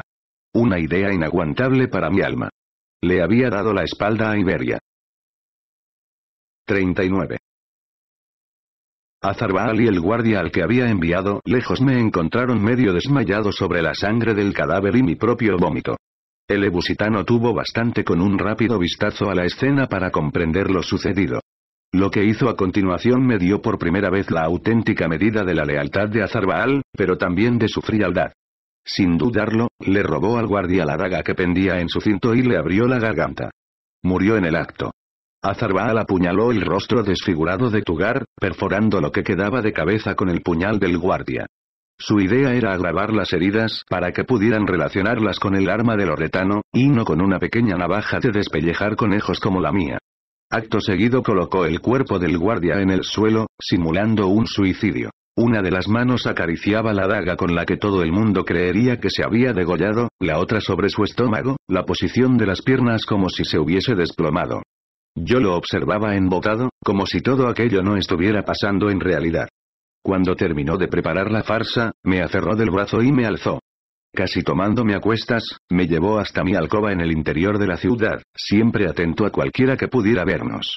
No nos cruzamos con nadie, por fortuna. Me desnudó y me metió en un barreño de agua. La gélida humedad me despejó hasta que tomé conciencia de lo que había pasado. Demasiado tarde para cambiarlo. ¿Qué has hecho? Le pregunté, como si no lo supiera. Creerán que lo mató en honor a la devoción. Los oretanos participaron en las batallas contra Istolacio e Indortes. Resultará creíble que ese guardia quisiera vengar al cabecilla por el que luchó. Cuando Horizonte lo cuente, debes mostrar sorpresa. No puedes sospechar que lo sabes. En otras circunstancias me habría maravillado con la astucia de Azarbaal y de su capacidad para encontrar una solución ingeniosa en momentos tan tensos y con tan poco tiempo. Pero en ese momento solo sentía asco de mí mismo. No me esconderé tras un inocente. Asumiré mi culpa. Y te matarán, cosa que no puedo permitir porque le di mi palabra a tu padre. Además, conseguirás que me maten a mí y a tus hombres. Esto no es digno. Me cubrí el rostro con las manos. Tenía ganas de llorar, pero a la vez estaba seco por dentro. ¿En qué me estoy convirtiendo? Ya te dije que aislarse no era bueno. Has estado negando tus emociones y ahora han estallado de golpe. He echado a perder la mejor oportunidad que teníamos de acabar la guerra, volví a quejarme. Sí, podría decirse que has metido bien la pata. Pero míralo desde otra perspectiva. Siempre estás hablando del destino que los antepasados tienen planeado para ti. ¿No has pensado que la muerte de Tugar también entra en sus designios? Aquellas palabras me hicieron meditar. Quizás por primera vez comprendí lo complicados que resultaban los asuntos de los seres superiores. ¿Cómo saber si el dolor que estaba sintiendo tenía una razón de ser? Sea como sea, necesitas descansar, aseguró mi protector. Aunque creí que nunca podría volver a dormir, estaba tan exhausto física y emocionalmente que no tardé en quedarme traspuesto. Pero no fue un sueño plácido, sino lleno de pesadillas donde el rostro desfigurado de Tugar me acosaba mientras aseguraba que Nistan pagaría por mis actos. Me desperté en la cama. El bueno de Azarbaal me había arropado como a un niño enfermo. Hoy, cada vez que pienso en él, me siento indigno de haber tenido un compañero tan fiel. Su frialdad en los momentos decisivos era innegable, también su habitual carácter fanfarrón y sus modales groseros pero en su mirada había una humanidad que pocas veces he encontrado en otros ojos. Algunas veces me sorprendo a mí mismo pensando en él como un antepasado que vuelve al mundo para cuidarme, a pesar de que no era ibero. Hizo tanto por mí, más allá de su obligación hacia mi padre y el oro que ganó, que jamás lo olvidaré. Poco después, Horizon llegó a la habitación. Jamás lo había visto tan enfurecido, sus ojos eran ascuas ardientes y por su boca solo surgían improperios. Al menos, verlo tan fuera de sí era una satisfacción. La única, y demasiado endeble. Me anunció la muerte de Tugar y yo fingí sorpresa como Azarbaal me había pedido, aunque de mala gana. El caudillo oretano estaba tan ofuscado que no advirtió mi apatía. Por sus palabras, la jugada de mi amigo había funcionado. Todos creían que el asesinato tenía como motivo un ajuste de cuentas por devoción. Estamos perdidos, y Corbeles. Mientras hablaba, movía las manos arriba y abajo. Cuando Asdrúbal se entere, y lo hará, vendrá con todo su ejército y nos arrasará. No me apetecía mucho hablar, pero había recuperado parte de la calma y pude razonar como debía para no levantar sospechas. Refuerza a los hombres que vigilan los caminos. Y demanda nuevas tropas a todas las etnias íberas. Tras nuestra victoria, serán muchos los que vendrán. Tardarán días en llegar. Pero Asdrúbal no se enterará de inmediato. Mientras tanto, planificaremos nuestros movimientos. Aunque lo último que deseaba era darle más consejos a Horizon, ya que sin duda los utilizaría para ganar gloria a mi costa, me sentía obligado. Yo había causado aquella situación y debía solucionarla. ¿Crees que tenemos posibilidades de resistir un asedio? Me preguntó. No. Y por eso saldremos a su encuentro. Horizon casi se olvidó de respirar. ¿Estás loco? Alzó los brazos en otro de sus típicos gestos aparatosos. Nos arrasarán con su caballería y sus lanceros. ¿Y cuánto crees que resistiríamos dentro de él y que sin poder recibir suministros? A la ciudad ya le cuesta mantener a los que estamos ahora, imagínate cuando lleguen refuerzos. Aunque siempre puedes intentarlo y demostrar qué tipo de estratega eres. El cabecilla oretano se mordió el labio para no lanzar un improperio más. Era tan consciente de su ineptitud militar como yo, así que cedió a mis premisas. No podremos con ellos sin una estratagema. Sonreí por primera vez en días. Después de todo, el espíritu íbero aún bullía en mí. Algo se me ocurrirá. 40. Las discusiones estratégicas entre los líderes fueron largas, pues debatíamos hasta el detalle más insignificante. Solían prolongarse hasta la madrugada, y solo nos retirábamos cuando ya no podíamos mantener los párpados abiertos. Fue entonces cuando comprendí que no debía obsesionarme con los enredos de Horizon. Aunque éste trataba de aparentar que sabía lo que hacía, el resto de caudillos y representantes advirtieron poco a poco que el loretano era un fanfarrón y un negado. Comenzaron a atenderme más que a él. Kaikombe, el líder de los bastétanos, llegó a comentarme en privado que estaba convencido de que la idea de los toros bravos había sido mía. Ciertos rumores han llegado hasta mí, procedentes de Edetanía, acerca de alguien elegido por los antepasados. Y no veo tal grandeza en Decon. Le respondí con una sonrisa más que esclarecedora. No obstante, todos mantuvieron las formas delante de Horizon, permitiendo que se creyera su propia importancia. Al fin y al cabo, era el anfitrión, el que nos daba de comer y quien más tropas aportaba. Durante las deliberaciones llegó una auténtica riada de refuerzos, hasta el punto que resultó un reto mantenerlos. Contestanos, bastétanos, y y sedetanos enviaron más tropas. Incluso los cosetanos, que habían ignorado la llamada anterior, se animaron gracias a la victoria conseguida.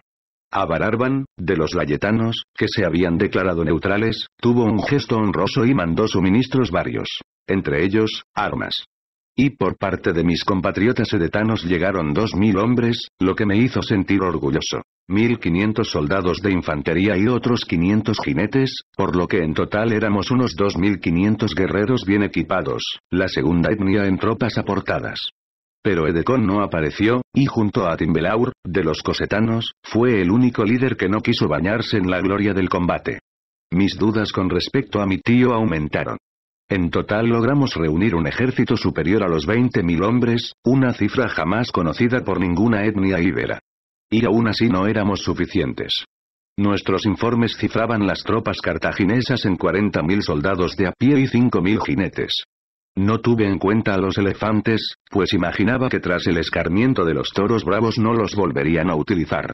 Pero nuestra mayor desventaja no era la superioridad numérica de Asdrúbal, sino la poca variedad de nuestras tropas. Apenas contábamos con caballería debido a nuestra escasa tradición como jinetes de guerra. La infantería, aunque numerosa, no era apropiada contra la caballería pesada de los cartagineses, y apenas contra las monturas ligeras de los númidas. Y lo peor, no contábamos con soldados de ataque a distancia, más allá de nuestras jabalinas y un puñado de compatriotas edetanos entrenados con la onda antes de la llegada de Amílcar a Iberia. Solucionaríamos eso, en la medida de lo posible, entrenando a más hombres como honderos. Azarbaal ya se estaba encargando del adiestramiento. Debido a la escasez de tiempo no conseguiríamos tiradores de gran calidad, pero al menos atenuaríamos nuestras carencias. Así pues, nos debíamos a la estrategia. El terreno podía ser nuestro primer aliado. Los líderes estudiamos sobre los mapas las mejores zonas para plantar batalla al ejército de Asdrúbal. Necesitábamos un lugar que no pudieran vadear para sorprendernos por la espalda o que les permitiera llegar a él y que sin superarnos. Debíamos encontrar un punto que pudiera reportarnos alguna ventaja táctica, pero que al mismo tiempo, esta no fuera tan abrumadora como para espantar a Asdrúbal. Había pocas zonas como esa entre Elike y Macraleuque, pero tras varias discusiones decidimos apostar por un valle de hierba alta, rodeado por un frondoso bosque, que solo podía salvarse a través de un ancho paso. Hay un problema, dijo Horizon. La hondonada del clavo desciende en una ligera pendiente. Los cartagineses tendrán la ventaja de la altura. Eso no será un problema. De hecho, podemos convertirlo en una ventaja, aseguré yo. ¿Estás seguro? Preguntó Boutintivas, líder de los Ilercabones. La inclinación favorecerá a su caballería y perjudicará cualquier carga que pretendamos acometer. Cuento con ello. Si se cree en esta ventaja, podremos esconder nuestra verdadera jugada. En esta ocasión tuve que confiar la idea que había madurado durante días a todos los líderes. El peligro de un espía no había desaparecido, pero mi plan requería una preparación más exhaustiva que la estrategia de los toros bravos. Habría que involucrar mucha mano de obra y, en dichas circunstancias, guardar un secreto era tarea imposible. Aunque reforzamos la vigilancia, solo me quedaba encomendarme a los antepasados y esperar que la idea no llegara a oídos de Asdrúbal. El plan entusiasmó a los generales. Asintieron asombrados ante mi atrevimiento y, sobre todo, mi originalidad. Había comenzado mi camino hacia el liderato. Ni siquiera Horizon podía evitar que los otros caudillos advirtieran mi carisma e inteligencia. Siete noches después de la muerte de Tugar, aún no teníamos respuesta de Asdrúbal. Todos sospechábamos que ya estaba enterado del asesinato, así que intensificamos los preparativos. Tras dejar atados todos los cabos de la batalla, salí a pasear por el campamento. Estaba agotado tras pasar el día entero entrenando a los nuevos honderos, y las conversaciones con los líderes no me habían permitido acostarme temprano como era mi deseo. Pero tras dejar a Azarbaal disfrutando de los placeres con una muchacha oretana, ese hombre era inagotable cuando se trataba de mujeres, quise intercambiar unos saludos con mis hombres, como hacía cada noche. Me entretuve sobre todo con los nuevos guerreros que habían llegado. Charlé un poco con ellos, compartí la cerveza y el pan que los oretanos nos cedieron y reí sus ocurrencias, escondiendo mi fatiga. Era importante que los soldados de un general se sintieran apreciados por este, que advirtieran que, para mí, eran mucho más que simples lanzas. Allí, junto a esos compatriotas, las palabras de Azarbaal parecieron tomar sentido. Tal vez los antepasados auspiciaron el asesinato de Tugar. Tal vez fue necesario para que aquella batalla se produjera. Tal vez en ella me ganaría la fama que tanto ansiaba. Aunque me costara la vida. En un momento dado, un chiquillo de Élique, de los que hacían recados, se acercó hasta mí. Señor, tengo un mensaje para ti, me dijo. Imaginé que se trataba de Horizon. Quizás se había sentido molesto por mi creciente influencia con los otros líderes y quería increparme. Casi lo deseé. Me habría encantado darle un buen puñetazo. Pero el niño negó con la cabeza. No me ha enviado el señor Horizon, sino una joven muy bonita que encontré en el bosque cuando iba a por agua. Me pidió que encontrara al líder de los edetanos y le dijera que lo esperaba en la cañada. Me quedé petrificado, con los ojos bien abiertos y la respiración agitada. No podía creerlo, pero a la vez no tuve ninguna duda. Nistan había venido a Elike. 41. El niño me condujo hasta el bosquecillo cercano a la ciudad. Un lugar perfecto para una emboscada, pensé. Afiné mis sentidos y roté la empuñadura de mi falcata. Aquello habría parecido una trampa de no ser porque nadie conocía la relación que me unía con Nistan. Nadie. Me estaba engañando. Aníbal lo sabía. Y al orco.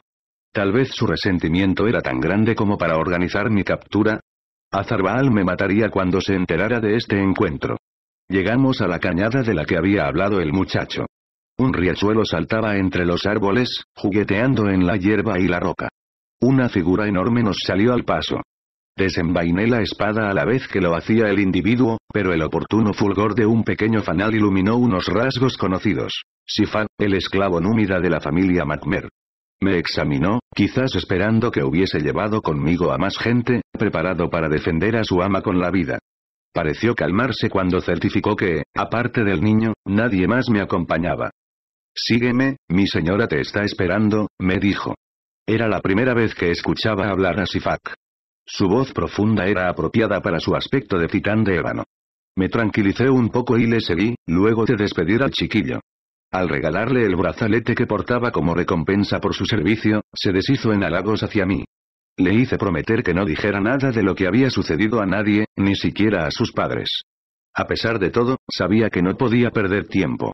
Aunque el niño guardara silencio, cualquiera podría entrar al bosque y advertir que había una extraña acampada allí. Llegué junto a un arbolillo, cerca del riachuelo, con la firme convicción de convencer a Nistan de que se fuera de inmediato. Nuestros pasos en la hierba hicieron que una figura se separara del pino. Adiós a mi plan de ser rápido y certero. Cuando apartó la toga que cubría su rostro ya no pude pensar en nada más. Me detuve. Una parte de mí tiraba hacia ella sin remedio, pero otra no quería dejarse vencer por la tentación. Mi vida desgarrada por la mitad una vez más. Cuánto deseé ser dos personas en vez de una. El guerrero que lucha por un gran destino y el amante consagrado a la mujer querida. Nistan hizo un gesto a Sifak con la cabeza. El esclavo, obediente, se apartó lo bastante de nosotros para que pareciera que ya no estaba allí. Y Corbeles. Musitó ella, con la voz cargada de un cariño infinito. Pero yo la interrumpí, creyendo que había recuperado el control de la situación. Esto ha sido una estupidez, Nistan. ¿Sabes a lo que te arriesgas viniendo hasta aquí? Si alguien te ve no podré hacer nada para protegerte. Tú te arriesgaste mucho más al matar a Tugar. Dudé antes de responder. Así que ya ha llegado a vuestros oídos, como imaginábamos.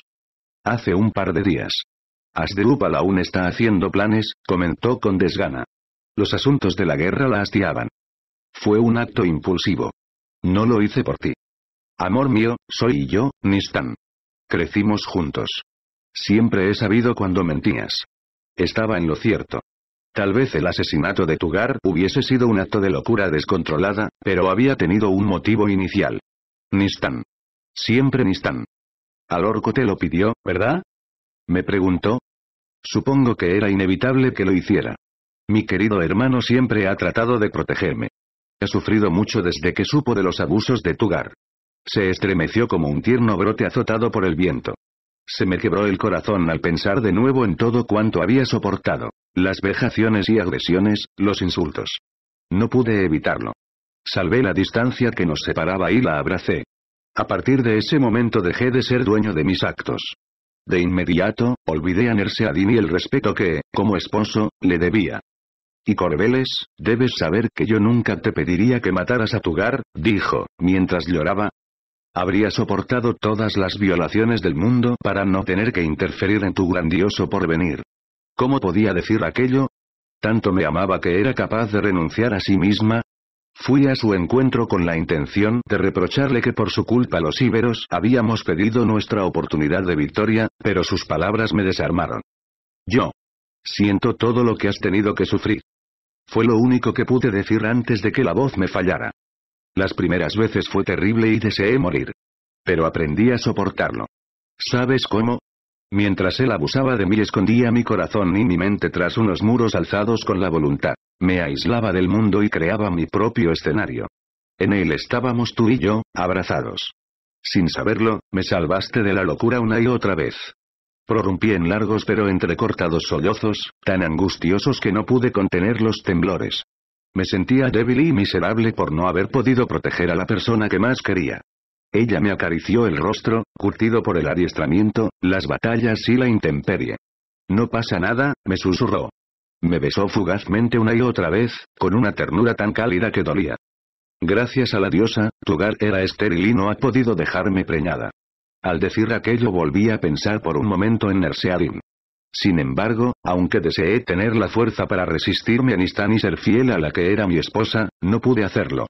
Pero al menos ella debía saberlo. Estoy casado. Mi esposa está en Arse. Quizás ya esté esperando un hijo mío, le dije, casi deseando que la confesión la alejara de mí. Esta vez fui yo el ingenuo. Pero no la amas. Los dos lo sabemos. Mi vida, para los dioses, tú y yo somos esposos. No, no la quiero, no como a ti. Pero debo serle fiel. Me obliga el honor. Nistan no dijo nada, solo recostó el rostro en mi pecho, vertiendo la calidez de su aliento sobre mí. Permanecimos así largo rato, suspirando el uno por el otro. De nuevo, ella demostró cuán grande era su amor al respetar mi endeble posición de lealtad hacia Nerseadin. Fui yo quien inició lo inevitable. Mientras la abrazaba, mis manos comenzaron a deslizarse casi sin pretenderlo por su cuerpo. Le besé los cabellos una vez, y luego otra, y otra más, deseando perderme en aquella noche que la cubría. Absorbí su intenso aroma. Olía a piel y a fervor, a irrealidad. Sabía a tibieza cautiva, a dátil carnoso. Para entonces ya acariciaba sus curvas con la intención de traspasar su carne y llegar más hondo, a los rincones más inescrutables de su ser. El deseo se asentó en mi vientre. Cuando Nistan alzó el rostro para mirarme a los ojos no pude contenerme más. Mis labios buscaron los suyos con la fuerza aplastada de años de responsabilidades. Ella me recibió con gustosa lengua, dejando que los suspiros se convirtieran en sollozos de amor. Caímos al suelo, indefensos ante nuestros propios impulsos. Pronto la desvestí, con dulzura y delicadeza. Seda tras seda, me acerqué cada vez más a su corazón.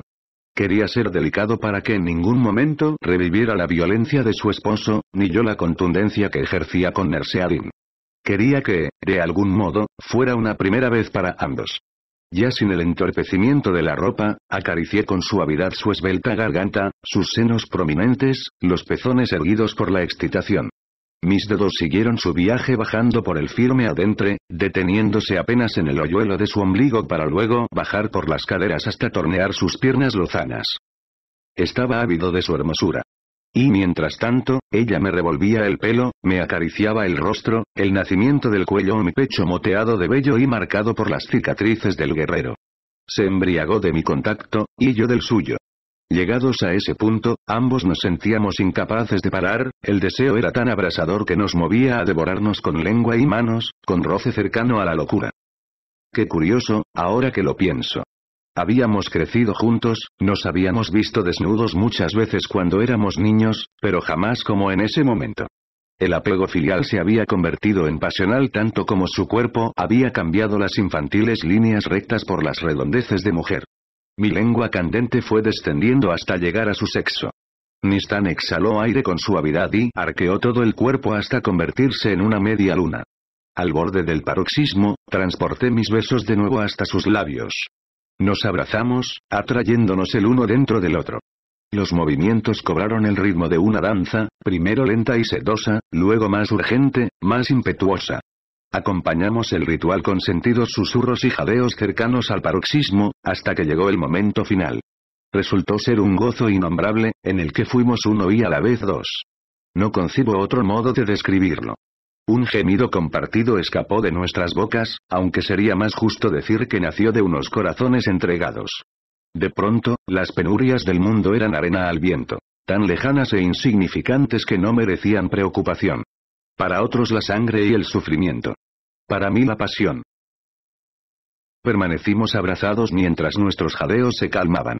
La contemplé entre tanto, admirando aquella cabellera que cubría su desnudez cual regio lienzo moreno. Cuando recobramos un poco la cordura, empezamos a llorar. Para mi propia vergüenza, yo no lo hacía por la infidelidad que había cometido hacia Nerseadin, sino porque había probado un manjar divino que sabía que jamás volvería a saborear. Luego, como dos locos que no controlan sus emociones, reímos, aún con lágrimas en los ojos. A su lado, el dolor, la pena, el cariño y la alegría se fundían sin remedio. Has cambiado, me dijo mientras besaba mi mentón severo, tu rostro se ha endurecido, pero aún conservas la belleza que me enamoró. Y tú, en el fondo, sigues siendo aquella niña que recogía flores y perseguía a los animalitos del bosque. Aunque no era consciente, creo que me enamoré de ti desde el principio. Silencio, de nuevo. Más caricias. Estuvimos hablando un poco, acerca de sus padres, de los míos y de cómo transcurrían las cosas en Etemiltir.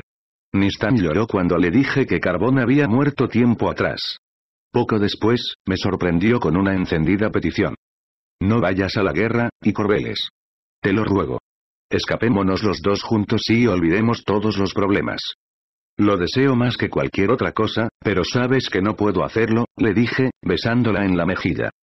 Perdóname, no tenía derecho a pedírtelo. Dibujó un mohín con sus labios. Solo tú ostentas esa potestad, como dueña verdadera de mi corazón. Pero como bien has dicho, sacrifiqué mucho al matar a Tugar. Ahora debo compensarlo. ¿Con tu vida? Con mi vida. Nistan lloró de impotencia. La abracé más fuerte mientras le besaba las lágrimas. Si te matan no podré soportarlo. Me quitaré la vida para reunirme contigo. ¿Qué podía decir ante eso? Nada, así que la aferré de nuevo y volví a hacer la mía. Cuando terminamos estábamos exhaustos, pero el miedo no había desaparecido. Prométeme que, si te encuentras con mi hermano en la batalla, no le darás muerte. Eso no tienes ni que pedirlo. Jamás alzaría mi mano contra al orco. También es mi hermano. ¿Quiere decir eso que yo soy tu hermana? Rió, y por un momento volvió a ser la niña rebotosa que corría por las calles de Etemiltir. Logró que yo también sonriera. Tú eres mi corazón. Sifag nos interrumpió poco después. Un hombre se acercaba. Desenvainé mi falcata sin siquiera perder el tiempo en vestirme. Mi sorpresa fue mayúscula cuando el desconocido quedó al descubierto. Azarbaal. Debía estar muy preocupado para permitir que sus pasos fueran escuchados por Sifak. Su mirada acerada examinó la escena y el ceño fruncido la catalogó de estúpida, aunque no dijo nada. Tendría que soportar sus reprimendas durante el regreso a Elike. La despedida con Nistan fue si cabe más dura que las anteriores. Me costó dejar de besarla, apartar mis manos de las suyas, vencer el deseo de pegarme contra su piel. La seguridad de que no volvería a verla me hizo sangrar por dentro. Ella se marchaba de Iberia, volvía con su familia en Cartago como viuda de un esposo odioso cuya memoria jamás respetaría. Y yo pronto partiría a una batalla que, con toda seguridad, no vencería. Al menos me iría de este mundo con el corazón pleno de su tacto, su sonrisa, la fragancia natural de su piel y el sabor de sus labios de seda. 42. Gracias a Nistán, ahora sabía con certeza que Asdrúbal se preparaba para marchar hacia él y que en busca de venganza por la muerte de Amílcar y Tugar. Sin embargo, debía encontrar el modo de advertir a la Confederación sin delatar a mi amada. No fue muy complicado. Bastó con decir que había obtenido la información de un espía enviado en secreto a Akraleuke. A nuestro favor contábamos con la obligada lentitud de un ejército tan grande como el de los cartagineses, y la certeza de que el escenario que habíamos elegido para la batalla estaba más cerca de Elike. Eso nos dio un poco más de tiempo para hacer los últimos preparativos. Marchamos dos días después de mi encuentro con Nistan. Viajábamos alegres, haciendo chanzas y entonando cantos guerreros, animados por la anterior victoria. Me permití solazarme con la visión de tantos hombres juntos, tantas etnias distintas unidas bajo una misma bandera. El sueño de una Iberia convertida en nación parecía cobrar visos de realidad. Si lográbamos la victoria, podría, al fin, saborear esa quimera. Al llegar a la hondonada del clavo, todos se afanaron en disponer nuestra jugada. Había poco tiempo y mucho trabajo por delante. Tal y como planeamos, nos situamos al final de la pendiente. En el centro, junto a la infantería oretana en formación cerrada, posicionamos a los pocos honderos que teníamos. Se los protegería con grandes escudos ovalados, que habían sustituido a las anteriores caetras, poco adecuadas para este tipo de batalla, hasta que pudieran actuar. Cuando el enemigo estuviera lo bastante cerca, las protecciones se retirarían para que pudieran cumplir su tarea. Alrededor de los guerreros con espadas y escudos situamos a otros con lanzas, el grueso de ellos se colocaron en los costados. En los flancos, un poco más atrasados, esperaría su momento nuestra escasa caballería. Balcar, de los contestanos, lideraba a la derecha un grupo formado por los jinetes de las diferentes etnias íberas. Yo, a la izquierda, comandaría la flamante caballería edetana en su primera gran contienda. El resto de las tropas a pie, la infantería ligera, quedó como refuerzo en dos grupos más atrasados. Los soldados de vanguardia tenían órdenes de no adelantarse más de diez pasos. Tras esa línea imaginaria esperaba oculta nuestra sorpresa para los cartagineses. Cuando la hierba recibió los primeros rayos de sol, nuestros exploradores nos anunciaron que Asdrúbal se acercaba. A mediodía pudimos contemplar por primera vez a sus hombres. El desnivel era suave y no ocultaba ningún detalle de aquel impresionante ejército. Más de 40.000 efectivos. Su infantería estaba formada sobre todo por libio-fenicios y macedonios, ordenados al estilo griego en grupos compactos con forma cuadrada. Conté en cada uno 128 soldados, armados con largas picas. Las charisas, tan altas como cuatro hombres. Tras ellos marchaba la caballería pesada, celtíberos la mayoría, pero también había un grupo numeroso de jinetes de origen cartaginés. Los ciudadanos. Vi, en los flancos, a los famosos númidas, la caballería ligera. Montaban sobre caballos pequeños pero muy ágiles. No utilizaban sillas de montar ni bridas, y su armamento eran un puñado de jabalinas. Vestían con una piel moteada de un felino salvaje llamado leopardo. Por detrás de los libios pude vislumbrar las corazas brillantes del batallón sagrado, la élite de las tropas cartaginesas. Allí estaría al orco. Sonaron las tubas de guerra íberas. No habría parlamento. El tiempo de palabras había pasado. Los cartagineses estaban enfurecidos por la suerte de Tugar, pero pienso que en realidad fue un alivio para ellos no tener que decidir entre batalla o rendición. Además de permitirles atacar en venganza por Amílcar, era un incentivo para animar a sus hombres. La batalla estaba presta, los púnicos serían los primeros en mover pieza, tal era su determinación. Pero la nuestra no era menor, a pesar de tenerlo todo en contra. Miré a los míos y no vi oretanos, bastétanos, contestanos o edetanos. No. Éramos íberos, y actuaríamos como un pueblo unido al menos durante un combate. Quizás fuera el último, quizás la semilla de un esplendoroso futuro. Uno del cual deseaba ser estandarte. No hubo proclamas individuales al valor. Cada guerrero conocía sus órdenes. Seguir al líder de su destacamento hasta la muerte. Pero se alzaron cánticos feroces cuando el enemigo inició sus primeros movimientos. Así demostrábamos los íberos que no teníamos miedo. Pronto comprobé que nuestro ardid había surtido efecto. Durante la planificación de la batalla se estudió con esmero la disposición de nuestros hombres, punto vital para el inicio de la contienda. Como me enseñó mi padre, una batalla que comienza bien no está ganada, pero si empieza mal sí está perdida. Nuestra elección de situar a la infantería en el centro, apenas defendida por una endeble línea de lanceros, hizo que Asdrúbal lanzara en primer lugar a su caballería pesada. Sus cascos arrancaban la hierba como el huracán que engulle árboles. Sus monturas eran como bestias legendarias, como una avalancha atronadora a punto de devorarnos. Y los celtíberos, con los rostros pintados, aullaban cual demonios, ansiosos de sangre y gloria. Ninguna de nuestras fuerzas podía, en apariencia, contenerlos, pues las lanzas de la infantería oretana eran cortas, más apropiadas para la batalla cuerpo a cuerpo que para detener una carga tan poderosa. Mordieron el anzuelo. Porque, en realidad, sí teníamos una falange, solo que estaba oculta. Cuando los jinetes del ejército púnico llegaron al final de la pendiente, se encontraron con nuestra sorpresa. La primera línea de caballería enemiga cayó, una bestia tras otra. Los que cabalgaban detrás se toparon con los caídos y también trastabillaron sin comprender nada de lo que ocurría. Solo cuando se veían en el suelo, perforados por aquellas pequeñas armas ocultas en la hierba alta, advirtieron nuestra sagacidad y su desgracia. Abrojos. Una estrategia utilizada por Alejandro el Magno. ¿Podía haber mayor maestro que el estratega de estrategas? Tríbulo, lo llamaban los romanos, una simple bola de madera de la que surgían cuatro puntas dispuestas simétricamente. Posada en el suelo, siempre dejaba uno de los clavos apuntando hacia arriba. Al pisotearla, los caballos se desplomaban heridos, arrastrando en su fatalidad a sus jinetes. Aprovechando la confusión de la caballería enemiga, se ordenó a los honderos que actuaran.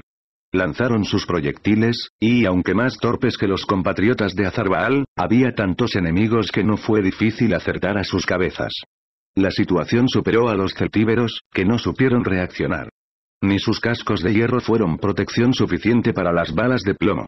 Llegó el momento de nuestra caballería. Mi momento. Edetanos. Grité, levantando mi lanza. Carga. Balcar y yo nos lanzamos desde los flancos, sin adentrarnos en la zona de los abrojos.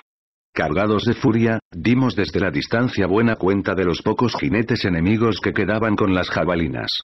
Fuimos rápidos y apenas tuvimos bajas. Ellos, en cambio, perdieron a todos sus hombres a caballo excepto a los débiles númidas en reserva, los cuales no me preocupaban. No tenían potencial para inquietarme. De hecho, los cartagineses solo los utilizaban para hostigar. Volvimos a nuestra posición a la espera del próximo movimiento de Asdrúbal. Imagino la estupefacción de los púnicos. Jamás habían imaginado de nosotros, pobres bárbaros ignorantes, una estrategia tan atrevida y contundente. Al orco debería haberlo sabido, y quizás también Aníbal.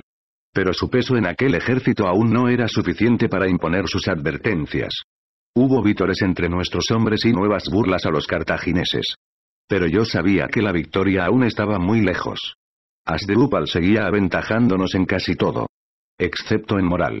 La mejor prueba de la confusión de los púnicos fue que tardaron casi una hora en plantear un nuevo ataque.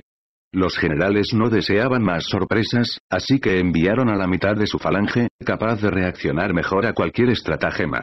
Se adelantaron en dos grupos diferenciados para salvar las trampas, que los jinetes íberos habíamos delimitado durante nuestra acometida. Los honderos les seguían el paso en los laterales. En total venían a nuestro encuentro ocho de las dieciséis sintagmas. Nota al pie nombre griego con el que se conocía a una formación de falange de 256 hombres. Fin de nota. Con las que contaba Asdrúbal.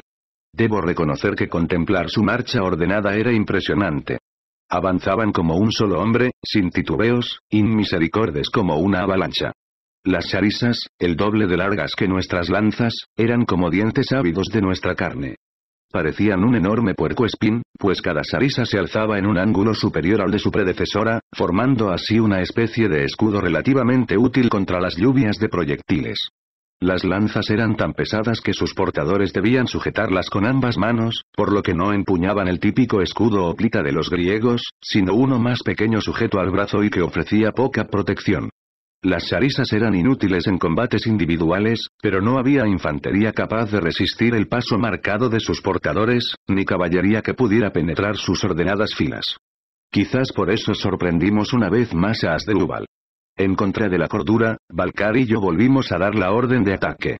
De locos, debían tildarnos los mandos púnicos, pues era un suicidio embestir contra los libios. Los honderos enemigos nos atacaron, pero nuestra caballería estaba bien preparada. Había sido idea de Bautintivas cambiar nuestras pequeñas caetras por enormes escudos ovalados de humo. Nota al pie parte central del escudo, de metal o madera, normalmente formando una protuberancia. Fin de nota. Metálico, como aquellos que utilizaban los norteños. Gracias a esta nueva defensa y a nuestra movilidad, pudimos protegernos de las balas enemigas con bastante efectividad y acercarnos lo suficiente a la falange púnica. La formación, aunque parecía inexpugnable, tenía puntos débiles. Uno de ellos era su escasa efectividad contra proyectiles de ataque frontal. Nosotros lo aprovechamos para herirlos con nuestras jabalinas desde cierta distancia. Aumentamos el alcance de las lanzas arrojadizas gracias al uso de propulsores, unas correas enrolladas al fuste en la que el lanzador introducía los dedos y que dotaba de un impulso extra a la jabalina. Pronto comenzaron a aparecer huecos en sus líneas, propiciados sobre todo por los cuerpos caídos que entorpecían el paso de los lanceros. Íbamos y volvíamos en oleadas, un ataque tras otro, reforzados por nuestros torpes, pero valiosos, honderos. Esta vez tuvimos más bajas, pero aún así fue una nueva victoria. Cuando la falange púnica cayó, arrasamos a los honderos enemigos. Y entonces sí me permití soñar con la victoria. Las fuerzas se habían equilibrado. Los cartagineses todavía nos superaban en número, pero apenas. Casi podía oler el desconcierto de Asdrúbal, a la vez que saboreaba la euforia de nuestros hombres. Horizon se encargó de apagar la esperanza que ardía en mi pecho. Asdrúbal, en un movimiento que parecía desesperado, lanzó a la caballería númida para interceptarnos antes de que volviéramos a nuestra posición original. Pero lo que más me sorprendió fue que el estratega desplazara el resto de su infantería hacia los laterales, quedándose expuesto al frente con la única protección de su batallón sagrado. Era una treta para traernos, hasta un ciego lo habría visto. Pero Horizon, ofuscado por conseguir la gloria, se dejó engañar. Interpretó mal la jugada de Asdrúbal, cuyo artífice, como supe después, fue el magnífico Aníbal, y ordenó a sus hombres cargar en formación cerrada. Sus ansias de llegar hasta el líder cartaginés y conseguirlo como trofeo nos llevaron a la perdición. Le maldije muchas veces al darme cuenta, pero los jinetes estábamos demasiado ocupados con los númidas como para acudir en su ayuda. Nada pudo evitar que los oretanos fueran masacrados. Quedaron atrapados entre la falange restante, que se movió con ligereza para interceptarlos, y los númidas, que se dividieron para atacarlos por la espalda a la vez que nos contenían. Mi única satisfacción aquel día fue saber de la muerte de Horizon a manos de Marval. Y así se extinguieron nuestras posibilidades. Los númidas nos rodearon para permitir que la falange púnica llegara hasta nosotros, mientras ellos buscaban nuestra retaguardia y la infantería ligera de reserva que venía a apoyarnos. Asdrúbal lanzó todas sus tropas para acabar cuanto antes con la batalla. Una pica acabó con mi valiente tronador, el mejor caballo que un hombre pudiera tener. Me levanté del barro decidido a vender cara mi piel. El elegido se llevaría por delante a tantos enemigos que incluso entre ellos me recordarían. Uno tras otro, fueron cayendo bajo mi falcata y la furia del lince. Quizás con la espada podríamos haber tenido una oportunidad, pues los lanceros maniobraban con dificultad. Sus picas podían salvarse con la suficiente habilidad, pasando entre ellas agachado, apartándolas y cercenándolas con la robusta espada para luego matar con rapidez a sus portadores. Hubiera sido una tarea de titanes en condiciones normales, pero con los númidas castigándonos con sus jabalinas era una quimera. Ordené la retirada para poder reagruparnos, pero los númidas nos hostigaron sin respiro. Esa era su tarea, y eran los mejores. Uno de ellos me golpeó, pero logré esquivarle mientras me aferraba a su pierna. Me llevó a rastros hasta que logré hendirle mi daga afalcatada en la pierna y desmontarlo. Traté de volver al fragor de la batalla para morir con mis hombres, pero entonces un grupo de celtíberos a pie me interceptó. Estaba solo, contra más de una docena de hombres fieros, pero aún así acabé con diez antes de que una cuchillada por la espalda me derrocara. El impulso rabioso que surgió en mí me permitió matar a mi atacante, pero la herida me hizo perder fuerzas. El último hombre me abrió un tajo con su acero cerca del vientre. Caí al suelo, de rodillas, pero sin ninguna intención de rendirme. Lo miré a los ojos, haciéndole ver que no escucharía súplicas de mis labios. Cóbrate mi vida y podrás alardear de haber vencido a un verdadero íbero, le dije, con los dientes apretados. Una certera pedrada le abrió la cabeza. Bendito Azarbaal. Llegó hasta mí antes de que lo hiciera un nuevo grupo de soldados libios, dispuesto a protegerme hasta la muerte. ¡Qué amigo tan leal! Él, por cuyas venas corría sangre fenicia y púnica, que debía estar del lado de los cartagineses, ofrecía su vida por el imposible de salvarme. No imaginaba un mejor modo de morir que junto a él. Pero una voz imperiosa detuvo a los atacantes. Un hombre del batallón sagrado llegó hasta nosotros y luego descabalgó de su caballo. Marchad a la batalla, se os necesita. Ordenó al orco a los libios. Yo custodiaré a este prisionero. Apenas se alejaron, al orco se clavó su propio puñal en el brazo izquierdo, antes de que Azarbaal lo atacara. Coge mi caballo y ponlo a salvo. Le dijo. Rápido, antes de que nos vean. Les diré que me venciste. Mi protector no se detuvo a preguntarse por aquel aparente golpe de fortuna. Práctico como siempre, me alzó sin miramientos y me ayudó a montar. Estaba demasiado débil para resistirme, aunque lo que deseaba era quedarme y compartir el destino de mis hombres. Perdóname por dudar de ti, hermano. Al orco me apretó la mano antes de que partiéramos. Tenía lágrimas en los ojos. La salvaste a pesar de todo lo que te jugabas. Ahora yo no puedo hacer menos por ti, o ella no me lo perdonaría. Y yo tampoco. No dije nada, no tenía fuerzas. Azarbaal montó tras de mí y espoleó al caballo. Abandonamos la zona adentrándonos en los bosques. Lo último que vi antes de desmayarme fue la desbandada general de la que había sido la mayor liga de íberos jamás conocida. 43. Estuve a las puertas de la muerte durante todo el camino de regreso. Mis heridas eran graves, y la habilidad de Azarbaal para tratarlas muy limitada. Me aplicó un tratamiento temido incluso por los soldados más duros. Muerde, me dijo, alargando hasta mi boca un pedazo de cuero. Luego extrajo de la fogata la daga que había estado calentando. El hierro, al rojo vivo, siseó al entrar en contacto con la herida del costado. Fue como millones de latigazos al mismo tiempo, un sapullido de dolor tan insufrible que me desmayé. Al menos, me ahorré sentir la cauterización de la segunda herida. Azarbaal logró mantenerme con vida hasta llegar a Castillo, donde reposé gracias a los vapores de adormidera mientras los sanadores hacían su trabajo. Recuerdo una de las vagas ensoñaciones que tuve. El lince de mi niñez me miraba calmado. Sus ojos dorados, de felina pupila, eran un mar en reposo donde me zambullí de buena gana. Y entonces compartí su alma y su cuerpo. Pasé a ser lince, ligero como una hoja caída en otoño, sigiloso como un jirón de viento perdido. Firme y fiero en el momento del ataque a mi presa. No recuerdo mucho más. Los pocos supervivientes de la batalla acudieron a Castillo en pequeños grupos, pues que estaba comprometida. De hecho, pocos días después la ciudad que le había costado la vida a Amílcar fue asediada de nuevo. Esta vez nadie acudió en su ayuda. Cayó en menos de dos semanas. Según me contó Azarbaal, los heridos se amontonaban frente a las murallas de la ciudad. El escenario era terrible. En mis pocos momentos de conciencia podía escuchar a través de la ventana los gemidos de los muchos heridos, el ir y venir de los aldeanos que trataban de ayudar, las lágrimas de las viudas y huérfanos oretanos, que sabían que su ciudad sería la próxima en caer. Tuve que insistir mucho para que Azarbaal me permitiera asistir a las honras fúnebres de Horizon, cuyo cuerpo fue devuelto a los oretanos en un gesto magno de Asdrúbal. Las llamas envolvieron al caudillo, convirtiéndolo en leyenda. El bravo guerrero poeta que se enfrentó a un enemigo invencible y lo derrotó en una ocasión. Al fin, aunque no como deseó, había conseguido la gloria. La historia hablaría de él, de su gran arrojo, de sus inteligentes estrategias, sin saber que todas ellas surgieron de otra mente. Nunca traté de refutarlo. Al fin y al cabo, aunque arrogante y manipulador, aunque estúpido hasta nuestra condena, Horizon se había atrevido a plantar cara al enemigo púnico desde el principio, mientras otros líderes se escondían como cobardes. Recuerdo con claridad que, entre las muchas lágrimas que se derramaron aquel día, las más sentidas fueron las de una muchacha muy joven. Su llanto era tan desgarrador que algunas mujeres tenían que sujetarla para mantenerla en pie.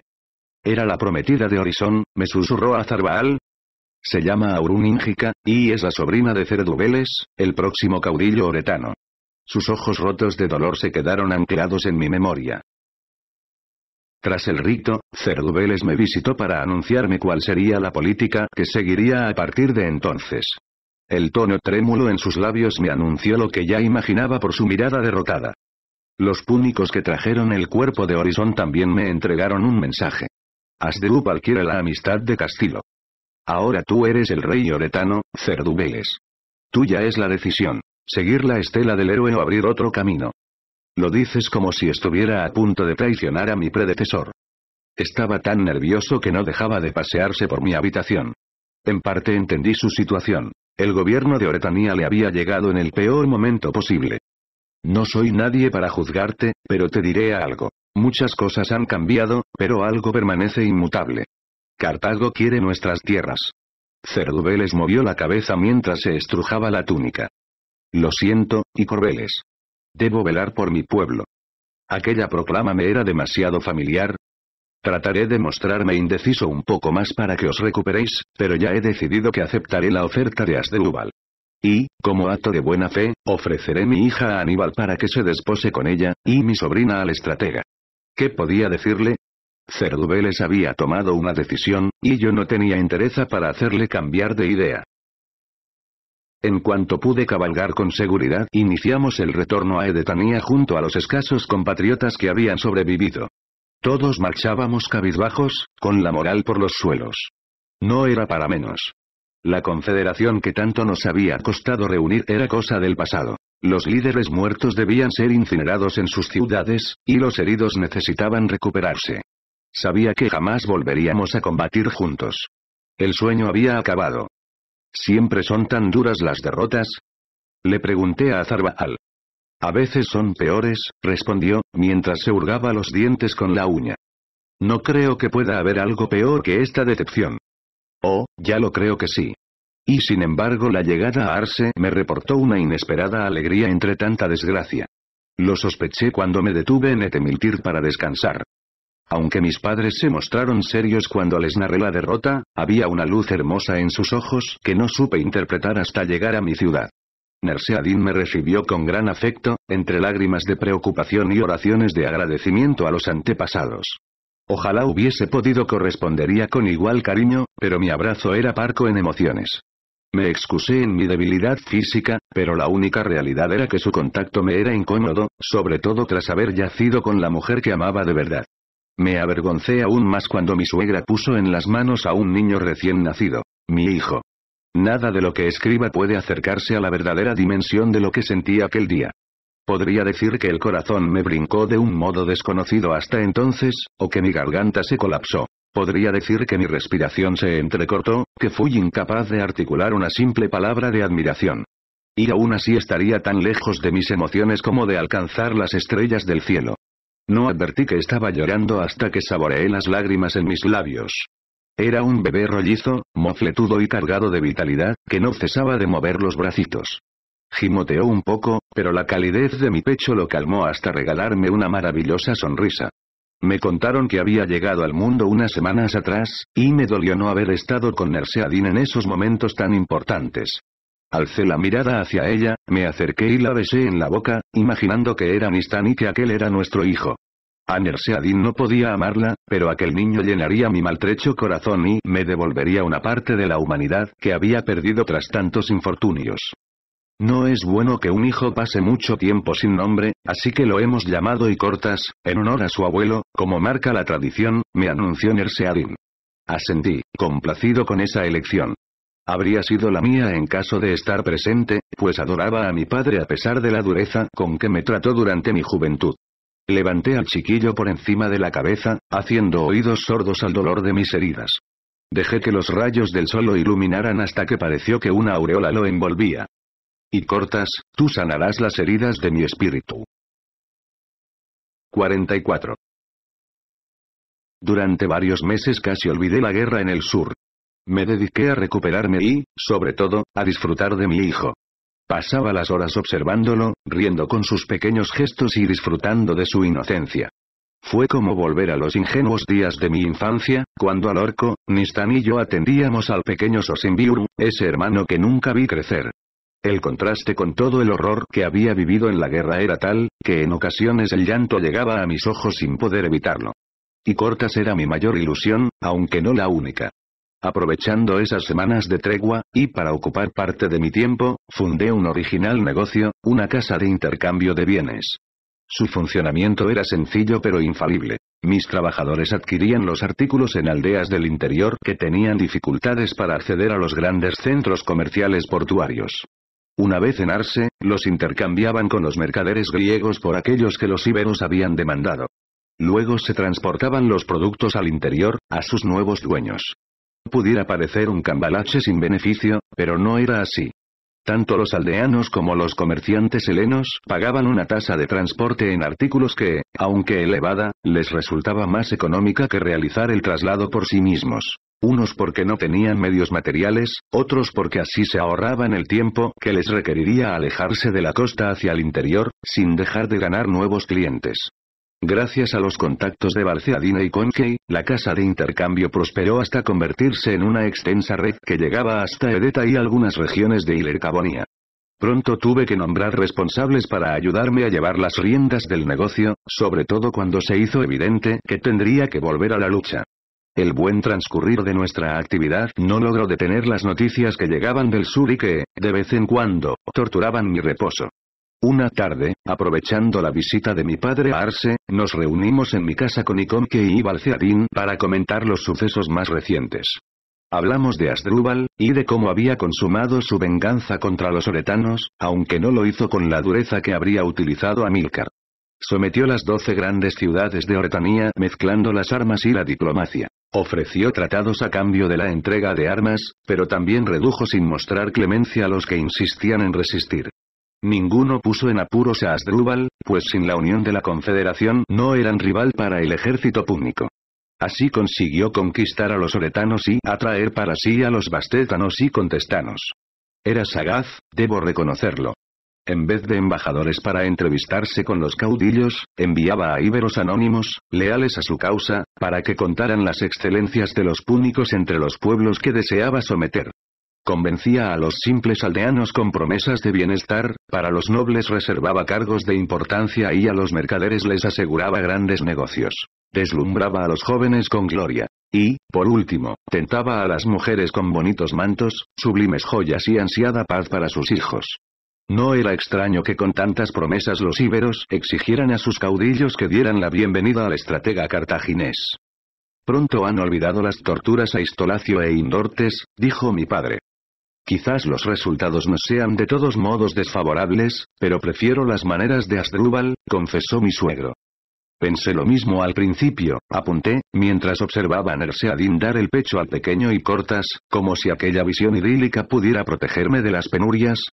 Sin embargo, Asdrúbal avanza con más rapidez que Amilcar. Está demostrando que la palabra es más fuerte que la espada. Siempre habrá cabezotas como nosotros. Por ejemplo, la mayoría de los celtíberos no cederán sin derramamiento de sangre, opinó Balceadín. El oro puede comprar muchas lealtades en apariencia intocables. Y los que no cedan, caerán al actuar sin apoyo, aseguré. ¿Y Edercon? Quiso saber y qué? ¿Sigue sin pronunciarse? Así es, confirmó mi padre. Pero es cuestión de tiempo que acepte a Asdrúbal. Se hace más fuerte, y nosotros más débiles.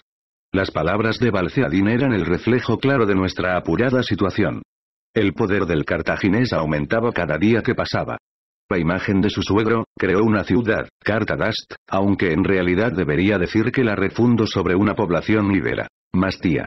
Era un enclave ideal, que mejoraba el asentamiento de Acraleuque e incluso el de Gadir. Tenía salida al mar, a diferencia de la ciudad de Amílcar, y estaba situada en una región de colinas fácilmente defendibles. Las tierras eran aptas para el cultivo de todo tipo de cereales, y cerca se podían encontrar minas de plata y plomo. Dicen que Asdrúbal se enamoró de Mastía y la tomó con el corazón, no con la mano armada. Ofreció un futuro esplendoroso donde los mastienos serían agasajados con gran prosperidad. Y cumplió con sus promesas, pues en poco tiempo la faz de la urbe cambió. Modificó el centro urbano siguiendo el estilo cartaginés. Erigió magníficas murallas, una ciudadela fortificada para su uso propio y varios templos dedicados a los dioses púnicos, cuya adoración era más simple que la de nuestros esquivos antepasados y la diosa madre. Tiempo después visitaría las inmediaciones de Cartadas durante una misión de reconocimiento, y puedo asegurar que su esplendor era digno del de su predecesora. Edificios de blanca piedra y delicadas fachadas. Calles enlosadas y limpias, al menos las principales, pozos abundantes, unidos a largos canales de riego que alimentaban deliciosos jardines. Más de 10.000 personas habitaban dentro de su cóncavo perímetro amurallado, y muchas más en las granjas y fábricas de los alrededores. Sus cuarteles tenían capacidad para casi 20.000 soldados. Fue como contemplar Cartago de nuevo, aunque en miniatura. Pero como la riqueza de Iberia era muy superior a la que podía hallarse en Libia, con el paso de los años aquella ciudad bien podría superar a la capital púnica. En esos tiempos supe que Aníbal, a quien yo hacía responsable de la certera estrategia que nos derrotó en la hondonada del clavo, había tomado como esposa a Imilce, la hija de Cerdubeles.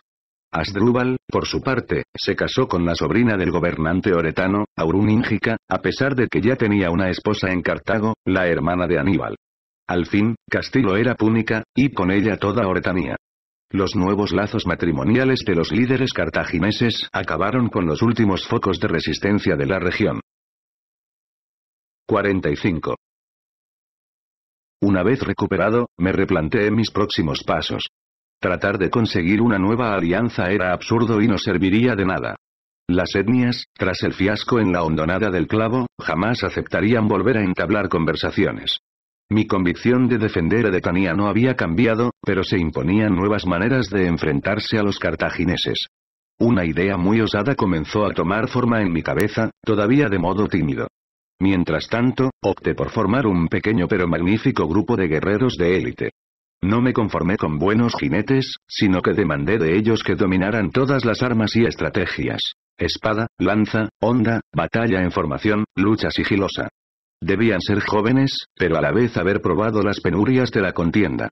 La mayoría habían luchado para mí en las batallas de Oretanía, y el haber sobrevivido ya los convertía en buenos guerreros. Tal era el caso de Vaspedas, Boradin y Abarmeles. Pero otros portaban la guerra marcada en el rostro desde hacía mucho más tiempo. Tanecadin y Arquivalque, los más veteranos, lucharon en Sicilia poco tiempo después que mi padre, al mando de otro señor edetano. Fallecido este, y cuando su vida de guerreros parecía acabada, yo les ofrecí seguir sintiéndose útiles. Su experiencia era el complemento perfecto a la efusividad juvenil. Quise también que tuvieran esposa e hijos, para que así se sintieran motivados por algo más que el honor. Hoy, desde el recuerdo, puedo decir que jamás flaquearon sus voluntades, que siempre estuvieron a mi lado. Tienes en tus ojos el brillo de los guerreros legendarios, nacidos para el mando y la gloria, fue lo que me respondieron cuando en una ocasión les pregunté por qué me seguían. Los llamé guerreros del lince y, por supuesto, Azarbaal fue mi lugarteniente. Durante dos años los entrené con la misma dureza que mi padre me había mostrado durante mi juventud. Los convertí en fieras que, sin embargo, pensaban con la cabeza. A cambio, sus familias recibían una generosa paga para sufragar las ausencias. Reunía 24 hombres, ni uno más. Nuestra misión no era enfrentarnos en batalla campal contra Asdrúbal, sino actuar mediante el silencio y la rapidez. A veces atacábamos aprovechando el manto de la oscuridad y la protección de los bosques, o atraíamos a las pequeñas compañías hacia nuestras emboscadas. En otras, robábamos sus envíos de alimentos y plata para debilitarlos, e incluso nos adentrábamos en sus campamentos para envenenar sus depósitos de agua. Algunas veces hicimos prisioneros, pero nunca los utilizamos como rehenes. Yo sabía que, tras el asunto con Tugar, Asdrúbal jamás volvería a confiar en una negociación surgida de nuestros labios. Pero nos servimos de los hombres que capturábamos para conseguir información acerca del tránsito de los suministros, los itinerarios de las patrullas, la posición de puestos de vigilancia. Tuvimos que utilizar la tortura, por supuesto. Unos dedos rotos, alguna puñalada en zonas dolorosas, amenaza de ahogamiento. Sin embargo, no permití que se matara a nadie. Una cosa era acabar con un enemigo en el campo de batalla y otra arrebatar vidas a sangre fría. Ya había traspasado ese límite y no tenía deseos de volver a hacerlo. Si no podíamos conseguir ninguna información, los asustábamos haciéndoles creer que íbamos a matarlos para dejarlos ir más tarde con algún hueso roto con el que mostrar una cierta fiereza por nuestra parte. Nos convertimos en la pesadilla de cualquier partida púnica, hasta el punto que Asdrúbal se vio obligado a proteger todos y cada uno de sus envíos con fuertes destacamentos. Eso le hizo perder efectivos en otros lugares, lo cual aprovechábamos para atacar posiciones más precarias. Por ejemplo, interceptamos los envíos de alimentos que los turboletas servían al estratega, o destruíamos las granjas para que sus cosechas fueran tan exiguas que no pudieran ayudar a nuestros enemigos, obtuvimos tantas victorias que nuestra fama creció hasta despertar la admiración de los íberos y el terror entre los cartagineses. Sin embargo, era consciente de que nuestros golpes tenían el mismo efecto que los picotazos de un mosquito sobre un gran elefante. Mi esperanza estaba encaminada a ese plan que cada vez creía más posible. El año que cumplí 28, las colonias griegas en Emporrión y Masalía alertaron a Roma de la imparable expansión de Asdrúbal. Al mismo tiempo, los galos acosaban a los romanos por el norte. El mayor temor de estos era que Cartago y los norteños celtas se aliaran e hicieran un frente común contra ellos, así que decidieron evitarlo mediante la diplomacia, aprovechando la disposición de Asdrúbal. Yo lo averigüé todo gracias a los contactos de Iconque y con la facción amiga de Roma. Está hecho, hijo, comentó, con rostro contrariado. Asdrúbal ha aceptado las condiciones de la comisión senatorial romana con la que ha negociado. Los romanos permitirán que el cartaginés campe a sus anchas por debajo del río Iber, reconociéndolo como su territorio, sin importarles los pueblos íberos. A cambio, Asdrúbal se compromete a no traspasar dicho límite. ¿Es un tratado vinculante? Quise saber. Como si lo fuera. Según tengo entendido, no ha sido aprobado por el Senado cartaginés. Pero hace tiempo que, primero Amílcar, y luego Asdrúbal, hacen su voluntad en Iberia sin contar con Cartago. ¿Y qué ocurre con las colonias griegas? ¿Qué pasará con Arce? Ni siquiera nos mencionaron, y Corbeles. Roma, que siempre había alardeado de ser nuestra amiga, ahora nos ignora a favor de Emporrión y Masalía, refunfuñó mi suegro. Pero tengo entendido que, según los acuerdos de la guerra en Sicilia, Cartago no puede atacar una ciudad aliada de Roma. Eso nos protegería. Como te he dicho, Asdrúbal no se mueve al son de su patria. Lo que se pactó entonces puede no tener validez ahora. Malditos romanos. Golpeé la mesa con el puño. Han rendido nuestras tierras sin ser dueños de ellas. En el mejor de los casos nos aislarán mientras toman Detanía sin oposición. A pesar de mi enojo, las cosas no cambiaron mucho tras el tratado. Al fin y al cabo, nunca habíamos tenido verdaderas esperanzas de una ayuda romana. Pero a partir de entonces las etnias al norte de Liber se desentendieron de nuestros problemas. Ilusos. Creían que el tratado los protegería. Tal vez lo hiciera durante un tiempo, pues Asdrúbal era conciliador, pero el bello, no estaría siempre en el poder. Yo conocía la ambición y la capacidad de Aníbal, quien tarde o temprano le sucedería. Cuando eso ocurriera, estaba convencido de que olvidaría el pacto firmado por su cuñado y marcharía a por la gloria contra Roma. Era la naturaleza conquistadora de los Bárquidas. 46. Los guerreros del lince continuábamos nuestra lucha imposible, pero conforme los púnicos se afianzaban en las regiones cercanas a Cartadas era más complicado causarles daño. Decidí una vez más pedir ayuda a Edecon, aunque a decir verdad tenía pocas esperanzas de que se involucrara. Cuando lo vi, refugiado en su sitial, encogido sobre sí mismo y con los hombros hundidos en un gesto de profundo abatimiento, supe que mis presentimientos eran acertados. Tenía la mirada perdida en el infinito y la cabeza más lejos aún. La orgullosa estampa de su juventud había desaparecido, transformando al insigne líder en un hombre apocado y avejentado. Las arrugas se habían extendido por su rostro como raíces hambrientas, así como las canas en su cabello. Todo en él invitaba al pesimismo, incluso el ambiente que lo rodeaba. El salón, antaño luminoso y alegre gracias a los auletris personales del rey, era ahora un deprimente recinto de sombras y medias luces, con el aire estancado, silencioso y solitario. Saludos, Edecon, rey de Ereta. Le dije, tratando de esconder mi malestar. Vengo a ti para solicitar tu ayuda en estos días tan difíciles. Solo entonces se dignó a alzar la vista y contemplarme. Abrió la boca, pero al principio su voz sonó ronca, como si hiciera mucho tiempo que no hablara. Difíciles son, sobrino, pero más amargos pueden ser si nos dejamos llevar por los impulsos y la locura, respondió. Locura sería acomodarnos y dejar que nos arrebaten lo que ha sido nuestro durante generaciones. Pero parece que tus ánimos te dirigen a la rendición, hermano de mi madre, le dije en tono agrio.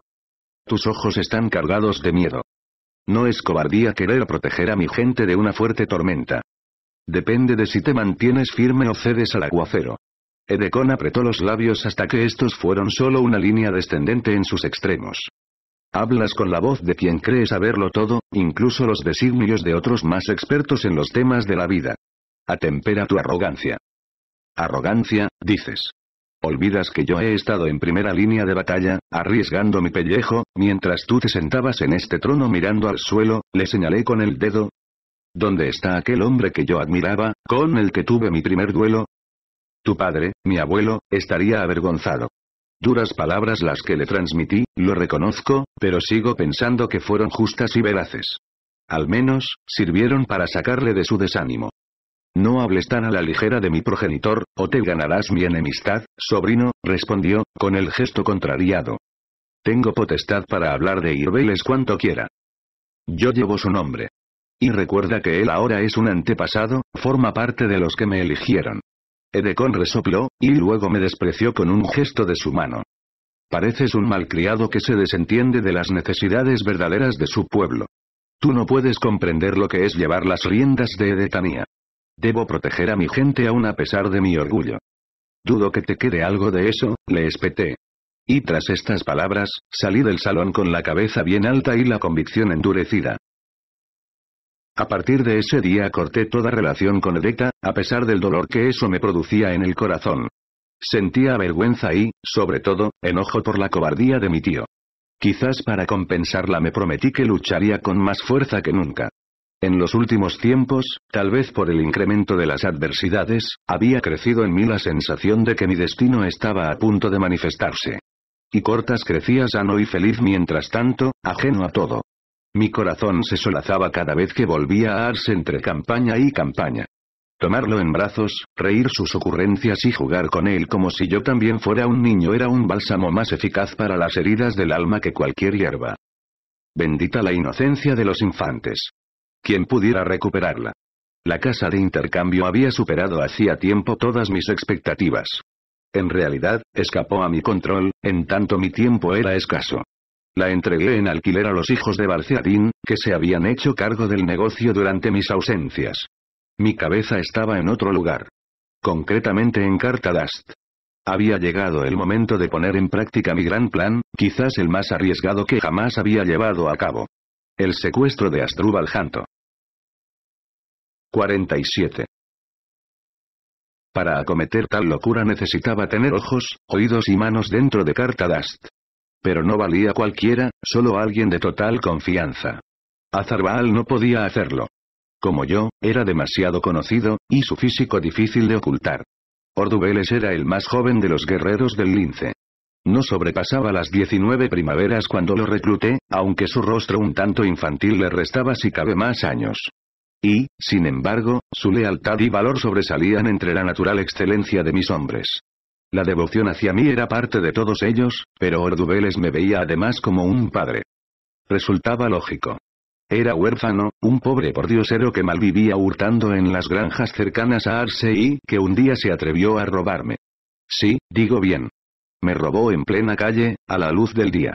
A mí, un guerrero especializado en el sigilo, y para más colmo delante de las narices de Azarbaal. Y no lo habría descubierto de no haber cometido la torpeza de tratar de vender las fruslerías que contenía mi bolsa a un comerciante amigo. Él lo apresó hasta que fui a reclamar lo mío. Debió creer que lo entregaría a las autoridades, en cuyo caso habría sido condenado a muerte. Pero yo estaba tan asombrado por su destreza que no dudé en ofrecerle un nuevo camino, servirme como guerrero. Ordubeles tampoco vaciló al responder. Al principio solo le movía escapar a su condena, pero pronto se convirtió en un guerrero del lince de corazón. El pobre muchacho había vivido sin esperar del mañana más que un trozo de pan duro y un lugar caliente donde pasar la noche. Yo le di algo por lo que vivir. A cambio, él me dio su vida. Saludos, mi señor y Corbeles, me dijo, cuando lo hice pasar a mi biblioteca. Por todos los antepasados, Ordubeles, deja de ser tan formal. Reí, sabedor de que aquella era la única orden que jamás obedecería. Su respeto por mí era tan grande como sus ganas de agradarme. Abrí una ánfora de excelente vino de Lezcada y serví dos copas. Siempre había tratado de imbuir una sensación de familiaridad y amistad entre mis guerreros del lince. Tenía que ser así para que los lazos fueran poderosos. No deseaba que mi vida estuviera en manos de hombres que no me apreciaran. Dime, Ordubeles. ¿Por qué me sigues? Le pregunté. El joven parpadeó sin entender muy bien el motivo de mi pregunta. Pero no dudó al responder, la voz firme, el tono decidido. ¿Por qué tú eres el elegido? Porque me mostraste el camino del honor. Sí, sí. No dudo de todo eso, pero yo busco una respuesta más profunda, que nazca no de la cabeza o del corazón, sino del alma. Recuerda lo que te he enseñado. Ordubel escabiló durante unos momentos antes de contestar de nuevo. porque quiero hacer algo bueno con mi vida. Bien, eso está mejor. Es lo que quería escuchar. No creas que no aprecio el cariño que me tienes, pero un hombre debe tener sus propios motivos para hacer las cosas. La lealtad hacia un líder puede decaer si no está acompañada por una convicción personal. Mi lealtad hacia ti jamás desaparecerá. Sonreí de nuevo, esta vez con cierta acritud. Aquel joven sacrificaría su vida por mí sin dudarlo. Yo estaba a punto de pedirle que lo hiciera. Tengo una tarea para ti, amigo mío. Una vital, pero a la vez muy peligrosa. No te fallaré, mi señor. Mejor responde cuando te diga de qué se trata. Deseo que te infiltres en la ciudad de Cartadast. A pesar de todo el entrenamiento recibido, Ordubeles no pudo contener un gesto de asombro. Sus ojos parecían cuencos, y las cejas se le acercaban al nacimiento de su cabello. Tu misión, si la aceptas, será ejercer de espía. Quiero que te ganes el derecho a ser miembro de la guardia del Palacio de Astrubal en Cartadast. Quiero saberlo todo, sobre todo sus rutinas cuando está en la ciudad. ¿A qué hora inicia el día? ¿Qué lugares visita? ¿Con quién se reúne? ¿Dónde y cuándo come? Toda información me será útil. Haré lo que me ordenes, mi señor y Corbeles, dijo, aunque sin poder esconder su sorpresa. Pero dudo que Astrubal me permita entrar a formar parte de su círculo cercano. No estés tan seguro. Sabemos que le gusta rodearse de centinelas y guardias íberos, a los que hace prometer lealtad absoluta. La devoción, comentó Ordubeles, asintiendo con la cabeza. Está convencido de que no le traicionarán. Y nosotros lo aprovecharemos. No me importa cómo lo consigas, amigo. Confío en tus instintos naturales y tus sobrados recursos. Entre todos los guerreros, eres el mejor preparado para esta labor. Pero te advierto, deberás estar dispuesto a cualquier cosa. Si te piden que mates a un íbero, lo harás sin dudarlo. Si te demandan lealtad, jurarás sin planteártelo. ¿No estaré cometiendo una injuria? No puedo entregar mi devoción a nadie cuando ésta te pertenece. Pose mi mano sobre su hombro. Por desgracia, no todo se reduce al orgullo, ordubeles. A veces hay que ir contra nuestra propia naturaleza, contra lo que nos dicta el corazón. Bien lo sé yo. Cumpliré la misión, mi señor. Asegura los mensajes que nos envíes. No pueden caer en manos púnicas o todos podríamos estar en peligro. Responderás ante mí alguno de los otros guerreros del lince. Nadie más. Para el resto de la resistencia íbera serás un traidor. Ordubeles asintió con la cabeza. Puedo imaginar la batalla que se libraba en su interior. Yo había forjado en él un patriotismo casi exagerado, y ahora le pedía que, a ojos de cualquier íbero, se convirtiera en un paria. Por fortuna, al único al que deseaba contentar era a mí. Lo abracé antes de despedirlo. Luego me recliné sobre el diván para combatir el cansancio aposentado en mi corazón. Había entrenado a grandes guerreros, pero en algún momento del proceso me encariñé con ellos. Aquel muchacho me importaba, mucho. Era consciente de que, con toda seguridad, lo había enviado a la muerte. 48. Pasaron semanas sin que llegaran noticias de Ordubeles, tiempo que dediqué a otros asuntos. Organizamos más ataques a los turboletas y otros aliados de los púnicos, pero nuestra intención era desviar las miradas de Astrubal de su propia ciudad, y así facilitar las cosas a mi agente. Dos meses después de la partida del espía, Abarmeles llegó a Arse proveniente del sur. Había estado realizando tareas de vigilancia por la región, fingiendo ser un simple mercader. Me entregó una fina placa de plomo enrollada, similar a las estelas de los acuerdos comerciales. La encontré en el lugar acordado para los contactos. El templo de Ilici. No hay duda, es de Ordubeles. Tomé la placa mientras agradecía la discreción de nuestro espía. Antes de su marcha habíamos establecido un procedimiento de envío de mensajes apropiado para esta situación. Las sacerdotisas de Ilici, que me eran fieles debido a mi condición de elegido, habían tomado la costumbre de comprar aceite originario de Cartadast. Al infiltrado no le resultó difícil introducir el rollo en una de las ánforas destinadas al templo. Las sacerdotisas lo encontraron y se lo tendieron a Abarmeles. Narraba detalladamente todo lo que le había pedido.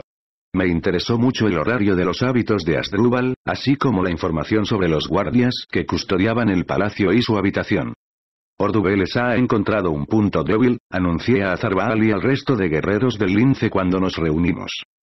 Condenado ladronzuelo. Bromeó Tanekadim, el de la cicatriz en la mejilla. Asdrúbal tiene una bodega privada en su palacio que comunica directamente con su alcoba. Tiene un acceso a la calle, por donde introducen sus barriles y ánforas. Imagino que estará muy vigilado, comentó Azarbaal. Un guardia designado por Asdrúbal custodia la entrada en turnos de ocho horas. Adivinad quién ha logrado uno de los puestos. Lo diré otra vez.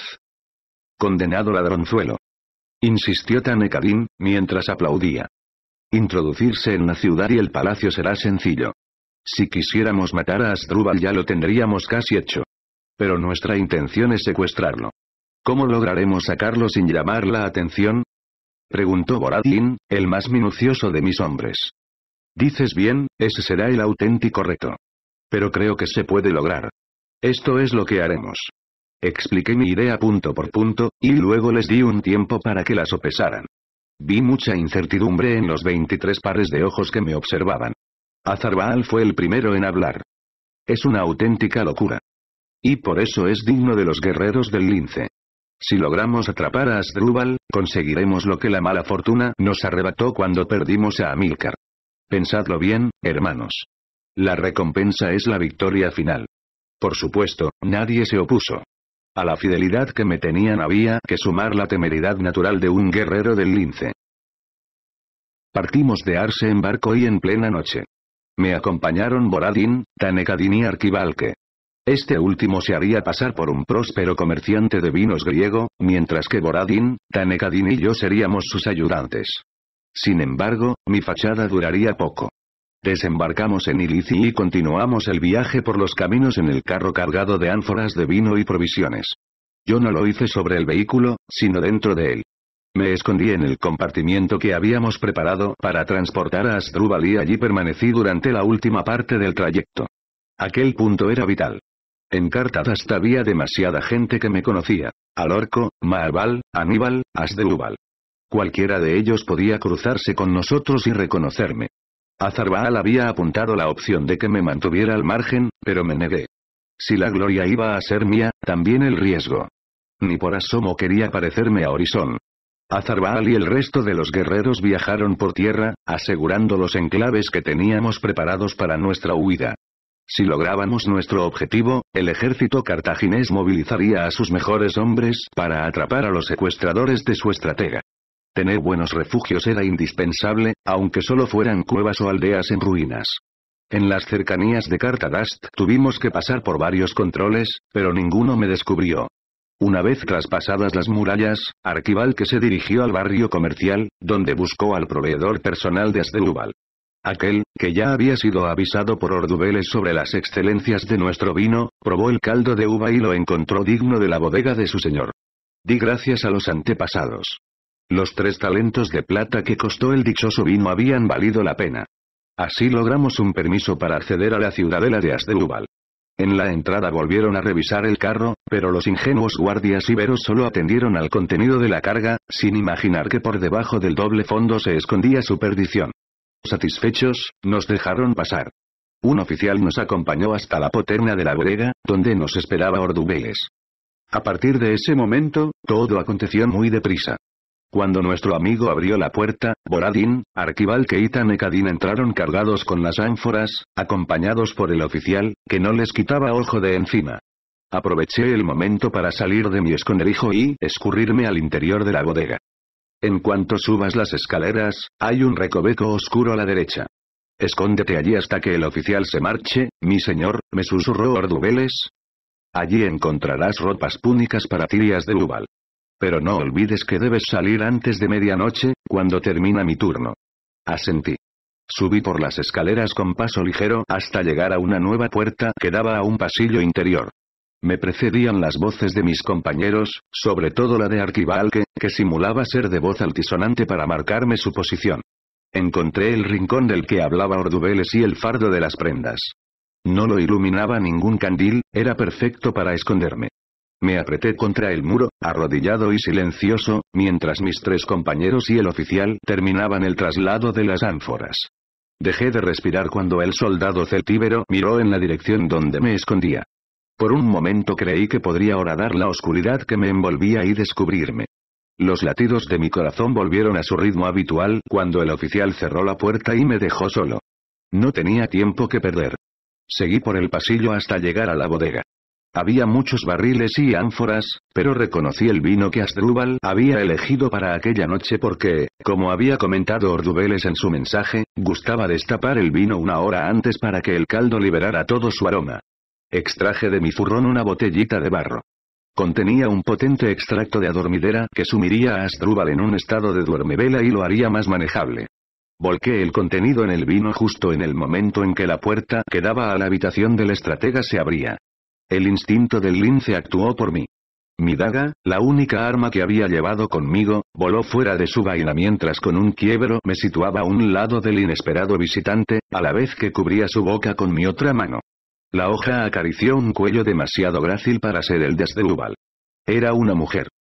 Has cometido un error que, por desgracia, no puedo pasar por alto, le susurré. La habría matado sin dudarlo, pero durante un instante nuestras miradas se cruzaron y vi algo familiar tras la cortina temerosa. Una tristeza profunda que me devolvió al pasado, a la cremación de Horizon. Aquella era la esposa de Asdrúbal, Auruníngica, sobrina de Cerdubeles y en otro tiempo prometida de Horizon. Contuve mi mano. No deseaba matar a aquella muchacha, y el corazón me decía que tal vez no tuviera que hacerlo. Pero, si me equivocaba, todo estaría perdido. Voy a liberar tu boca, le dije. Si intentas gritar te degollaré antes de que el aire salga de tus pulmones. ¿Entiendes? Retiré mi mano poco a poco. Auruníngica no hizo ningún movimiento brusco. Siguió observándome como si me reconociera. Tal vez me había visto en compañía de Horizon, durante mi estancia en Castillo. ¿Sabes quién soy? Le pregunté. Te recuerdo. Eres Ibero, uno de los líderes que luchó para recuperar el Ike.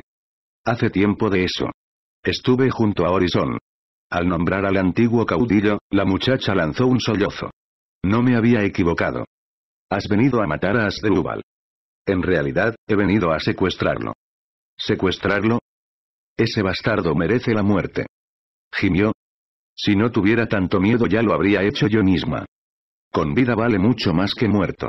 Auruníngica, tú amabas a Horizon. Lo sé, lo veo en tu mirada. La reconozco porque yo también he amado así. Todavía lo hago, aunque, como tú, no puedo estar con ella. La joven volvió a sollozar. Bien, había logrado establecer un lazo de empatía. La realidad, sin embargo, era que estaba contándole cosas que no me había atrevido a compartir con nadie más. Te seré sincero, princesa Oretana. Horizon no me caía bien, pero aprendí a apreciar su valor. Mientras otros se escondían, él luchó por un ideal grandioso. La unión de Iberia, su fortalecimiento para sobrevivir a los invasores. El tono de mi discurso era suave, cálido. Buscaba llegar su centro emocional. Yo persigo lo mismo que él. Ahora todo está en tus manos. Guardé la daga y solté a la joven. No te detendré si tu intención es alertar a Asdrúbal. Pero si lo haces estarás faltando a aquel que dio su vida por ofrecerte una tierra libre. Estarás faltando al hombre que amabas. La dejé llorar durante un rato, hasta que la semilla que había plantado en su corazón germinó. Tus palabras son gentiles, hermano Ibero. No temas, no te delataré. Bien. Solo te pido eso. Asdrúbal volverá pronto, si estoy en lo cierto, y querrá tomar su vino antes de acostarse. Lo he tratado con un brebaje que lo aturdirá hasta que no pueda valerse por sí mismo. Entonces entraré y me lo llevaré. Concédeme al menos el placer de servirle esa copa, demandó. Así será. Pero tú también deberías beber, o sospecharán de ti. Auruníngica asintió. Tomó dos copas y las rellenó con el caldo adulterado. Antes de salir de la brega, me regaló una sonrisa. Horizon me contó la verdad acerca de los toros bravos, dijo, antes de cerrar la puerta, en el fondo le dolía haberte arrebatado la gloria. Sentí un nudo en la garganta. Me había equivocado con el caudillo oretano. Lo tuve en su día por un oportunista. Lo desprecié con ahínco. Pero tal vez Horizon no fue más que otro títere de la guerra, obligado a ser cruel y artero por el bien de la victoria. Resultaba agradable pensarlo. Resultaba agradable perdonar. El sonido de una puerta me devolvió a la realidad. Más allá de la brega, en la habitación del estratega, comenzaba el juego. Pegué el rostro a la hoja de madera para tratar de escuchar lo que acontecía. Acaricié el acero de mi daga casi sin darme cuenta. Si Auruníngica cambiaba de opinión y me delataba estaría preparado para actuar. A pesar de ello, mis posibilidades de escapar serían escasas. Las voces de la pareja me llegaron muy lejanas. ¿Qué día tan largo, señora mía? Dijo Asdrúbal. Todas estas tareas administrativas resultan tediosas. Siempre creí que preferías la diplomacia a la batalla, esposo, respondió Auruníngica. En realidad, me agradan las consecuencias derivadas de los parlamentos. Son más fáciles de digerir que los cadáveres sembrados tras una contienda. Pero bien es cierto que durante una batalla no hay lugar para el aburrimiento. Relájate con un buen vino. El sonido de dos copas entrechocando anunció la lealtad de Auruníngica. Los dos esposos siguieron hablando de temas insustanciales, hasta que ambos comenzaron a despotricar. De repente, quedaron en silencio. Era el momento. Me arriesgué a abrir la puerta de la habitación y otear la escena. El bello, y Auruníngica habían caído rendidos sobre la cama. No estaban dormidos, pero tampoco eran conscientes de lo que ocurría. Asdrúbal ronroneaba como un gato. Eres mío, estratega, le dije, pero él ni siquiera me escuchó. Continué con el plan establecido. Desvestí a Asdrúbal y lo atavié con las ropas de soldado raso, e hice lo mismo conmigo. El siguiente paso era cargar con él y llegar hasta la puerta que custodiaba Ordubeles. Mi compañero me franquearía la salida y yo solo tendría que llevar a Asdrúbal como si fuera un simple guardia borracho. Según Ordubeles, era frecuente entre los guardias íberos fuera de servicio embriagarse cada noche. Uno más no llamaría la atención. Cuando me disponía a levantar a Asdrúbal, escuché una llave que forzaba la puerta de acceso a la habitación. Una vez más deslicé la daga fuera de su funda y me moví rápido. Me situé junto a la hoja de madera, que se abrió ocultándome. La figura de un guardia íbero se recortó contra los candiles de la alcoba. Portaba una espada desenvainada. ¿Me había escuchado? Es imposible, me dije. He sido muy sigiloso. Algo no cuadraba en todo aquello. El guardia cerró la puerta sin mirar atrás, por lo que siguió sin detectarme. Su atención se centraba en los dos cuerpos tendidos sobre la cama. Estuve a punto de entenderlo demasiado tarde. Aquel no era un simple guardia. Era un asesino. No podía dejar que lo hiciera. Nadie me arrebataría la gloria, no otra vez. Me lancé contra él con la daga por delante. Debía matarlo rápidamente, pues si se trataba de un guardia lo echarían pronto de menos. Pero mi precipitación me delató. El asesino advirtió mi presencia justo antes de que mi acero se clavara en su cuello. Era un buen luchador. Contuvo mi golpe y, de un cabezazo, me aturdió. Pero cometió el error de dejar de prestarme atención. Su objetivo era la muerte de Asdrúbal, así que se encaminó de nuevo hacia el estratega. Yo aproveché para atacarle de nuevo. Rodamos por el suelo en un remolino de brazos y piernas. Aferré por la muñeca la mano agresora, él hacía lo propio con la mía. Esta vez no me dejé sorprender por sus cabezazos. Estábamos igualados, lo cual no era bueno para ninguno de los dos. Si vienen los guardias, ambos perderemos nuestra oportunidad, le dije. ¿Por qué deseas matarlo? Me lo dicta el honor, respondió. Hablaba íbero, pero por su acento deduje que se trataba de un celtíbero, un lusón, tal vez, mi señor, el noble Tago, murió crucificado por este malnacido. Deja que me lo lleve, por favor. Te prometo que pagará por sus crímenes, y además ayudará a que los cartagineses se marchen de Iberia. Todo eso no me interesa. Voy a seguir a mi señor a la muerte, pero no antes que ese perro. Por mucho que lo intentara no lo convencería, lo sabía. La devoción era una costumbre muy poderosa entre los íberos, pero era incluso más extrema entre los celtíberos. Al menos mi ardid sirvió para despistarle. Solté su mano durante un instante, lo suficiente para poder golpearle en la mandíbula. Mientras él se dolía, le quité el arma. Lo siento, dije. Alcé mi daga para asestarle una letal puñalada. Pero esta vez fui yo quien lo subestimó. El asesino flexionó las piernas y las descargó contra mi pecho. Caí de espaldas, pero me incorporé como un relámpago. No fue suficiente. El celtíbero extrajo un pequeño puñal de su bota y, de un salto, cayó sobre Asdrúbal. Cuando logré separarlos ya era demasiado tarde. Asdrúbal Janto, el bello, yacía muerto sobre su propia sangre. Y yo, una vez más, había fracasado. 49. Los rumores sobre la muerte de Asdrúbal se extendieron por toda Iberia con la rapidez de un fuego en verano. La cantidad de falacias que se dijeron fue tal que necesitaría días enteros para enumerarlas. Por fortuna, en ninguna se mencionaba el complot para secuestrar al estratega. Lo que no ofrecía dudas era el fin que había tenido su asesino. Se degolló delante de mis ojos para seguir a su señor. La vuelta a Arse fue, de nuevo, apática. Ordubeles era el más cabizbajo, pues sentía que todos sus esfuerzos como espía no habían llevado a nada bueno. Tanekadin trató de animarlo. Era un buen plan, muchacho, y tú lo hiciste muy bien, aseguró. El azar nos dio la espalda. Una vez más, pensé. Amilcar, tú garías de Ubal. Hasta en tres ocasiones habíamos tenido la victoria en nuestras manos. Y siempre se truncó. ¿De verdad era mala suerte, o tal vez algo más? ¿Es que acaso los antepasados no querían que siguiera este camino? ¿O quizás seguían poniendo a prueba mi determinación? No podía dejar de pensar en el asesino. Malditos celtíberos. Luchábamos contra el mismo enemigo, pero en lugar de ayudar no hacían más que estorbar. Ante nosotros se abría un panorama nuevo. Asdrúbal había sido un enemigo aceptable debido a su mano suave y poco dada a la agresión vacía. Pero yo estaba convencido de que su sucesor sería Aníbal, cuyo genio militar solo era superado por su ambición y el carisma que atesoraba entre sus tropas. Era un hombre implacable que cortaría los días plácidos que su cuñado había mantenido en Iberia. A Aníbal lo movía una natural ansia por llegar más alto que nadie, por superar los logros de su padre. Ahora, imbuido al fin con la sapiencia de la vejez, advierto las similitudes que me unían a él. Ambos éramos animales famélicos de gloria. Lo primero que hizo fue nombrar nuevos lugartenientes, la mayoría generales jóvenes con ganas de agradar. Como consejeros principales mantuvo a Marvalía al orco, aunque la mayoría de las decisiones las tomaba atendiendo a su propia razón. No tardó en demostrar su hambre de conquistas. Inició un ataque a los celtíberos del interior para alcanzar los ríos del norte donde abundaba el oro. Los Olcades y los Bácceos fueron los que más se le opusieron, pero no eran nada que la maestría del conquistador no pudiera solventar.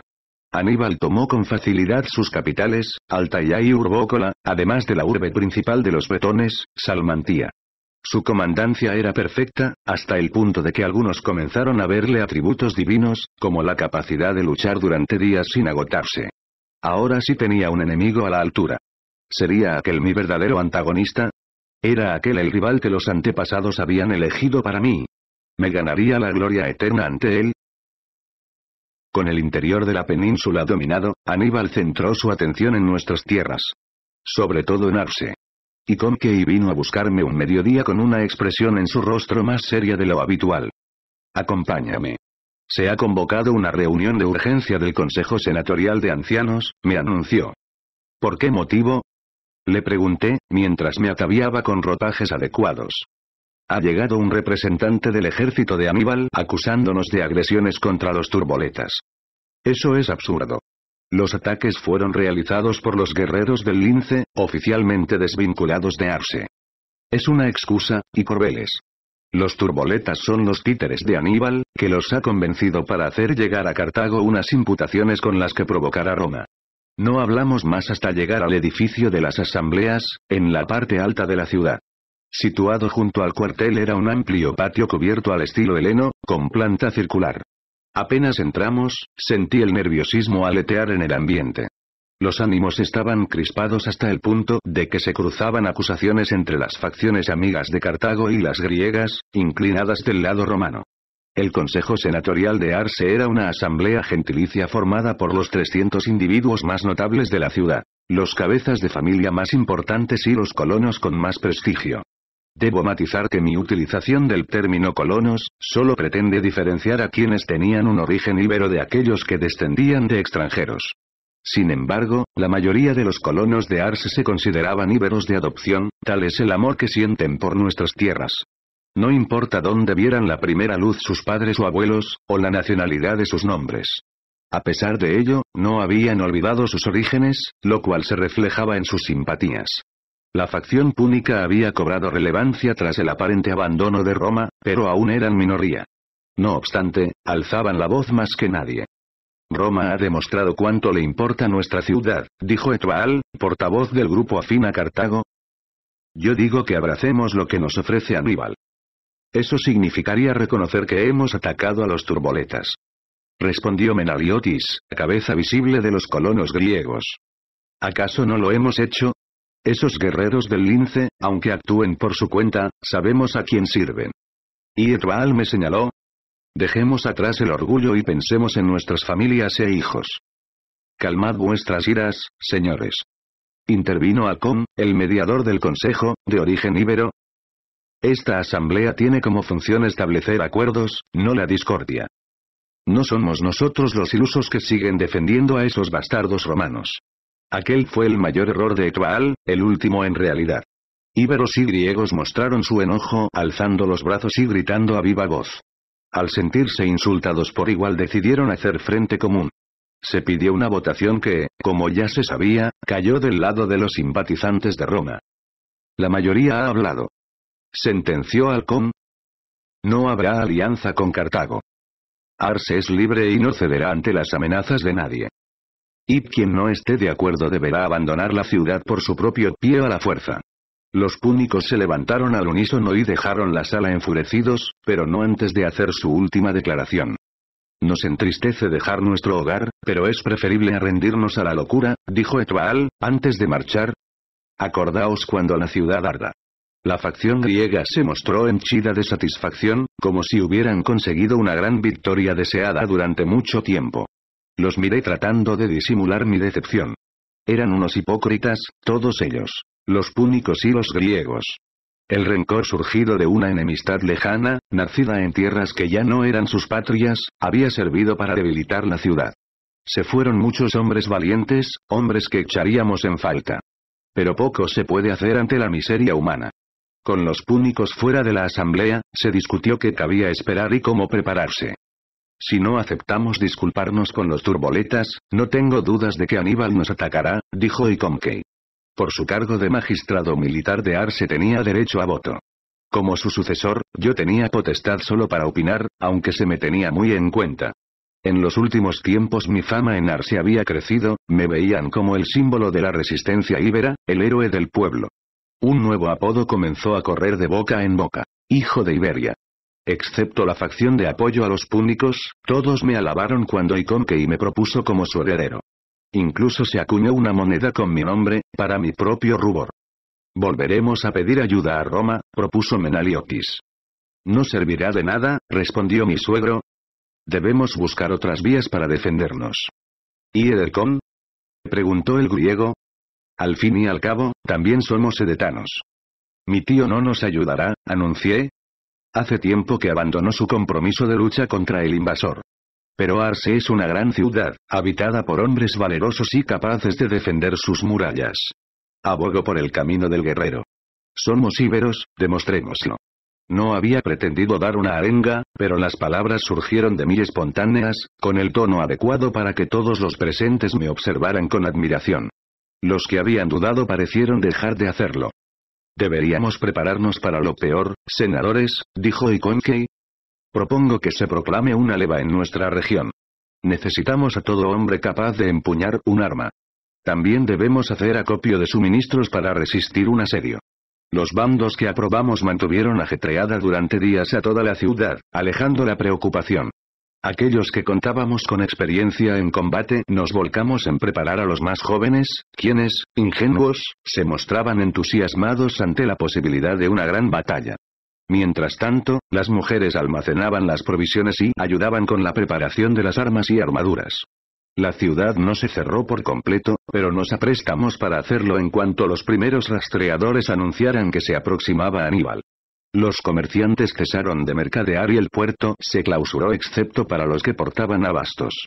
Ars se preparaba para la guerra. Ars se preparaba para hacer historia. 50. Mientras la ciudad se organizaba tuve una larga conversación con Nerseadin. Había cosas que discutir acerca de su futuro y el de Icortas. Nos recostamos sobre los divanes pero, por una vez, ella no bajó la vista para mostrarse sumisa. Sabía lo que iba a decir. Si nuestras previsiones se cumplen, pronto Arse no será un lugar seguro, le dije. Quiero que tomes a Icortas y te alejes de la ciudad. Eres mi esposo. Mi lugar está junto a ti, respondió. Solo pretendo salvar lo que más aprecio. Mi esposa y mi hijo. Juro que vi un brillo en sus ojos, unas lágrimas que jamás serían derramadas. Entiendo que hables así refiriéndote a Icortas, pues es sangre de tu sangre. Pero hace mucho que sé que, aunque tu esposa, no es a mí a quien amas. Todo mi autocontrol no sirvió para esconder un gesto de sorpresa. En los años que llevábamos casados Nerseadin jamás había emitido una queja sobre mi comportamiento. Y aunque me había mostrado respetuoso con ella, le di motivos por la frialdad con que la traté. No me malinterpretes, y Corbeles. Sé que nuestro matrimonio no nació del amor, y no tenía esperanzas de que éste floreciera algún día. Siempre he imaginado que otra mujer ocupaba tu corazón. Nerseadin, tú me importas mucho. Por supuesto, me dijo, y sonreía con dulzura. Soy la madre de tu hijo. Y no tengo queja en tu trato hacia mí como esposo. Has cumplido con tus obligaciones, y ahora yo debo cumplir las mías. Permanecer a tu lado hasta el final. Así debe ser. Si toman la ciudad, os convertirán en esclavos. Nerseadin me acarició el rostro con ternura. No derrotarán a quien porta el espíritu del lince. Nunca olvides que estás marcado por los antepasados. He construido mi vida alrededor del augurio de mi nacimiento. Pero una y otra vez me han confundido sus designios.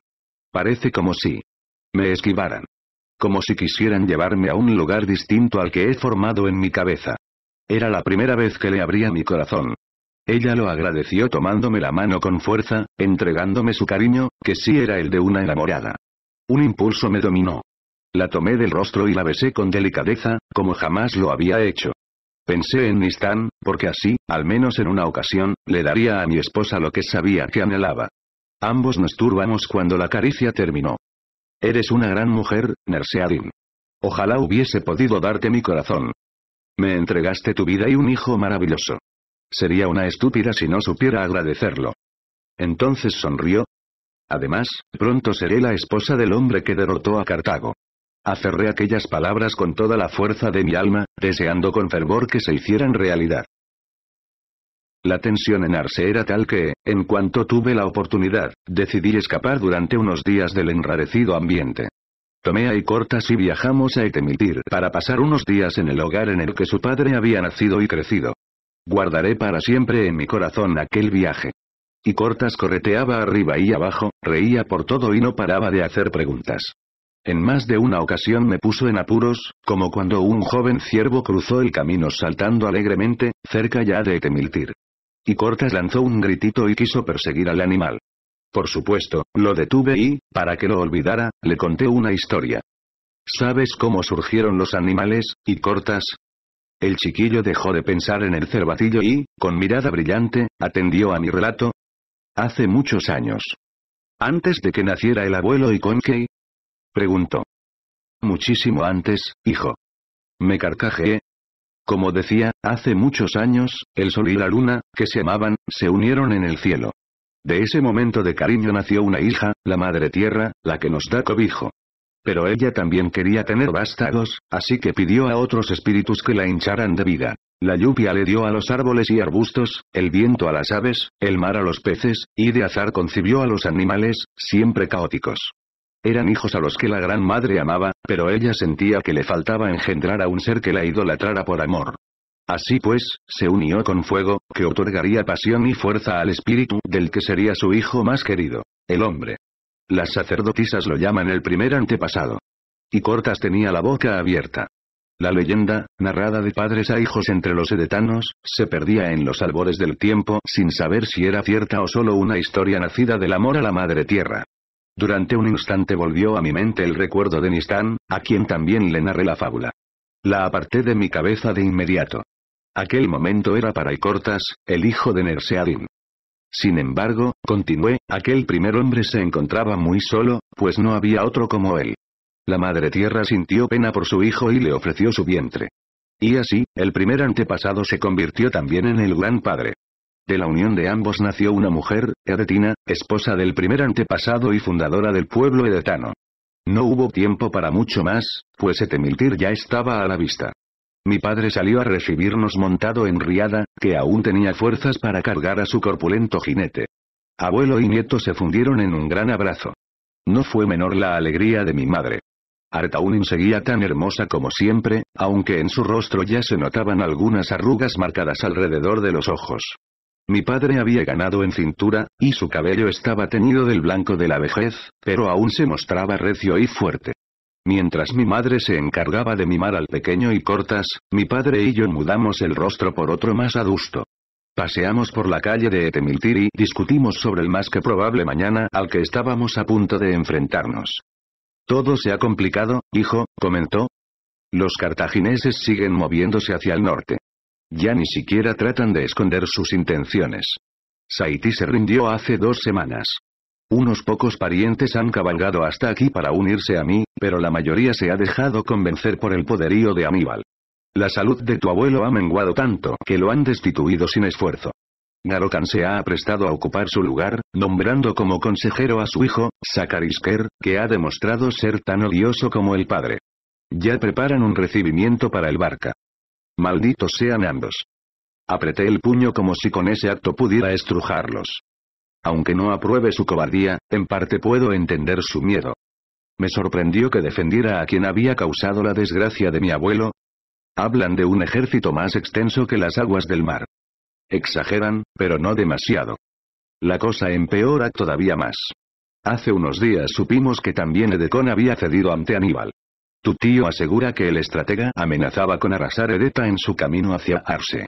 Para evitar nuevos casos como los de Elike, le exigió como prueba de lealtad la entrega de su familia como rehenes. Se llevaron a Edereta y sus hijos a Cartadast, donde Aníbal prometió que los tratarían con honores. Una jaula con barrotes de oro, dije, frotándome la barba. No entiendo cómo Edecon ha cedido a algo así. Entregar a su propia familia. Tu madre y yo se lo hemos recriminado, pero no nos ha escuchado. Artaunin ha decidido romper lazos con su hermano. Deberíais marcharos. Cuando Aníbal llegue a Edeta estaréis en peligro. Aunque su ejército es disciplinado, algunos hombres tal vez realicen pillajes. Mi padre sonrió antes de lanzar una carcajada. Su voz profunda resonó en todo el asentamiento. ¿Huir, dices? ¿Es que no te he enseñado nada? Soy un guerrero ibero. Incluso herido, es lo único que sé hacer. Eso no es verdad. También supiste educarme, rey. Cierto. Y lo hice bien, solo hay que verte. Jamás un hombre podrá estar tan orgulloso de su hijo como yo de ti.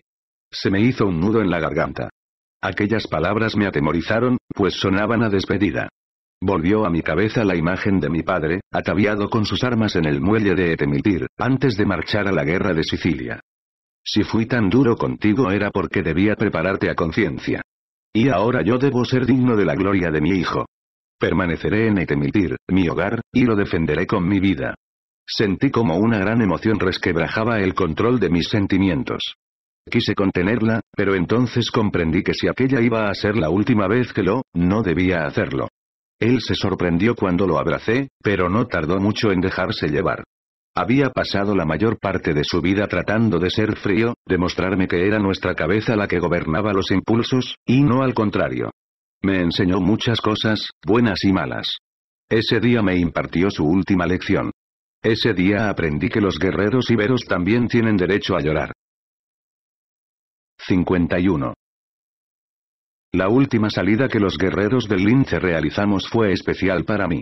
Las noticias que nos llegaban eran cada vez más preocupantes. El ejército de Aníbal se había puesto definitivamente en marcha, al completo. Habían salido desde Cartadast y pronto llegarían a Saití, donde se abastecerían para seguir hacia el norte. Aníbal solo tenía un destino en la mente, Arse. Sabía que si quería estorbar su avance no podía esperar a que se acercara más a mi ciudad. Por otra parte, la región de Saití era ideal para plantear una emboscada. El ejército púnico estaba obligado a cruzar por el paso de montaña que guardaba la ciudad de mi abuelo.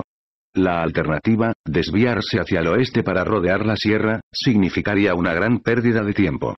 Y yo conocía bien aquel terreno, mucho mejor que cualquier cartaginés, excepto, tal vez, al orco, que lo había visitado de niño. Cabalgamos sin descanso para llegar con tiempo suficiente. Mi plan inicial no pasaba por detenerme en Saití, pues no quería involucrar a sus habitantes en el conflicto. Además, allí va nadie era de fiar, mi abuelo, con apenas un hálito de vida sujeto a su frágil vejez, era un rehén de Garokan y. Pero cuando vislumbramos los muros en lo alto de la montaña no pude apartar la vista y el corazón.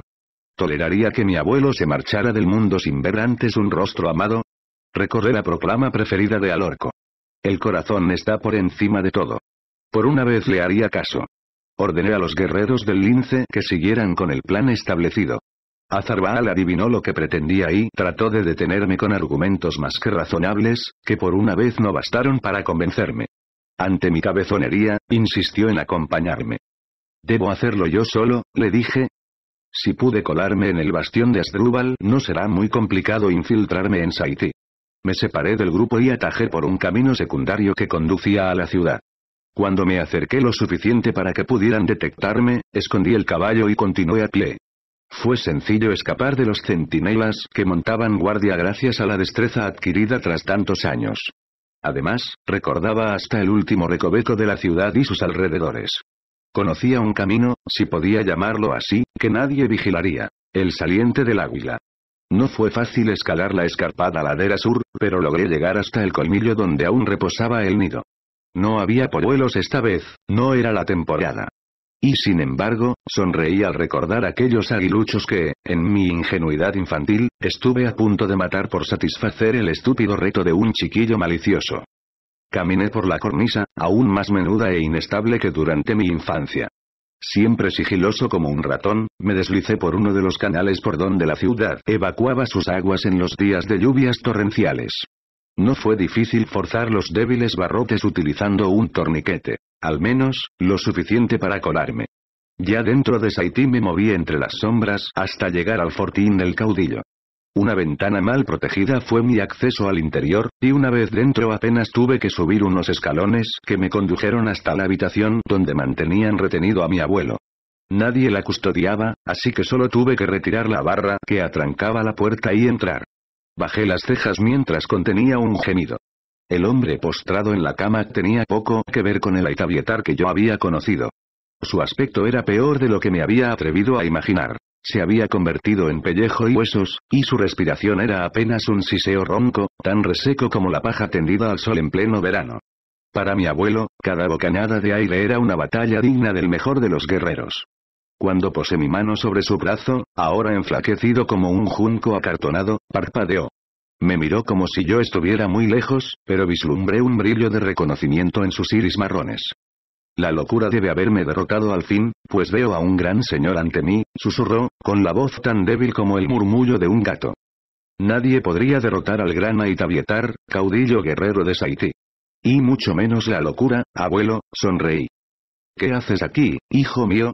Si has venido a salvarme, me temo que llegas tarde. Ni siquiera puedo auparme de esta cama.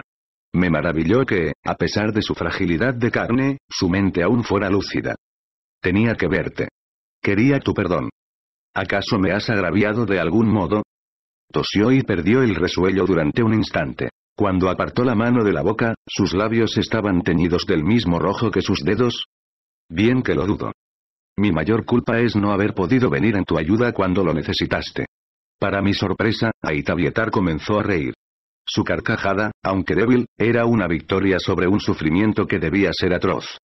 Tu generoso y sincero corazón te hace digno de llevar ese cinturón, señaló entre temblores el cinto que me había regalado siendo un niño. Y Corbeles, alma de Saití. Estás hecho para mucho más que salvar a un vejestorio. Ahora, cercana a la muerte, la visión se me despeja, como si apartaran un velo que cubría lo que estaba oculto. Tu misión es grandiosa, eso ya lo sabes. Pero cuidado, hay cosas que no se descubren hasta llegado el momento.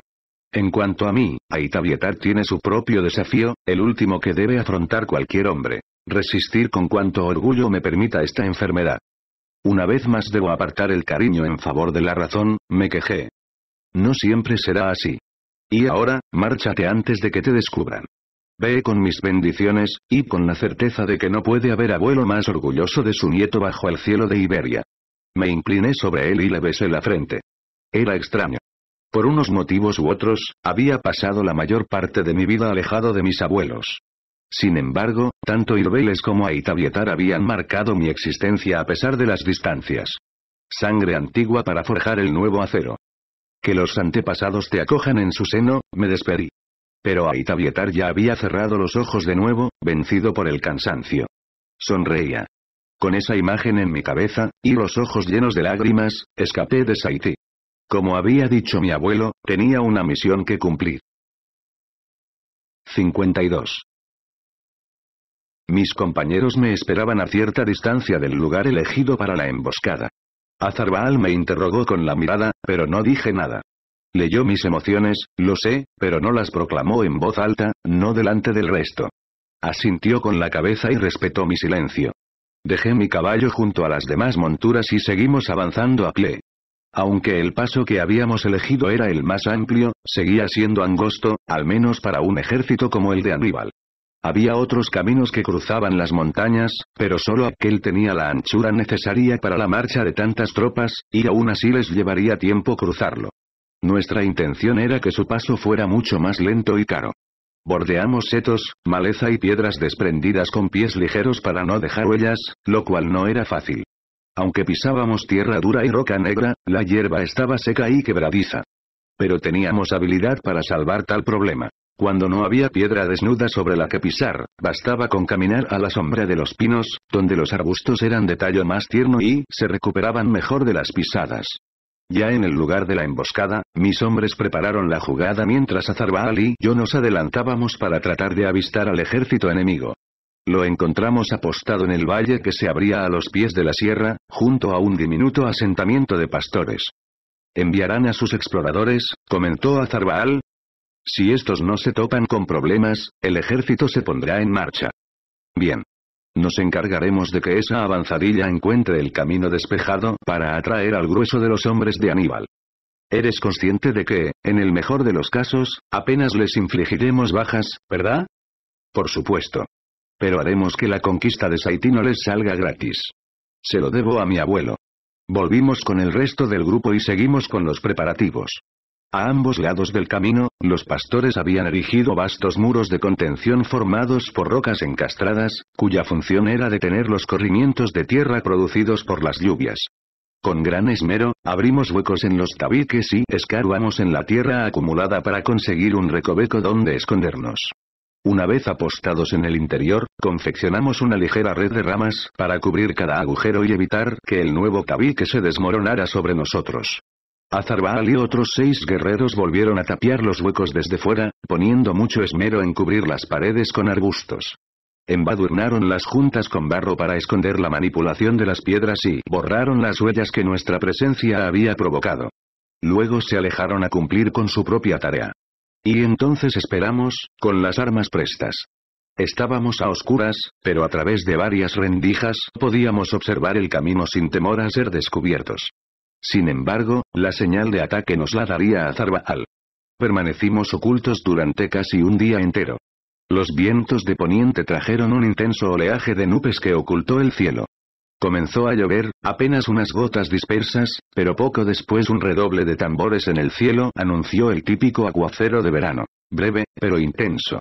De repente, el trinar de un falso gorrión, que en realidad era Azarbaal, nos alertó de la proximidad de la avanzadilla de exploración púnica.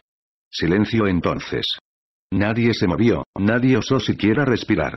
Los batidores cartagineses eran buenos en su trabajo, un descuido por nuestra parte y nos descubrirían. Solo con que apoyaran una mano contra los muros, advertirían que las piedras apenas se sostenían. Al observar a través de un pequeño hueco advertí que un pastor del asentamiento les hacía de guía. La primera parte de nuestra treta dio resultado. Uno de los exploradores volvió atrás para avisar al ejército de que no había peligro, mientras el resto seguía avanzando. Volvimos a esperar. Antes de que el sol llegara a lo más alto del cielo, escuchamos un rumor sordo. A medida que ganaba en claridad, reconocí el paso firme de los soldados púnicos. Aferramos las falcatas con fuerza. En esta ocasión no portábamos lanzas, pues necesitábamos movilidad y ligereza. Pasaron por delante de nuestro esconderijo una fila tras otra. Cuando conté diez, la comitiva se detuvo de pronto. El insulto que Azarbaal envió a los cartagineses fue el aviso que esperábamos. Odiosos perros sarnosos, besadme el trasero. Empujamos con nuestros escudos la inestable pared de piedra y, como bestias míticas surgiendo de la tierra, atacamos. Nuestra fiereza fue tal que, entre los enemigos, un grupo de celtíberos cubiertos con su sago de lana, se extendió una gran confusión. Al principio nos tomaron por demonios, pues habíamos pintado nuestros rostros con ceniza para parecer más amenazantes. Nuestro movimiento fue una cuña que separó las primeras filas del resto del ejército.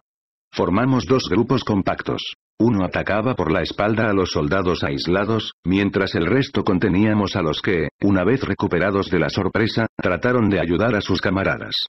Pero no estaban ante íberos comunes. Éramos los guerreros del lince, los mejores luchadores con la falcata.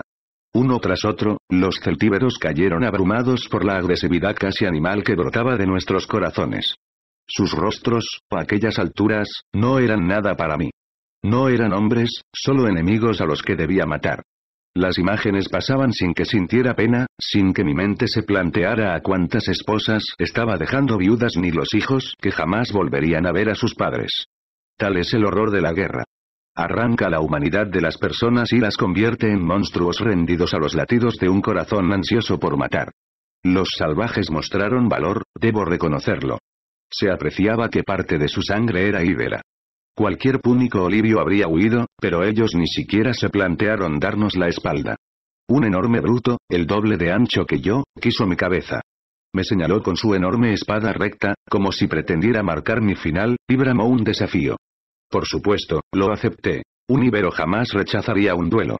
Avanzó hacia mí con los músculos de sus fornidos brazos rígidos, la espada en alto para partirme la cabeza. Un guerrero bravo, sí, pero ingenuo. Con la delicadeza de una caricia de mujer, mi falcata abrió un gran tajo en la parte baja de su estómago mientras me deslizaba hacia la derecha. Aún así, el celtíbero dejó caer su arma sin atender a mi movimiento de esquiva. Su herida se abrió como un cuero rajado sometido a una gran tensión. La carne dañada estalló, acompañada de sangre y entrañas. En honor a su coraje, acorté su agonía partiéndole la cabeza.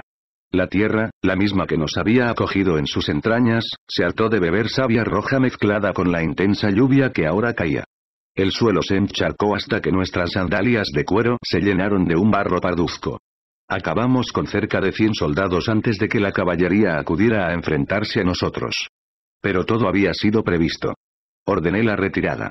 Los cuerpos tendidos en el fango ralentizaron la carga de los jinetes y nos dieron la ventaja suficiente para llegar al siguiente punto establecido. Alcé la vista a la derecha y vi la roca que, a media altura de la montaña, se sostenía a duras penas. Di la orden y los seis guerreros que esperaban tras la gran piedra la empujaron utilizando una palanca. La roca, cuyo asentamiento de tierra ya había sido socavado para aligerar la tarea, no tardó en ceder y rodar ladera abajo. En su caída arrastró tierra y más rocas en una impresionante ola ensordecedora. Varios de los jinetes quedaron sepultados sin remedio. Los tres que lograron escapar lanzándose contra nosotros fueron víctimas fáciles de los hombres que, desde arriba, los atacaron con jabalinas. Nuestro triunfo, aunque modesto, fue total. Apenas habíamos mermado el ejército enemigo, pero logramos taponar la única vía por la que Aníbal podía avanzar. Tanto si rodeaba la sierra en busca de otros pasos, como si optaba por despejar el derrumbamiento, perdería mucho tiempo. Pero lo más importante, les habíamos demostrado que aún debían tenernos miedo. 53. Poco después de volver a Arse, la ciudad cerró definitivamente sus puertas.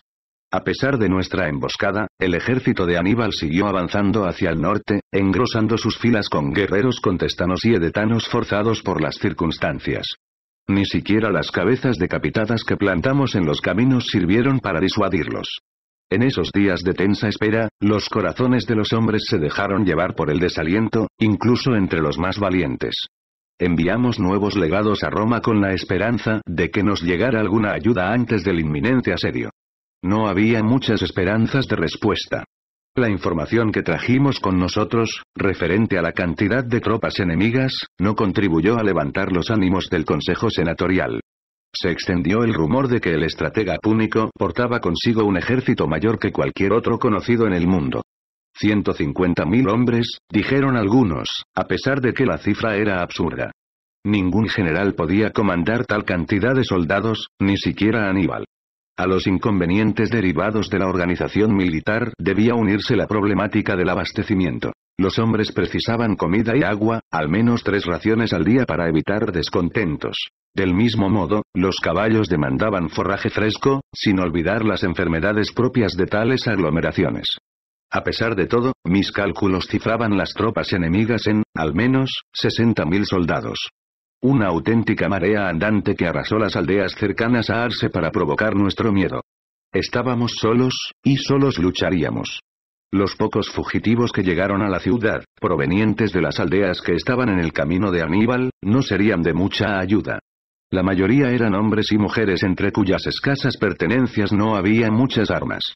Llegaban con el cabritillo que suponía toda su riqueza, otros con un pequeño saco de grano o algunas vasijas de poca valía. Las madres traían a sus hijos en brazos mientras trataban de que dejaran de llorar. Y vi ancianos que se apresuraban ante el temor de que sus familiares los dejaran atrás, como habían hecho con los enfermos. Demasiadas bocas que alimentar y pocas manos para luchar. Y Comkey los dejó pasar a regañadientes, pues sabía que si el asedio se prolongaba, toda aquella gente supondría un grave problema. Pero era de corazón justo. Jamás habría abandonado a tanto íbero a su suerte. Y Comkey y yo organizamos a los soldados en las murallas. Ambos estábamos convencidos de que Aníbal seguiría la lógica y atacaría por los puntos más vulnerables de la muralla, aquellos que daban al valle, al mar y al río. Allí apostamos a los mejores defensores, la juventud arsetana, cuyo ardor resistiría el empuje púnico. Los armamos con soliférreas, pero sobre todo con las temibles faláricas. Lanzas arrojadizas con asta de abeto y una larga punta, que se envolvía con estopa empapada en pez. Antes de arrojarla, los guerreros prenderían el combustible. La misión de la llama era obligar a los cartagineses a desprenderse de sus escudos en caso de bloquear el proyectil, haciéndolos más vulnerables. Recuerdo que para atemperar la tensión solía pasear por las almenas varias veces al día, oteando al horizonte. Una tarde, el aire estaba tan pesado que me supo extraño. Los aromas del campo parecían estancados, y el viento quieto como si el mundo contuviera la respiración. Algo amenazante venía por el sur, algo que alteraba los nervios hasta de los más veteranos. Tuve entonces una premonición, una especie de visión que alteró mi espíritu. Dolor, sangre y espadas, terror, clamor de trompetas, valor más allá de toda medida, humo negro. Todo se mezclaba en mi cabeza, una aglomeración de imágenes difusas y sentimientos enfrentados. De pronto me vi caminando por un largo sendero, en mitad de un bosque oscuro y ominoso. Delante solo había una densa niebla, tan cerrada que resultaba imposible distinguir nada más allá de su frialdad. Pero sentía con claridad que aquel lugar hacia el que marchaba no era de mi agrado. Quise detenerme, pero no pude. Traté de atajar por alguno de los senderillos que de vez en cuando se cruzaban con el mío, pero por mucho que lo intenté no logré desviarme. Era como si el mismo camino se moviera, llevándome con él a la fuerza, obligándome a avanzar hacia lo desconocido. Ven, y Corbeles, decían unos agradables susurros nacidos en los lindes del sendero. Déjate llevar. Es tu destino. Me hablaban de valor, de honor, de grandes ideales que cualquier hombre querría aceptar para sí. ¿Quién sería capaz de ignorar tan dulces cantos? Como un títere, dejé de resistirme al impulso del camino. La bruma me abrazó poco después. Parpadeé y volví al mundo real tan rápido como lo había abandonado. La visión se desvaneció, y si había de aprender algo de ella, no sería entonces. Me froté los ojos, aparté aquellos pensamientos y me dirigí a mi hogar, en busca del solaz de mi familia mientras aún pudiera tenerlo. Era casi de noche cuando los centinelas dieron la primera voz de alarma.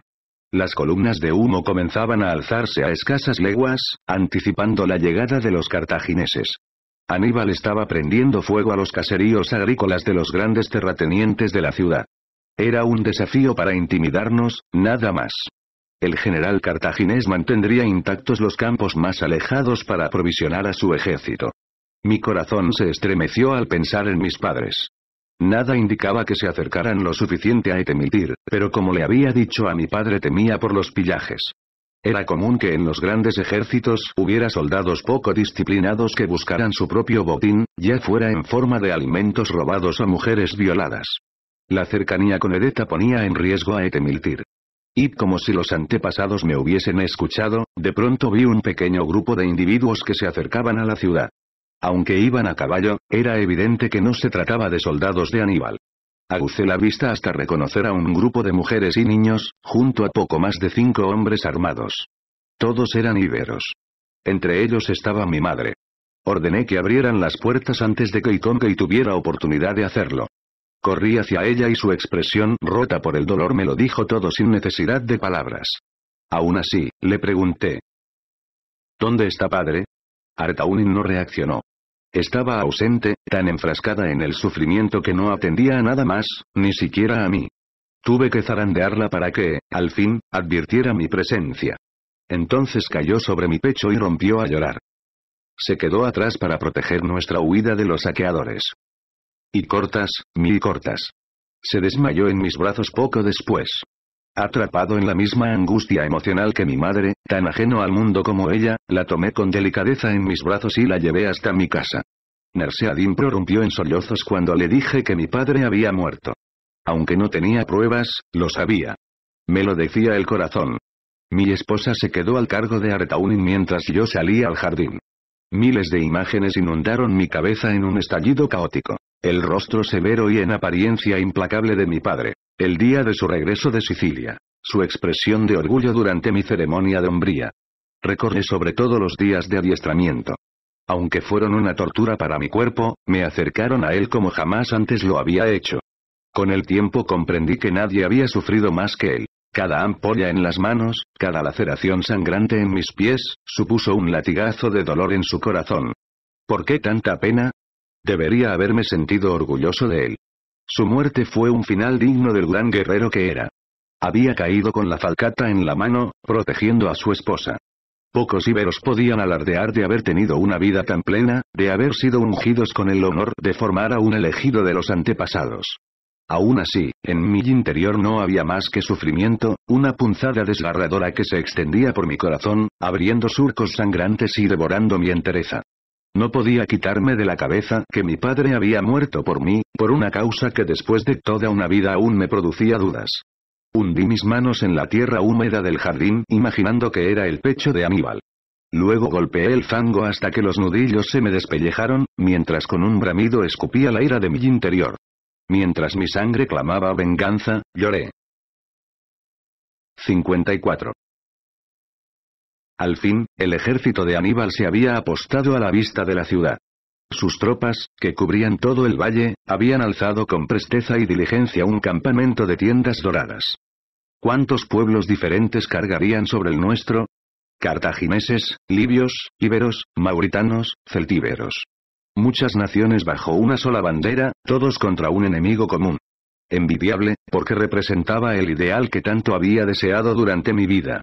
Cierto que la mayoría de ese ejército estaba formado por mercenarios, pero, gracias a su carisma, Aníbal había logrado que esos soldados se movieran por algo más que una buena bolsa de oro. Los defensores observábamos con gesto sombrío la marea de enemigos y sus quehaceres. Allanaban el terreno, levantaban empalizadas y fijaban al suelo las viñas. Nota al pie máquinas de asedio que servían como mamparos, normalmente de madera y recubiertos de pieles, y que daban protección contra los proyectiles enemigos. Fin de nota. Una tras otra.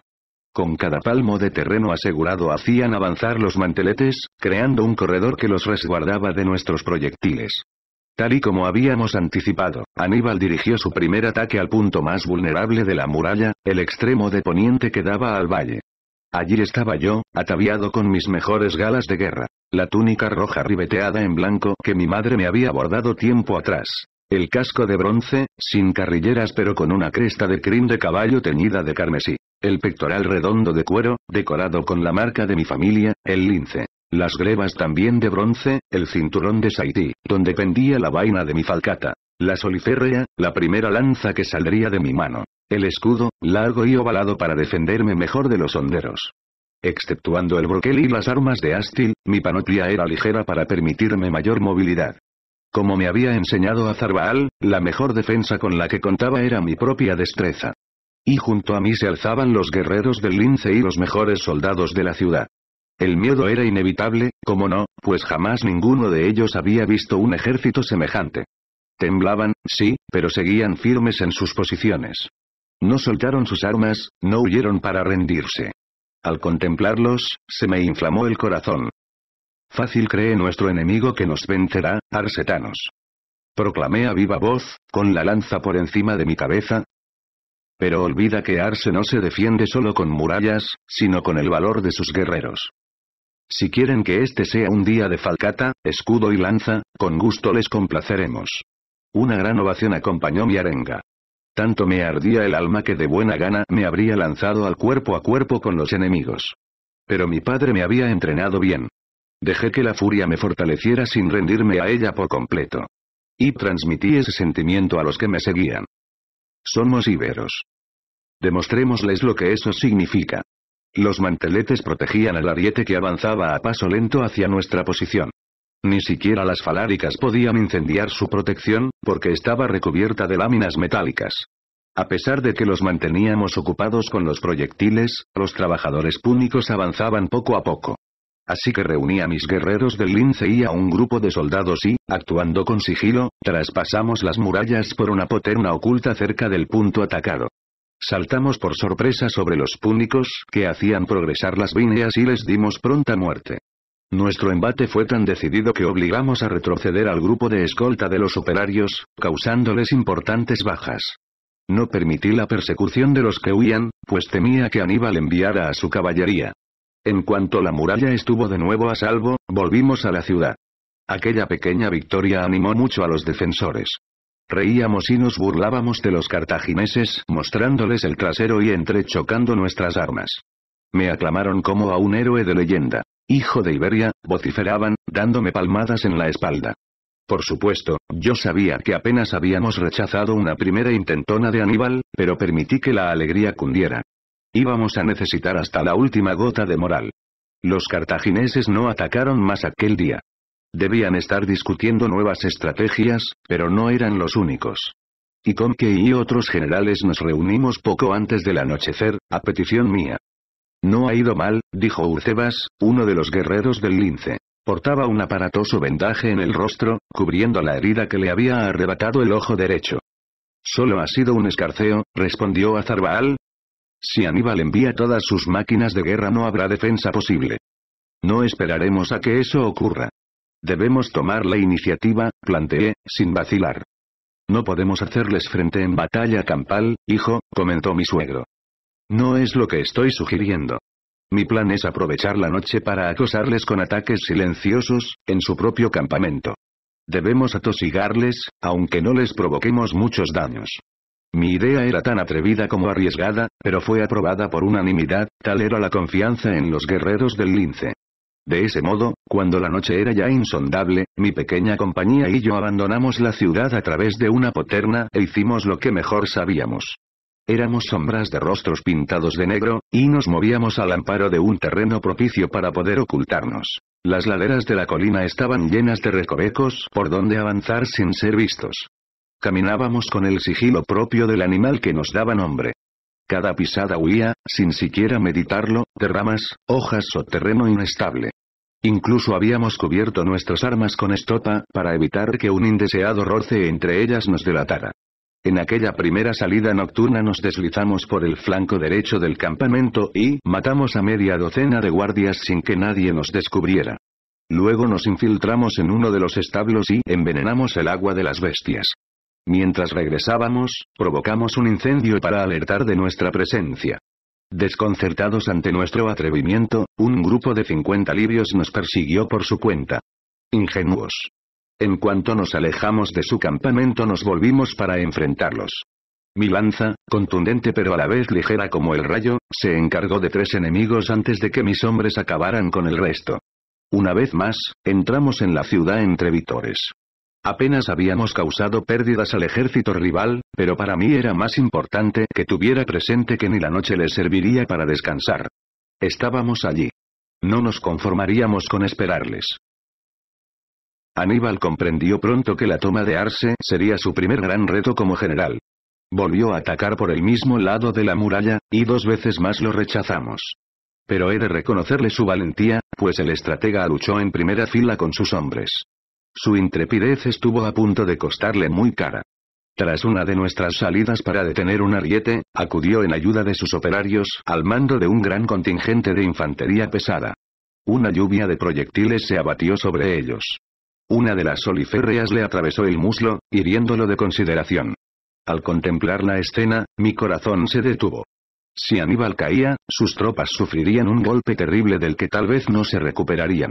Tomé mi lanza de hierro y con toda intención ataqué al general púnico, pero este ya se había escudado tras las adargas de sus hombres. Lo evacuaron hasta el campamento mientras las tropas abandonaban el ataque. Las hostilidades cesaron mientras Aníbal se recuperaba. Nos llegaron rumores de que el ejército cartaginés estaba desmoralizado ante nuestra resistencia y la baja de su jefe. Mientras tanto, nosotros aprovechamos para reparar y reforzar las defensas. Hicimos muros interiores en la zona urbana de la ciudad, cerrando un nuevo círculo al que escapar si la gran muralla caía. En honor a la verdad, pocos eran los que creían que eso ocurriría. La euforia era tal que todos confiaban en resistir un ataque tras otro. Cuando Roma sepa de nuestro valor, sin duda acudirá en nuestra ayuda, escuché decir a uno de los soldados. No le contradije, pero yo sabía que algo así era poco probable. Durante las semanas siguientes seguimos con nuestros asaltos por la noche. Incendiábamos tiendas de campaña, espantábamos a sus caballos o envenenábamos los suministros de los cartagineses. Los desafiábamos en terrenos propicios a nuestros intereses, demostrando la maestría en las armas de los guerreros del lince. Jamás nos pusieron en apuros. Nuestro peor enemigo en aquellos días fue la escasez de alimentos, cada vez más acuciante. Llevábamos casi tres meses de asedio en los que no habíamos recibido más comida que aquella que logramos robar del campamento cartaginés. Minucias insuficientes para los brazos guerreros y los estómagos vacíos de las mujeres y los niños. Racionamos severamente lo que nos quedaba. Llegué a desear que los púnicos atacaran otra vez, porque la inactividad era peligrosa. Algunos hombres parecían inquietos. Miraban el pedazo de pan duro del compañero con demasiada avidez. Llegó una luna llena y luego otra, y otras dos más. Aníbal recuperó las fuerzas y la batalla se reanudó. El estratega demostró que su cabeza no había estado ociosa durante la convalecencia. En esta ocasión atacaron por tres puntos a la vez, lo cual nos obligó a dispersar nuestras fuerzas. El embate fue tan fuerte que no pudimos rechazarlo.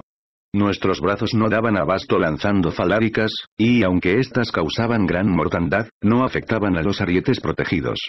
Al menos los cadáveres entorpecían el movimiento de los púnicos, pero no lo suficiente para detener a las vigas basculantes. Cuando golpearon la base de las tres torres que unían aquella sección de la muralla, se levantó un estruendo ensordecedor, acompañado por los tambores de los mauritanos. Los defensores que estábamos sobre la pared temblamos a causa de las vibraciones.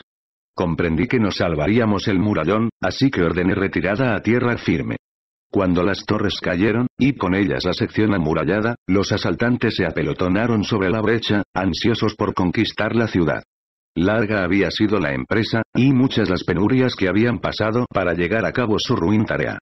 Estoy seguro de que ninguno de ellos esperó jamás tanta resistencia, así que comprendo que aquella trabajada victoria ensanchara sus ánimos. Pero allí estábamos los arsetanos, resueltos a demostrarles que no habían ganado nada todavía. Cargamos, ante la sorpresa de los púnicos, gritando las proclamas del guerrero que mira a la muerte a los ojos. Aullábamos como lobos embravecidos, y mi voz se alzaba más que cualquier otra. Los rivales gemían al cruzarse conmigo, y se apartaban si mi furia no los señalaba. Con cada una de mis lanzadas vengaba a mi padre. Los mataba en la creencia de que cualquiera de ellos podía ser el asesino de Icortas. Si deseaba venganza, debía matarlos a todos. El espíritu del lince estalló dentro de mí de nuevo, pero esta vez contagió a mis hombres. Al verme henchido del orgullo guerrero, desearon imitarme. Han pasado muchos años desde ese día, pero hoy sé que jamás un ejército de Cartago se enfrentó a enemigo más intrépido. La ventaja estuvo con nosotros desde el primer momento. Los restos de la muralla representaban un inconveniente grave para los atacantes, pues entorpecía sus movimientos. Para aprovecharlo, ordené que nuestra acometida no sobrepasara los escombros. Los asaltantes llegaban hasta nuestra posición con apuros, y era entonces cuando los enfrentábamos, manteniéndolos entre nuestras lanzas y las ruinas, por donde se apelotonaban más de los suyos. Su número se convirtió en nada, una desventaja más bien, pues se estorbaban unos a otros en un paso tan angosto, impracticable y bien defendido.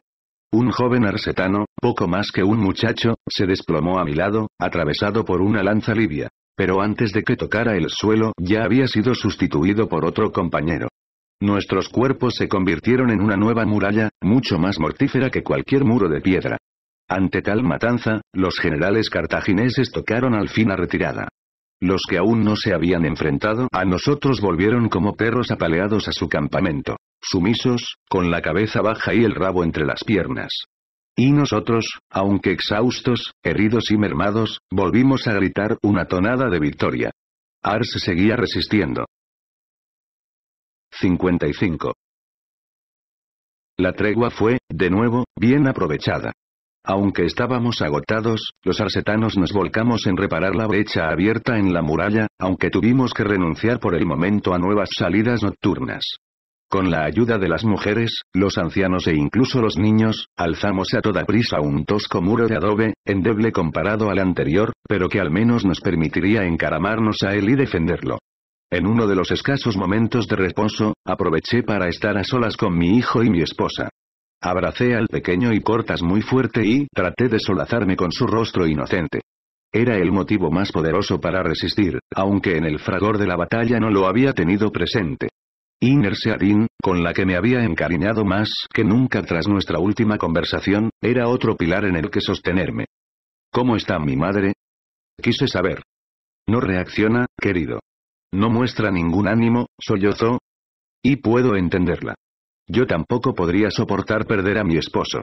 Le di un beso delicado en los labios y acaricié su enflaquecida cara. La falta de comida le estaba pasando factura, como a todos. Cuando lo pienso hoy, me doy cuenta de que, si las cosas hubiesen sido distintas, si hubiésemos tenido tiempo por delante, habría acabado por amarla. No como Anistán, por supuesto, pero la semilla de un cariño sincero había comenzado a echar raíces en mi corazón. No me perderás. Resistiremos, le aseguré. Confío en ti. Pero si llegara la derrota, no permitiré que mi hijo caiga en manos cartaginesas. Ni tampoco mi cuerpo. Mi devoción por ti es mayor que la de cualquier guerrero por su capitán. Te seguiremos a cualquier final. No, le habría dicho. No os quitéis la vida. Confiaba en que los púnicos, en caso de tomar la ciudad, al menos tendrían la deferencia de respetar a las mujeres y los niños. En mi caso, sabía que al orco los protegería. Pero ¿cómo podía estar seguro de que él llegaría a tiempo? ¿Y si moría en la batalla? Cabía la posibilidad de que violaran a Nerseadin y la convertirían en esclava, junto a Icortas. Los rodeé con mis brazos, inspiré con fuerza el aroma de sus cuerpos. Mi destino se clarificaba. Salvar a Arse. Proteger a mi familia. Ser fiel a Iberia. A la mañana siguiente, los centinelas avistaron dos barcos romanos que se aproximaban a la costa. Después de tanta angustia, renació en nuestros corazones la esperanza, a pesar de que las banderas diplomáticas de los buques no auguraban la llegada de tropas. Se confirmó mi apreciación cuando dos legados del Senado romano desembarcaron en las cercanías de la ciudad. Sus togas largas y blancas eran inconfundibles. Lo observamos todo desde las murallas. Los emisarios fueron recibidos por el propio Aníbal y un pequeño séquito en la playa. Su escaso deseo de parlamentar era más que evidente. Según supe después, se excusó en que no podía prometer la seguridad de los legados dentro del campamento, explicación más bien endeble, teniendo en cuenta la lealtad que todos sus hombres le profesaban. Los senadores trataron de hacerle comprender que el ataque a Arse no era justificable. El estratega, hastiado, los remitió al Consejo de Ancianos en Cartago, argumentando que no estaba autorizado a negociar con ellos a espaldas de su gobierno. Contrariados, los romanos se embarcaron de nuevo y pusieron rumbo a la ciudad púnica. Con el tiempo averigüe lo ocurrido en Cartago. Aníbal desconfiaba tanto del senado de su ciudad, en especial de los partidarios de Anón, que envió mensajeros para que se adelantaran a los romanos y alentaran a los leales a la familia Bárquida. Una vez en la capital púnica, los romanos recordaron los tratados de la rendición en Sicilia, donde los cartagineses se comprometían a no atacar a ninguna ciudad aliada de Roma. Y Arse era tenida como tal por los legados. Anón se erigió como defensor de estos, pero los adeptos de los Bárquidas dejaron claro que la alianza arsetana era posterior a dichos pactos, y por tanto no tenía validez. Más aún, se escudaron en el tratado suscrito por Asdrúbal, por el cual Arse quedaba dentro del área de influencia púnica. Y recordaron los agravios denunciados por los turboletas. Los legados romanos no consiguieron nada y tuvieron que regresar a su país sin ningún acuerdo. Su marcha de Arse supuso una gran decepción para nosotros. Pero Iconque y yo aprovechamos el suceso para enaltecer el orgullo arsetano. Roma nos abandona. Gritó mi suegro, no importa. Cuando venzamos, les demostraremos que Iberia no necesita ayuda de nadie. Estamos bajo el amparo de los antepasados y la Madre Tierra. Añadí. Tras unos días de descanso, los cartagineses volvieron a la carga, esta vez con una nueva estrategia. Habían montado una gran torre móvil, y en su interior alojaron una balista por nivel. Aquel titán, tirado por elefantes con armadura, se acercó hasta la muralla sin que pudiéramos hacer nada por detenerlo. Sus mortíferos proyectiles vaciaron las murallas y diezmaron a mis hombres. Aquel día perdí a cinco de mis guerreros del lince. Azarbaal, mi fiel amigo y protector, fue uno de ellos. Lo vi caer a la parte interior de la fortificación, y me abrí camino, desesperado, entre la multitud de cuerpos malheridos. Cuando llegué hasta él, aún le quedaba un hálito de vida. Pero su cuerpo estaba destrozado. Las extremidades inferiores aparecían en un ángulo imposible, el rostro magullado, el pecho abierto en canal. Su respiración, entrecortada, hacía presagiar el peor desenlace. Y a pesar de todo, el muy canalla se reía mientras la muerte lo reclamaba. ¿Acaso no he tenido una vida plena? Me dijo, consolando mis lágrimas cuando debiera ser al contrario. Seré la envidia en los salones de Melkart. Nadie ha catado tantas mozas como yo. Y así murió, tal como vivió. Valiente y pillastre hasta el final. Leal hasta la muerte. Amigo mío, cuánto te echo de menos. Pero no había tiempo para las lágrimas. Una muralla sin defensores está abocada a ser conquistada. Aníbal aprovechó esta circunstancia para enviar a varias cuadrillas de mauritanos, armados con picos, para que echaran abajo la frágil muralla que habíamos construido. Abrieron brechas en distintos puntos, lo que impidió que pudiéramos repeler el ataque como la última vez. Los cartagineses se convirtieron en un torrente continuo. Se colaban por tantas fisuras que estuvieron a punto de rodearnos. Los animaba la promesa de su general, que había cedido todo el botín de la ciudad a sus hombres. Ordené una retirada en formación, sin dar la espalda, defendiendo cada palmo de terreno mientras reculábamos. Con las pocas tropas que nos quedaban, nos parapetamos en la muralla interior que habíamos levantado en los momentos de calma. Desde allí, contemplé inmóvil los alaridos triunfantes de los invasores. 56. A pesar de todos nuestros esfuerzos, los púnicos se adueñaron con facilidad de la parte alta de la ciudad. Tras levantar una cabeza de puente, emplazaron sus catapultas para dominar las zonas más bajas. A nuestro favor teníamos el reducido perímetro defensivo en el que nos refugiábamos, que permitió que los pocos hombres que nos quedaban pudieran controlarlo. Pero los cartagineses no volvieron a atacar de inmediato. Supe que Aníbal se había marchado para enfrentarse a una rebelión inesperada de los carpetanos y oretanos. Ambos pueblos, en la creencia de que la mayoría de tropas estaba ocupada en Arse, habían decidido protestar ante las excesivas levas cartaginesas. Eso nos dio un respiro, pues aunque Marval quedó al cargo, y era más cruel que Aníbal, el agotamiento de los soldados hizo que su mano no fuera tan firme. Mientras tanto, incineramos a nuestros muertos en piras amontonadas en las calles. Me abrieron una nueva herida en el alma cuando supe que Ikonkei también había caído. Las lágrimas de Nerseadin fueron desgarradoras al principio, pero era fuerte de mente y pronto se rehizo, por orgullo y obligación hacia mí, por respeto a la memoria de su padre. Me convertí en el nuevo magistrado militar de Ars en medio de unas funestas condiciones que auguraban un mandato breve. Pero, a pesar de la desesperación que reinaba a mi alrededor, mi corazón no se mostraba rendido. Fue como si en mi interior se alzara una fuerza indómita para enfrentarse a la penuria. Mi destino estaba tan cerca que casi podía paladearlo. La muerte, sin duda, pero tan gloriosa que serviría para inspirar a muchos otros. Sin embargo, la mayoría de defensores de Arse no compartían mi renacido ánimo. La desmoralización, el cansancio, pero sobre todo el hambre, habían hecho enloquecer a algunos hombres. A un par tuvimos que matarlos para evitar males mayores. Solo la voluntad de cada uno impedía que siguieran el mismo camino, pues malvivíamos como por dioseros. Habíamos tenido que sacrificar a todos los animales de la ciudad, incluidos los perros, para conseguir alimento. Las mujeres cazaban ratas o escarbaban en la tierra de los jardines en busca de gusanos que llevarnos a la boca, junto con las raíces y hojas de los árboles o el líquen de las piedras. Incluso molíamos la corteza para hacer una pasta con la que engañar a nuestros hijos hambrientos. La necesidad llegó tan lejos, que al fin tuvimos que traspasar una línea execrable. Comer la carne de nuestros muertos más recientes.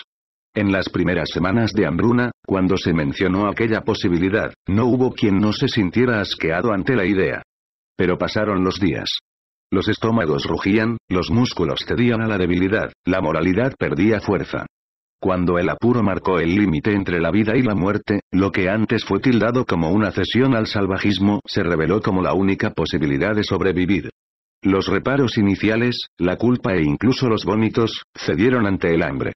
En un último intento de esconder nuestra abominación, decidimos cocinar la carne al fuego. Aún así, el regusto en nuestros corazones no dejó de ser amargo. La idea de una rendición apareció por primera vez en esos días.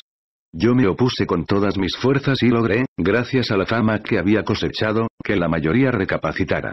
Pero Halcón no estuvo conforme. Cuando Aníbal regresó a su campamento, el mediador del consejo se las ingenió para salir por la noche y llegar hasta el estratega. Habló con él, suplicándole por la vida de los arsetanos. Sin embargo, las condiciones de Aníbal eran inadmisibles. Además de reconocer los ataques a los turboletas, debíamos marchar de la ciudad con apenas una muda y establecernos donde el general dispusiera. Halcón, sabedor de que jamás aceptaríamos estas condiciones, tuvo miedo de ser acusado de traición y no quiso regresar. Pero alguien se ofreció a transmitirnos aquellas demandas imposibles. Alguien que sabía que no sería herido. Mientras daba una ligera cabezada en un rincón, me anunciaron que un embajador púnico había entregado las armas y podía ser recibido por las autoridades de Arse. Desconcertado, recibí al cartaginés antes de convocar al consejo. Cuando el heraldo descubrió su rostro ante mí, el corazón me dio un vuelco. Hola, hermano, me dijo al orco. Lo miré con dureza, tratando de ver en él a un enemigo. ¿A qué has venido? Uno de los vuestros llegó ante Aníbal pidiendo clemencia para la ciudad. Pero las exigencias de mi estratega no le parecieron adecuadas y tuvo miedo de volver a anunciároslas. Yo he venido en su lugar. No vamos a rendirnos. Mi misión es transmitiros las condiciones, la vuestra pensarlo. Entregaréis las armas y cesaréis toda hostilidad. Vuestras riquezas servirán como compensación a los turboletas y para sufragar los gastos de este costoso asedio. Por supuesto, abandonaréis Arse. A cambio, se os perdonará la vida. Nadie os pondrá la mano encima. Lo jura Aníbal. Una llama iracunda estalló en mi pecho. Tomé al orco por la túnica y lo golpeé contra el muro de una casa. A pesar de la furia en mis ojos, él ni se inmutó. ¿Juramentos de un hipócrita? No, gracias. ¿Me devolverá la vida de mi padre? Bajó la mirada para no tener que enfrentarla a la mía. Su pena, aunque yo no quisiera verlo entonces, era tan innegable como una puesta de sol. Siento tu pérdida como mía, murmuró al orco en tono compungido. ¿Estuviste allí, hermano? Le pregunté, poniendo todo mi odio en aquella última palabra. ¿Viste morir al hombre que te dio una casa? ¿O acaso lo mataste tú mismo? Él te quiso como a un hijo. Se reveló al fin. Me apartó las manos mientras rompía a llorar. No me hables de dolor. Cuando supe de los ataques a Etemiltir cabalgué sin descanso para sofocarlos. Pero llegué tarde. Encontré su cuerpo ya sin vida. Yo mismo lo incineré como mandan las tradiciones íberas. Al orco cayó de rodillas y se dejó llevar por el dolor. Sollozó durante un rato, mientras yo lo observaba sintiendo a la par odio y lástima. Mi único deseo es que tú no corras su suerte. Por favor, y Corbeles, aceptad la rendición, me pidió, mientras hundía su cara en mis pies, Puedo conseguir que tú y tu familia tengáis un trato de favor. No seréis esclavos de nadie, lo prometo. No puedes lograr algo así, por mucho que lo desees. Quizás no seríamos esclavos, pero tampoco libres. Me atormentaría la idea de que yo, el hijo de Iberia, elegido por los antepasados, di la espalda a mi pueblo. No podría vivir conmigo mismo. Y lo sabes bien. Se levantó entonces y me tomó por los hombros. Si no lo haces por mí, ni por ti y los tuyos, hazlo por Nistán. La mención de su nombre me provocó un nudo en la garganta. Tu muerte le causará un dolor terrible. Miré a Nerseadina y Cortas, cerca de nuestra posición aunque no lo bastante para escucharnos. Cuando la veas de nuevo, dile que la amo y que siempre la amaré. Pero mi deber es permanecer junto a los míos. Ya no dije nada más hasta que llegaron los miembros del consejo. Al orco habló ante ellos haciendo referencia a la generosidad de Aníbal. Nos alentó a que no viéramos las condiciones como ofrendas al vencedor, sino como un gesto de éste, que se dignaba a dejarnos algo de lo que ya consideraba de su propiedad. Aún hay posibilidades de que esto acabe bien para vosotros, aseguró. Aníbal os ofrece vuestras vidas, que como enemigos suyos dependen demasiado de la espada. Hablo como amigo, casi como uno de vosotros. Me miró directamente. En parte, Iberia también es mi patria, pues me acogió cuando lo necesité. Así que confiad en mi palabra. Lo que os ofrezco tal vez no es lo más justo, pero sí lo más necesario. Con vuestras fuerzas tan mermadas no queda otra alternativa. Y es mi esperanza, aunque no puedo hacerla segura, que si accedéis a estas duras condiciones y mostráis buena voluntad tal vez Aníbal ceda más. Su corazón está alegre por su reciente paternidad. Sus palabras fueron claras pero también amables. Sin embargo, el propio Alorco sabía tan bien como yo que no servirían ante el orgullo íbero. Antes que entregaros nuestras riquezas, con gusto las quemaremos en una hoguera, dijo Merceadín, resentida por la muerte de su padre. Ese fue el sentir general. Alorco se reunió conmigo de nuevo, esta vez a solas. ¿Por qué Arse, Alorco? Le pregunté. Y no me digas que fue por los turboletas. Por supuesto que no. Ellos solo fueron una excusa. Aníbal quiere Arse porque le supondrá un punto de lanzamiento ideal para sus tropas.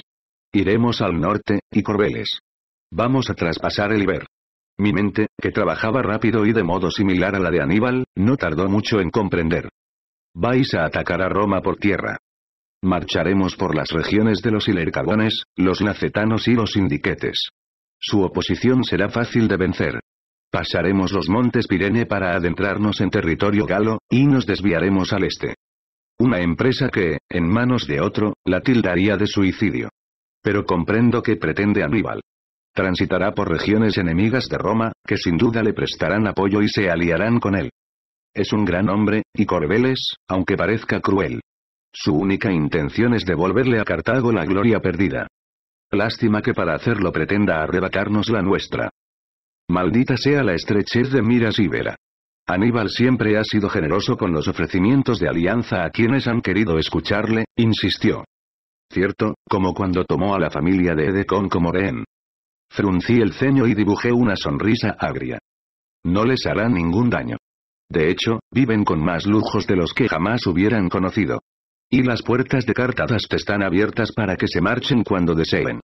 Estoy convencido de que si la esposa de Edecon y sus hijos decidieran irse, habría consecuencias para Edeta. Por supuesto. Sería un desplante hacia Aníbal, quien solo desea demostrar que no es un monstruo como os empeñáis en asegurar. Si no estuvieras tan ofuscado por esa profecía de tu infancia, comprenderías cuánto puede ganar Iberia admitiendo el gobierno de Cartago. Pregúntale a los habitantes de Cartadas si sus vidas han mejorado. Ahora nadan en la abundancia gracias a nosotros. ¿Es por eso que te has apuntado a luchar contra los que una vez te acogieron? Reconozco que fue un ataque cruel e inmerecido. Pero estaba enfadado y no me di mis palabras. Eso es injusto. ¿Sabes por qué estoy aquí? Mi familia debe lealtad a los Bárquidas por todo lo que nos han ofrecido. Conoces cómo funciona la aristocracia cartaginesa. Aníbal demandó mis servicios cuando su padre murió. Debía responder o mi familia hubiese sido abandonada por parte de los Bárquidas, con todo lo que ello representa. Además, mi intención era tratar de mediar entre los íberos y mis generales. ¿Quién crees que ha atemperado el carácter belicoso de Aníbal? Pero, como digo, os empeñáis en complicarlo todo. Sea como sea, mantén tu cabeza en el aquí y el ahora. Esa marcha hacia Roma no se producirá mientras no nos derrotéis. Alorco sonrió con aire triste. Siempre tan seguro de ese destino augurado. Ojalá no te lleve a la muerte. Me llevará a la gloria, sea en vida o no. Me abrazó, me dijo que me quería. No respondí, pero me dejé llevar. Por un momento volvimos a ser niños ajenos a la crueldad de la guerra. Antes de irse, me susurró un secreto al oído. Nistán tuvo una hija al poco de volver a Cartago. ¿Ha vuelto a casarse? Pregunté, tratando de esconder mi turbación. No. Ya estaba embarazada cuando se fue. Por fortuna, no volvió a enfermar como la primera vez que regresó de Iberia. Pero Tugar era estéril. Me quedé sin aliento ante aquella revelación. Elisa tiene tu sonrisa. 57. No había esperanza para nosotros, no más que la que pudiera albergar un loco. Pero lejos de amedrentarme, me sentí de algún modo pletórico. Aquella era la batalla que había estado esperando toda mi vida. En un combate donde no existe esperanza de victoria jamás se pierde, pero se puede ganar mucho. Se puede ganar la inmortalidad del héroe. Los guerreros nos dispusimos para la última carga, mientras las mujeres y los niños se refugiaban en la plaza central. Tenían a mano los cuchillos para darse muerte apenas cayéramos los hombres. Besé a Nerseadín por última vez antes de que se marchara. Abracé muy fuerte a mi hijo. Papá, te quiero mucho, me dijo, arrancándome un pedazo del corazón. Y yo a ti, hijo mío. Eres mi orgullo más grande. El conocimiento de que Nistan había tenido una hija mía no cambió un ápice mi amor por Icortas y el cariño respetuoso hacia Nerseadin. Al fin y al cabo, ellas estaban lejos de mi vida, a salvo. De hecho, me alegraba, pues Nistan tendría motivos para seguir viviendo una vez yo muriera. Pero en aquellos momentos me debía a mi esposa y a mi hijo. Tomé su manita con la mía y la llevé a mi pecho, sobre el corazón. Luego la guié para que se asentara sobre el suyo. El espíritu del lince nos une, hijo. Dejé a mi familia y me uní al resto de guerreros. Todos sabíamos que aquella iba a ser la última batalla, pero jamás vi tal resolución entre los arsetanos. La gloria estaba a nuestro alcance, no importaba el desenlace. Lo percibían. Con nuestro valor habíamos complacido a los antepasados. Arsetanos, es la hora de nuestro destino. Que nuestras lanzas repiquen por última vez. Que nuestras falcatas se resquebrajen en la batalla. Mañana la Gran Madre nos acunará en su regazo, y de su pecho beberemos la vida eterna. Alcé el puño a la altura de mi rostro, mientras arengaba a mis hombres.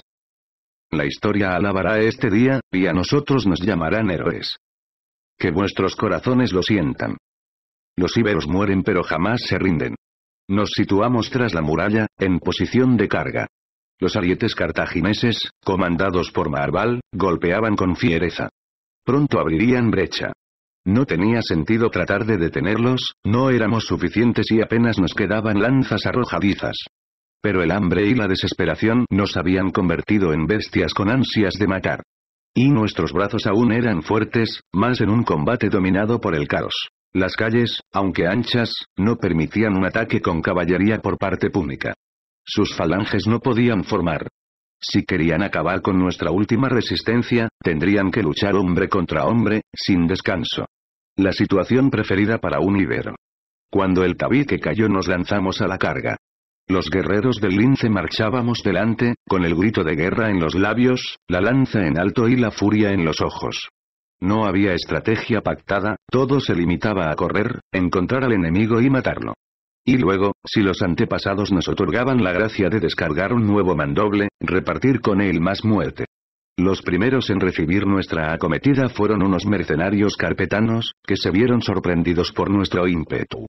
Habían esperado encontrarse con hombres débiles, sin fuerzas para sostener la espada, pero en lugar de ello se enfrentaban con guerreros investidos de divinidad. La visión se me tornó roja. De repente despertó en mí lo que me pareció una gran sed. De enemigos y muerte, de sangre y espíritu. Era como una música que me invitaba a una danza exterminadora. Un guerrero celtíbero trató de apuñalarme con su espada ancha, pero lo bloqueé con facilidad gracias al escudo. Impulsé mi lanza. El carpetano logró apartar el cuerpo lo suficiente para evitar ser ensartado, pero perdió el equilibrio. Lo empujé con el escudo y le hice caer. Aproveché la ventaja y hundí mi lanza en su rostro, justo en el momento en que mi enemigo gritaba. La punta atravesó su cabeza por la boca, abriendo un gran boquete por encima de la nuca. Como si hubiera partido un simple melón, olvidé aquel cuerpo espasmódico y me dirigí a mi siguiente rival. Decenas, cientos de semblantes pasaron delante de mis ojos aquel día. Rostros trastocados por la guerra, deformados por el miedo a mi lanza y la angustia de la herida mortal que, irremediablemente, todos recibían de mí. Casi no recuerdo aquellos momentos de furia desbocada, como si fuera otro y Corbeles quien luchó ese día. Y aún así era consciente de cómo mi mano avanzaba y retrocedía para volver a tomar impulso, atravesando enemigos a la vez que arrancaba fieros silbidos al cortar el viento. Ni una pausa, ni un momento para encontrar de nuevo el aliento. El corazón desbocado, la frente empapada debajo del casco. La piedad olvidada en otras ropas. Uno tras otro, sin oportunidad de réplica, caían como arbolillos ante un rabioso vendaval, haciéndome dudar de si habría suficientes enemigos para apagar mi llama. Rompí escudos, atravesé armaduras. Empalé, abrí estómagos, rompí cabezas. Todos sin excepción aullaban cuando mi acero los laceraba, y se desplomaban abrasados por el dolor. El espíritu del lince ardía en mi interior con más ímpetu que nunca, hasta que la demencia me embriagó. Una letanía surgió de mis labios sin apenas advertirlo. Temblad, mortales. Temblad ante la divina furia del lince. Bestia soy, más que hombre. Venid a mí. Dejad que os regale la gloria. La muerte se acerca. ¿La veis? Ella es mi amada, a ella os entrego. Siéntete orgullosa de mí. Mi voz fue como una jabalina ardiente que traspasó el corazón de cada enemigo. La risa con la que acompañé aquella especie de rezo les provocó un pavor tal que muchos se detuvieron, aterrorizados. Nadie podía oponérseme. Uno de los púnicos portaba un estandarte, el ojo sagrado de Melkart, su dios, atravesado por el rayo de los Bárquidas. Fue como una señal que me arrebató del mundo. Golpeé con la lanza, de costado, como si se tratara de un hacha, y destrocé el fuste del blasón. Luego hundí mi arma en el pecho del portador, atravesándole el corazón. Iberia solo admite un símbolo. La falcata. Grité enfebrecido, mientras pisoteaba la banderola. No existía más objetivo que matar a cualquiera que mi lanza pudiera alcanzar. Detenerse, mirar el horrible escenario teñido de rojo, lamentarse por la barbarie de las armas. Estaba prohibido. Luchar y matar. Luchar y matar. Nada más importaba a mi razón deformada. ¿Y qué si moría? Me reuniría con mi padre en tal caso, y a su lado moraría, envuelto en su orgullo hacia un hijo fiel a las pasiones íberas. Mi cuerpo acabó empapado de sangre púnica, pero mi alma distaba de sentirse saciada. La confusión era para mis enemigos, no para mí. Mis movimientos endiablados desconcertaban a cuantos se cruzaban en mi camino. Su elegancia mortífera les hubiera resultado admirable de no haber sido portadora de fatalidad. Y, alrededor mío, cada choque de espada o lanza era como el poderoso embate de las olas tormentosas en un acantilado. La madera de los escudos defensores se astillaba, pero no así su determinación. Tal era nuestro furor que, como segadores abriendo camino en un gran campo, superamos la primera oleada con gran facilidad. Pero entonces nos encontramos con la siguiente, un grupo de libios acompañados de algunos miembros del batallón sagrado. Habría pensado en Alorco de no ser esclavo del vehemente combate, pero entonces avisté a un soldado que destacaba por encima de los otros debido al largo penacho de su casco. Nuestras miradas se cruzaron. Lo reconocí. Me reconoció. Aníbal. Y entonces me alcanzó el destino. Al contemplar el reflejo del sol en su peto de bronce supe que aquel, y no otro, era mi momento. Me enfrentaría al conquistador y lo vencería. Convertiría una derrota en la mayor de las victorias. Una épica que correría por toda Iberia y alzaría el coraje dormido en los corazones. La semilla de una nación enraizaría. Fuimos al encuentro el uno del otro. Nadie nos incomodó, pues mis guerreros del lince, al comprender la importancia de aquel duelo, entretuvieron a los soldados púnicos encargados de la seguridad de Aníbal. El primer ataque fue mío. Adelanté la lanza con fuerza, pero el conquistador se movió a un lado para esquivarla. No me sorprendió la agilidad y el buen hacer con las armas de Aníbal. Amílcar lo había preparado tan bien como mi padre a mí. El estratega conocía el arte de la guerra desde su niñez, pues había crecido entre soldados y mercenarios, muchos de ellos íberos. No era extraño que las armas que empuñaba fueran las nuestras. Lanza y falcata, junto a una caetra. Mi escudo, ovalado, era más grande y más difícil de manejar, pero mi constitución era más poderosa que la suya, incluso mermada por la falta de alimento. Al principio, nuestros golpes apenas fueron pruebas con las que tanteábamos los posibles puntos débiles del rival. Pero aquella fase terminó muy pronto. Aníbal lanzó una estocada con su lanza que yo detuve con la mía. Entonces, aprovechando que ambas habían quedado trabadas durante un instante, pivoté sobre mí mismo para acercarme al cuerpo de Aníbal. En lugar de atacarlo a él, descargué el escudo contra el astil y lo partí. Allí podría haber acabado todo, pero no deseaba una victoria fácil. Dejé caer mi lanza y tomé la falcata al mismo tiempo que lo hacía Aníbal. La hoja de mi padre, un pedazo de su alma, su corazón hecho metal. Su fuerza. La mía. Aquella sí sería una venganza digna. El león de Cartago contra el lince de Iberia. Hoy, mientras escribo estas memorias, reconozco una vez más el valor de Aníbal, quien jamás dio su brazo a torcer. Puedo entender por qué sus hombres lo seguían ciegamente, por qué guerreros como los celtíberos lo respetaban. Ninguno de ellos luchaba por la gloria de Cartago, sino por el general que los guiaba con su propio ejemplo. Con la espada era mucho mejor que con la lanza, y lo demostró al lograr responder a todos mis ataques. Detenía una estocada tras otra, y aún le daba tiempo de entregarme sus propios golpes. Su brazo joven me puso varias veces en apuros, incluso llegó a rozarme el hombro. Pero se enfrentaba a la agilidad engañosa del lince, a su fiereza sorda. Arrojé lejos el escudo. Me estorbaba. Como un felino, solo necesitaba mis garras. La falcata. Abrumé a Aníbal hasta que éste, desorientado, comenzó a retroceder sin apenas advertirlo. Un tajo de arriba abajo, directo a su pecho. Lo evitó interponiendo su arma. Moví la falcata hacia mi derecha, rasgando su armadura de cuero. Pero Aníbal se movió veloz y el corte no fue lo bastante profundo. Su turno. Trazó un arco ascendente con intención de apuñalarme. Al esquivarlo perdí la referencia de su otra mano, que empuñaba una daga. Trató de hundirla en mi pierna, pero solo logró abrirme un corte no demasiado grave. Así permanecimos largo rato, danzando como bailarines mortales. Adelante, atrás, un giro, una finta, un ataque amagado y una estocada poderosa. Cautos en nuestros movimientos. Firmes, sin ceder un palmo de terreno, sin desproteger los flancos. Un pedazo de la muralla quedó a su izquierda. Salté sobre él, impulsé mis piernas en un gran brinco, como el depredador que se dispone a atrapar a su presa. Juraría que rugí. Descargué mi espada mientras descendía. Implacable, el acero íbero golpeó la hoja de Aníbal, firme pero de un linaje inferior. La mía había sido forjada por el amor de un padre y el favor de los antepasados. Pero no vencía a mi rival por fuerza, sino por destreza. En el momento en que ambas falcatas impactaron, doblé mi muñeca en un movimiento enrevesado que desconcertó a Aníbal. Lancé mi brazo armado hacia atrás, desestabilizando al cartaginés. Ya en el suelo de nuevo, recuperé la posición de mi arma y, en un giro, abrí una leve herida en el costado derecho del conquistador. Aníbal gimió de dolor y cayó al suelo. Su espada se perdió entre los escombros. Lo tenía a mi merced. De pronto, me azotó la certeza absoluta de que la profecía de la sacerdotisa estaba a punto de cumplirse. Era una sensación atroz, tan real que recorría mi carne y mi alma como un relámpago entre las nubes.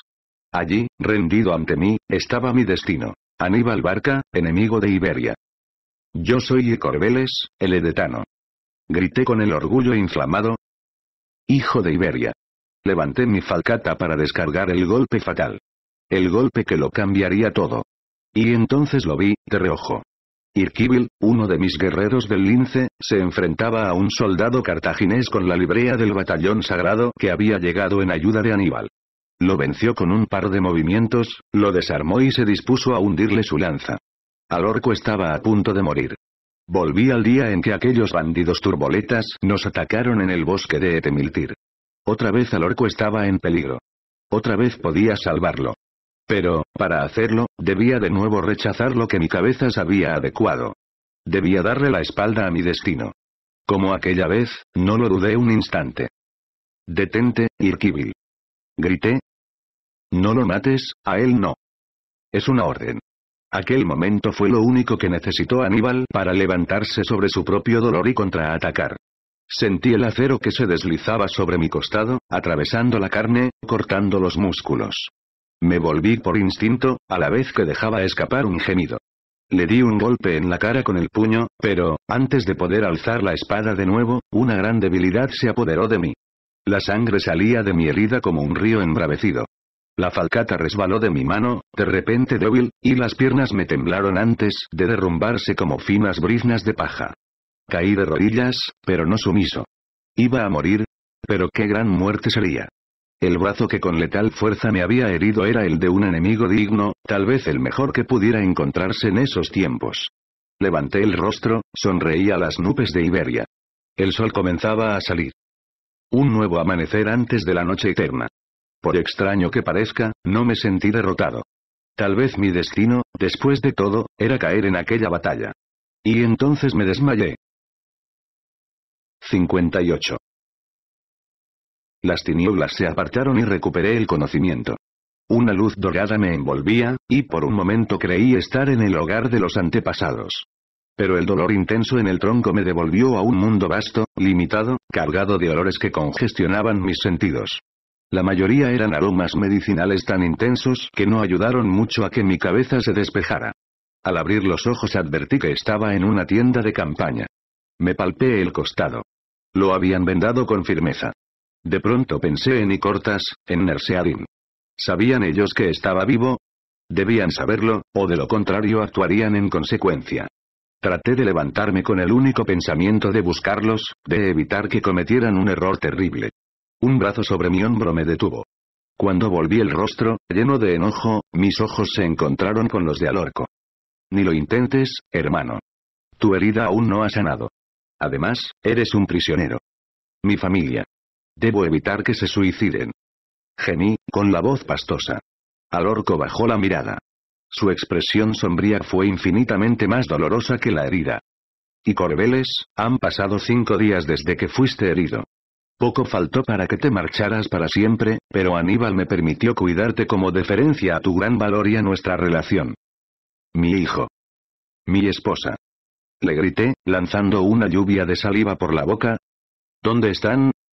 Alorco, por favor, dime que evitaste que se dieran muerte. No lo dijo. No podía. Lo siento. Lo siento en el alma, hermano. Fui a buscarlos en cuanto te dejé a buen recaudo, pero llegué tarde. Sentí que no podía respirar, como aquel a quien le roban el aire en mitad de un grito. Fue peor que si me hubiesen abierto en canal. Una agonía como jamás había conocido me desgarró el alma y ensangrentó mi corazón. Mi hijo, mi pequeño y cortas. Nerseadin, la leal esposa que nunca merecí. Aún hoy me estremezco, aún hoy me despierto con el rostro empapado de lágrimas y sus nombres en mis labios. Vomité sobre mí mismo. Y si hubiese tenido una daga, me la habría hundido en el pecho. Pero no pude más que refugiarme en los brazos de Alorco. No sé cuánto tiempo pasé llorando y suplicando que aquello fuera una pesadilla. Muerte. Que la muerte me lleve. Gemí, una y otra vez.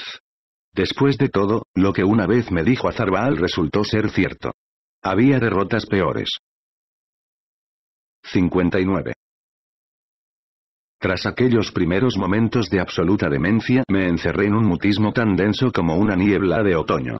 Tenía la memoria perdida en algún rincón de mi pasado, donde aún podía aupar a mi hijo, jugar con él entre la hierba del jardín, bajo la atenta mirada de Nerseadin. El resto había dejado de existir. El mundo era demasiado cruel, no me interesaba. ¿Qué importaba lo que hicieran conmigo los cartagineses? Lo había perdido todo. Mi destino, mi hijo, mi esposa, mis padres. No presté atención al sanador que cada mañana trataba mi herida, ni siquiera al orco, que apenas se separó de mi lado. No sé cuánto tiempo pasó. Tal vez cinco días. Aunque seguía deprimido, comencé a atender de nuevo al mundo real. Al orco había despachado aquella tarde a un mensajero, al que entregó un pergamino de cuero enrollado. Poco después entró en la tienda Marval, que me miró con un gesto de asco. Aníbal se ha cansado de esperar. Quiere verlo ya, dijo, señalándome. Aún está débil, protestó al orco. Teniendo en cuenta que es un enemigo, y que estuvo a punto de matarlo, creo que hemos sido bastante generosos con él. Es una orden. Llévalo a la tienda principal. Al orco se mordió el labio, pero no volvió a discutir el mandato. Me examinó la herida y, al comprobar que casi había cicatrizado, me animó a levantarme. Le seguí la corriente. Mi apatía era tal que todo me daba igual. Dejé que pasara mi brazo por su hombro para ayudarme a caminar. El costado me dolía, los puntos suturados me estiraban la carne y amenazaban con desgarrarla. Pero ningún dolor físico era suficiente para llenar el vacío de mi alma. Nos escoltaron hasta la tienda de Aníbal, la más grande y lujosa de todo el campamento. Durante el trayecto atrajo mi atención la ciudad de Arse, que llenaba todo el campo de visión. Parecía tranquila, demasiado tranquila. No había humo en el cielo, las hogueras ya no ardían. La única vida que atisbaba era la de los operarios púnicos tratando de reparar su nueva ciudad. La tienda de Aníbal contaba con todos los lujos imaginables. Butacones mullidos, una gran cama con sábanas de seda, y una alfombra que calentaba la planta de los pies. Había una gran tina en un rincón, y la estancia olía a incienso y otros aromas. Aníbal se hallaba sentado en un diván, recostado. A su lado había otro en el que me invitó a descansar. Sus ojos de águila examinaban mi ánimo, mientras yo hacía lo propio con él. Llevaba el brazo en cabestrillo debido a la herida recibida durante nuestro combate, y tenía el labio partido por mi puñetazo. Se mostró calmado y comedido, pero yo había luchado contra él, conocía su espíritu. Calculador y frío en las estrategias, apasionado en la batalla cara a cara. Tras él había una mujer muy joven, casi una niña, hermosa como toda mujer ibera. De cabellos carmesí, recogidos en un moño en la nuca y en sendas trenzas que bajaban por sus sienes, atendía con serenidad todo cuanto ocurría, mostrando la humildad adecuada a la esposa del estratega de Cartago. En sus brazos acunaba a un niño recién nacido. Supuse que se trataba de la famosa Imilce, hija de Cerdubeles. Dejadnos, ordenó el estratega en cuanto al orco me recostó sobre el diván. Todos atendieron la orden, incluida Imilce. Una vez solos, Aníbal y yo permanecimos largo rato mirándonos sin decir nada. Él fue el primero en hablar. Al orco me contó tu pérdida. Siento lo de tu mujer y tu hijo. Puedo entender tu estado de ánimo. Sus palabras sonaban sinceras, pero eran fuego en mis oídos. Tu guerra me los ha arrebatado. Nunca fue mi intención que murieran mujeres y niños. Aun a pesar de vuestra oposición, los habría tratado con decoro. Tal vez tú sí, pero no tus hombres. Algunos de ellos invadieron el hogar donde nací y mataron a mi padre. También al orco me lo dijo. Te pido disculpas, pero esos indisciplinados fueron ajusticiados. No tolero la insubordinación. De todos modos, tu padre murió como un guerrero. Creí que eso sería del agrado de un hispano. Ni siquiera entonces pude odiarlo. Aníbal era un conquistador, estaba por encima de las bajas que causaba. ¿Acaso no habría hecho yo lo mismo por la gloria de Iberia? ¿A cuántos hombres maté en esos días? Había perdido la cuenta. Y, después de todo, él no había acabado con la vida de mi esposa y mi hijo. Era más mi culpa que la suya por no haberles convencido de que dejaran la ciudad. Aníbal era como yo, ambicioso, sacrificado, capaz de renunciar a todo por cumplir su destino. Un buscador de gloria, enemigo de la monotonía propia de la paz si ésta no llega desde el esfuerzo de las armas. Ambos éramos la misma cara de la moneda. Lo es, pero aún así duele. ¿No sufriste tú con la muerte del tuyo? Le pregunté. Su mirada se ensombreció. Se apreciaba que había admirado mucho a su padre, como yo al mío. Así es. ¿Sabes? Nuestras vidas transcurren en paralelo. Ambos hemos sido forjados por nuestros padres, que nos legaron un destino más grande que nosotros mismos. Tú, aunque de modo indirecto, causaste la muerte de mi padre. Yo, sin pretenderlo, la del tuyo. Fui la última persona que lo vio con vida. ¿Lo mataste? Sus ojos me fulminaron. ¿Qué habría pasado si le hubiese dicho que sí? No. Luché con él y lo derroté, aunque no fue sencillo. Quería apresarlo. Valía demasiado como rehén. Pero tuve que encargarme de los que venían a salvarlo y lo perdí de vista durante unos momentos. Trató de cruzar el río, pero estaba herido y la corriente se lo llevó. Cuando lo encontré ya había muerto.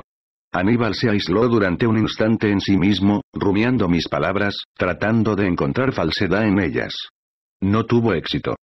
Te creo. Eres un hombre noble.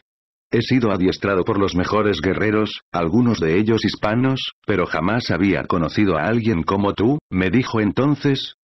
Tu furia guerrera. Por un momento me recordaste al divino Aquiles. Más bien a Héctor, habida cuenta de mi final. Eso te convierte en Aquiles. Tal vez, sí. Pero Héctor, en el fondo, era el héroe de la Ilíada. De poco le sirvió. Pudiste derrotarme, estuvo en tu mano pero preferiste ayudar a quien amas como a un hermano. Yo. Te admiro, y Corbeles, hijo de Icortas. Guarda tu admiración para quien la merezca. He fracasado como guerrero y persona. Eso puede cambiar. Tengo a grandes generales a mi lado, pero estoy dispuesto a hacer un nuevo hueco. Te ofrezco unirte a mi ejército. Quiero que seas mi mano derecha. Ambos razonamos del mismo modo. Imagínate lo que podríamos lograr juntos. Alzaríamos un imperio como jamás ha existido ningún otro, dijo, mientras cerraba la mano con fuerza.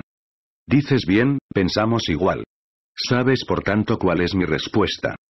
Trágate el orgullo por una vez, y Corbeles. Cartago no es la enemiga de Hispania, lo es Roma. Su hambre de tierras es inagotable. ¿Cuánto tiempo crees que ignorarán tu país? Las riquezas de vuestras montañas y campos acabarán atrayéndolos, como atrajeron a mi padre. Y cuando vengan, os tenderán una mano falsa para luego robaros no solo vuestro oro y plata, sino también vuestra identidad como pueblo. ¿Acaso no es lo que hacen todos los invasores?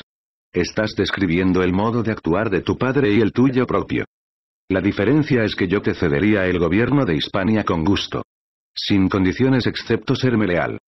Conseguirlo de ese modo no es digno. Estaría traicionando todo en lo que creo. Además, ambos sabemos que el mundo no funciona así. Jamás renunciaréis a nuestras riquezas, como no lo hará Roma. Tu obstinación me confunde. ¿Es que no adviertes que Roma es la verdadera culpable de todo esto? De tu desgracia y de la mía. Ellos provocaron la primera guerra contra Cartago, que jamás supuso una amenaza para su república. Nuestra ciudad, por naturaleza, nunca ha tenido afán de expandirse. Pero las abusivas condiciones instauradas por los romanos nos obligaron a volver el rostro hacia Iberia. Ellos han alterado la tranquilidad de nuestros pueblos. Roma debe caer para que Cartago sobreviva. Tu enemigo jurado. De pronto, Aníbal se carcajeó. Vamos, y Corbeles. Seguro que tú no crees en ese estúpido rumor. Jamás he jurado odio eterno hacia los romanos. Ya te lo he dicho, Roma no es mi enemigo, sino el de Cartago. Aníbal, el hombre, no desea destruir y conquistar. Pero por encima del hombre está el estratega, el que busca gloria. Y para ser héroe, se necesita un rival adecuado. Suspiré sin pretenderlo.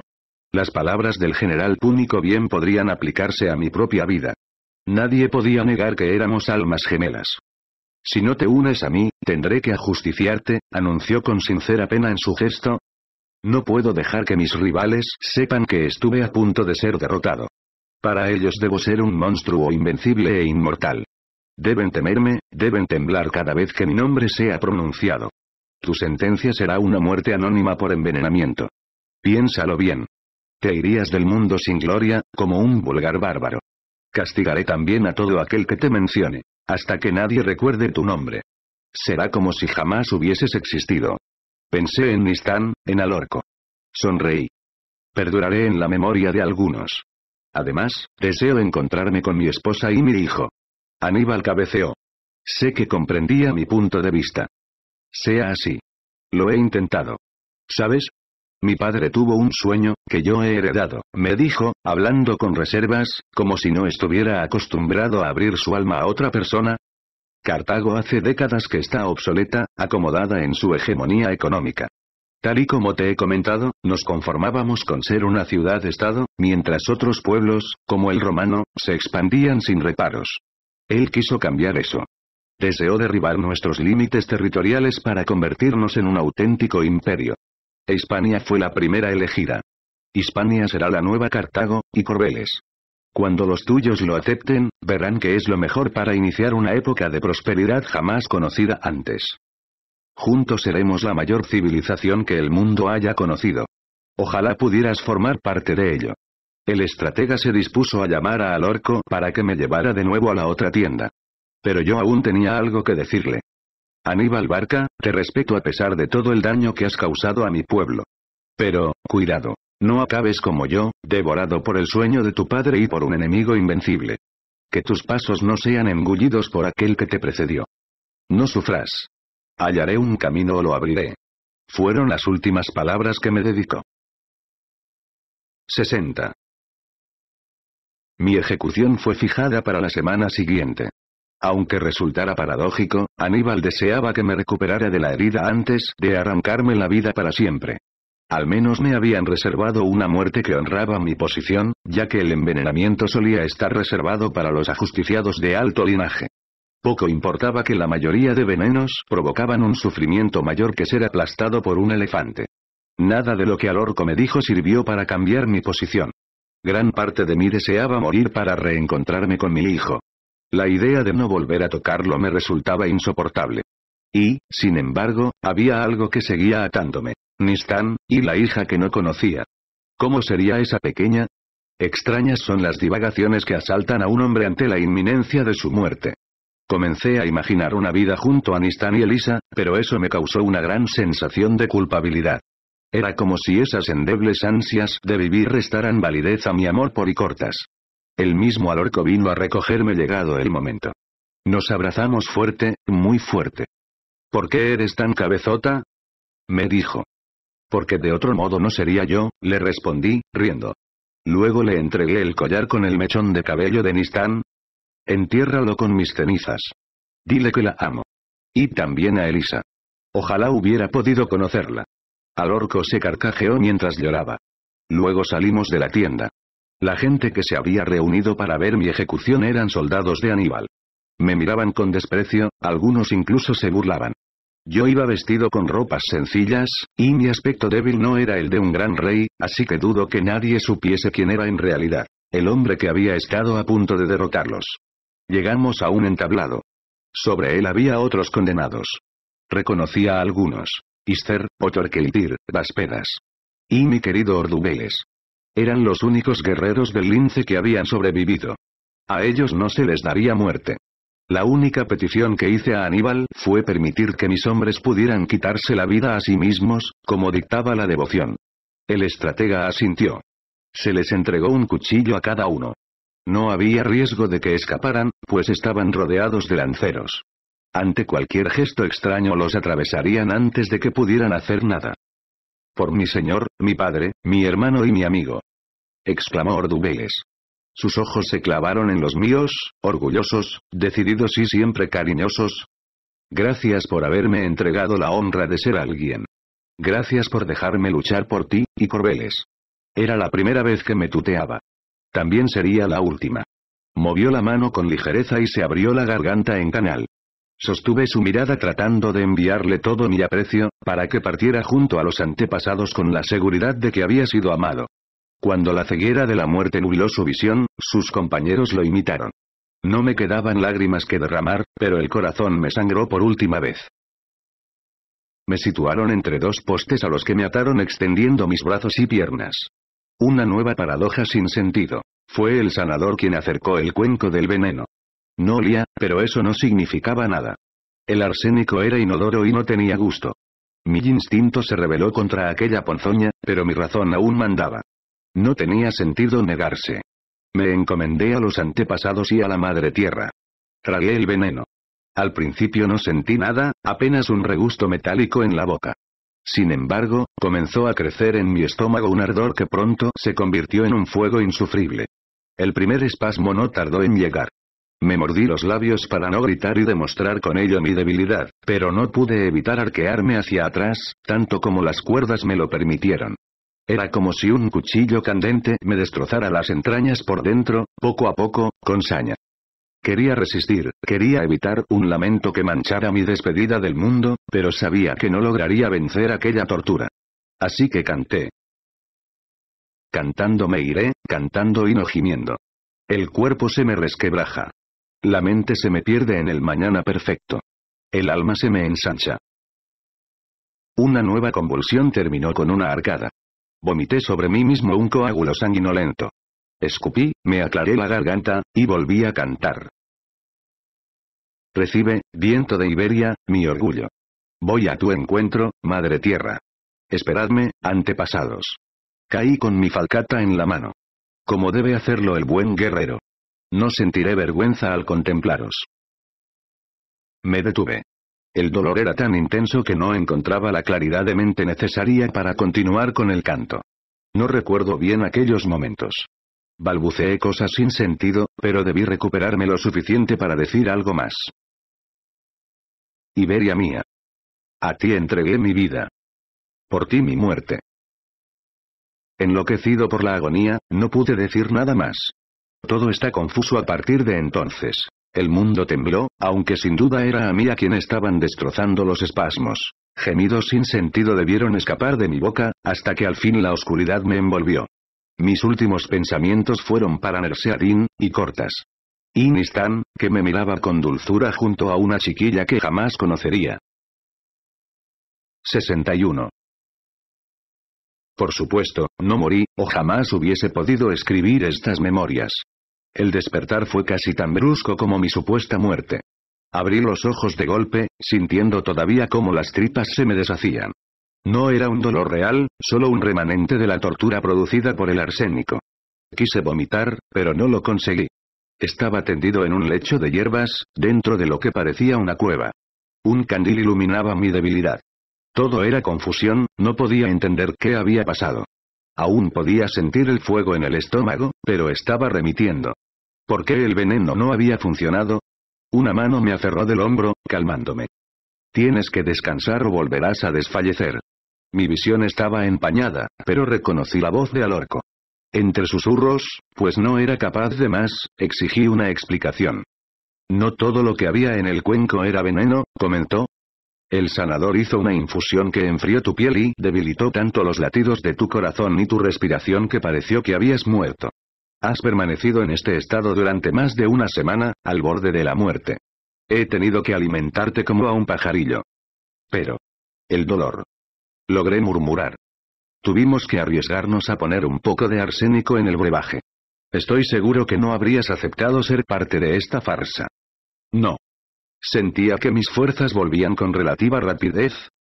Me habéis arrebatado el honor de mi muerte. Yo quería ir con mi hijo. Al orco se recostó sobre mí un poco y pude ver al fin su rostro. Estaba demacrado, con los ojos hundidos por la falta de sueño. Me había velado día y noche. ¿Cómo enojarme con él? Lo había hecho por amor hacia mí. Acompáñame, quiero que veas algo. ¿Te sientes con fuerzas? Asentí, pero cuando él me ayudó a uparme me golpeó un gran vaído. Esperamos un poco y cuando logré recuperarme comenzamos a caminar, poco a poco, con al orco sirviéndome de apoyo. Nos detuvimos en el umbral de la cueva. La luz diurna me cegó al principio. Parpadeé mientras me acostumbraba a la claridad. Respiré con fuerza el aire cargado de fragancias dulces, el aroma de Iberia. Al orco señaló el valle que nacía en las faldas del monte en el que me había cuidado. Un gran campo de pastos multicolor se extendía plácido, vigilado por un sol tibio. Un enorme tapiz de flores violetas, rojas, doradas, blancas. Más allá, la planicie era recibida por dos cumbres empinadas, pero eso quedaba muy lejos. Lo que mis ojos observaban era un paisaje de ensueño, una bocanada de aire fresco en mi interior que apartó los últimos efluvios del veneno. Pero nada era más hermoso que las dos figuras que atisbé junto a un hombretón vigilante. Sifak. Estaban a cierta distancia, recolectando flores, pero las reconocí a pesar de que a una de ellas jamás la había visto antes. Lancé un gemido a la vez que las primeras lágrimas rasgaban mis ojos como una daga aria con un lienzo de seda. Nistan estaba allí. Tan bella como siempre, tan delicada, tan deliciosa. Con ella había una niñita de cabellos castaños, de sonrisa tan radiante que logró convulsionar mi corazón. Mi hija. Era mi hija. Fruto del amor incondicional por Nistan. Al orco tuvo que sostenerme con más fuerza, porque casi desfallecí de la emoción. Le envió un mensaje poco antes de tu ajusticiamiento pidiéndole que se reuniera aquí conmigo. ¿Por qué? Pregunté, mientras me limpiaba las lágrimas. Porque ya está bien de que ambos viváis sufriendo. Y Corbeles, lo que le pasó a tu esposa y a tu hijo es terrible, y hubiera deseado poder salvarlos. Pero tú no tienes por qué seguir sus pasos. No. No quiero manchar su memoria. Deja ya de castigarte. Me increpó él. Nadie habla de olvidarlos, pero tienes otra familia que atender. Elisa también es tu hija. ¿Acaso merece menos? Claro que no, pensé. Tenía derecho a un padre, y realmente yo deseaba ejercer esa tarea. Pero estaba confuso. No podía dejar de aferrarme al pasado. Mi destino es ser un líder, luchar por Iberia. Alorco movió la cabeza mientras sonreía. Imagino que había estado esperando aquella respuesta, y había macerado una réplica adecuada. Jamás habría esperado la que me dio. Cuando Elisa nació, Aníbal me dio un permiso para ir a visitarla. Jamás olvidaré la primera imagen de mi sobrina. Era como si una aureola de pureza la rodeara, extendiéndose también a Nistán. Ella la acunaba mientras le contaba un cuento. ¿Sabes cuál? Uno acerca de un rey que, por amor a una princesa, cruzó un gran desierto. Cuando le pregunté a mi hermana de dónde había salido esa fábula, me dijo que tú se la contaste cuando éramos niños. ¿Pero dónde la aprendiste tú, y Corbeles? Conozco todos los cuentos íberos, y ese jamás lo había escuchado. Solo es una historia para niños, respondí yo, por encima del nudo que se había formado en mi garganta. No, hermano, es mucho más. Ese cuento es tu corazón. Una historia donde los antepasados premiaban al rey por seguir los dictados de su amor. Y ahora, corrígeme si me equivoco. La sacerdotisa te auguró un gran trabajo, una enorme responsabilidad. ¿Dijo algo sobre ser un gran guerrero? Esta vez no respondí. No podía. De pronto recordé la visión que había tenido en las murallas de Arse. El camino que me llevaba hacia la niebla. ¿Cómo no me había planteado aquella cuestión después de tantos años? Alorco estaba en lo cierto, la sacerdotisa jamás anunció cuál sería mi tarea. Es tu responsabilidad convertirlo en aquello para lo que ha sido marcado, le había dicho a mi padre. Fue él quien dedujo que debía ser un guerrero importante, un hombre al que muchos seguirían. Abrazaron un ideal propio y me educaron para aceptarlo, como las voces del sueño premonitorio. Así pasé los años, tratando de controlar mi vida en base a una profecía poco clara. ¿Para qué? No me había convertido en el gran libertador de Iberia, ni siquiera había conseguido unirla. No había conseguido nada. Pero entonces miré a Nistán y a la pequeña Elisa, y supe que estaba equivocado. Mi vida no había sido en balde. ¿Acaso podía haber algo más grande que la inocente sonrisa de aquella niña? Y aunque había perdido una parte de mí, aún quedaba mucho por lo que vivir. No sé si sabré hacer otra cosa que luchar, le dije. Tendrás que aprender, y no solo por Nistán y Elisa. Mi vida está en tus manos, hermano. Tras vuestra reunión, le pedí a Aníbal clemencia por ti, llegué incluso a arrodillarme y ofrecer mi vida por la tuya. Se me revolvió algo en el interior del pecho ante tal signo de devoción. Por fortuna, le causaste una grata impresión. Te admira, y Corbeles. Aníbal Barca, el mejor estratega de la historia de Cartago, te tiene por su mejor rival. Sí, algo así me dijo. Entonces, ¿ambos urdisteis lo de mi muerte? Así es. Solo lo sabemos Aníbal, el sanador y yo. Para el resto del mundo estás muerto. Pero hay una condición. Se te exige que te mantengas alejado de su camino. Debes dejar las armas para siempre, y Corbeles. Nadie puede saber tu historia, jamás. Aníbal va a enfrentarse contra Roma, los tiene atemorizados. No puede permitir que haya dudas sobre su invencibilidad. Si rompes estas condiciones, me matará. Me senté sobre una roca con la mirada prendida en Nistán y Elisa, aún ajenas a nuestra presencia. Sin embargo, tenía la mente puesta en el peso que al orco cargaba sobre mis hombros. Una responsabilidad que no era nada comparada con la suya. Había puesto en juego su vida para salvar la mía. Decide pues. Y, tras decir eso, me entregó un fardo envuelto en telas. Al desenrollarlo, descubrí el collar con el mechón de Nistán, el cinto de Saitir y la falcata de mi padre, tan hermosa y digna. Un regalo del que jamás podría desprenderme.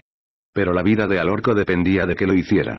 Tomé una piedra suelta y, sin dudarlo, golpeé la hoja del arma hasta mellar su filo. Conservaré la espada en honor a mi padre, quien a pesar de su error de visión siempre quiso lo mejor para mí. Pero te juro que jamás volveré a empuñarla en la guerra a no ser que sea para defender a Nistán y Elisa. Alorco sonrió. Su rostro de niño pareció retornar desde un pasado remoto. Nos abrazamos. Si Fagos llevará donde deseéis. Yo tengo que regresar con Aníbal. Me estremecí, asaltado de pronto por una repentina angustia. El corazón me decía que jamás volvería a verle. Hermano mío, cuídate, le dije. Y tú cuida de Nistán y de mi sobrina. Ve con ellas, tenéis mucho tiempo que recuperar. Permíteme también que me quede con el mechón de mi hermana, para sentir que ella sigue a mi lado. Asentí. Y mientras descendía al valle, con cada paso sentía que mi alma se liberaba de una atadura tras otra. Recibí la caricia de la tierra a través de las botas. En el rostro un viento suave, una brisa calmada. El aliento de Iberia se llevó las penurias y obligaciones, devolviéndome la humanidad que había sacrificado tantos años atrás. Tras toda una vida luchando y sufriendo, era hora de descansar. Epílogo. La historia que nadie leyó. Y les dejó de escribir. Se recostó en la silla y suspiró. Estaba satisfecho, aquel era un buen final, incluso para una historia que nadie leería jamás. Aunque al orco ya no estaba, él seguía fiel a su promesa. Al menos, le quedaban los recuerdos de un ayer grandioso. El mundo nunca conoció a Icorbeles, el hijo de Iberia, el elegido. Nunca supo de sus hazañas, de lo cerca que estuvo de cambiar la historia. Ahora que había alcanzado su vejez, se reía de todo. Qué absurda es la vanidad del hombre solía decir recordando sus propias obsesiones pasadas. Había aprendido que los patriotismos exacerbados no eran buenos consejeros, que el motivo para luchar no residía en el ideal de una nación, sino en la defensa de los seres amados, cualesquiera fuera su origen. El corazón, por encima de todo. Al orco se lo había enseñado. Al orco, un cartaginés. En sus 60 años había conocido todo tipo de vaivenes. La guerra, las despedidas, el amor truncado, la insoportable pérdida de un hijo y, al fin, la paz. Solo le dolía que, para hallar dicha calma, hubiera tenido que viajar tan lejos. Edetania quedaba muy al este del territorio lusitano, donde rehizo su vida junto a Nistán, Elisa y el siempre leal Sifak. Se asentaron al norte, en unas estribaciones montañosas que los locales llamaban Sierra de la Estrella, un paraje idílico pero al que le faltaba el aroma a secano de las tierras de Levante. A pesar de todo, y les encontró allí un hogar. Nistán le había dado una nueva familia. Tras Elisa llegaron al Orco, Nerseadín, Artaún y Niazarbaal, hijos que habían llenado sus vidas. Disfrutaron de sus infancias mientras los educaban como íberos, aunque sin delatar nunca de dónde venían. Solo Elisa lo sabía, aunque a fuerza de ignorar el tema casi lo había olvidado. En honor a la verdad, la nostalgia pudo con él en una ocasión. Varios años después de establecerse en su nuevo hogar, el guerrero retirado decidió realizar un viaje al antiguo, porque así se lo demandaba el corazón. Fue una peregrinación solitaria en la que atravesó la península en sentido contrario al del sol, disfrazado como un humilde comerciante celtíbero. Reconoció el sabor de las tierras edetanas apenas puso un pie en la región, y al hacerlo la garganta se le contrajo y los ojos se le humedecieron. Y hubo llanto cuando arribó a Etemiltir. O mejor dicho, a lo que quedaba del lugar donde nació. Un frágil esqueleto de piedras y maderos chamuscados que comenzaba a ser reclamado por los culantrillos y arbustos ruinas cargadas de centenares de recuerdos y emociones. Y en el mismo lugar donde, de niño, asistió al entierro de aquel guerrero cuyo nombre apenas recordaba, encontró un túmulo mucho más grande que el resto, y que quizás por respeto a los muertos había sobrevivido a los saqueos. Una inscripción en caracteres iberos revelaba su morador. Y Cortas, señor de Etemiltir. Guerrero de honor y padre amante. Era la letra de Alorco. Y Corbeles pasó largas horas abrazado a la tumba. A su regreso sintió que había apaciguado su nostalgia. A cambio, se le avivó la pena por los tiempos que jamás volverían. Y las personas que nunca podría ver de nuevo. Sus hijos, como marca la ley de la vida, habían dejado su casa.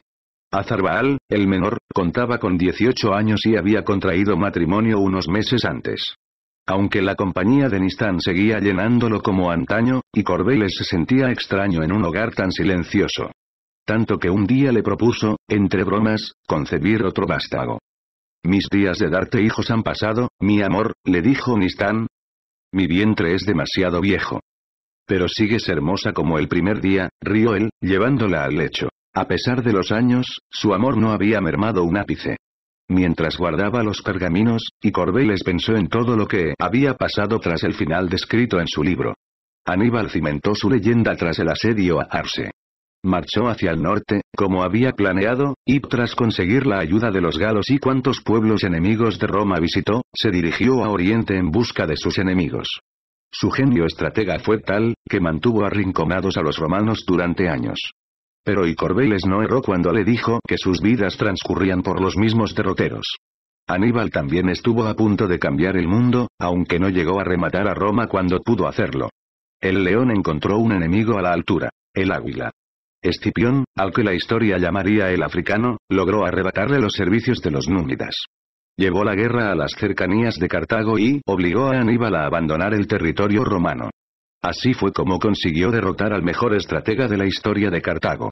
Mientras Aníbal se dirigía hacia las tierras de sus enemigos, estos llegaron a Iberia.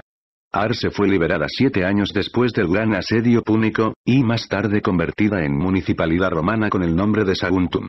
Sin embargo, Asdrúbal, el hermano de Aníbal, logró derrotarlos cuando el comandante Publio Escipión, padre del africano, quiso apoderarse del sur. Para relevarlo, Roma envió a el africano, con una nueva partida. El flamante comandante demostró un gran arrojo al plantear una estrategia muy arriesgada. La conquista de Cartadast, la plaza fuerte de los cartagineses en Iberia. Mediante la sorpresa, y combinando un ataque por tierra y mar, logró su propósito. Con la caída de Cartagast, muchos de los pueblos íberos que servían a Cartago juraron lealtad a Escipión, al que incluso quisieron proclamar rey de Iberia. Entre ellos estaba Edecón, que tras la caída de Arce y el rechazo a su sobrino había cargado con una gran culpa.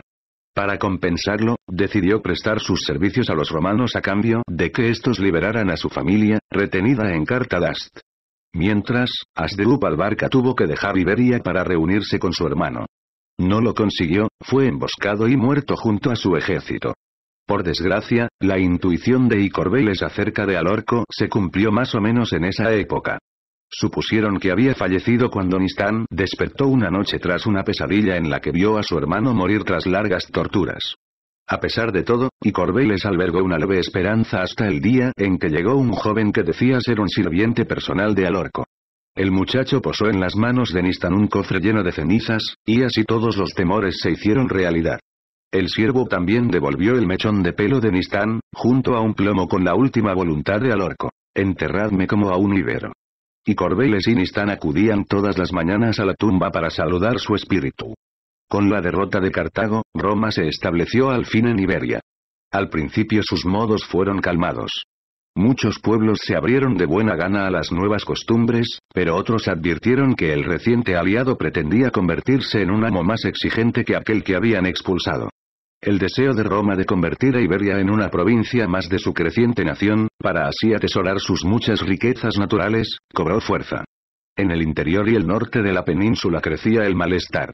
Los turdetanos ya se habían rebelado, así como lo hicieran tiempo atrás los ilergetes y ausetanos, comandados por Indíbil y Mandonio, antaño aliados de los romanos.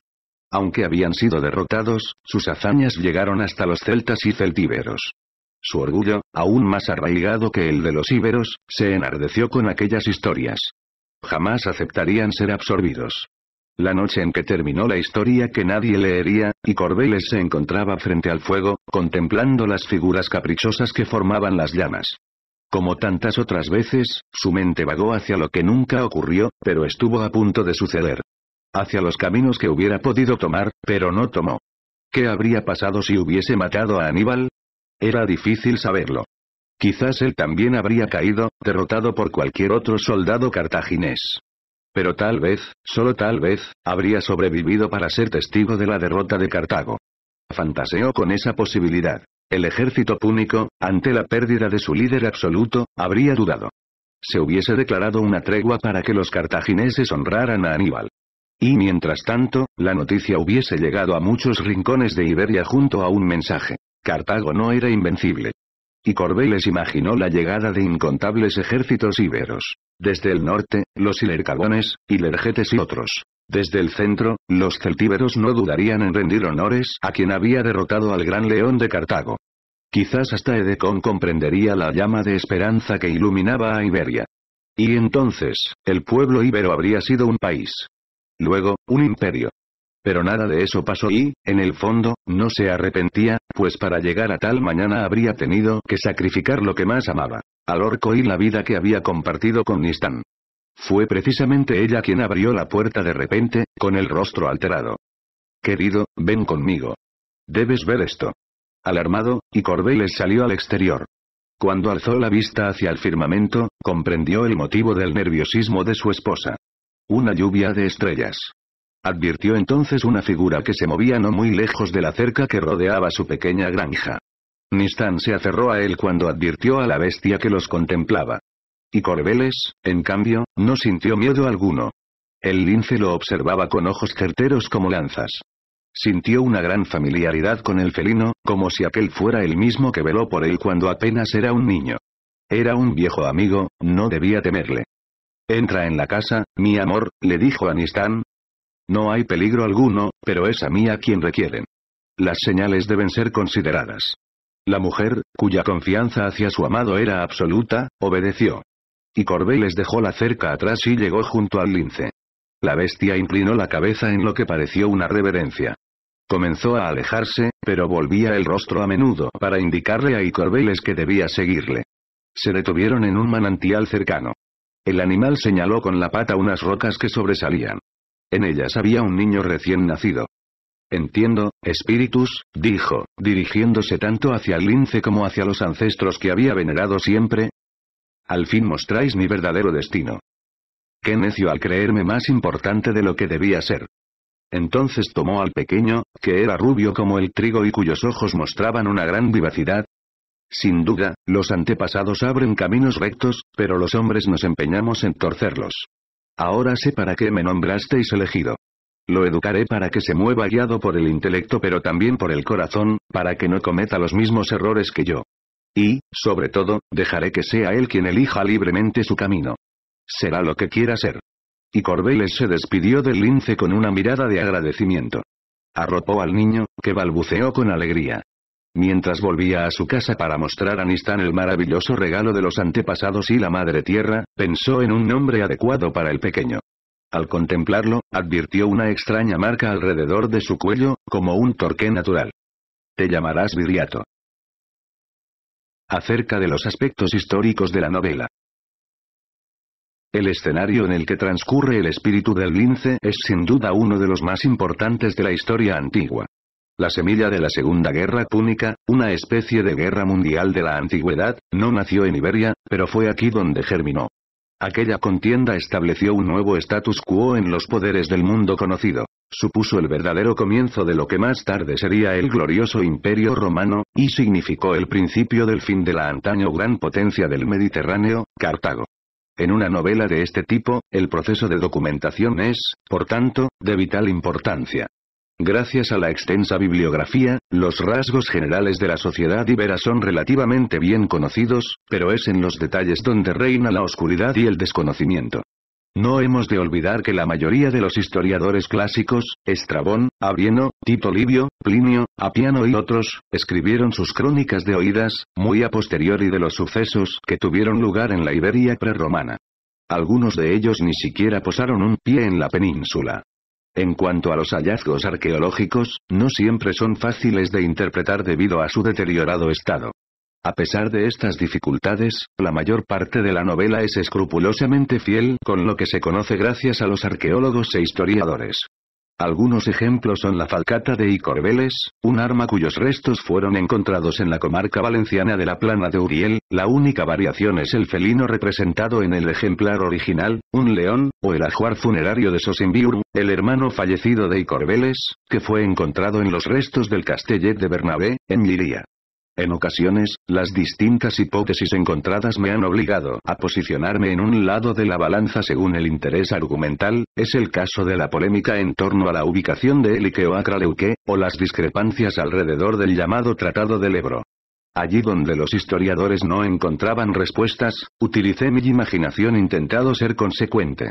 Así lo he hecho, por ejemplo, en la leyenda que Corbeles le narra a su hijo y Cortas, totalmente ficticia. La mitología íbera, excepto las leyendas tartésicas de Gerión y Avis, es casi inexistente o está influenciada por creencias griegas y púnicas. La religión íbera es uno de los grandes misterios por resolver de su sociedad. Los restos arqueológicos, así como las cronologías de los griegos, no resuelven qué tipo de culto practicaban ni cómo estaba jerarquizado, aunque se cree que fue de tipo naturalista. Incluso las denominaciones Iberia, e Íberos, mueven a la confusión. A menudo pensamos en Iberia como un país, pero en realidad debió ser más una región geográfica acuñada por los griegos. Entre ellos debieron conocerse por el nombre de sus etnias o tribus, edetanos, bastétanos, contestanos cuyo área de influencia tendría la consideración de país, con características sociales y políticas muy distintas a nuestro concepto actual, sin embargo, tal vez debido al contacto constante con las colonias griegas, con el tiempo debieron adoptar la denominación de iberos. Transportándolo a la actualidad, podría compararse en parte con el término civilización occidental, que utilizamos para referirnos a una multitud de países que compartimos una sociedad similar. A veces, la visión que presento huye a propósito de lo que los historiadores aceptan por unanimidad. Cuando Icorbeles alardea de que los edetanos son los más cultos de todos los íberos, despreciando a los turdetanos, está plasmando una creencia subjetiva. La realidad es que, aunque los edetanos eran refinados en sus costumbres y avanzados en sus artes debido a la influencia helena, los expertos consideran a los turdetanos como el pueblo íbero más sobresaliente cultural y artísticamente. Y aunque escasas, hay escenas que jamás ocurrieron. Es el caso de la batalla de la hondonada del clavo, cuya inclusión dentro de la novela se debe a razones argumentales. Sin embargo, aunque el marco es imaginario, los elementos que lo componen están razonados y son fieles a los datos históricos. Los personajes de mi novela son el mejor ejemplo de la fusión entre historia e imaginación. Todos los nombres que he utilizado son auténticos, hallados en monedas, la mayoría, incluso alguna de sus frases es real, cuando Aníbal responde a Icorbé les hallaré un camino o lo abriré, o la frase homenaje a nuestro apreciado Ibero Jabato. Los íberos mueren pero jamás se rinden. Sin embargo, no todos los personajes existieron como tales.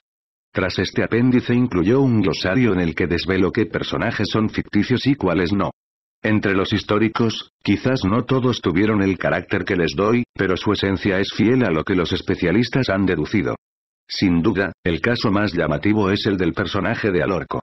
Cualquier estudioso de los textos clásicos se habrá rasgado las vestiduras ante mi versión de esta figura histórica, cuya presencia en las crónicas es mínima excepto en un momento trascendental. Los historiadores griegos aseguran que Alorco fue un íbero, no está claro si celtíbero, que sirvió a Aníbal, pero que por sus relaciones de amistad con Sagunto quiso mediar en el conflicto. De hecho, durante la etapa de concepción de mi novela, mi deseo era seguir esta línea y convertir a Alorco en el personaje principal. Pero la idea de hacer protagonista a un íbero traidor a su patria no me satisfacía. Así que convertía a Alorco en cartaginés, y como deseaba que el personaje principal fuera íbero, el púnico pasó a ser un secundario. Para compensar esta gran licencia ideé una explicación al motivo por el cual Tito Livio lo identifica como íbero. Al haberse criado en Iberia, sus congéneres cartagineses lo apodaron el hispano. No puedo dejar de mencionar la inclusión de un personaje como el famoso Viriato al final del libro, teniendo en cuenta que nada lo une históricamente con Edetamía. Pero las lagunas acerca del origen de Viriato me dieron la oportunidad de dar un final adecuado al personaje de Icorbeles, revelando la verdad de la profecía. Él sería quien convertiría al legendario Viriato en el gran guerrero y estratega que tantos quebraderos de cabeza causó a los romanos. La cuestión de la denominación de las localizaciones es más peliaguda. Iberia, Hispania, Mediterráneo, Edetanía, u Oretanía, son denominaciones griegas, púnicas o latinas, pero se desconoce cómo fueron conocidas por los íberos. La escritura íbera fue descifrada en 1922 por Manuel Gómez Moreno, pero por desgracia los investigadores aún son incapaces de encontrar el significado a las palabras que pueden leerse. Solo en algunos casos excepcionales, como Arse, o Saidi, se cree tener conciencia de los nombres íberos de la época gracias a las monedas halladas. No hay que olvidar que fueron principalmente los historiadores griegos quienes nos legaron la mayoría de los aspectos de aquel pasado antiguo. Más adelante, el lector encontrará información en el correspondiente glosario de localizaciones. Ocurre algo similar con otros términos. Polibio y Tito Livio usaron el sustantivo regulus, régulo, para referirse a los gobernantes íberos. Según creen algunos investigadores actuales, este fue un término despectivo que utilizaban con los pueblos que consideraban bárbaros. No se tiene noticia, por tanto, de cuál era la denominación con que los íberos nombraban a sus gobernantes, por lo que he preferido utilizar un término que el lector puede identificar con facilidad. Rey. En resumen, El espíritu del lince, es una novela respetuosa con la historia, a pesar de las obvias licencias, que espero sean perdonadas por los lectores y los especialistas. Fin.